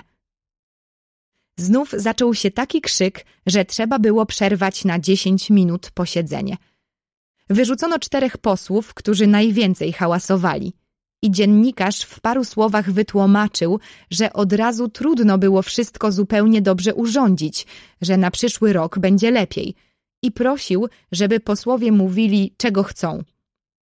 Znów hałas. Ja chcę trzymać gołębie, krzyczy jeden, a ja psa. Żeby każde dziecko miało zegarek. I żeby dzieciom wolno było telefonować. I żeby nas nie całowali. Żeby nam bajki opowiadać. Kiełbasę, salceson. Żeby nam wolno było późno chodzić spać. Żeby każdy miał swój rower. Żeby każde dziecko miało swoją szafkę. I więcej kieszeni. Mój ojciec ma trzynaście kieszeni, a ja tylko dwie. Mnie się nic nie mieści, a jak zgubię chustkę do nosa, to krzyczą. Żeby każdy miał trąbę i rewolwer. Żeby samochodami jeździć do szkoły. Żeby nie było wcale dziewczynek i małych dzieci. Chcę być czarnoksiężnikiem. Żeby każdy miał swoją łódkę. Żeby co dzień chodzić do cyrku. Żeby co dzień był śmigus. I prima aprilis, i tłusty czwartek.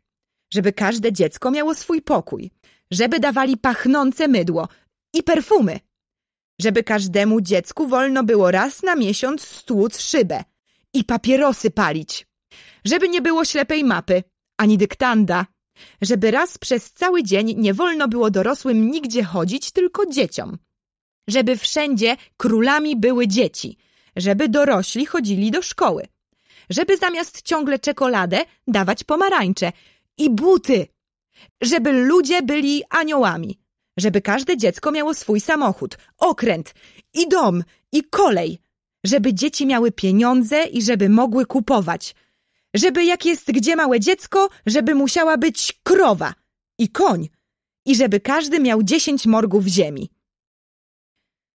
Tak trwało z godzinę, a dziennikarz tylko się uśmiechał i wszystko zapisywał. Dzieci ze wsi z początku się wstydziły, ale potem też zaczęły mówić. Zmęczyło Maciusia to posiedzenie. No dobrze, wszystko zapisali, ale co dalej robić? Trzeba ich wychować, powiedział dziennikarz. Jutro napiszę do gazety sprawozdanie i wytłumaczę, co można i czego nie można zrobić. Przechodził akurat przez korytarz chłopak, który chciał, żeby wcale nie było dziewczyn. Panie pośle, pyta się dziennikarz, co panu dziewczynki przeszkadzają? Bo na naszym podwórku jest jedna dziewczyna, to z nią rady nie można dać sobie. Sama zaczepia, a jak jej coś zrobić, żeby ją tylko ruszyć, zaraz zaczyna wrzeszczeć i leci na skargę. I ona tak ze wszystkimi. Więc myśmy uradzili, żeby z nią był koniec. Dziennikarz zatrzymał drugiego posła. Dlaczego pan, panie pośle, nie chce, żeby pana całować? Żeby pan miał tyle ciotek, co ja, to by się pan nie pytał. Wczoraj były moje imieniny, to mnie tak wyśliniły, że zwymiotowałem całą leguminę z kremem. Jak dorośli lubią się lizać, niech się sami całują, a nam niech dadzą spokój, bo my tego nienawidzimy. Dziennikarz zapisał. A pan, panie pośle, czy istotnie ojciec pana posła ma tyle kieszeni? No niech pan liczy. W spodniach dwie kieszenie z boku i jedna z tyłu. W kamizelce cztery małe kieszonki i jedna w podszewce. w marynarce dwie w podszewce, dwie z boku i jedna w górze. Na wykałaczkę ojciec ma osobną kieszeń, a ja na klipę nie mam nawet kieszeni. A jeszcze mają szuflady, biurka, szafy, półki i potem się chwalą, że nic nie gubią i że u nich jest porządek. Dziennikarz zapisał. Szło akurat dwóch posłów, którym musiały dokuczyć bardzo małe dzieci. Dlaczego? A kto musi niańczyć i kołysać? I każą mu ustępować, bo mały. I każą dobry przykład dawać. Jak taki malec co zrobi, nie na niego krzyczą, tylko na mnie. Od ciebie się nauczył. A czy ja jemu kazałem małpować? Dziennikarz i to zapisał. Dziennikarz napisał w gazecie, że żaden sejm na świecie nie może zrobić, żeby ludzie byli aniołami albo czarnoksiężnikami, że nie może być co dzień tłusty czwartek i nie można co wieczór chodzić do cyrku. Muszą być i chłopcy, i dziewczynki, małe dzieci i starsze.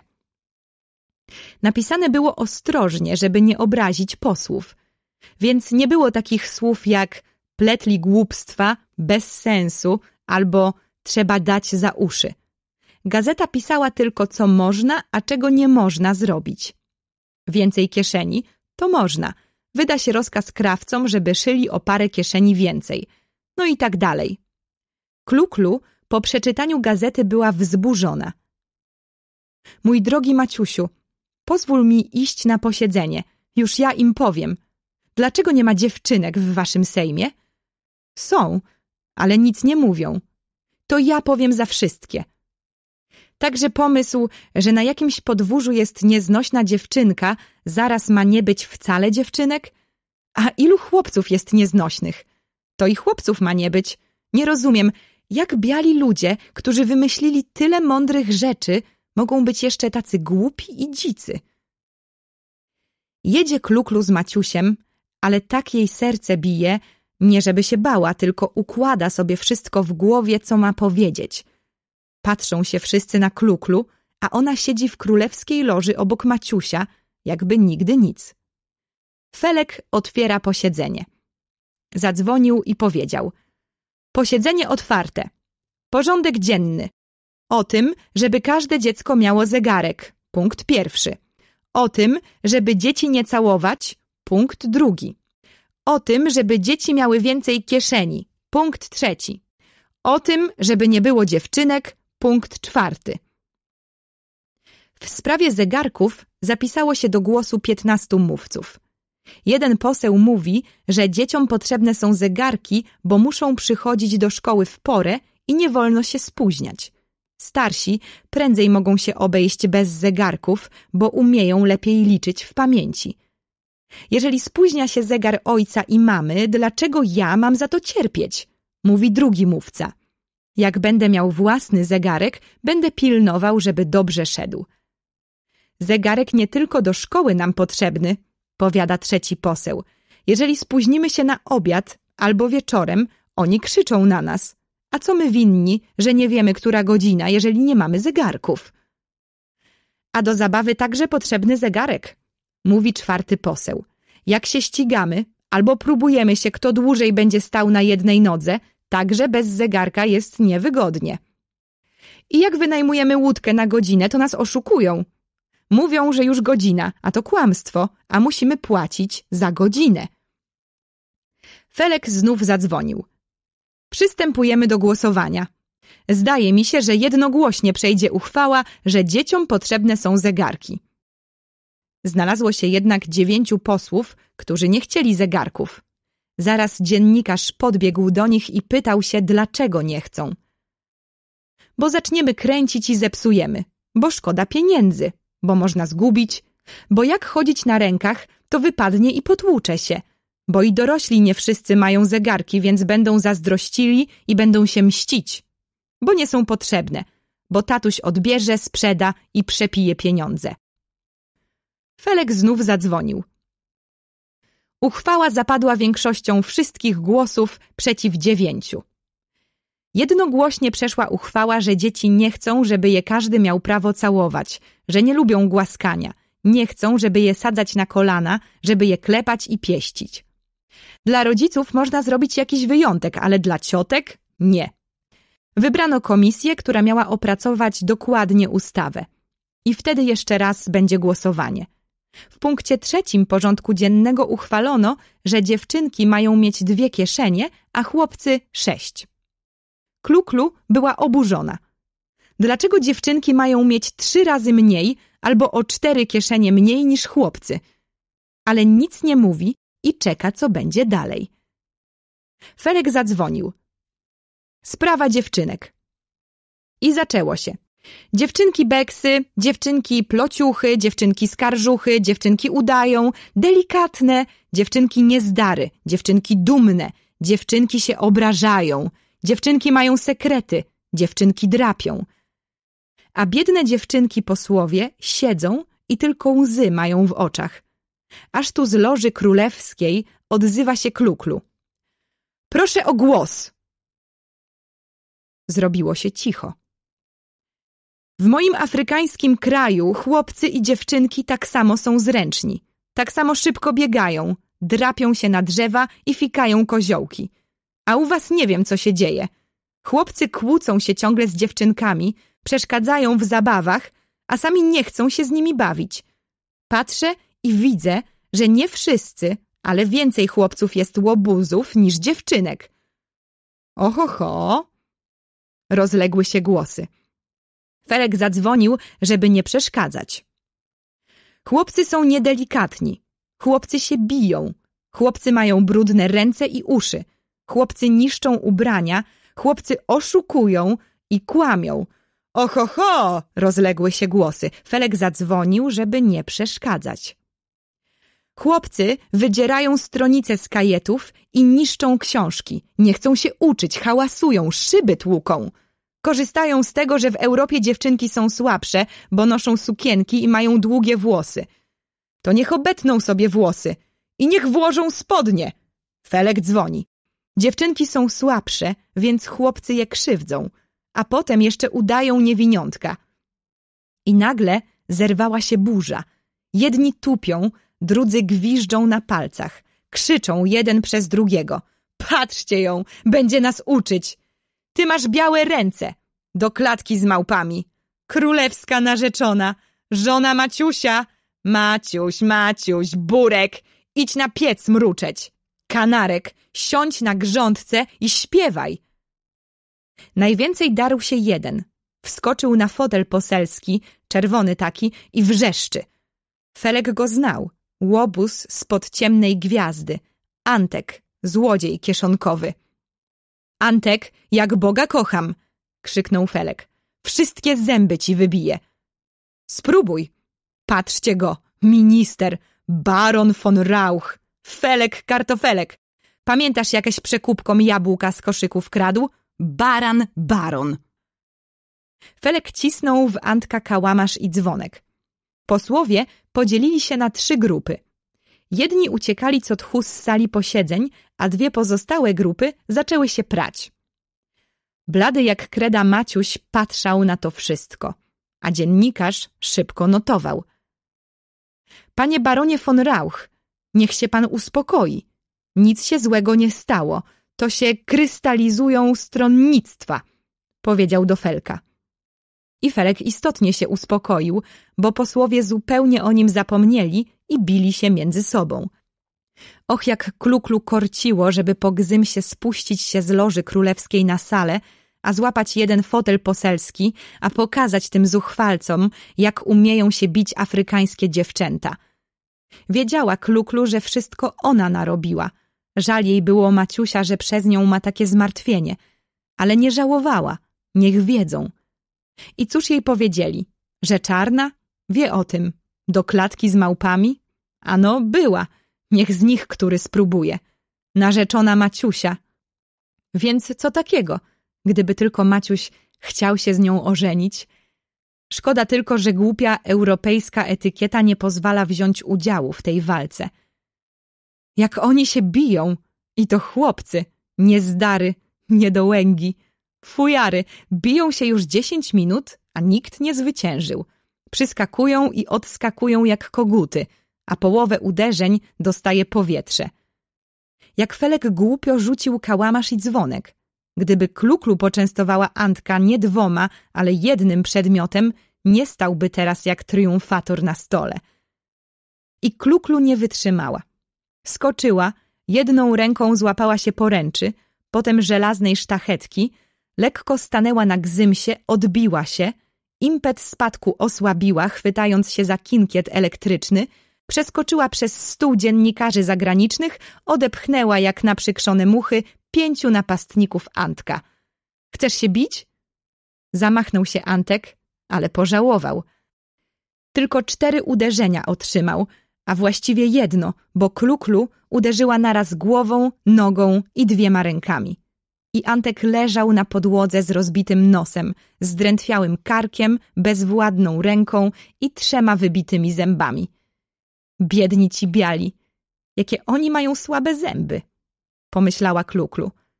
Skoczyła do stołu ministra, zamoczyła chusteczkę w szklance wody i przyłożyła Antkowi do nosa. Nie bój się, uspokajała go. Ręka nie jest złamana. U nas po takim pobiciu leży się dzień. Wy, delikatniejsi, to pewnie za tydzień dopiero będziesz zdrów. A za zęby bardzo cię przepraszam. O, nasze dzieci są znacznie silniejsze od białych. Śmiertelnie obrażony wrócił Maciuś do pałacu. Nigdy, ale to nigdy noga jego w Sejmie Dziecięcym nie postanie. Taka czarna niewdzięczność, taka zapłata za jego pracę, jego dobre zamiary, jego podróże, w których omal nie postradał życia, jego bohaterską obronę kraju. Czarnoksiężnikami ich robić, lalki im dawać do samego nieba, głupcom takim. Szkoda, że zaczął to wszystko. Dach im przeciekał, jedzenie było niedobre, zabaw nie było. A w jakim państwie dzieci mają taki ogród zoologiczny? A mało było fajerwerków, muzyki wojskowej? Gazetę dla nich wydaje. Nie warto było. Ta sama gazeta jutro obwieści całemu światu, że go kotem Burkiem i Maciusiem Kanarkiem nazwali. Nie, nie warto było. I Maciuś kazał powiedzieć, że ani listów dzieci czytać nie będzie, ani po obiedzie audiencji nie będzie. Nie chce dawać więcej prezentów. Dosyć. Maciuś zatelefonował do prezesa ministrów, żeby zaraz przyjechał w bardzo ważnej sprawie. Chciał się poradzić, co robić. Proszę mnie połączyć z prywatnym mieszkaniem prezesa ministrów. A kto mówi? Król. Prezesa ministrów nie ma w domu, powiedział prezes ministrów, nie wiedząc, że Maciuś pozna go po głosie. A przecież pan ze mną rozmawia teraz, mówi Maciuś przez telefon. Ach, to wasza królewska mość, ach, przepraszam bardzo, ale nie mogę przyjść, bo jestem chory i zaraz położę się do łóżka. Dlatego mówię, że mnie nie ma w domu. Maciuś odłożył telefon. Kłamie, mówi, chodząc po gabinecie wzburzony. Nie chcę przyjść, bo już wie o wszystkim. Nikt mnie już teraz nie będzie szanował. Śmiać się ze mnie będą. Ale lokaj zameldował wizytę Felka i dziennikarza. Prosić, rozkazał Maciuś. Przyszedłem zapytać się waszej królewskiej mości, jak mam napisać w gazecie o dzisiejszym posiedzeniu proparu. Można nic o tym nie pisać, ale będą plotki. Więc może napisać, że posiedzenie było burzliwe, że baron von Rauch podał się do dymisji, to znaczy, że się obraził i nie chciał już być ministrem. Ale król się nie zgodził i baron von Rauch zostaje ministrem i król mu daje order. A o mnie co pan napisze? Ależ nic. Przecież o takich rzeczach się nie pisze, bo to nieładnie. Najtrudniejsza sprawa, co zrobić z Antkiem. Antek jest posłem, więc nie można mu dać batów. Posłowie mogą się pobić między sobą, ale rząd nie ma prawa im nic robić, bo są nietykalni. Zresztą dostał już od kluklu i może się uspokoi. Maciuś był bardzo zadowolony, że nie napiszą w gazecie, że Antek się z niego śmiał i chętnie Antkowi przebaczył. Jutro posiedzenie zacznie się o dwunastej. To mnie wcale nie obchodzi, bo ja nie przyjdę. To źle, powiedział dziennikarz. Mogą pomyśleć, że wasza królewska mość się boi. Więc co robić? Przecież jestem obrażony. Mówi Maciuś ze łzami w oczach. to przyjdzie delegacja posłów przeprosić waszą królewską mość. Dobrze, zgodził się Maciuś. Dziennikarz poszedł, bo musiał zaraz pisać do gazety, żeby jutro rano już było wszystko wydrukowane. A Felek został. A mówiłem ci wtedy, żebyś się przestał nazywać Maciuś? No i co? Przerwał podrażniony Maciuś. Ty nazwałeś się baronem von Rauch, a nazwali cię baranem. To jeszcze gorzej niż mnie. Kot to nic złego przecież.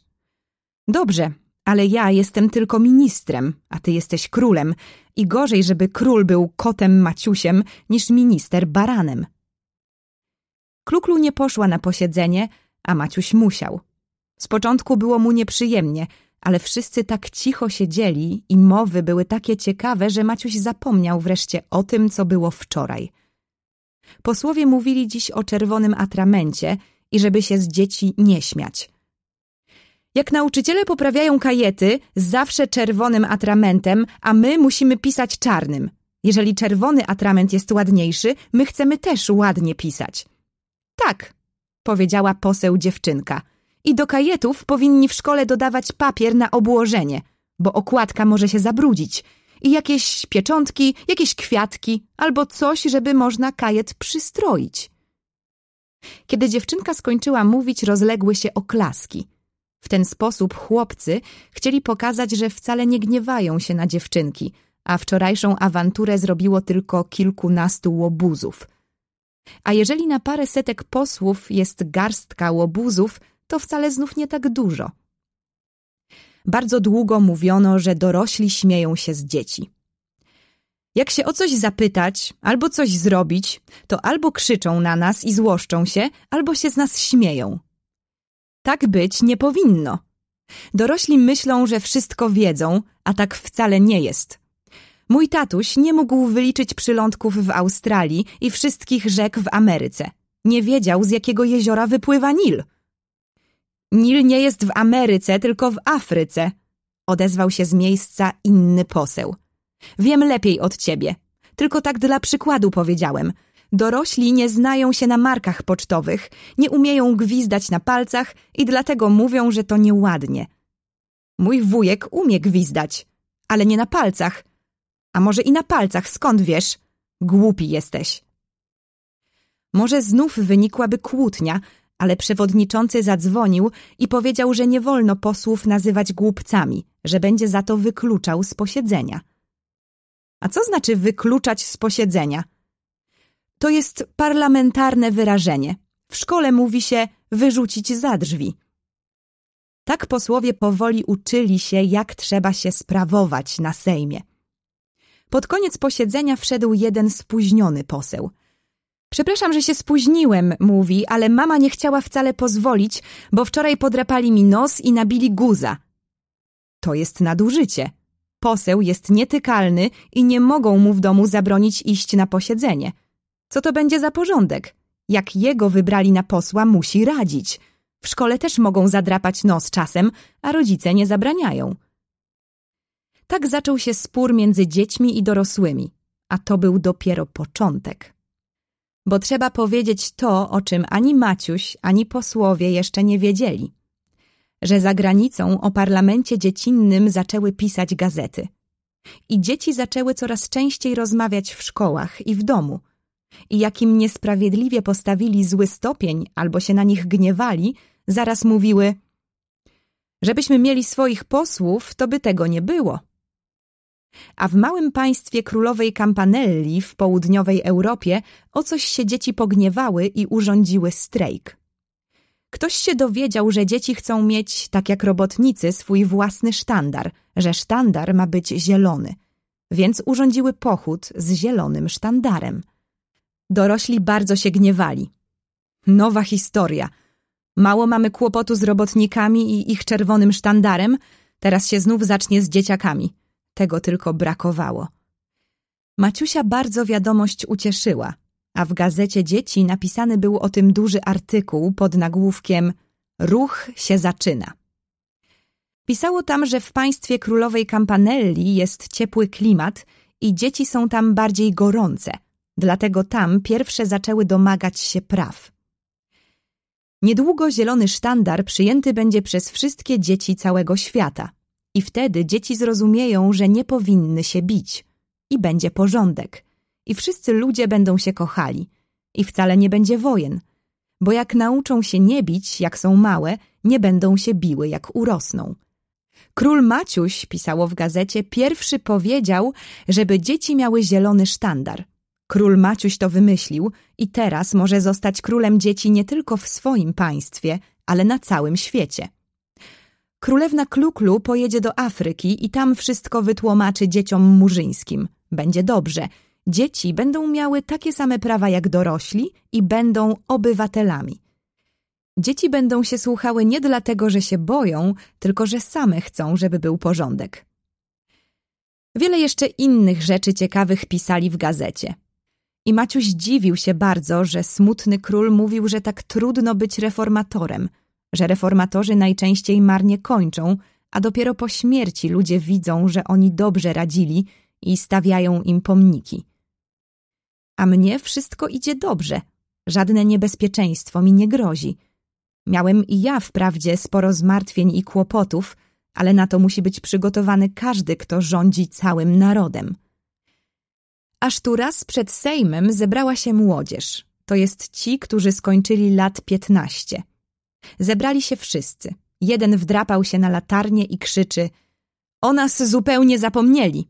My także chcemy mieć posłów. Dorośli mają swój Sejm, dzieci mają swój Sejm, a my mamy być gorsi? My na to nie pozwolimy, żeby się takie szczeniaki rozporządzały. Jeżeli malcom dają czekoladę, nam niech dają papierosy. To niesprawiedliwe.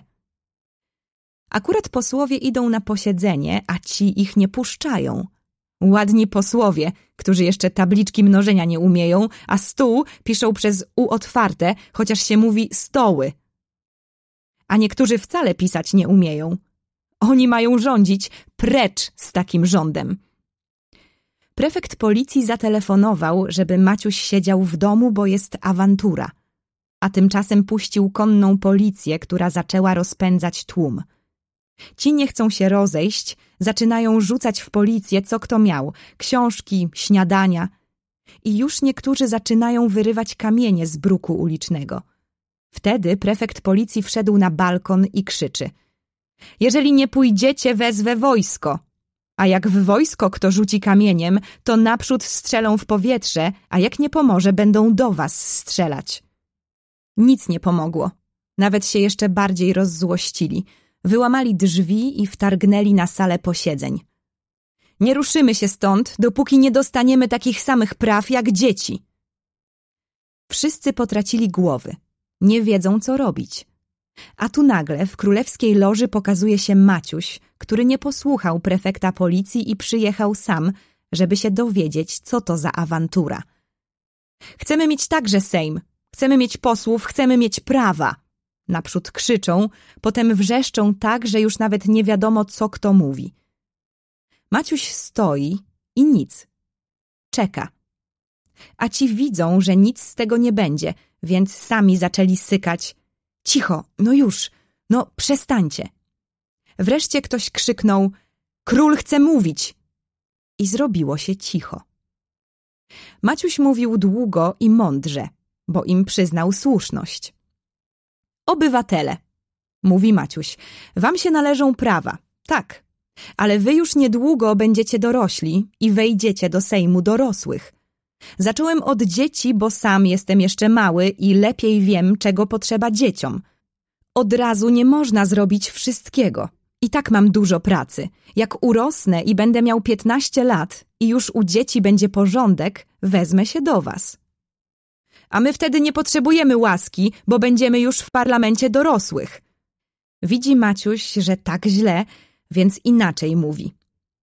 A zresztą, dlaczego się nas czepiacie?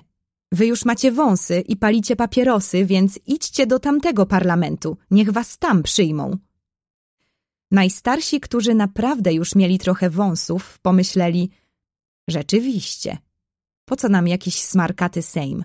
My możemy być już w prawdziwym parlamencie. A młodsi wstydzili się powiedzieć, że nie palą papierosów, więc też powiedzieli Dobrze. I poszli sobie. A jak szli do Sejmu dorosłych, wojsko ich nie puściło. Stanęli z nastawionymi bagnetami i zatrzymali pochód. Ci chcą wracać, a z tyłu też wojsko. Więc rozdzielili się. I jedni weszli w jedną ulicę na prawo, a drudzy na lewo. Potem się znów rozdzielili, a wojsko z tyłu najeżdża i goni.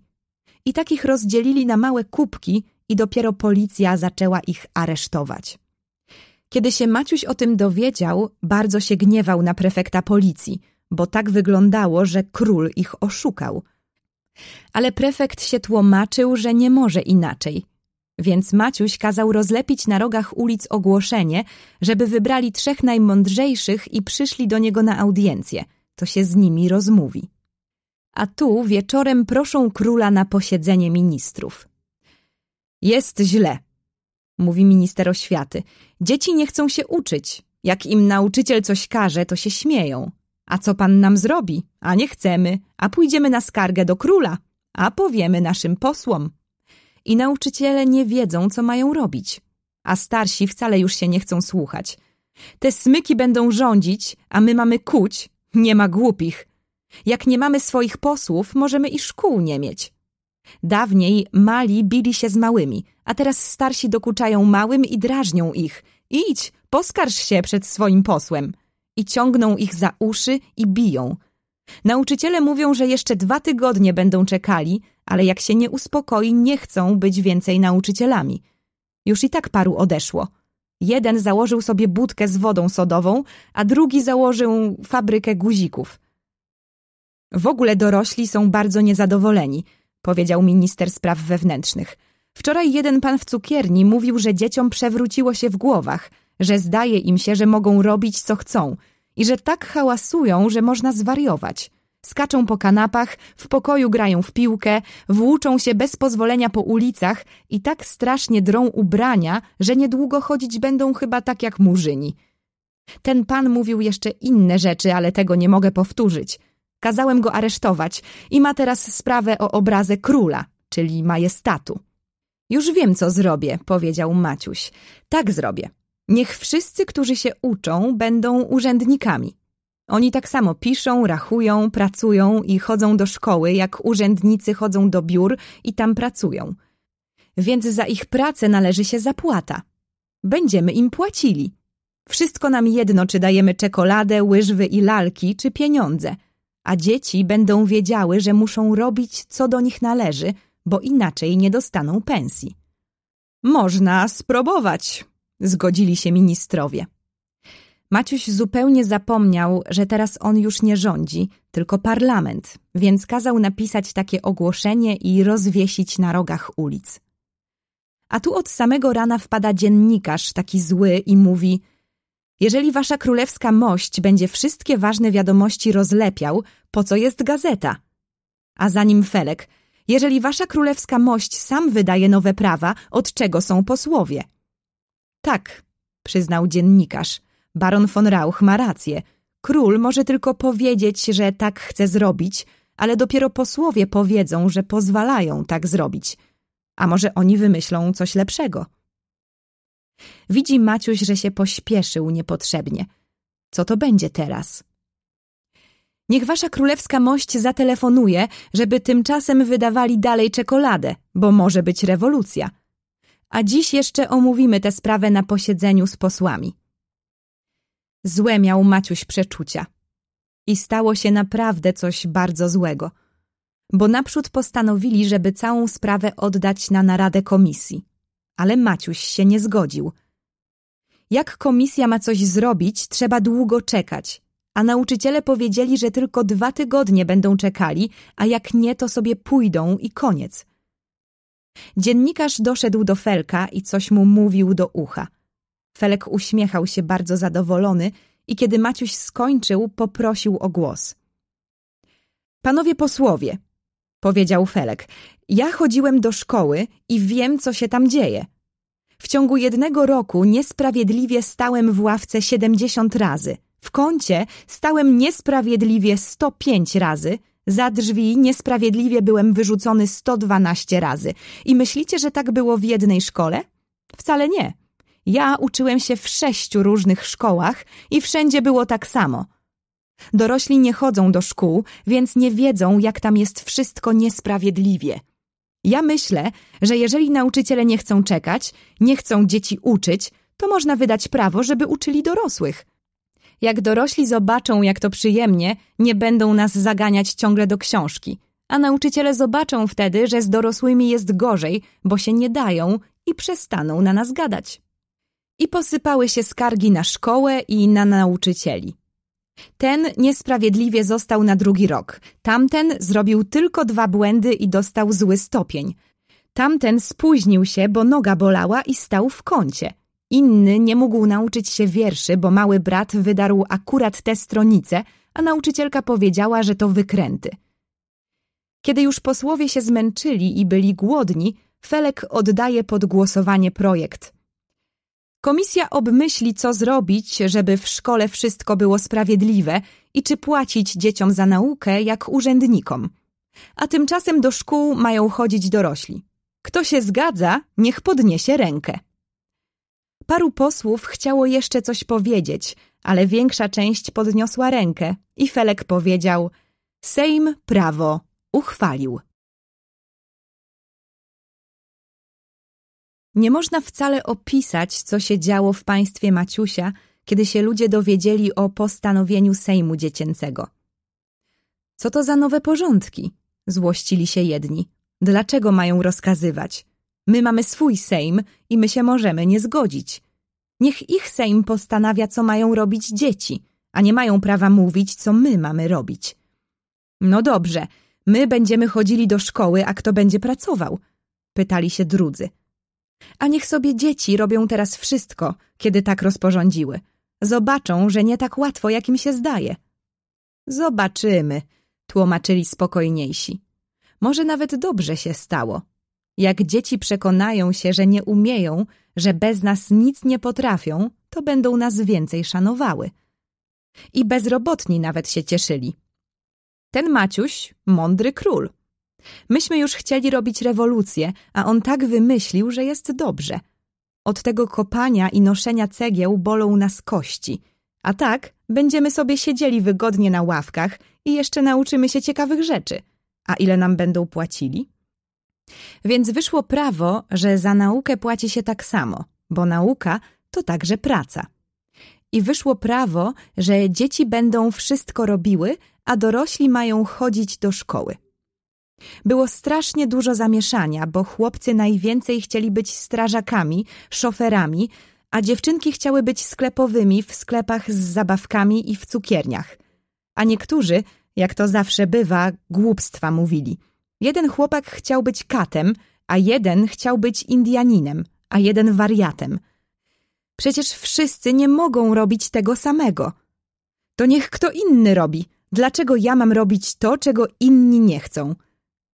I w rodzinach dużo było sporów, jak dzieci oddawały rodzicom swoje książki i kajety.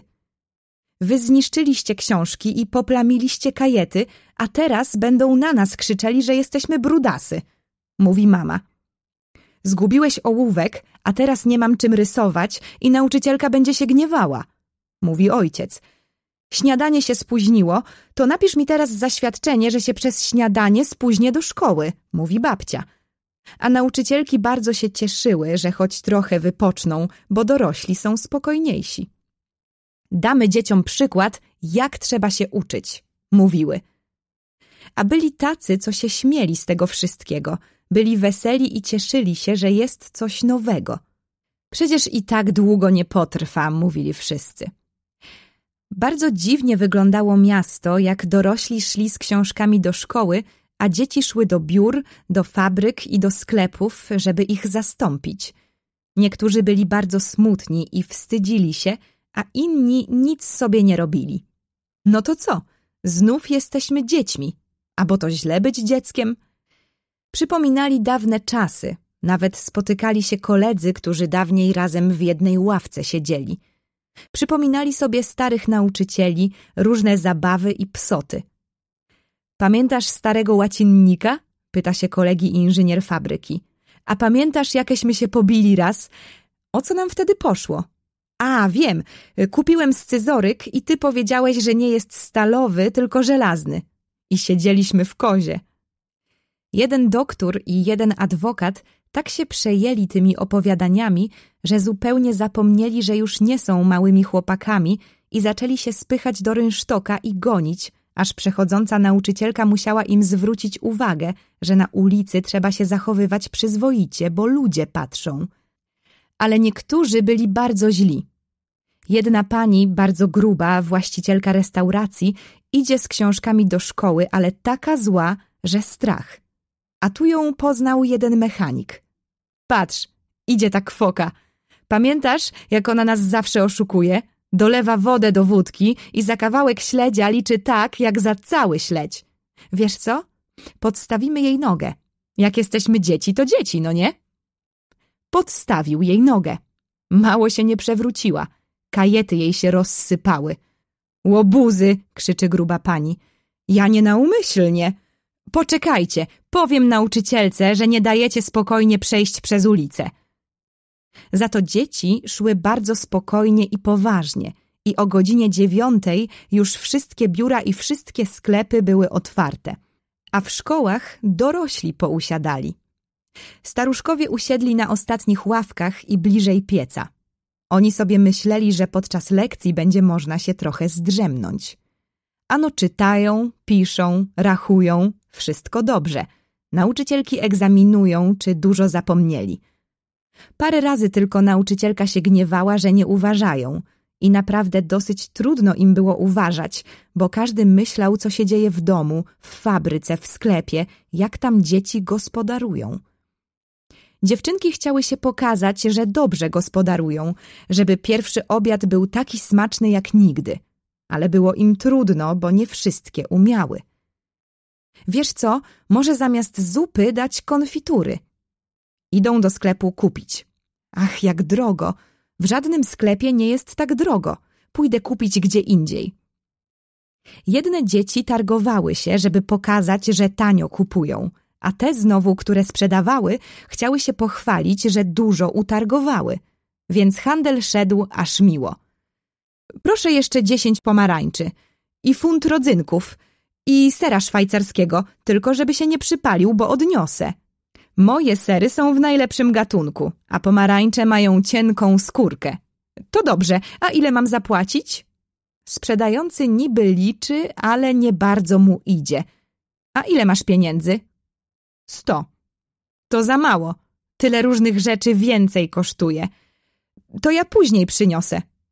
No dobrze, ale proszę mi wydać resztę. Głupia jesteś, dajesz za mało i jeszcze chcesz resztę.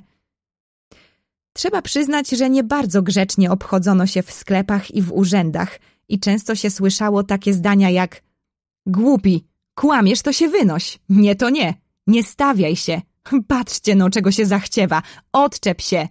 I tak dalej. I często się słyszało Poczekaj jak mama wróci ze szkoły. Albo Poczekaj, wszystko tatusiowi powiem, już niedługo szkoła się skończy. Najwięcej przeszkadzali ulicznicy, bo wpadali do sklepów, jedli i nie chcieli wcale płacić. Niby była policja, stali chłopcy na rogach ulic, ale jeszcze dobrze nie wiedzieli, co mają robić. Patrz, co ty za milicjant. Wpadli do sklepu, złapali garść suszonych śliwek i uciekli. A dokąd uciekli? A bo ja wiem. No, jak nie wiesz, więc co ja ci poradzę? Jak jesteś milicjant, to powinieneś patrzeć. Dobrze, ty masz jeden sklep i nie możesz upilnować, a ja mam pięćdziesiąt sklepów do pilnowania. Głupi jesteś. No to głupi. A jak ci się nie podoba, to mnie nie wołaj i już. Wychodzi milicjant, a szabla mu się plącze. Także pretensja. Chce, żeby aresztować złodzieja, a nie wie, gdzie jest. Psia służba. Stój jak ten słup i patrz na wszystko. I żeby mi choć dała jabłko albo co. To nie. Powiem, że nie chcę być więcej milicjantem i koniec. Niech sobie robią, co chcą. Mogę wrócić do szkoły, jak im się nie podoba. Wracają rodzice ze szkół. Dzieci otwierają im drzwi i pytają się Czy mamusia wydawała? Czy tatuś dobrze zrobił zadanie? Z kim babcia siedzi na ławce? Na której ławce? A znów inne dzieci wracają z biur i wstępują do szkoły, żeby ojca albo mamę odprowadzić do domu. No, co robiłeś w biurze? pyta się ojciec. A nic. Siedziałem przy biurku, potem trochę wyglądałem przez okno, bo pogrzeb szedł, potem zacząłem palić papierosa, ale był gorzki. Potem leżały tam jakieś papiery, to wszędzie podpisałem swoje nazwisko. Potem przyszło trzech panów, ale mówili po jakiemuś, pewnie po francusku albo po angielsku, to im powiedziałem, że nie rozumiem. Potem miała być herbata, ale nie było, więc tylko zjadłem cukier. A potem telefonowałem do różnych kolegów, co oni robią, ale telefony się poplątały czy co, więc tylko jeden mi odpowiedział, że pracuje na poczcie i tam jest dużo listów z zagranicznymi markami. Obiady w niektórych domach były dobre, ale w innych wszystko się przypaliło albo wcale nie mogli rozpalić ognia, więc prędko trzeba było gotować. Muszę się śpieszyć, mówi mama, bo mam na jutro dużo lekcji zadanych. Pani powiedziała, że dorosłym trzeba więcej zadawać. To jest niesprawiedliwe. W innych szkołach mniej zadają. A czy stał kto w kącie? Mama się trochę zawstydziła, ale powiedziała, że stali. A za co?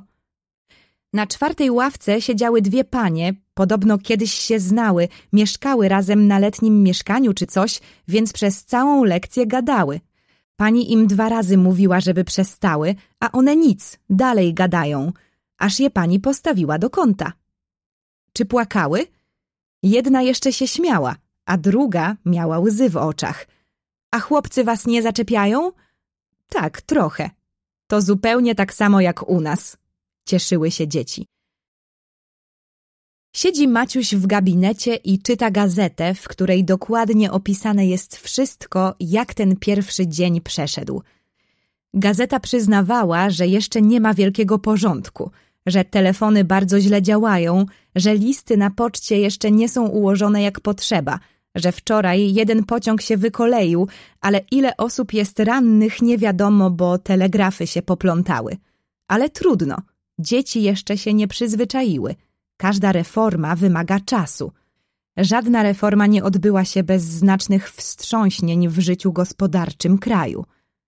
Zresztą komisja pracuje nad tym, żeby dokładnie opracować prawo o szkołach, żeby nauczyciele i dzieci, i rodzice, żeby wszyscy byli zadowoleni.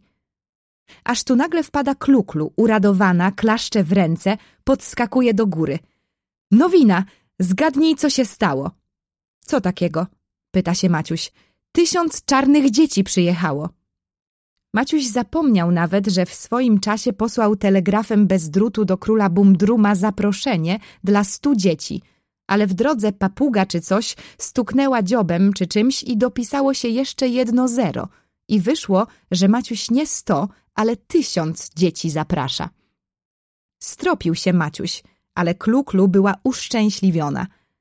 To jeszcze lepiej – jeżeli więcej dzieci od razu nauczy się, będzie można zrobić porządek od razu w całej Afryce. I Kluklu wzięła się nie na żarty do roboty.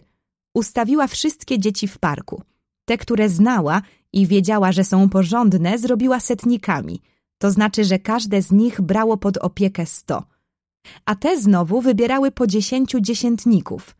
Każdy dziesiętnik dostał jeden pokój w letnim pałacu – a setnicy mieszkali w zimowym pałacu Maciusia. Kluklu wszystko powiedziała setnikom, co w Europie robić wolno, a co nie. Setnicy zaraz to samo powtórzyli dziesiętnikom, a ci znowu swoim dziesiątkom. Tak samo będą się uczyć. Ale jak oni będą spali? Tymczasem mogą spać na podłodze. Przecież są jeszcze dzicy i im wszystko jedno. A co będą jedli? Pyta się Maciuś. Przecież kucharze chodzą do szkoły. Tymczasem mogą jeść surowe mięso. Przecież są jeszcze dzicy i im wszystko jedno. Kluklu nie lubiła tracić czasu i zaraz po obiedzie miała pierwszą lekcję.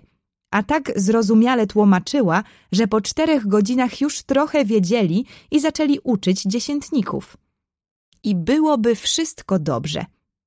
Ale wpada znów konny posłaniec, że dzieci otworzyły przez nieostrożność klatkę z wilkami w zoologicznym ogrodzie i wszystkie wilki wyleciały. W mieście ludzie tacy nastraszeni, że nikt nie chce wyjść na ulicę. Nawet mój koń nie chciał jechać, aż musiałem go bić żelazną szpicrutą, mówi posłaniec. A po co było wypuszczać wilki? To nie wina dzieci, mówi konny posłaniec. Dozorcy poszli do szkoły, a nic nie powiedzieli dzieciom, które ich miały zastąpić, że klatki otwierają się na mechaniczne rygle, więc one nie wiedziały i otworzyły. A ile było wilków? Dwanaście, a najgorszy jeden. Zupełnie nie wiem, jak go teraz złapać. A gdzie są te wilki? Nie wiadomo, uciekły.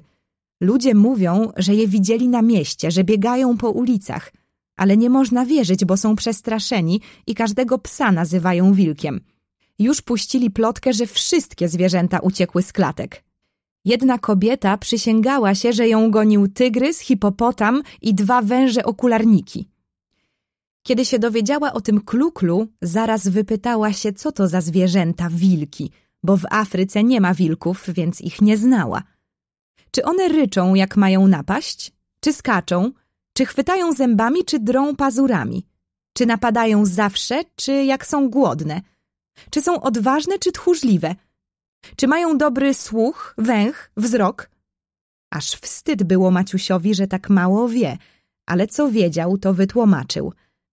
Ja myślę, powiedziała Kluklu, że one się ukryły w samym ogrodzie. Pójdę z setnikami i załatwię to bardzo prędko. Ach, jaka szkoda, że nie uciekły także lwy i tygrysy. To byłoby lepsze polowanie. Idzie Maciuś, idzie Kluklu i jeszcze dziesięć murzynów, a ludzie stoją w oknach i patrzą, a na ulicy nie ma ani jednego człowieka. Puściusieńkie zupełnie, sklepy pozamykane, tak jakby całe miasto wymarło. Aż wstyd było Maciusiowi, że biali tacy tchórze. Ale doszli do ogrodu i zaczęli bić w kotły i dąć w piszczałki. Hałas, jakby całe wojsko szło. A tam były takie krzaki, taki gąszcz. Stać! zawołała Kluklu. Przygotować łuki. Tam się coś rusza. Wybiegła Kluklu, skoczyła na drzewo i ledwo złapała się gałęzi, a tu na nią takie wielkie wilczysko. Oparł się wilk, pazurami drapie pień drzewa i wyje, a tamte mu odpowiadają. To ich przewodnik, krzyczy Kluklu. Teraz już tamte możecie zapędzić do klatki. Obejdźcie krzaki i z tamtej strony je wystraszcie.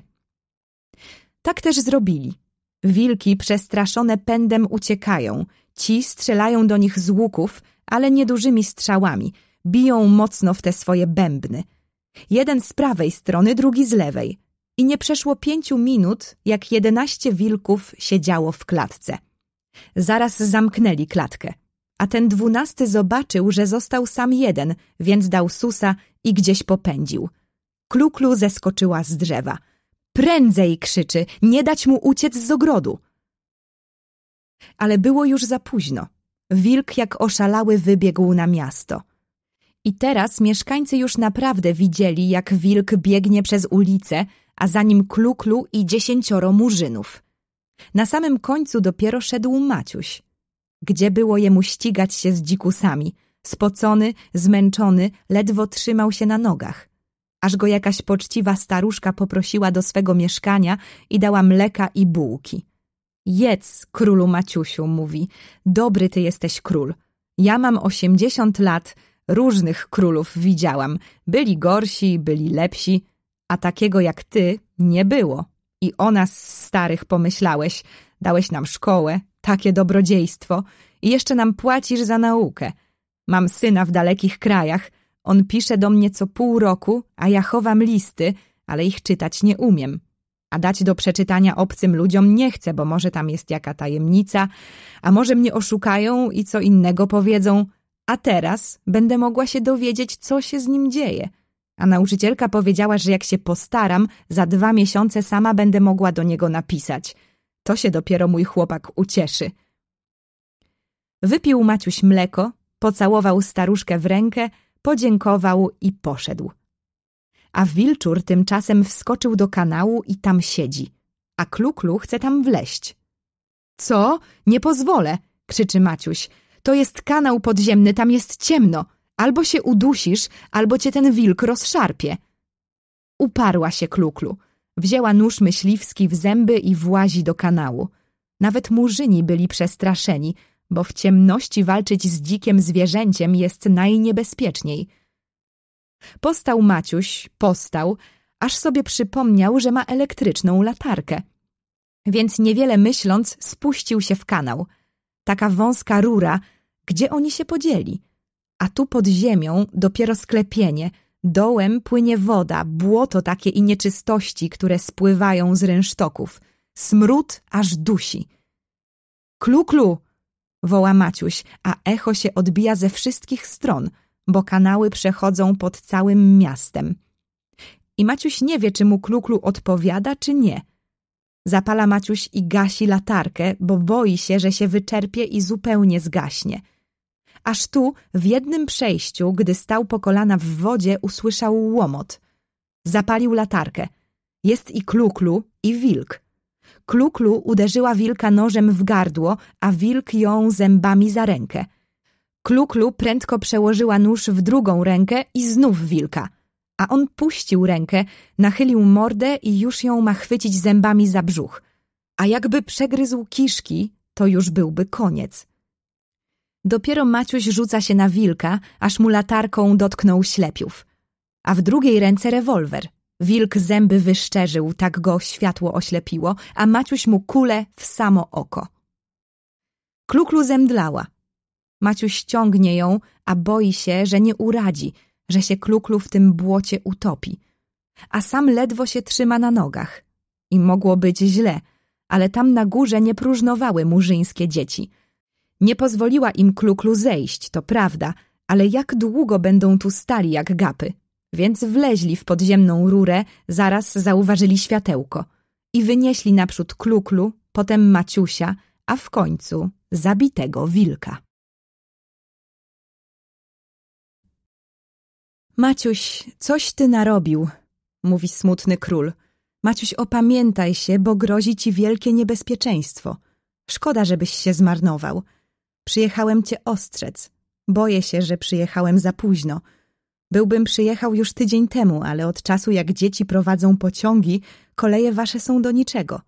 Od samej granicy musiałem jechać na chłopskich furach. Może i lepiej się stało, bo przejeżdżałem przez różne wsie i miasteczka i wiem, co mówi o tobie naród. Maciusiu, jest źle, wierzaj mi. Smutny król w największej tajemnicy opuścił swoje państwo i przyjechał ratować Maciusia. A co się stało takiego? Zapytał się Maciuś wzburzony. Stało się dużo złego, tylko ciebie oszukują, przed tobą ukrywają, ty nic nie wiesz. Wiem wszystko, obraził się Maciuś. Co dzień przecież czytam gazetę. Dzieci powoli się przyzwyczajają, komisja pracuje, a żadna reforma nie może wejść w życie bez wstrząśnień. Wiem, że jest nieporządek. Słuchaj, Maciuś, ty czytasz tylko jedną gazetę, tylko swoją gazetę. Tam wszystko kłamią. Przeczytaj inne gazety. I smutny król położył na biurku paczkę przywiezionych gazet. Maciuś rozwijał powoli gazety. Czytał tylko wypisane dużymi literami nagłówki gazet. Nie potrzeba było czytać, żeby wiedzieć, o czym tam piszą. Maciusiowi pociemniało w oczach. Król Maciuś zwariował. Król żeni się z afrykańską małpą. Panowanie czarnych diabłów. Minister złodziej. Ucieczka szpiega z więzienia. Gazeciarz Felek baronem. Wysadzenie w powietrze dwóch fortec. Nie mamy ani armat, ani prochu. W przededniu wojny. Ministrowie wywożą klejnoty. Precz z królem tyranem. Tu właśnie, krzyknął Maciuś, są same kłamstwa. Co za panowanie czarnych diabłów. Że dzieci murzyńskie przyjechały się do nas uczyć? One są pożyteczne. Jak wilki uciekły z klatki, one z narażeniem życia zagoniły je do klatki, a Kluklu ma całą rękę poszarpaną. Jak nie miał kto czyścić kominów, bo białe dzieci nie chciały i zaczęły się pożary, to czarne dzieci są kominiarzami. Mamy armaty i mamy proch. Ja wiem, że Felek był gazeciarzem, ale złodziejem nie był, a ja nie jestem tyranem. Maciusiu, nie gniewaj się, bo to nic nie pomoże. Mówię ci, że jest źle. Chcesz, pójdziemy na miasto, sam się przekonasz. Przebrał się Maciuś za zwyczajnego chłopca, Smutny król też był zwyczajnie ubrany. I wyszli. Przechodzą koło tych samych koszar, obok których przechodził wtedy z Felkiem, gdy po raz pierwszy wykradł się na wojnę w nocy z pałacu. O, jaki był wtedy szczęśliwy, jak nic nie rozumiał, jaki był dziecinny. Teraz już wszystko wie i niczego się nie spodziewa. Siedzi koło koszar stary żołnierz, fajkę pali. Co tam słychać w wojsku? Ano nic, dzieci gospodarują. Wystrzelały na wiwat naboje, popsuły armaty. Nie ma wojska już. I zapłakał. Przechodzą koło fabryki. Siedzi robotnik, trzyma książkę na kolanach, wierszy na jutro się uczy. Co tam słychać w fabrykach? A wejdźcie, to zobaczycie. Teraz każdemu wolno wchodzić. Wchodzą. W kantorze papiery porozrzucane, główny kocioł pękł, maszyny stoją. Paru chłopców kręci się po sali. Co wy tu robicie? Ano, przysłali tu nas pięciuset, żeby robić. Tamci powiedzieli, nie ma głupich i poszli sobie na wagary. A nas tak ze trzydziestu, no przyszliśmy. Nic nie wiemy, wszystko zepsute. Tamci odeszli, a my trochę zamiatamy. Rodzice w szkole, w domu się nudzi i nieprzyjemnie brać pieniądze, jak się nic nie robi. Połowa sklepów na ulicach zamknięta, chociaż już wszyscy wiedzieli, że wilki w klatce. Weszli do jednego sklepu. Bardzo miła dziewczynka sprzedawała. Moja panienko, dlaczego tyle sklepów jest zamkniętych? Bo wszystko ukradli. Policji nie ma, wojska nie ma, łobuzeria włóczy się po ulicy i grabi. Co kto miał, zaniósł do domu i schował. Wstąpili na dworzec kolei. Na środku leżał rozbity pociąg. Co to się stało? Zwrotniczy poszedł grać w piłkę, a naczelnik stacji poszedł łowić ryby, a maszynista nie wiedział, gdzie hamulec ratunkowy. I ot, stu ludzi zabitych. Maciuś zagryzł wargi, żeby nie wybuchnąć płaczem. Niedaleko dworca był szpital. I tu niby dzieci opiekowały się chorymi, a doktorzy, jak mieli mniej lekcji zadanych, wpadali na pół godzinki. Ale to niewiele pomogło. Chorzy jęczeli i umierali bez pomocy, a dzieci płakały, bo się bały i nie wiedziały, co robić. No cóż, Maciusiu, wrócimy chyba do pałacu.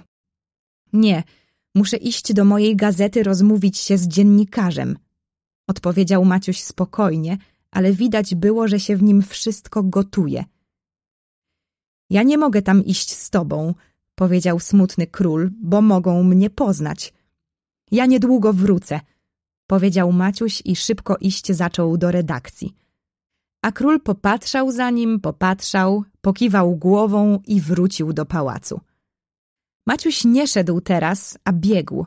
Ręce zacisnął w pięście i czuł, jak odzywa się w nim krew Henryka Porywczego. Poczekaj, ty złodzieju, ty kłamczuchu, ty oszuście, odpowiesz ty mi za wszystko. Wpadł Maciuś do pokoju dziennikarza. Przy biurku siedział dziennikarz, a Felek leży na kanapie i pali cygaro. A, i ty tu jesteś, krzyknął raczej niż powiedział Maciuś. Tym lepiej, rozmówię się z wami dwoma. Coście wy zrobili? Wasza królewska mość zechce spocząć, zaczął swoim cichym, miłym głosem dziennikarz. Maciuś drgnął. Teraz już był pewien, że dziennikarz jest szpiegiem. Dawno mu to już serce mówiło, ale teraz zrozumiał wszystko. A masz ty szpiegu! krzyknął Maciuś i już miał strzelić do niego z rewolweru, z którym się od czasu wojny nie rozstawał, gdy szpieg błyskawicznym ruchem schwycił Maciusia za rękę. Kula uderzyła w sufit. Dzieciom się rewolwerów nie daje, powiedział z uśmiechem dziennikarz i tak mocno ścisnął rękę Maciusia, jakby mu mięso odchodziło od kości. Ręka się sama otworzyła. Dziennikarz rewolwer schował do biurka i zamknął na klucz. Teraz możemy spokojnie porozmawiać. Więc co wasza królewska mość ma mi do zarzucenia? Że broniłem waszej królewskiej mości w mojej gazecie? Że uspokajałem i tłumaczyłem, że chwaliłem kluklu, za to wasza królewska mość nazywa mnie szpiegiem i chce do mnie strzelać? A to głupie prawo o szkołach. Cóż ja winien? Przez głosowanie postanowiły tak dzieci. Dlaczego pan nie napisał w gazecie, że nasze fortece wysadzone w powietrze? O tym powinien był donieść minister wojny. Naród o takich rzeczach nie powinien wiedzieć. To jest tajemnica wojskowa. A dlaczego pan się tak wypytywał o pożar w lasach zagranicznego króla? Dziennikarz musi się o wszystko pytać, bo z tego co wie, wybiera potem wiadomości do gazety. Gazetę moją wasza królewska mość czytał codziennie. Czy źle w niej pisało? O, bardzo dobrze, aż za dobrze. Boleśnie roześmiał się Maciuś. Dziennikarz spojrzał Maciusiowi prosto w oczy i zapytał Czy wasza królewska mość i teraz jeszcze nazwie mnie szpiegiem? Ja cię nazwę! krzyknął nagle Felek, zrywając się z kanapy. Dziennikarz zbladł, z wściekłością spojrzał na Felka i zanim obaj chłopcy mogli się opamiętać, już stał we drzwiach. Zobaczymy się nie za długo znów, smarkacze! Zawołał i zbiegł szybko po schodach. Przed domem nie wiadomo skąd się wziął samochód. Dziennikarz coś powiedział szoferowi. Trzymaj, łapaj! krzyczał Felek przez okno, które z rozmachem otworzył. Ale było za późno. Samochód znikł na rogu. Zresztą kto go miał zatrzymać? Tylko przed domem zebrało się trochę gapiów i dzieci i patrzyli, co to za hałas. Maciuś zdziwiony był tym, co się stało, a Felek z płaczem rzucił mu się do nóg. Królu, zabij mnie. Królu, to wszystko moja wina, ryczał Felek. O, ja nieszczęśliwy, co ja narobiłem? Poczekaj, Felek, później pomówimy o wszystkim spokojnie. Co się stało, to się już nie odstanie. W niebezpieczeństwie trzeba być spokojnym i rozważnym. Trzeba myśleć nie o tym, co było, a o tym, co być powinno, co będzie, co musi być. Chciał Felek zaraz opowiedzieć, ale Maciuś nie chciał tracić ani chwili czasu. Słuchaj, Felek, telefony zepsute. Mam tylko ciebie jednego. Czy wiesz, gdzie mieszkają ministrowie? Ja bym czego nie wiedział? Oni na różnych ulicach mieszkają, ale to nic. Nogi mam dobre. Dwa lata byłem gazeciarzem. Pewnie chcesz ich wezwać? I natychmiast. Maciuś spojrzał na zegarek. Jak długo ci potrzeba na drogę? Pół godziny. Dobrze, więc za dwie godziny mają być u mnie w sali tronowej. I powiedz, że jeżeli który powie, że chory, to niech pamiętają, że jestem potomkiem Henryka. Przyjdą, już ja im powiem, krzyknął Felek. Zrzucił buty, elegancki tużurek z orderem. Na biurku stała flaszka z tuszem drukarskim. Felek zasmarował spodnie, ręce, trochę twarz i na bosaka puścił się kłusem zwoływać ministrów. A Maciuś szybko pobiegł w stronę Pałacu Królewskiego, bo przed posiedzeniem ministrów chciał się jeszcze rozmówić ze smutnym królem. Gdzie ten pan, który rano ze mną rozmawiał? Pyta się zdyszany, ledwo mu kluklu drzwi otworzyła. Ten pan wyszedł i zostawił list na biurku. Wpada Maciuś do gabinetu, bo miał złe przeczucie. Łapie list, a tam jest tak napisane. Drogi kochany Maciusiu, stało się to, czego się najbardziej obawiałem. Muszę cię opuścić. Drogi Maciusiu, gdybym nie znał ciebie, zaproponowałbym ci, abyś wspólnie ze mną wyjechał do mojego kraju, ale wiem, że się nie zgodzisz. Jadę północną szosą. Gdybyś chciał, mógłbyś mnie dogonić konno w dwie godziny. Zatrzymam się w karczmie, zaczekam. Może. Jeżeli nie, pamiętaj, że jestem twoim przyjacielem. Ufaj mi nawet wtedy, kiedy będziesz sądził, że cię zdradziłem. Cokolwiek zrobię, to dla twego dobra. Błagam cię o jedno, to musi być tajemnica. Nikt, ale to nikt nie może o tym wiedzieć. List spal koniecznie, natychmiast go spal. Żal mi ciebie, biedne dziecko, sieroto samotny. Bardzo bym chciał oszczędzić ci choć część nieszczęść, które ciebie czekają. Może jednak pojedziesz ze mną. List ten spal koniecznie. Maciuś szybko przeczytał list, zapalił świecę, przytknął koniec papieru. Papier zaczął się tlić, buchnął płomieniem, zwijał się w trąbkę, zczerniał. Płomień parzył Maciusiowi palce, ale on na to nie zważał. Dusza moja więcej cierpi niż palce, pomyślał. Naprzeciw biurka wisiały portrety jego ojca i matki. Biedny, samotny sieroto. Westchnął Maciuś, patrząc na portrety zmarłych rodziców. Westchnął tylko głęboko. Nie wolno mu było płakać, bo za chwilę miał włożyć koronę i nie może mieć oczów czerwonych. Do pokoju cicho wślizgnęła się kluklu i stanęła tak pokornie, że choć w pierwszej chwili rozdrażniła Maciusia jej obecność, po chwili zapytał się łagodnie – Czego chcesz, kluklu? Biały król ukrywa przed kluklu swe troski. Biały król nie chce czarnej, dzikiej kluklu powierzyć swych tajemnic, ale kluklu wie i kluklu nie opuści białego króla w potrzebie. Kluklu powiedziała to uroczyście, trzymając obie ręce wzniesione do góry. Tak samo przysięgał mu kiedyś Bum-Drum.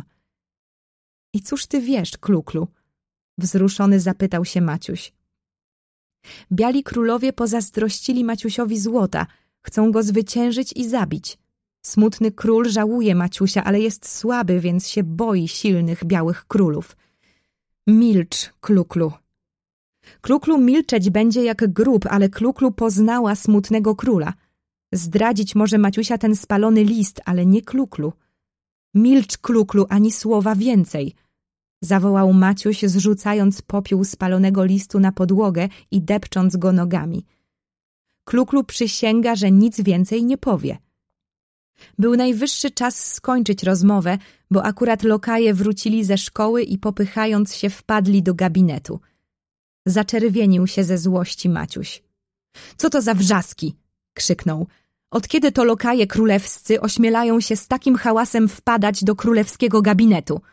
Mało mieliście czasu na dokazywać się w szkole? Mistrz ceremonii zaczerwienił się tak, że aż uszy stały się czerwone. Wasza królewska mości, błagam w ich imieniu o przebaczenie, ale te biedne chłopaki od lat dziecinnych pozbawieni byli zabaw dziecięcych. Byli dawniej lokajczykami i kuchcikami, potem lokajami, zawsze musieli być cicho, a teraz zupełnie jak wariaci. No dobrze, dobrze, przygotujcie salę tronową. Za pół godziny posiedzenie. Oj, ja mam tyle lekcji zadanych na jutro, jęknął jeden. Ja muszę mapę rysować. Ja mam sześć zadań i całą stronicę. Nie pójdziecie jutro do szkoły. Groźnie przerwał Maciuś. Skłonili się i już cicho wyszli. Tylko we drzwiach omal się nie pobili, bo jeden popchnął drugiego i ten uderzył brodą o klamkę. Wbiegł Felek, brudny, spocony w podartych portkach. Załatwiłem, wszyscy będą. I zaczął opowiadać. Tak, w gazetach pisali prawdę. Felek kradł pieniądze i brał łapówki. Kiedy zastępował Maciusia na audiencji, wydawał tylko część przygotowanych paczek, a co mu się podobało, zabierał dla siebie. Kto mu dawał pieniądze albo prezenty, temu dawał lepsze paczki. Miał kilku kolegów, między nimi Antka, którzy co dzień przychodzili i brali. Ale szpiegiem nie był. Wszystko mu radził dziennikarz. Kazał mu nazywać się baronem, kazał mu zażądać orderu. Udawał przyjaciela. A potem nagle zażądał sfałszowania papieru. Niby, że Maciuś wyrzuca wszystkich ministrów i zabiera dorosłym wszystkie prawa, że dzieci mają rządzić. Felek nie chciał się zgodzić – Wtedy dziennikarz włożył kapelusz i mówi jak nie, to idę do króla i powiem, że kradniesz paczki i bierzesz łapówki. I Felek się zląkł. Felek nie rozumiał, skąd on wszystko wie. Myślał, że dziennikarze tak wszystko wiedzą, ale teraz widzi, że to szpieg. I jeszcze jedno, jeszcze jeden papier sfałszowali. Była to jakaś odezwa czy coś do dzieci całego świata – Maciuś założył ręce w tył i długo chodził po gabinecie. Wiele złego narobiłeś, Felku. Ale ja przebaczam. Co? Przebaczyć? Jeżeli mi wasza królewska mość przebaczy, to już wiem, co zrobię. No co? zapytał Maciuś. Wszystko powiem ojcu. Już on mi sprawi łaźnię taką, że popamiętam. Nie rób tego, Felek, po co? Ty możesz inaczej odkupić swą winę. Chwila jest poważna, ludzie mi są potrzebni. Możesz mi się przydać. Minister wojny przyjechał, zameldował marszałek dworu. Maciuś włożył koronę, och jak strasznie ciężką koronę, i wszedł do sali tronowej. Panie ministrze wojny, co pan wie? Krótko, bez wstępów, bo i ja wiem wiele. Raportuję waszej królewskiej mości, że posiadamy trzy fortece. Było pięć. Czterysta armat, było tysiąc i dwieście tysięcy zdatnych do użytku karabinów. Naboi mamy na dziesięć dni wojny. Było na trzy miesiące. A buty, tornistry, suchary? Składy są całe, tylko marmolada zjedzona. Czy wiadomości pana są ścisłe? Najzupełniej. Czy pan sądzi, że prędko będzie wojna? Polityką się nie zajmuje. Czy zepsute armaty i karabiny prędko można doprowadzić do porządku? Część jest znacznie uszkodzona, inne można by naprawić, o ile piece i kotły w fabrykach są w porządku. Maciuś przypomniał sobie widzianą fabrykę i spuścił głowę. Korona stała się jeszcze cięższą po tej uwadze. Panie ministrze, jaki duch panuje wśród wojska? Żołnierze i oficerowie są rozżaleni. Najbardziej ich boli to, że muszą chodzić do szkół cywilnych. Kiedy już otrzymałem dymisję, to była sfałszowana dymisja. Ja o tym nic nie wiedziałem. Podpis był podrobiony. Minister wojny zmarszczył brwi. Kiedy dostałem tę sfałszowaną dymisję, przyszła do mnie jakaś tam delegacja czy coś, że żądają szkół wojskowych. No i dostała ode mnie ta delegacja czy coś takiego. Marsz do cywilnej szkoły, kiedy rozkaz do cywilnej. Marsz w ogień, marsz do samego piekła, jeśli rozkaz. No, a gdyby tak po staremu wszystko, czy by przebaczyli? Minister wojny wyjął szable. Wasza królewska mości, ode mnie począwszy do ostatniego żołnierza, wszyscy jak jeden, z królem bohaterem na czele, za ojczyznę, za honor żołnierski. To dobrze, to bardzo dobrze. Jeszcze nie wszystko stracone, pomyślał Maciuś. Ministrowie spóźnili się, a i tak bardzo się zasapali, bo nie przyzwyczajeni chodzić pieszo. Marszałek dworu meldował, że przyjechali, ale oni przyszli, bo samochody były zepsute, a szoferzy odrabiali lekcje na dzień następny. Maciuś powiedział na wstępie, że wszystko narobił szpieg dziennikarz. No i teraz trzeba się zastanowić, co będzie. Zaraz napisali do gazety, że dzieci mają już jutro przyjść do szkoły. A kto się dowie za późno, może się spóźnić, ale przyjść musi. Dorośli niech już siedzą do pauzy, a potem mają wrócić do swoich zwykłych zajęć. Bezrobotnym będzie się jeszcze przez miesiąc wydawało zapłatę szkolną, a potem, jeśli chcą, mogą wyjechać do kraju Bumdruma, który chce u siebie też budować domy, szkoły i wszystko. Oba sejmy tymczasem się zamyka. Naprzód się otworzy sejm dorosłych, potem się pomyśli, co zrobić z młodzieżą od lat piętnastu. A jak komisja opracuje regulamin, będzie otwarty także Sejm Dzieci, tylko że dzieci będą mówiły co chcą, a potem Sejm dorosłych powie, czy można. Dzieci nie mogą rozkazywać dorosłym. Głosować na posłów mogą tylko te dzieci, które są porządne i dobrze się uczą. Tę odezwę podpisał Maciuś i wszyscy ministrowie. Drugą odezwę napisał Maciuś do wojska. Przypomniał ostatnią wojnę i odniesione zwycięstwa. Dwie najważniejsze fortece wysadzono nam w powietrze. Więc niech bohaterska pierś żołnierza będzie fortecą dla każdego, kto się ośmieli wejść na naszą ziemię. Kończyła się odezwa, którą podpisał Maciuś i minister wojny.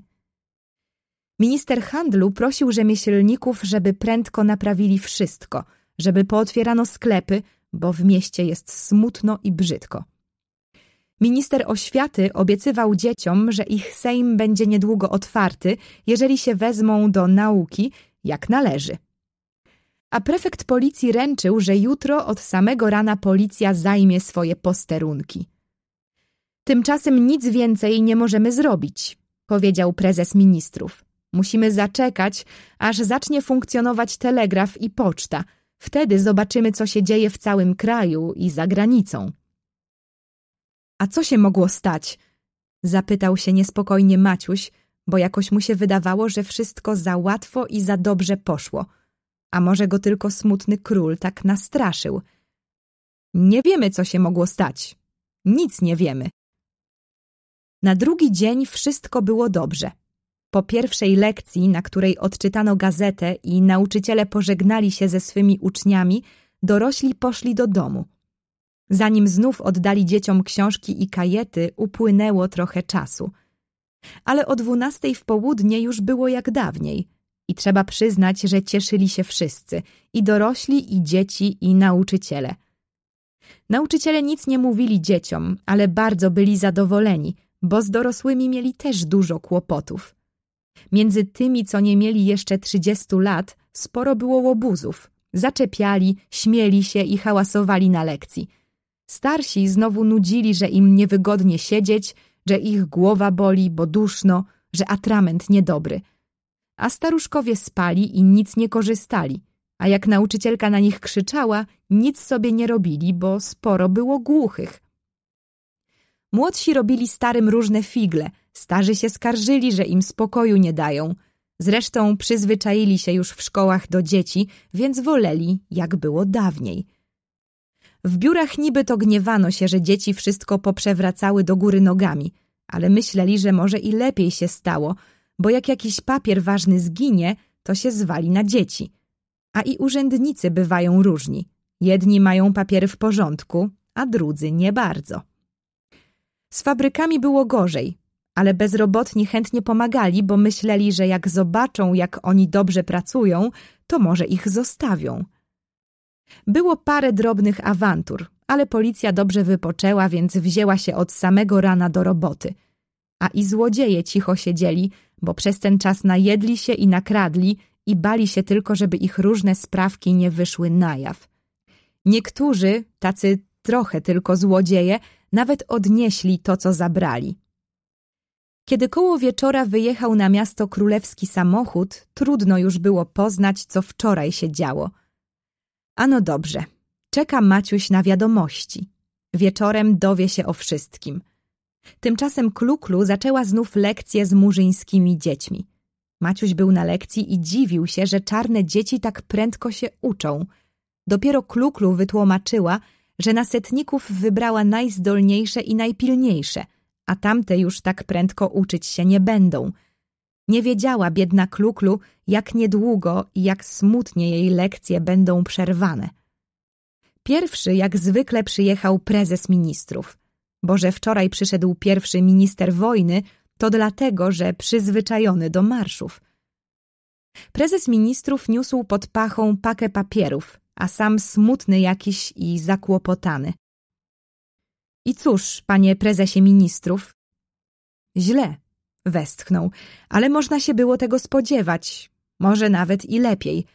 Więc co? Mów pan prędzej. Wojna. Maciuś drgnął. Zebrali się wszyscy. Stary król zrzekł się tronu. Oddał koronę synowi. Syn wypowiedział wojnę i od razu ze swoim wojskiem ruszył w kierunku stolicy. Więc przeszedł granicę? Przed dwoma dniami. Już uszedł czterdzieści wiorst. Zaczęło się odczytywanie depesz i listów. Trwało to długo. Maciuś przymknął zmęczone oczy, słuchał, myślał, nic nie mówił. Może i lepiej się stało. Głos zabrał minister wojny. Nie wiem jeszcze, jaką drogę wybrał nieprzyjaciel, ale myślę, że idzie w kierunku wysadzonych w powietrze dwóch fortec. Jeżeli będzie szedł prędko, może dojść do stolicy w pięć dni. Jeżeli powoli, będziemy go mieli za dni dziesięć. Jak to? Nie pójdziemy na spotkanie? Krzyknął nagle Maciuś. Niemożliwe. Ludność musi się sama bronić. Parę drobnych oddziałów trzeba wysłać, choć szkoda ludzi i karabinów. Moje zdanie, niech idą. Generalna bitwa będzie na polu przed samą stolicą. Albo zwyciężymy, albo... I nie dokończył. A może dopomogą nam ci dwaj inni królowie? Wtrącił minister spraw zagranicznych. Nie będzie czasu na to, wtrącił minister wojny. Zresztą nie znam się na tym. Minister spraw zagranicznych długo mówił, co trzeba zrobić, żeby ci dwaj królowie wystąpili przeciw niemu. Smutny król, na niego można liczyć z pewnością. Tylko, że on nie lubi wojować, wojska ma niewiele, sam nic nie poradzi i w tamtej wojnie nie brał udziału, a tylko stał w rezerwie. Zrobi to samo, co ten drugi, przyjaciel żółtych. Temu znowu Maciuś odstąpił wszystkich żółtych królów, więc właściwie nie ma się o co bić. Choć kto wie, może zechce zabrać i część czarnych. Głos zabrał prezes ministrów. Panowie, możecie nie robić tego, co ja proponuję, ale się nie gniewajcie. Oto moja rada. Posłać do nieprzyjaciela notę, że wojny nie chcemy, żeby powiedział wyraźnie, o co mu chodzi. Ja myślę, że on chce tylko dostać kontrybucję. Zaraz wam wytłumaczę. Po co ustąpił nam bez wojny jeden port i sprzedał tanio dziesięć okrętów? Bo chciał, żeby Bumdrum przysłał złoto. Pieniędzy mamy dużo. Co nam szkodzi oddać mu połowę? Maciuś milczał. Zacisnął pięści i milczał. Panie prezesie ministrów, powiedział minister finansów, ja myślę, że on się nie zgodzi. Dlaczego ma brać połowę złota, kiedy może wziąć wszystko? Dlaczego ma przerywać wojnę, kiedy chce zwyciężyć? Panie ministrze wojny, pan ma głos. Maciuś zacisnął pięści tak, że mu aż paznokcie weszły w ciało. Czekał. Ja myślę, że notę trzeba wydać, powiedział minister wojny. Jeżeli odpowie, potem my odpowiemy. Ja się na tym nie znam, ale wiem, że to trwa kilka dni, parę dni, niechby jeden dzień, a tu każda godzina jest droga. My tymczasem naprawimy sto, niechby pięćdziesiąt armat i parę tysięcy karabinów. A jeśli się zgodzi wziąć połowę złota i wojnę przerwie, zapytał Maciuś cichym i bardzo przyjemnym, jakimś dziwnym, nieswoim głosem. Zapanowała cisza. Wszyscy patrzyli na ministra wojny, który zbladł. Zaczerwienił się, zbladł znowu i szybko powiedział – to się zgodzić. I dodał jeszcze – my sami tej wojny nie możemy wygrać, a na pomoc jest już za późno. Maciuś przymknął oczy i tak już siedział do końca posiedzenia. Niektórzy ministrowie myśleli nawet, że zasnął. Ale Maciuś nie spał i ile razy przy układaniu noty mówiono prosimy nieprzyjacielskiego króla, drgały zawsze Maciusine wargi. Kiedy trzymał pióro, żeby podpisać, zapytał tylko czy zamiast prosimy nie można inaczej napisać? Przepisano raz jeszcze i wyraz prosimy zamieniono na pragnęlibyśmy. Pragnęlibyśmy przerwać wojnę. Pragnęlibyśmy pokojowo zakończyć spór. Pragnęlibyśmy połową złota opłacić koszty wojny. Maciuś podpisał. Była godzina druga w nocy. W ubraniu rzucił się Maciuś na łóżko, ale nie spał. Już dzień się zaczynał, a Maciuś nie spał. Zwyciężyć albo zginąć, powtarzał. Syn starego króla posuwał się z całym swym wojskiem w kierunku wysadzonych w powietrze fortec. I tu minister wojny zgadł, bo się na tym znał. Ale posuwał się bardzo powoli. I tu minister wojny nie zgadł. Młody król musiał być bardzo ostrożny. Musiał iść powoli, żeby wszędzie kopać doły i robić okopy. Prowadził pierwszą wojnę i bał się, żeby go nie otoczyli. Żeby nie zrobili tak, jak na początku tamtej wojny zrobił jego ojciec, że wpuścił Maciusia do swego kraju, a potem zaszedł mu z tyłu. Młody król musiał być bardzo ostrożny, żeby tej wojny nie przegrać, bo wtedy powiedzieliby wszyscy stary król był lepszy, wolimy ojca niż syna, więc musiał pokazać, że właśnie on jest lepszy. Wolał iść powoli, ostrożnie. A wreszcie po co miał się śpieszyć? I tak Maciuś nie może prowadzić wojny, bo wojsko chodzi do szkoły, a dzieci psują armaty. Tam w stolicy Maciusia siedzi i czuwa mądry szpieg dziennikarz i pilnuje, żeby robić jak największy nieporządek i zamieszanie. Doskonale się stało, że dzieci, a może więcej nawet, szpiedzy, popsuli koleje i telegrafy – ani się Maciuś nie dowie tak prędko o wojnie, ani nie będzie mógł wysłać wojska tyle, ile potrzeba. Tak myślał syn starego króla i wcale się nie śpieszył. Niech wojsko się nie męczy, żeby mogło stoczyć bitwę przed stolicą Maciusia, bo jasne było, że jedna bitwa być musi. Idą wojska, idą, idą, nikt ich nie zatrzymuje. Ludność widzi, że nikt jej nie broni. Zresztą zagniewani na Maciusia nie tylko się nie bronią, ale nawet się cieszą i witają nieprzyjaciela jak zbawcę. Hajda dzieci do szkoły, skończyły się Maciusine rządy. Aż tu nagle ktoś idzie i powiewa białą chorągwią. Aha, już się Maciuś dowiedział o wojnie. Przeczytał młody król list Maciusia i zaczął się śmiać. Oho, hojny wasz Maciuś, połowę złota mi daje. Taki prezent? Ho, ho. Kto by się nie połakomił? Co mam odpowiedzieć mojemu królowi? Jeżeli połowa złota za mało, możemy dać więcej. Proszę o odpowiedź. No to powiedz swojemu Maciusiowi, że z dziećmi się nie układa, a ich się bije. I więcej mi żadnych listów nie przynoś, bo i tobie może się dostać. Ruszaj, a żywo. List Maciusia rzucił na podłogę i podeptał nogami. Wasza królewska mości, prawo międzynarodowe wymaga, żeby na listy królewskie odpisywać. No dobrze, więc odpiszę. I na liście Maciusia, pogniecionym i zabłoconym, napisał tylko dwa słowa. Nie ma głupich. Tymczasem stolica dowiedziała się o wojnie i o liście Maciusia i z niecierpliwością oczekiwała odpowiedzi. A tu przychodzi taka odpowiedź. Rozzłościli się wszyscy. A to zarozumialec, ordynus taki, poczekaj, już my ci pokażemy. I miasto nie na żarty zaczęło się szykować do obrony. Już my ci pokażemy. Wszyscy jak jeden stanęli po stronie Maciusia. Zapomnieli o urazach i gniewach, a pamiętali o zasługach Maciusia. I teraz nie jedna, ale wszystkie gazety pisały o Maciusiu reformatorze, o Maciusiu bohaterze. W fabrykach dzień i noc pracowano. Wojska się ćwiczyły na ulicach i na placach. Wszyscy powtarzali słowa Maciusia zwyciężyć albo zginąć.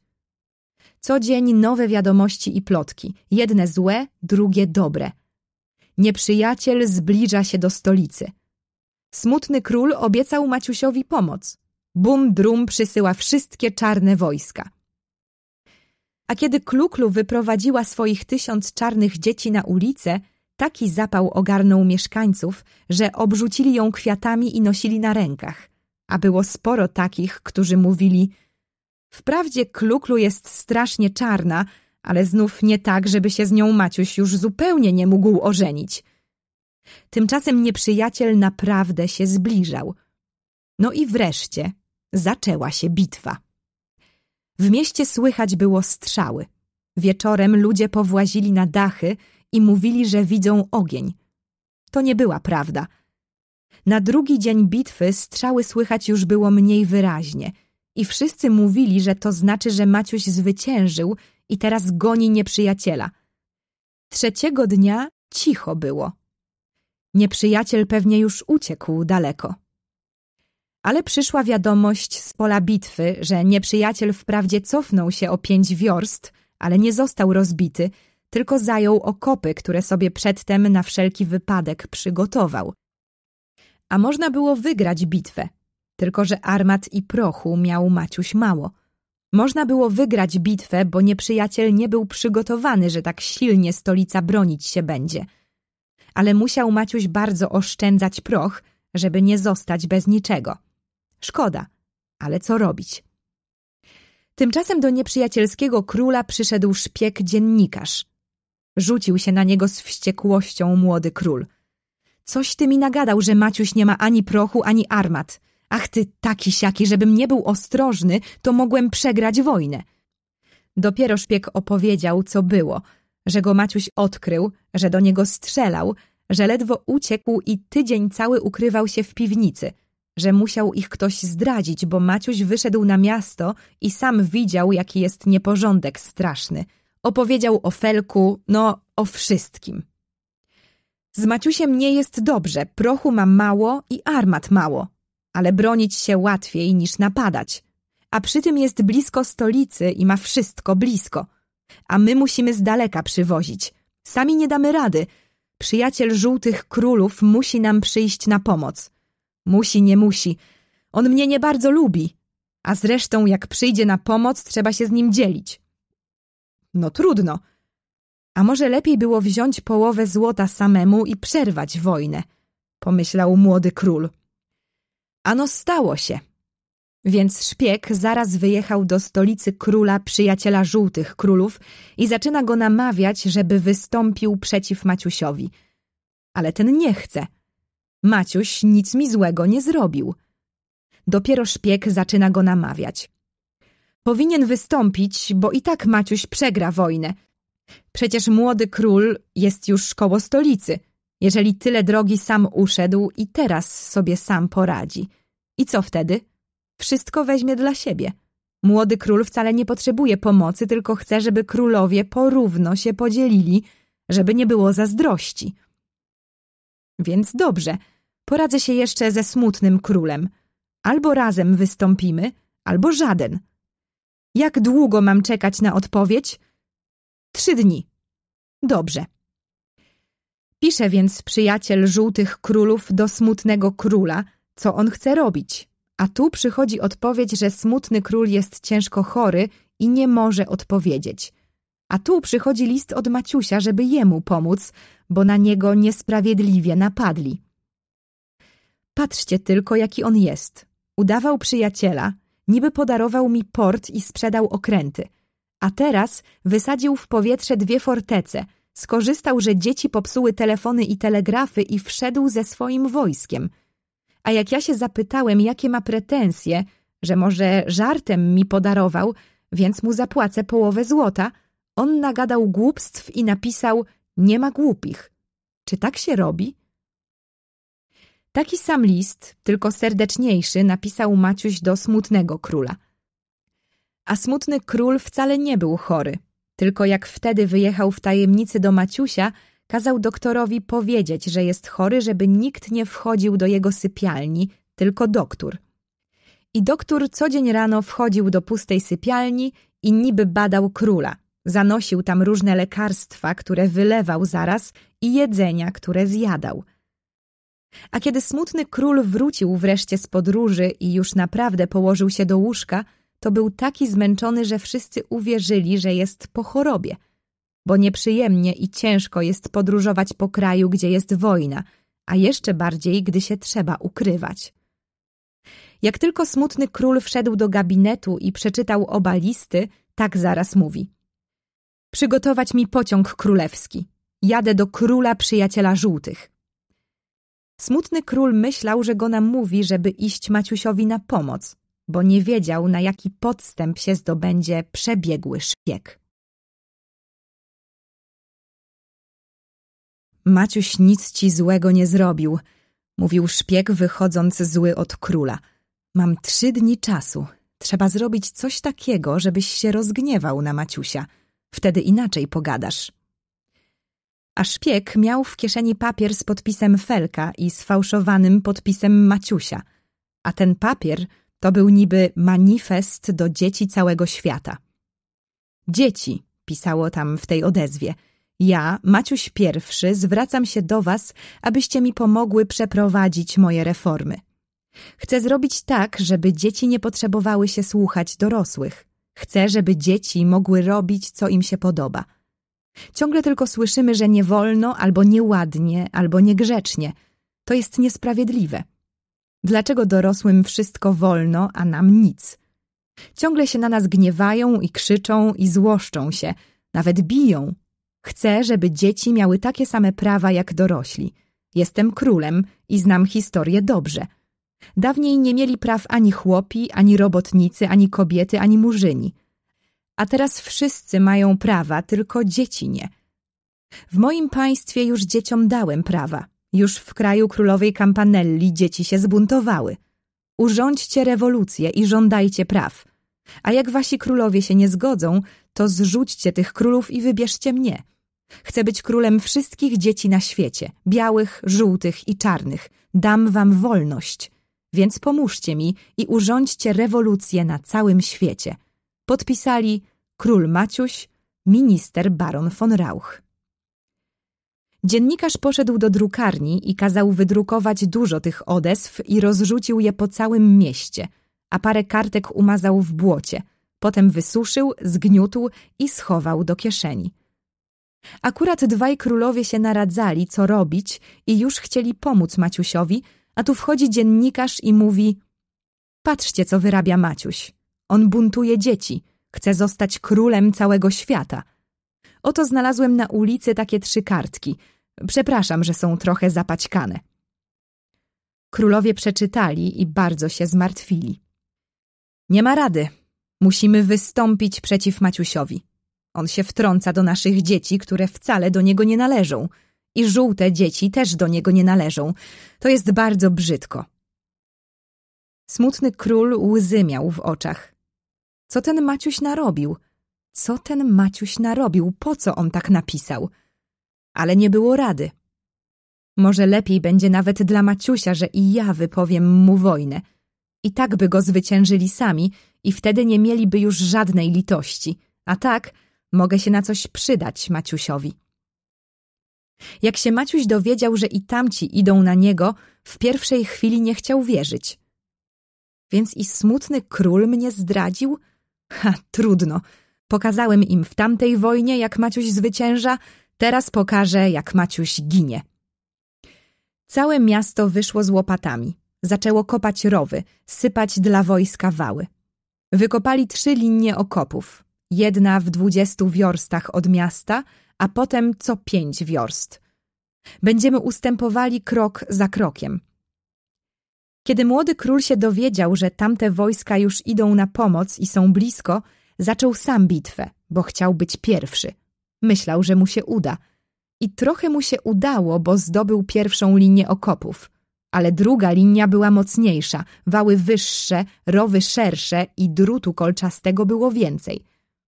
I wtedy właśnie nadeszła pomoc. I już trzy wojska razem uderzyły na wojsko Maciusia. Znów cały dzień trwała bitwa – Nieprzyjaciel poniósł duże straty, a Maciuś trzymał się mocno.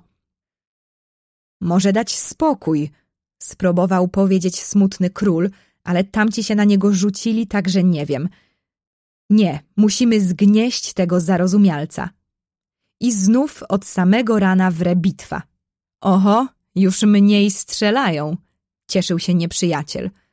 I naprawdę tego dnia wojsko Maciusia mniej strzelało, bo rozkaz głosił oszczędzać proch i kule.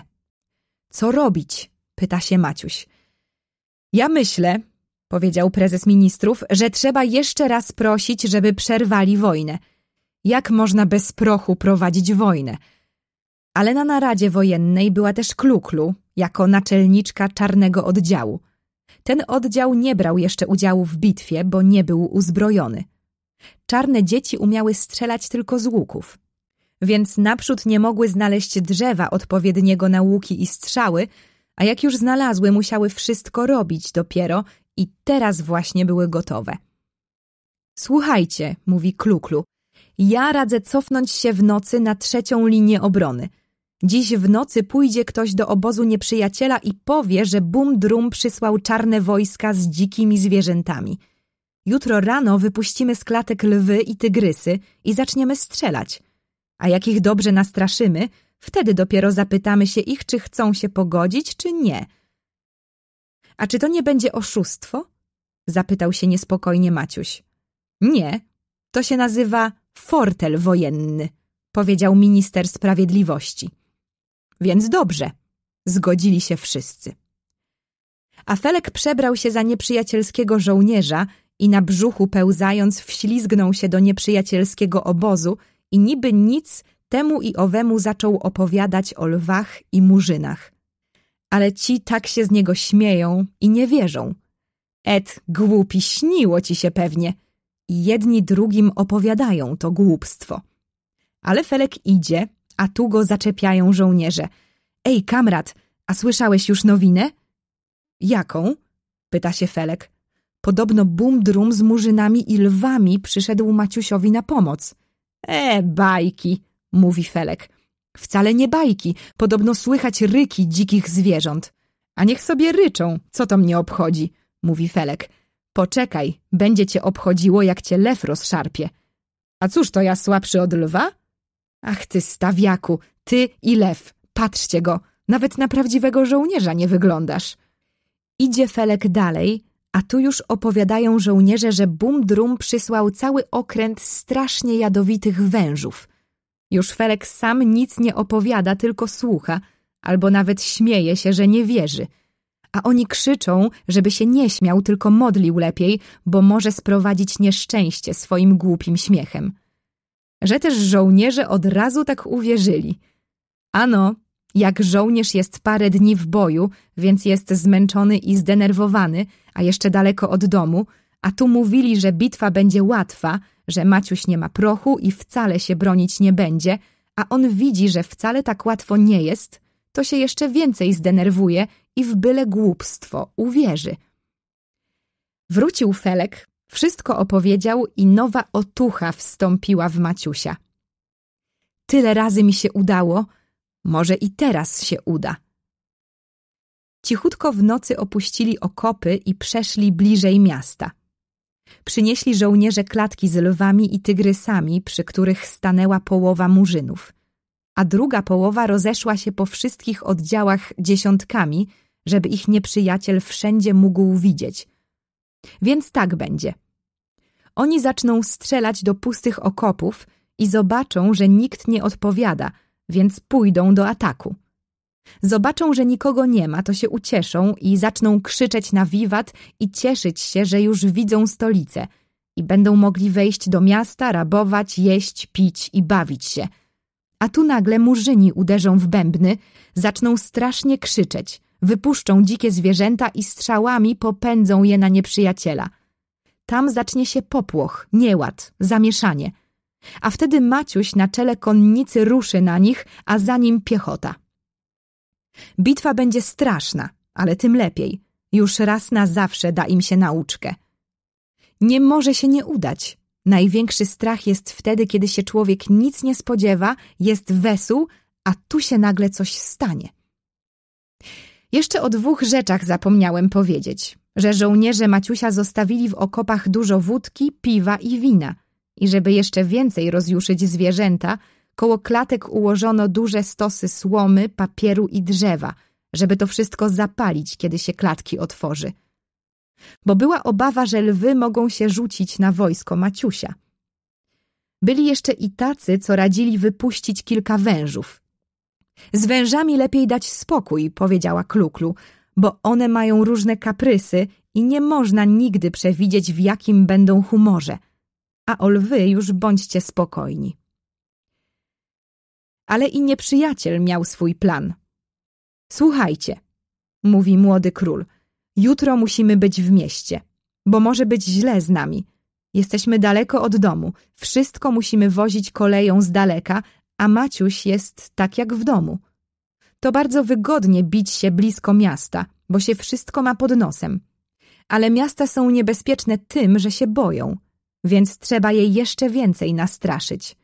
Jutro rano aeroplany zaczną rzucać bomby i miasto zmusi Maciusia, żeby się poddał. Wojsko trzeba tak rozstawić, żeby nie mogło się cofnąć. Więc z tyłu, za wojskiem postawimy kulomioty, a jak zechcą uciekać, to zaczniemy do nich strzelać. Jak to? Do swoich będziemy strzelać? Jutro musimy być w mieście, inaczej będzie źle, powtórzył młody król. A kto z żołnierzy zacznie uciekać, ten nie swój, a wróg. Ogłoszono w oddziałach, że jutro ogólny atak i ostateczna bitwa. Nas jest trzech, a Maciuś jeden, mówił rozkaz. Maciuś nie ma ani armat, ani prochu. W stolicy jego rewolucja. Żołnierze jego nie chcą już się bić. Są głodni i obdarci. Jutro Maciuś będzie w niewoli, a my zajmiemy stolicę. Aeroplany otrzymały rozkaz wzlotu ze wschodem słońca.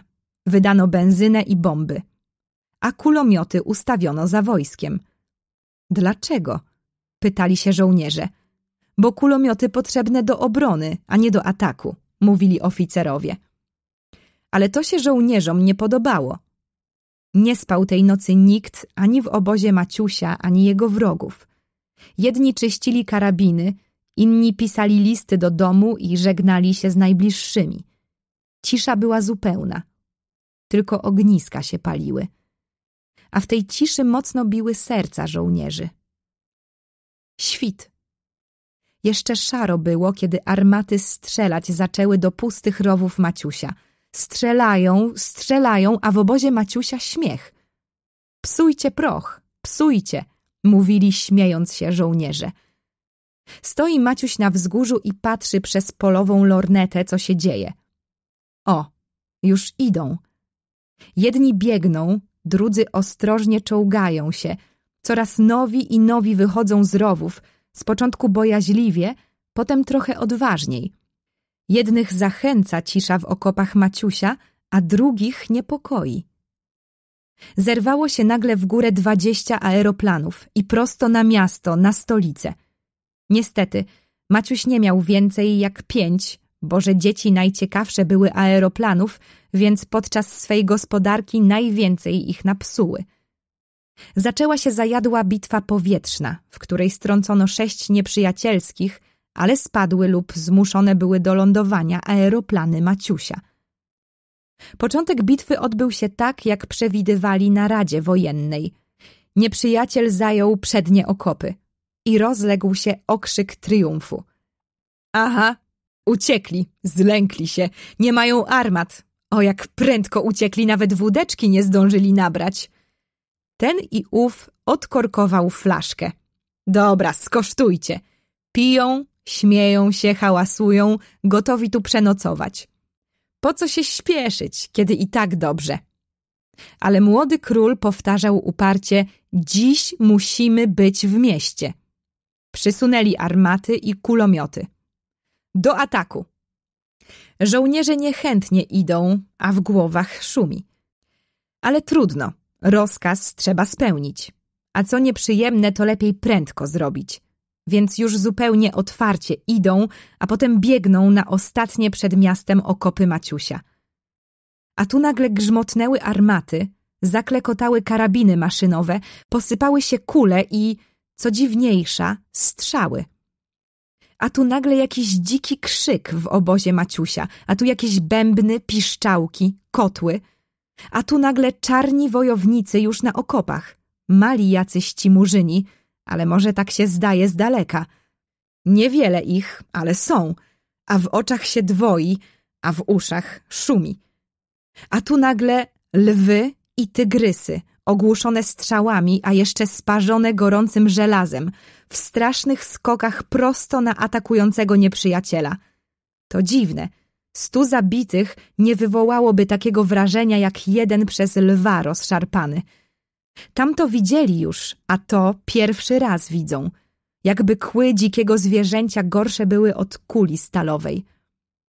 Co się teraz działo, trudno opisać – Jedni żołnierze biegną jak szaleńcy wprost na druty kolczaste, rzucając karabiny na ziemię. Inni uciekają, a strzelają do nich własne kulomioty. Więc myślą, że są wzięci w dwa ognie, padają na ziemię albo ręce wznoszą do góry. Nieprzyjacielska konnica, która miała wspierać atak, teraz wpada całym impetem na karabiny maszynowe, tratuje i rani. Dym, kurz, Zamieszanie, nikt już nic nie widzi i nic nie wie. Tak trwa godzinę i dwie.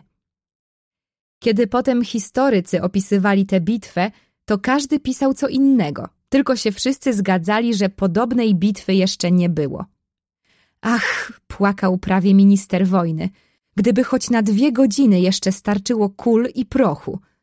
Ale cóż robić? Nie ma.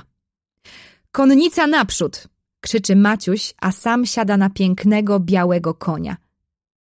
Tak, to było jedyne, skorzystać z popłochu i gonić, gonić nieprzyjaciela, zagarnąć wszystkie jego zapasy, odsunąć się tak od miasta, żeby się nie mógł ani dowiedzieć, ani domyśleć, że to nie pomoc Bumdruma, a garstka dzieci murzyńskich i parę dziesiątków dzikich zwierząt z ogrodu zoologicznego dało Maciusiowi zwycięstwo – i nagle, kiedy Maciuś śpiesznie dosiadał konia, spojrzał na miasto i...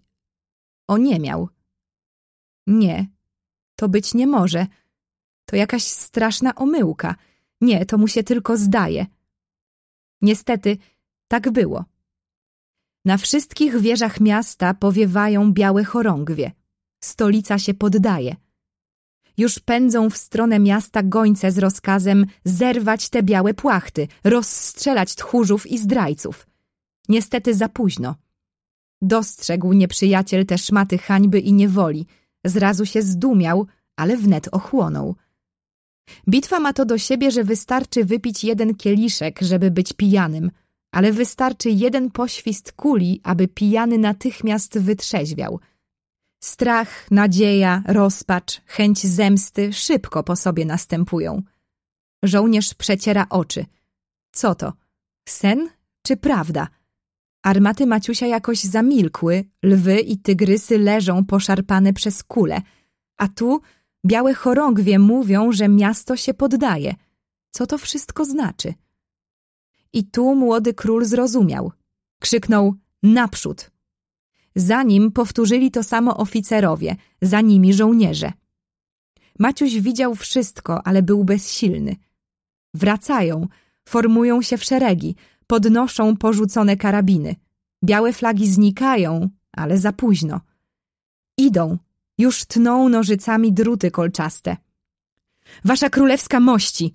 Drżącym głosem przemawia jakiś stary generał. Maciuś wie, co chce powiedzieć. Zeskoczył z konia i blady jak płótno, powoli i głośno rzekł Kto chce zginąć, niech idzie za mną. Niewielu znalazło się chętnych. Felek, Antek, Kluklu, kilka dziesiątków żołnierzy. Dokąd pójdziemy? pytają. Pusty, a mocny jest budynek, gdzie stały klatki lwów. Tam bronić się będziemy, jak lwy, po królewsku.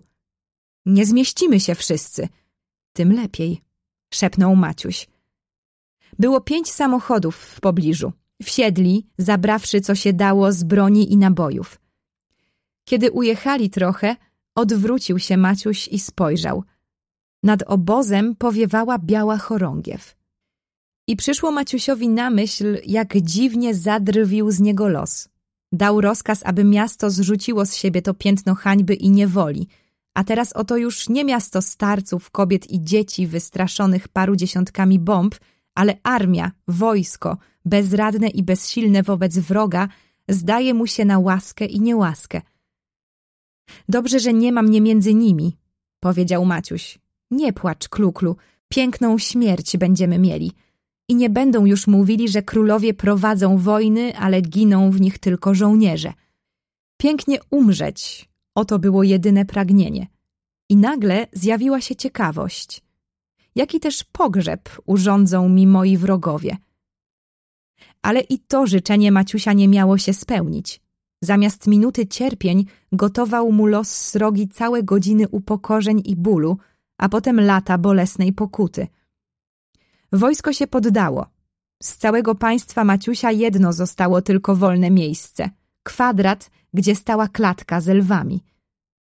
Próbowano zająć budynek siłą, ale nadaremnie. Próbowano wysłać parlamentariusza, ale wystarczało, że szedł do Maciusia, jak to jest we zwyczaju, pod osłoną białej flagi, żeby właśnie dlatego otrzymać dwie śmiertelne rany. Kula zdruzgotała mu czaszkę, a strzała kluklu przeszyła serce. Zabił parlamentariusza. Podeptał prawo międzynarodowe. Popełnił zbrodnię. To rzecz niesłychana. Stolica musi być ukarana surowo za zbrodnię swego króla. Ale stolica przedtem już powiedziała Maciuś nie jest naszym królem. Kiedy aeroplany nieprzyjacielskie zaatakowały miasto, zebrali się obywatele miasta bogaci i znakomici na naradę. Dość mamy rządów niesfornego dzieciaka, dość tyranii tego szalonego chłopca. Jeżeli i tym razem zwycięży, będzie gorzej jeszcze niż gdy zostanie pobity. Czy można przewidzieć, co mu do głowy strzeli? Jemu i jego felkowi? Byli tacy, którzy bronili Maciusia. Bądź co bądź, zrobił i wiele dobrego. Błędy jego płynęły z braku doświadczenia, ale że głowę ma otwartą, więc skorzysta z nauk, które mu życie daje. I kto wie, może by stronnicy Maciusia zwyciężyli, ale w tej chwili właśnie jedna bomba tak blisko upadła, że wyleciały naraz wszystkie szyby sali posiedzeń. Wywiesić białe chorągwie! krzyknął ktoś przestraszony. Nikt nie miał odwagi nie zgodzić się na podłą zdradę. A co było potem, wiadomo. Zawieszono hańbiące sztandary poddania i spisano akt, że miasto wyrzeka się Maciusia i nie chce odpowiadać za jego szaleństwa. Dość tej komedii, krzyknął młody król. Całe państwo Maciusia zdobyliśmy, a ten kurnik nie chce się poddać. Panie generale artylerii, postaw pan armatę i strzelić dwa razy po obu stronach budy, a jeśli nie wylizie uparty Maciuś, trzema strzałami rozwalić legowisko tego złośliwego wilczka. Rozkaz, powiedział generał artylerii. Ale w tej chwili rozległ się donośny głos smutnego króla. Hola, wasza królewska mości. Proszę nie zapominać, że nie jesteś sam. Tu są trzy armie i trzej królowie. Młody król zagryzł wargi. To prawda, że jest nas trzech, ale niejednakowe są nasze prawa. Ja pierwszy ogłosiłem wojnę, ja brałem główny udział w bitwie. I wojska waszej królewskiej mości pierwsze zaczęły z pola bitwy uciekać. Ale je wstrzymałem. Bo wasza królewska mość wiedział, że w razie niebezpieczeństwa my zdążymy na pomoc. Młody król nic nie odpowiedział. To prawda, zwycięstwo wiele go kosztowało. Połowa wojska była zabita lub ranna i niezdatna do boju. W tych warunkach trzeba było bardzo być ostrożnym, żeby dwaj sprzymierzeńcy rychło nie zmienili się w wrogów. Więc co chcecie robić? Zapytał niechętnie. Nie mamy potrzeby się śpieszyć. Nie ma obawy, aby Maciuś siedząc w domku dzikich zwierząt zrobił nam coś złego. Otoczymy ogród zoologiczny strażą, może głód zmusi Maciusia do poddania. A tymczasem spokojnie się naradzimy, co z nim zrobić, gdy go żywcem weźmiemy do niewoli. Ja myślę, że go bez ceremonii rozstrzelać. A ja myślę, odparł hardo smutny król, że historia nie przebaczyłaby nam tej wieczystej hańby – gdyby jeden włos spadł z głowy tego biednego, dzielnego dziecka. Historia jest sprawiedliwa, krzyknął wściekły młody król. Jeśli ktoś jest winien tylu zabitych, tyle przelanej krwi, ten nie jest dzieckiem, a zbrodniarzem. Trzeci król i przyjaciel żółtych królów milczał. I dwaj kłócący się królowie dobrze wiedzieli, że będzie tak, jak on zechce. A on był mądry, po co drażnić czarnych królów, których Maciuś jest przyjacielem? Myślał sobie. Zabijać Maciusia nie ma potrzeby. Można go umieścić na bezludnej wyspie i niech tam sobie siedzi. I wilk będzie syty, i owca cała. I tak właśnie spisali umowę. Punkt pierwszy. Króla Maciusia trzeba wziąć żywego do niewoli. Punkt drugi. Zesłany będzie na wyspę bezludną. Przy punkcie trzecim znów się pokłócili, bo smutny król żądał, żeby Maciuś miał prawo wziąć ze sobą dziesięć osób, kogo zechce, żeby mu towarzyszyli, a młody król się nie zgadzał. Pojechać ma z Maciusiem tylko trzech oficerów i trzydziestu żołnierzy, po jednym oficerze i dziesięciu żołnierzy od każdego z królów zwycięzców. Dwa dni nie mogli dojść do zgody. Wreszcie każdy trochę ustąpił – więc dobrze, mówi młody król, niech jedzie do niego dziesięciu przyjaciół, ale dopiero po roku. I powiedzieć Maciusiowi, że jest skazany na śmierć, a dopiero w ostatniej chwili go ułaskawić. Trzeba koniecznie, żeby naród widział, jak Maciuś płacze i prosi, żeby ten głupi naród, który tak pokornie dawał się wodzić za nos, raz na zawsze zrozumiał, że Maciuś to nie żaden bohater, a zuchwały, ale bojaźliwy zarazem smyk bo inaczej naród może za lat parę urządzić powstanie i zażądać powrotu Maciusia. A wtedy Maciuś będzie starszy, więc jeszcze niebezpieczniejszy niż teraz. Nie kłóćcie się tak długo, powiedział król przyjaciel żółtych, bo tymczasem Maciuś umrze z głodu i cała wasza kłótnia będzie na nic. Smutny król ustąpił i wpisano do umowy dwa nowe punkty. Punkt trzeci. Maciusia sądzić będzie sąd polowy i skaże go na śmierć, a dopiero w ostatniej chwili trzej królowie go ułaskawią. Punkt czwarty. Pierwszy rok niewoli spędzi Maciuś sam, pod strażą, a po roku pozwolą mu wziąć do siebie dziesięć osób, które zechcą do niego pojechać. Przystąpiono do dalszych punktów. Ile kto z królów weźmie sobie miast i pieniędzy, co zostawić stolicy jako wolnemu miastu i tak dalej. Aż tu nagle mówią, że jakiś pan chce wejść koniecznie na naradę w bardzo ważnej sprawie. A to był chemik, który wymyślił taki gaz usypiający. Puści się ten gaz na ogród i Maciuś, zapewne osłabiony z głodu, zaśnie i będzie można go związać i okuć w kajdany. Można spróbować na zwierzętach działanie mojego gazu, powiedział chemik. Zaraz przynieśli jeden syfon, ustawili o pół wiorsty od królewskiej stajni i puścili strumień jakby wody, która szybko parowała i cała stajnia osłoniła się jakby dymem. To trwało pięć minut. Wchodzą do stajni, a wszystkie konie śpią. I nawet chłopak stajenny, który leżał na sianie i drzemał, nie wiedząc nic o próbie, też spał tak głęboko, że choć nim potrząsano i strzelano nad uchem, nie drgnął nawet powieką.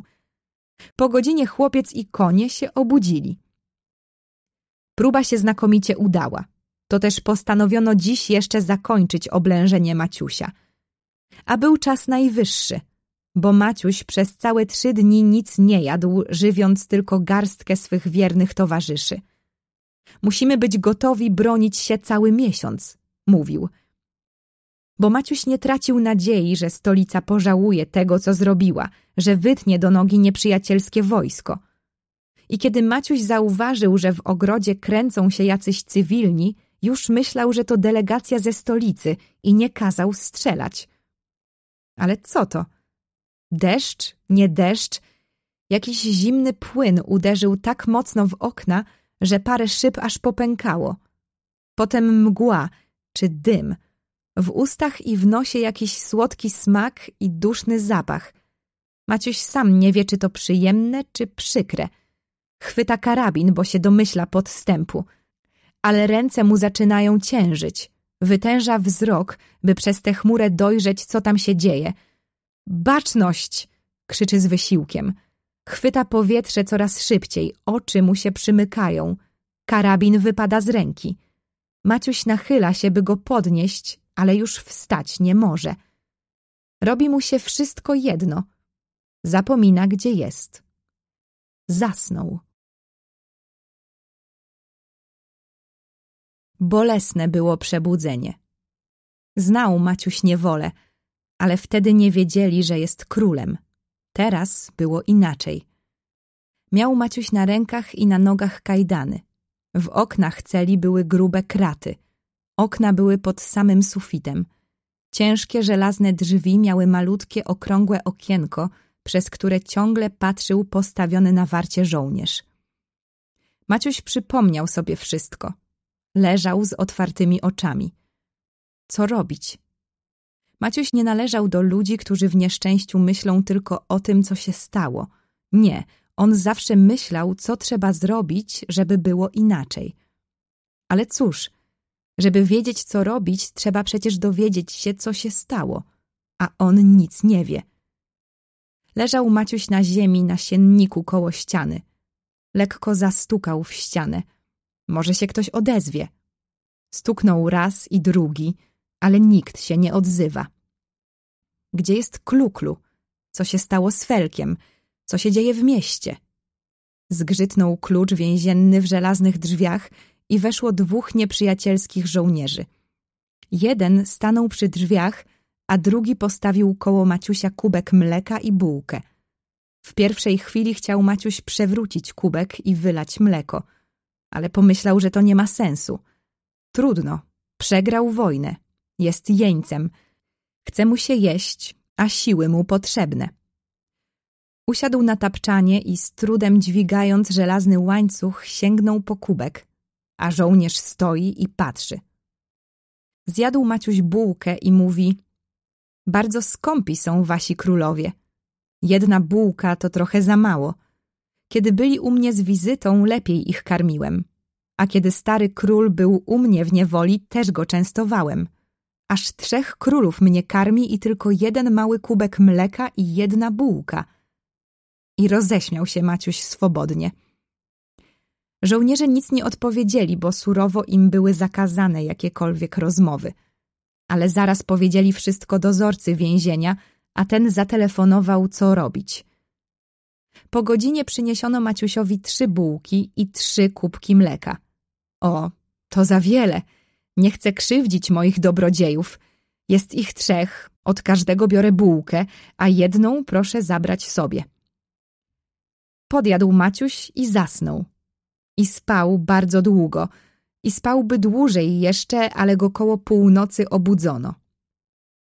Były król Maciuś Reformator o godzinie dwunastej w nocy będzie sądzony przez sąd wojenny. Przeczytał papier z pieczęciami trzech królów, nieprzyjacielski wojenny oskarżyciel. Proszę wstać. Proszę powiedzieć sądowi, żeby mi kazał zdjąć kajdany, bo są ciężkie i kaleczą mi nogi. Kajdany nie kaleczyły Maciusia, bo były nawet za luźne, ale Maciuś chciał stanąć przed sądem zgrabny i zwinny, a nie żeby mu się plątały śmiesznie łańcuchy dorosłych więźniów. I postawił Maciuś na swoim. Zamieniono mu żelazne, ciężkie kajdany na zgrabne, złote łańcuszki. Wszedł na salę z dumnie podniesioną głową. Wszedł lekkim krokiem, do tej samej więziennej sali, gdzie tak niedawno zawierał umowę ze swymi uwięzionymi ministrami. Rozejrzał się ciekawie. Przy stole siedzieli najstarsi generałowie wszystkich trzech królów. Królowie siedzieli po lewej stronie sali. Po prawej stronie siedzieli jacyś cywilni panowie we frakach i białych rękawiczkach. Co to za jedni? Jakoś dziwnie odwracają głowy, że ich widzieć nie może – Akt oskarżenia był taki. 1. Król Maciuś wydał odezwę do dzieci, żeby się zbuntowały i nie słuchały dorosłych. 2. Król Maciuś chciał wywołać wszechświatową rewolucję, żeby zostać królem całego świata. 3. Maciuś zastrzelił parlamentariusza, który szedł do niego z białą chorągwią. Ponieważ Maciuś nie był już wtedy nawet królem, więc odpowiada przed sądem jako zwyczajny zbrodniarz i powinien być bądź powieszony, bądź rozstrzelany. Co Maciuś na to powie? Że wydałem odezwę, to jest kłamstwo. Że nie byłem królem, kiedy zastrzeliłem parlamentariusza, to jest drugie kłamstwo. A czy chciałem zostać królem całego świata, czy nie, tego nie może nikt wiedzieć, tylko ja sam – więc dobrze, proszę przeczytać, moi panowie, wasze postanowienie. Zwrócił się przewodniczący do panów we frakach i białych rękawiczkach. Ci radzi nie radzi wstają, a jeden z nich czyta, ale mu się ręka trzęsie i taki biały jak papier. My, zebrani w mieście podczas bitwy, z uwagi na to, że bomby rujnują miasto i nawet w sali, gdzie się naradzamy, wszystkie szyby bomba wybiła, My, mieszkańcy miasta, chcemy ratować żony i dzieci i nie chcemy, żeby Maciuś nadal był królem. Stolica odbiera Maciusiowi tron i koronę. Nam jest bardzo nieprzyjemnie, ale dłużej już nie możemy wytrzymać. Więc wywieszamy białe chorągwie na znak, że nie chcemy prowadzić wojny. Więc teraz wojnę prowadzi nie nasz król, a zwyczajny Maciuś, który powinien sam tylko za wszystko odpowiadać. A my jesteśmy niewinni. Proszę podpisać. Przewodniczący podał Maciusiowi pióro. Maciuś pióro wziął, pomyślał chwilę i na dole na papierze napisał Z postanowieniem bandy zdrajców i tchórzów, którzy zaprzedali kraj, nie zgadzam się. Jestem i pozostanę królem Maciusiem I. Po czym donośnym głosem odczytał to, co było napisane. Panowie sędziowie generałowie, zwrócił się Maciuś do swoich wrogów. Jeżeli chcecie mnie sądzić, żądam, byście mnie nazywali królem Maciusiem, bo jestem nim i będę za życia i po śmierci. Jeżeli to ma być nie sąd, a zbrodnia dokonana na zwyciężonym królu, to hańba wam jako ludziom i jako żołnierzom. Możecie mówić, co wam się podoba. Ja odpowiadać nie będę. Generałowie wyszli na naradę, co robić. Maciuś pogwizdywał sobie pod nosem jakąś piosenkę żołnierską. Wrócili. Czy Maciuś przyznaje się, że wydał odezwę do dzieci całego świata? Pyta się generał przewodniczący. Żadnej odpowiedzi. Czy wasza królewska mość przyznaje się, że wydał odezwę do dzieci całego świata? Pyta się generał. Nie przyznaje się. Odezwy takiej nie wydawałem. Wezwać świadka, rozkazał sędzia. Na salę wszedł szpieg dziennikarz. Maciuś ani drgnął. Oto jest świadek, mówi sędzia. Tak, mówi dziennikarz, ja mogę zaświadczyć, że Maciuś chciał zostać królem dzieci całego świata. Czy to prawda? pyta się sędzia. Prawda, odpowiedział Maciuś, ja chciałem tego. Ja byłbym to zrobił na pewno, ale podpis na odezwie jest sfałszowany. Ten szpieg sfałszował mój podpis, ale prawdą jest, że chcę być królem dzieci. Sędziowie zaczęli oglądać podpis Maciusia, kiwali głowami, że nie mogą poznać, udawali, że nie wiedzą. Ale teraz było już wszystko jedno, bo Maciuś sam przecież się przyznał. Długo mówił oskarżyciel. Trzeba koniecznie zabić Maciusia, bo inaczej ani porządku, ani spokoju nie będzie. Czy Maciuś chce, żeby teraz ktoś mówił w jego obronie? Żadnej odpowiedzi. Czy wasza królewska mość życzy sobie, aby ktoś zabrał głos w jego obronie? Powtórzył przewodniczący. To niepotrzebne zupełnie, odpowiedział Maciuś. Godzina jest późna, szkoda czasu. Lepiej spać się położyć. Maciuś powiedział to wesołym głosem. Nic nie dał po sobie poznać, co się w jego duszy dzieje. Postanowił być dumny do końca. Sędziowie wyszli, niby się tam w drugim pokoju naradzali i wrócili z wyrokiem. Rozstrzelać. Proszę podpisać, rzekł przewodniczący. Żadnej odpowiedzi. Proszę waszą królewską mość o podpis, że sąd odbył się podług prawa. Maciuś podpisał. Wtedy jeden z tych panów we frakach i rękawiczkach rzucił się nagle na ziemię, objął nogi Maciusia i płacząc wołał Królu ukochany, przebacz mi moją podłą zdradę. Teraz dopiero widzę, cośmy zrobili.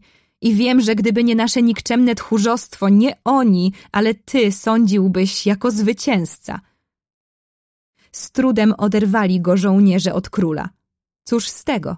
Żal był spóźniony. Dobrej nocy wam życzę, panowie sędziowie, powiedział Maciuś i po królewsku poważnie i spokojnie wyszedł z sali. Dwudziestu żołnierzy z gołymi szablami prowadziło go przez korytarz i podwórze do celi. Położył się zaraz na swym sienniku na ziemi i udawał, że śpi. Przyszedł ksiądz, ale żal mu było budzić śpiącego. Pomodlił się, zmówił zwykły pacierz za skazanych na śmierć i wyszedł. Maciuś udawał, że śpi, a o czym myślał i co czuł tej nocy, jego było tajemnicą. Prowadzą Maciusia.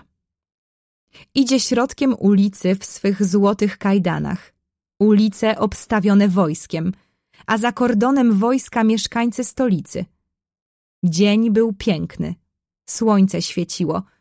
Wszyscy wyszli na ulicę, aby po raz ostatni spojrzeć na swego króla. Wielu miało łzy w oczach. Ale Maciuś tych łez nie widział. Byłoby mu lżej iść na miejsce kaźni.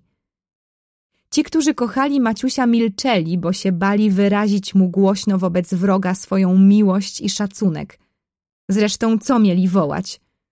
Przyzwyczaili się krzyczeć wiwat, niech żyje – ale jakże teraz mieli wołać, kiedy król idzie na śmierć skazany?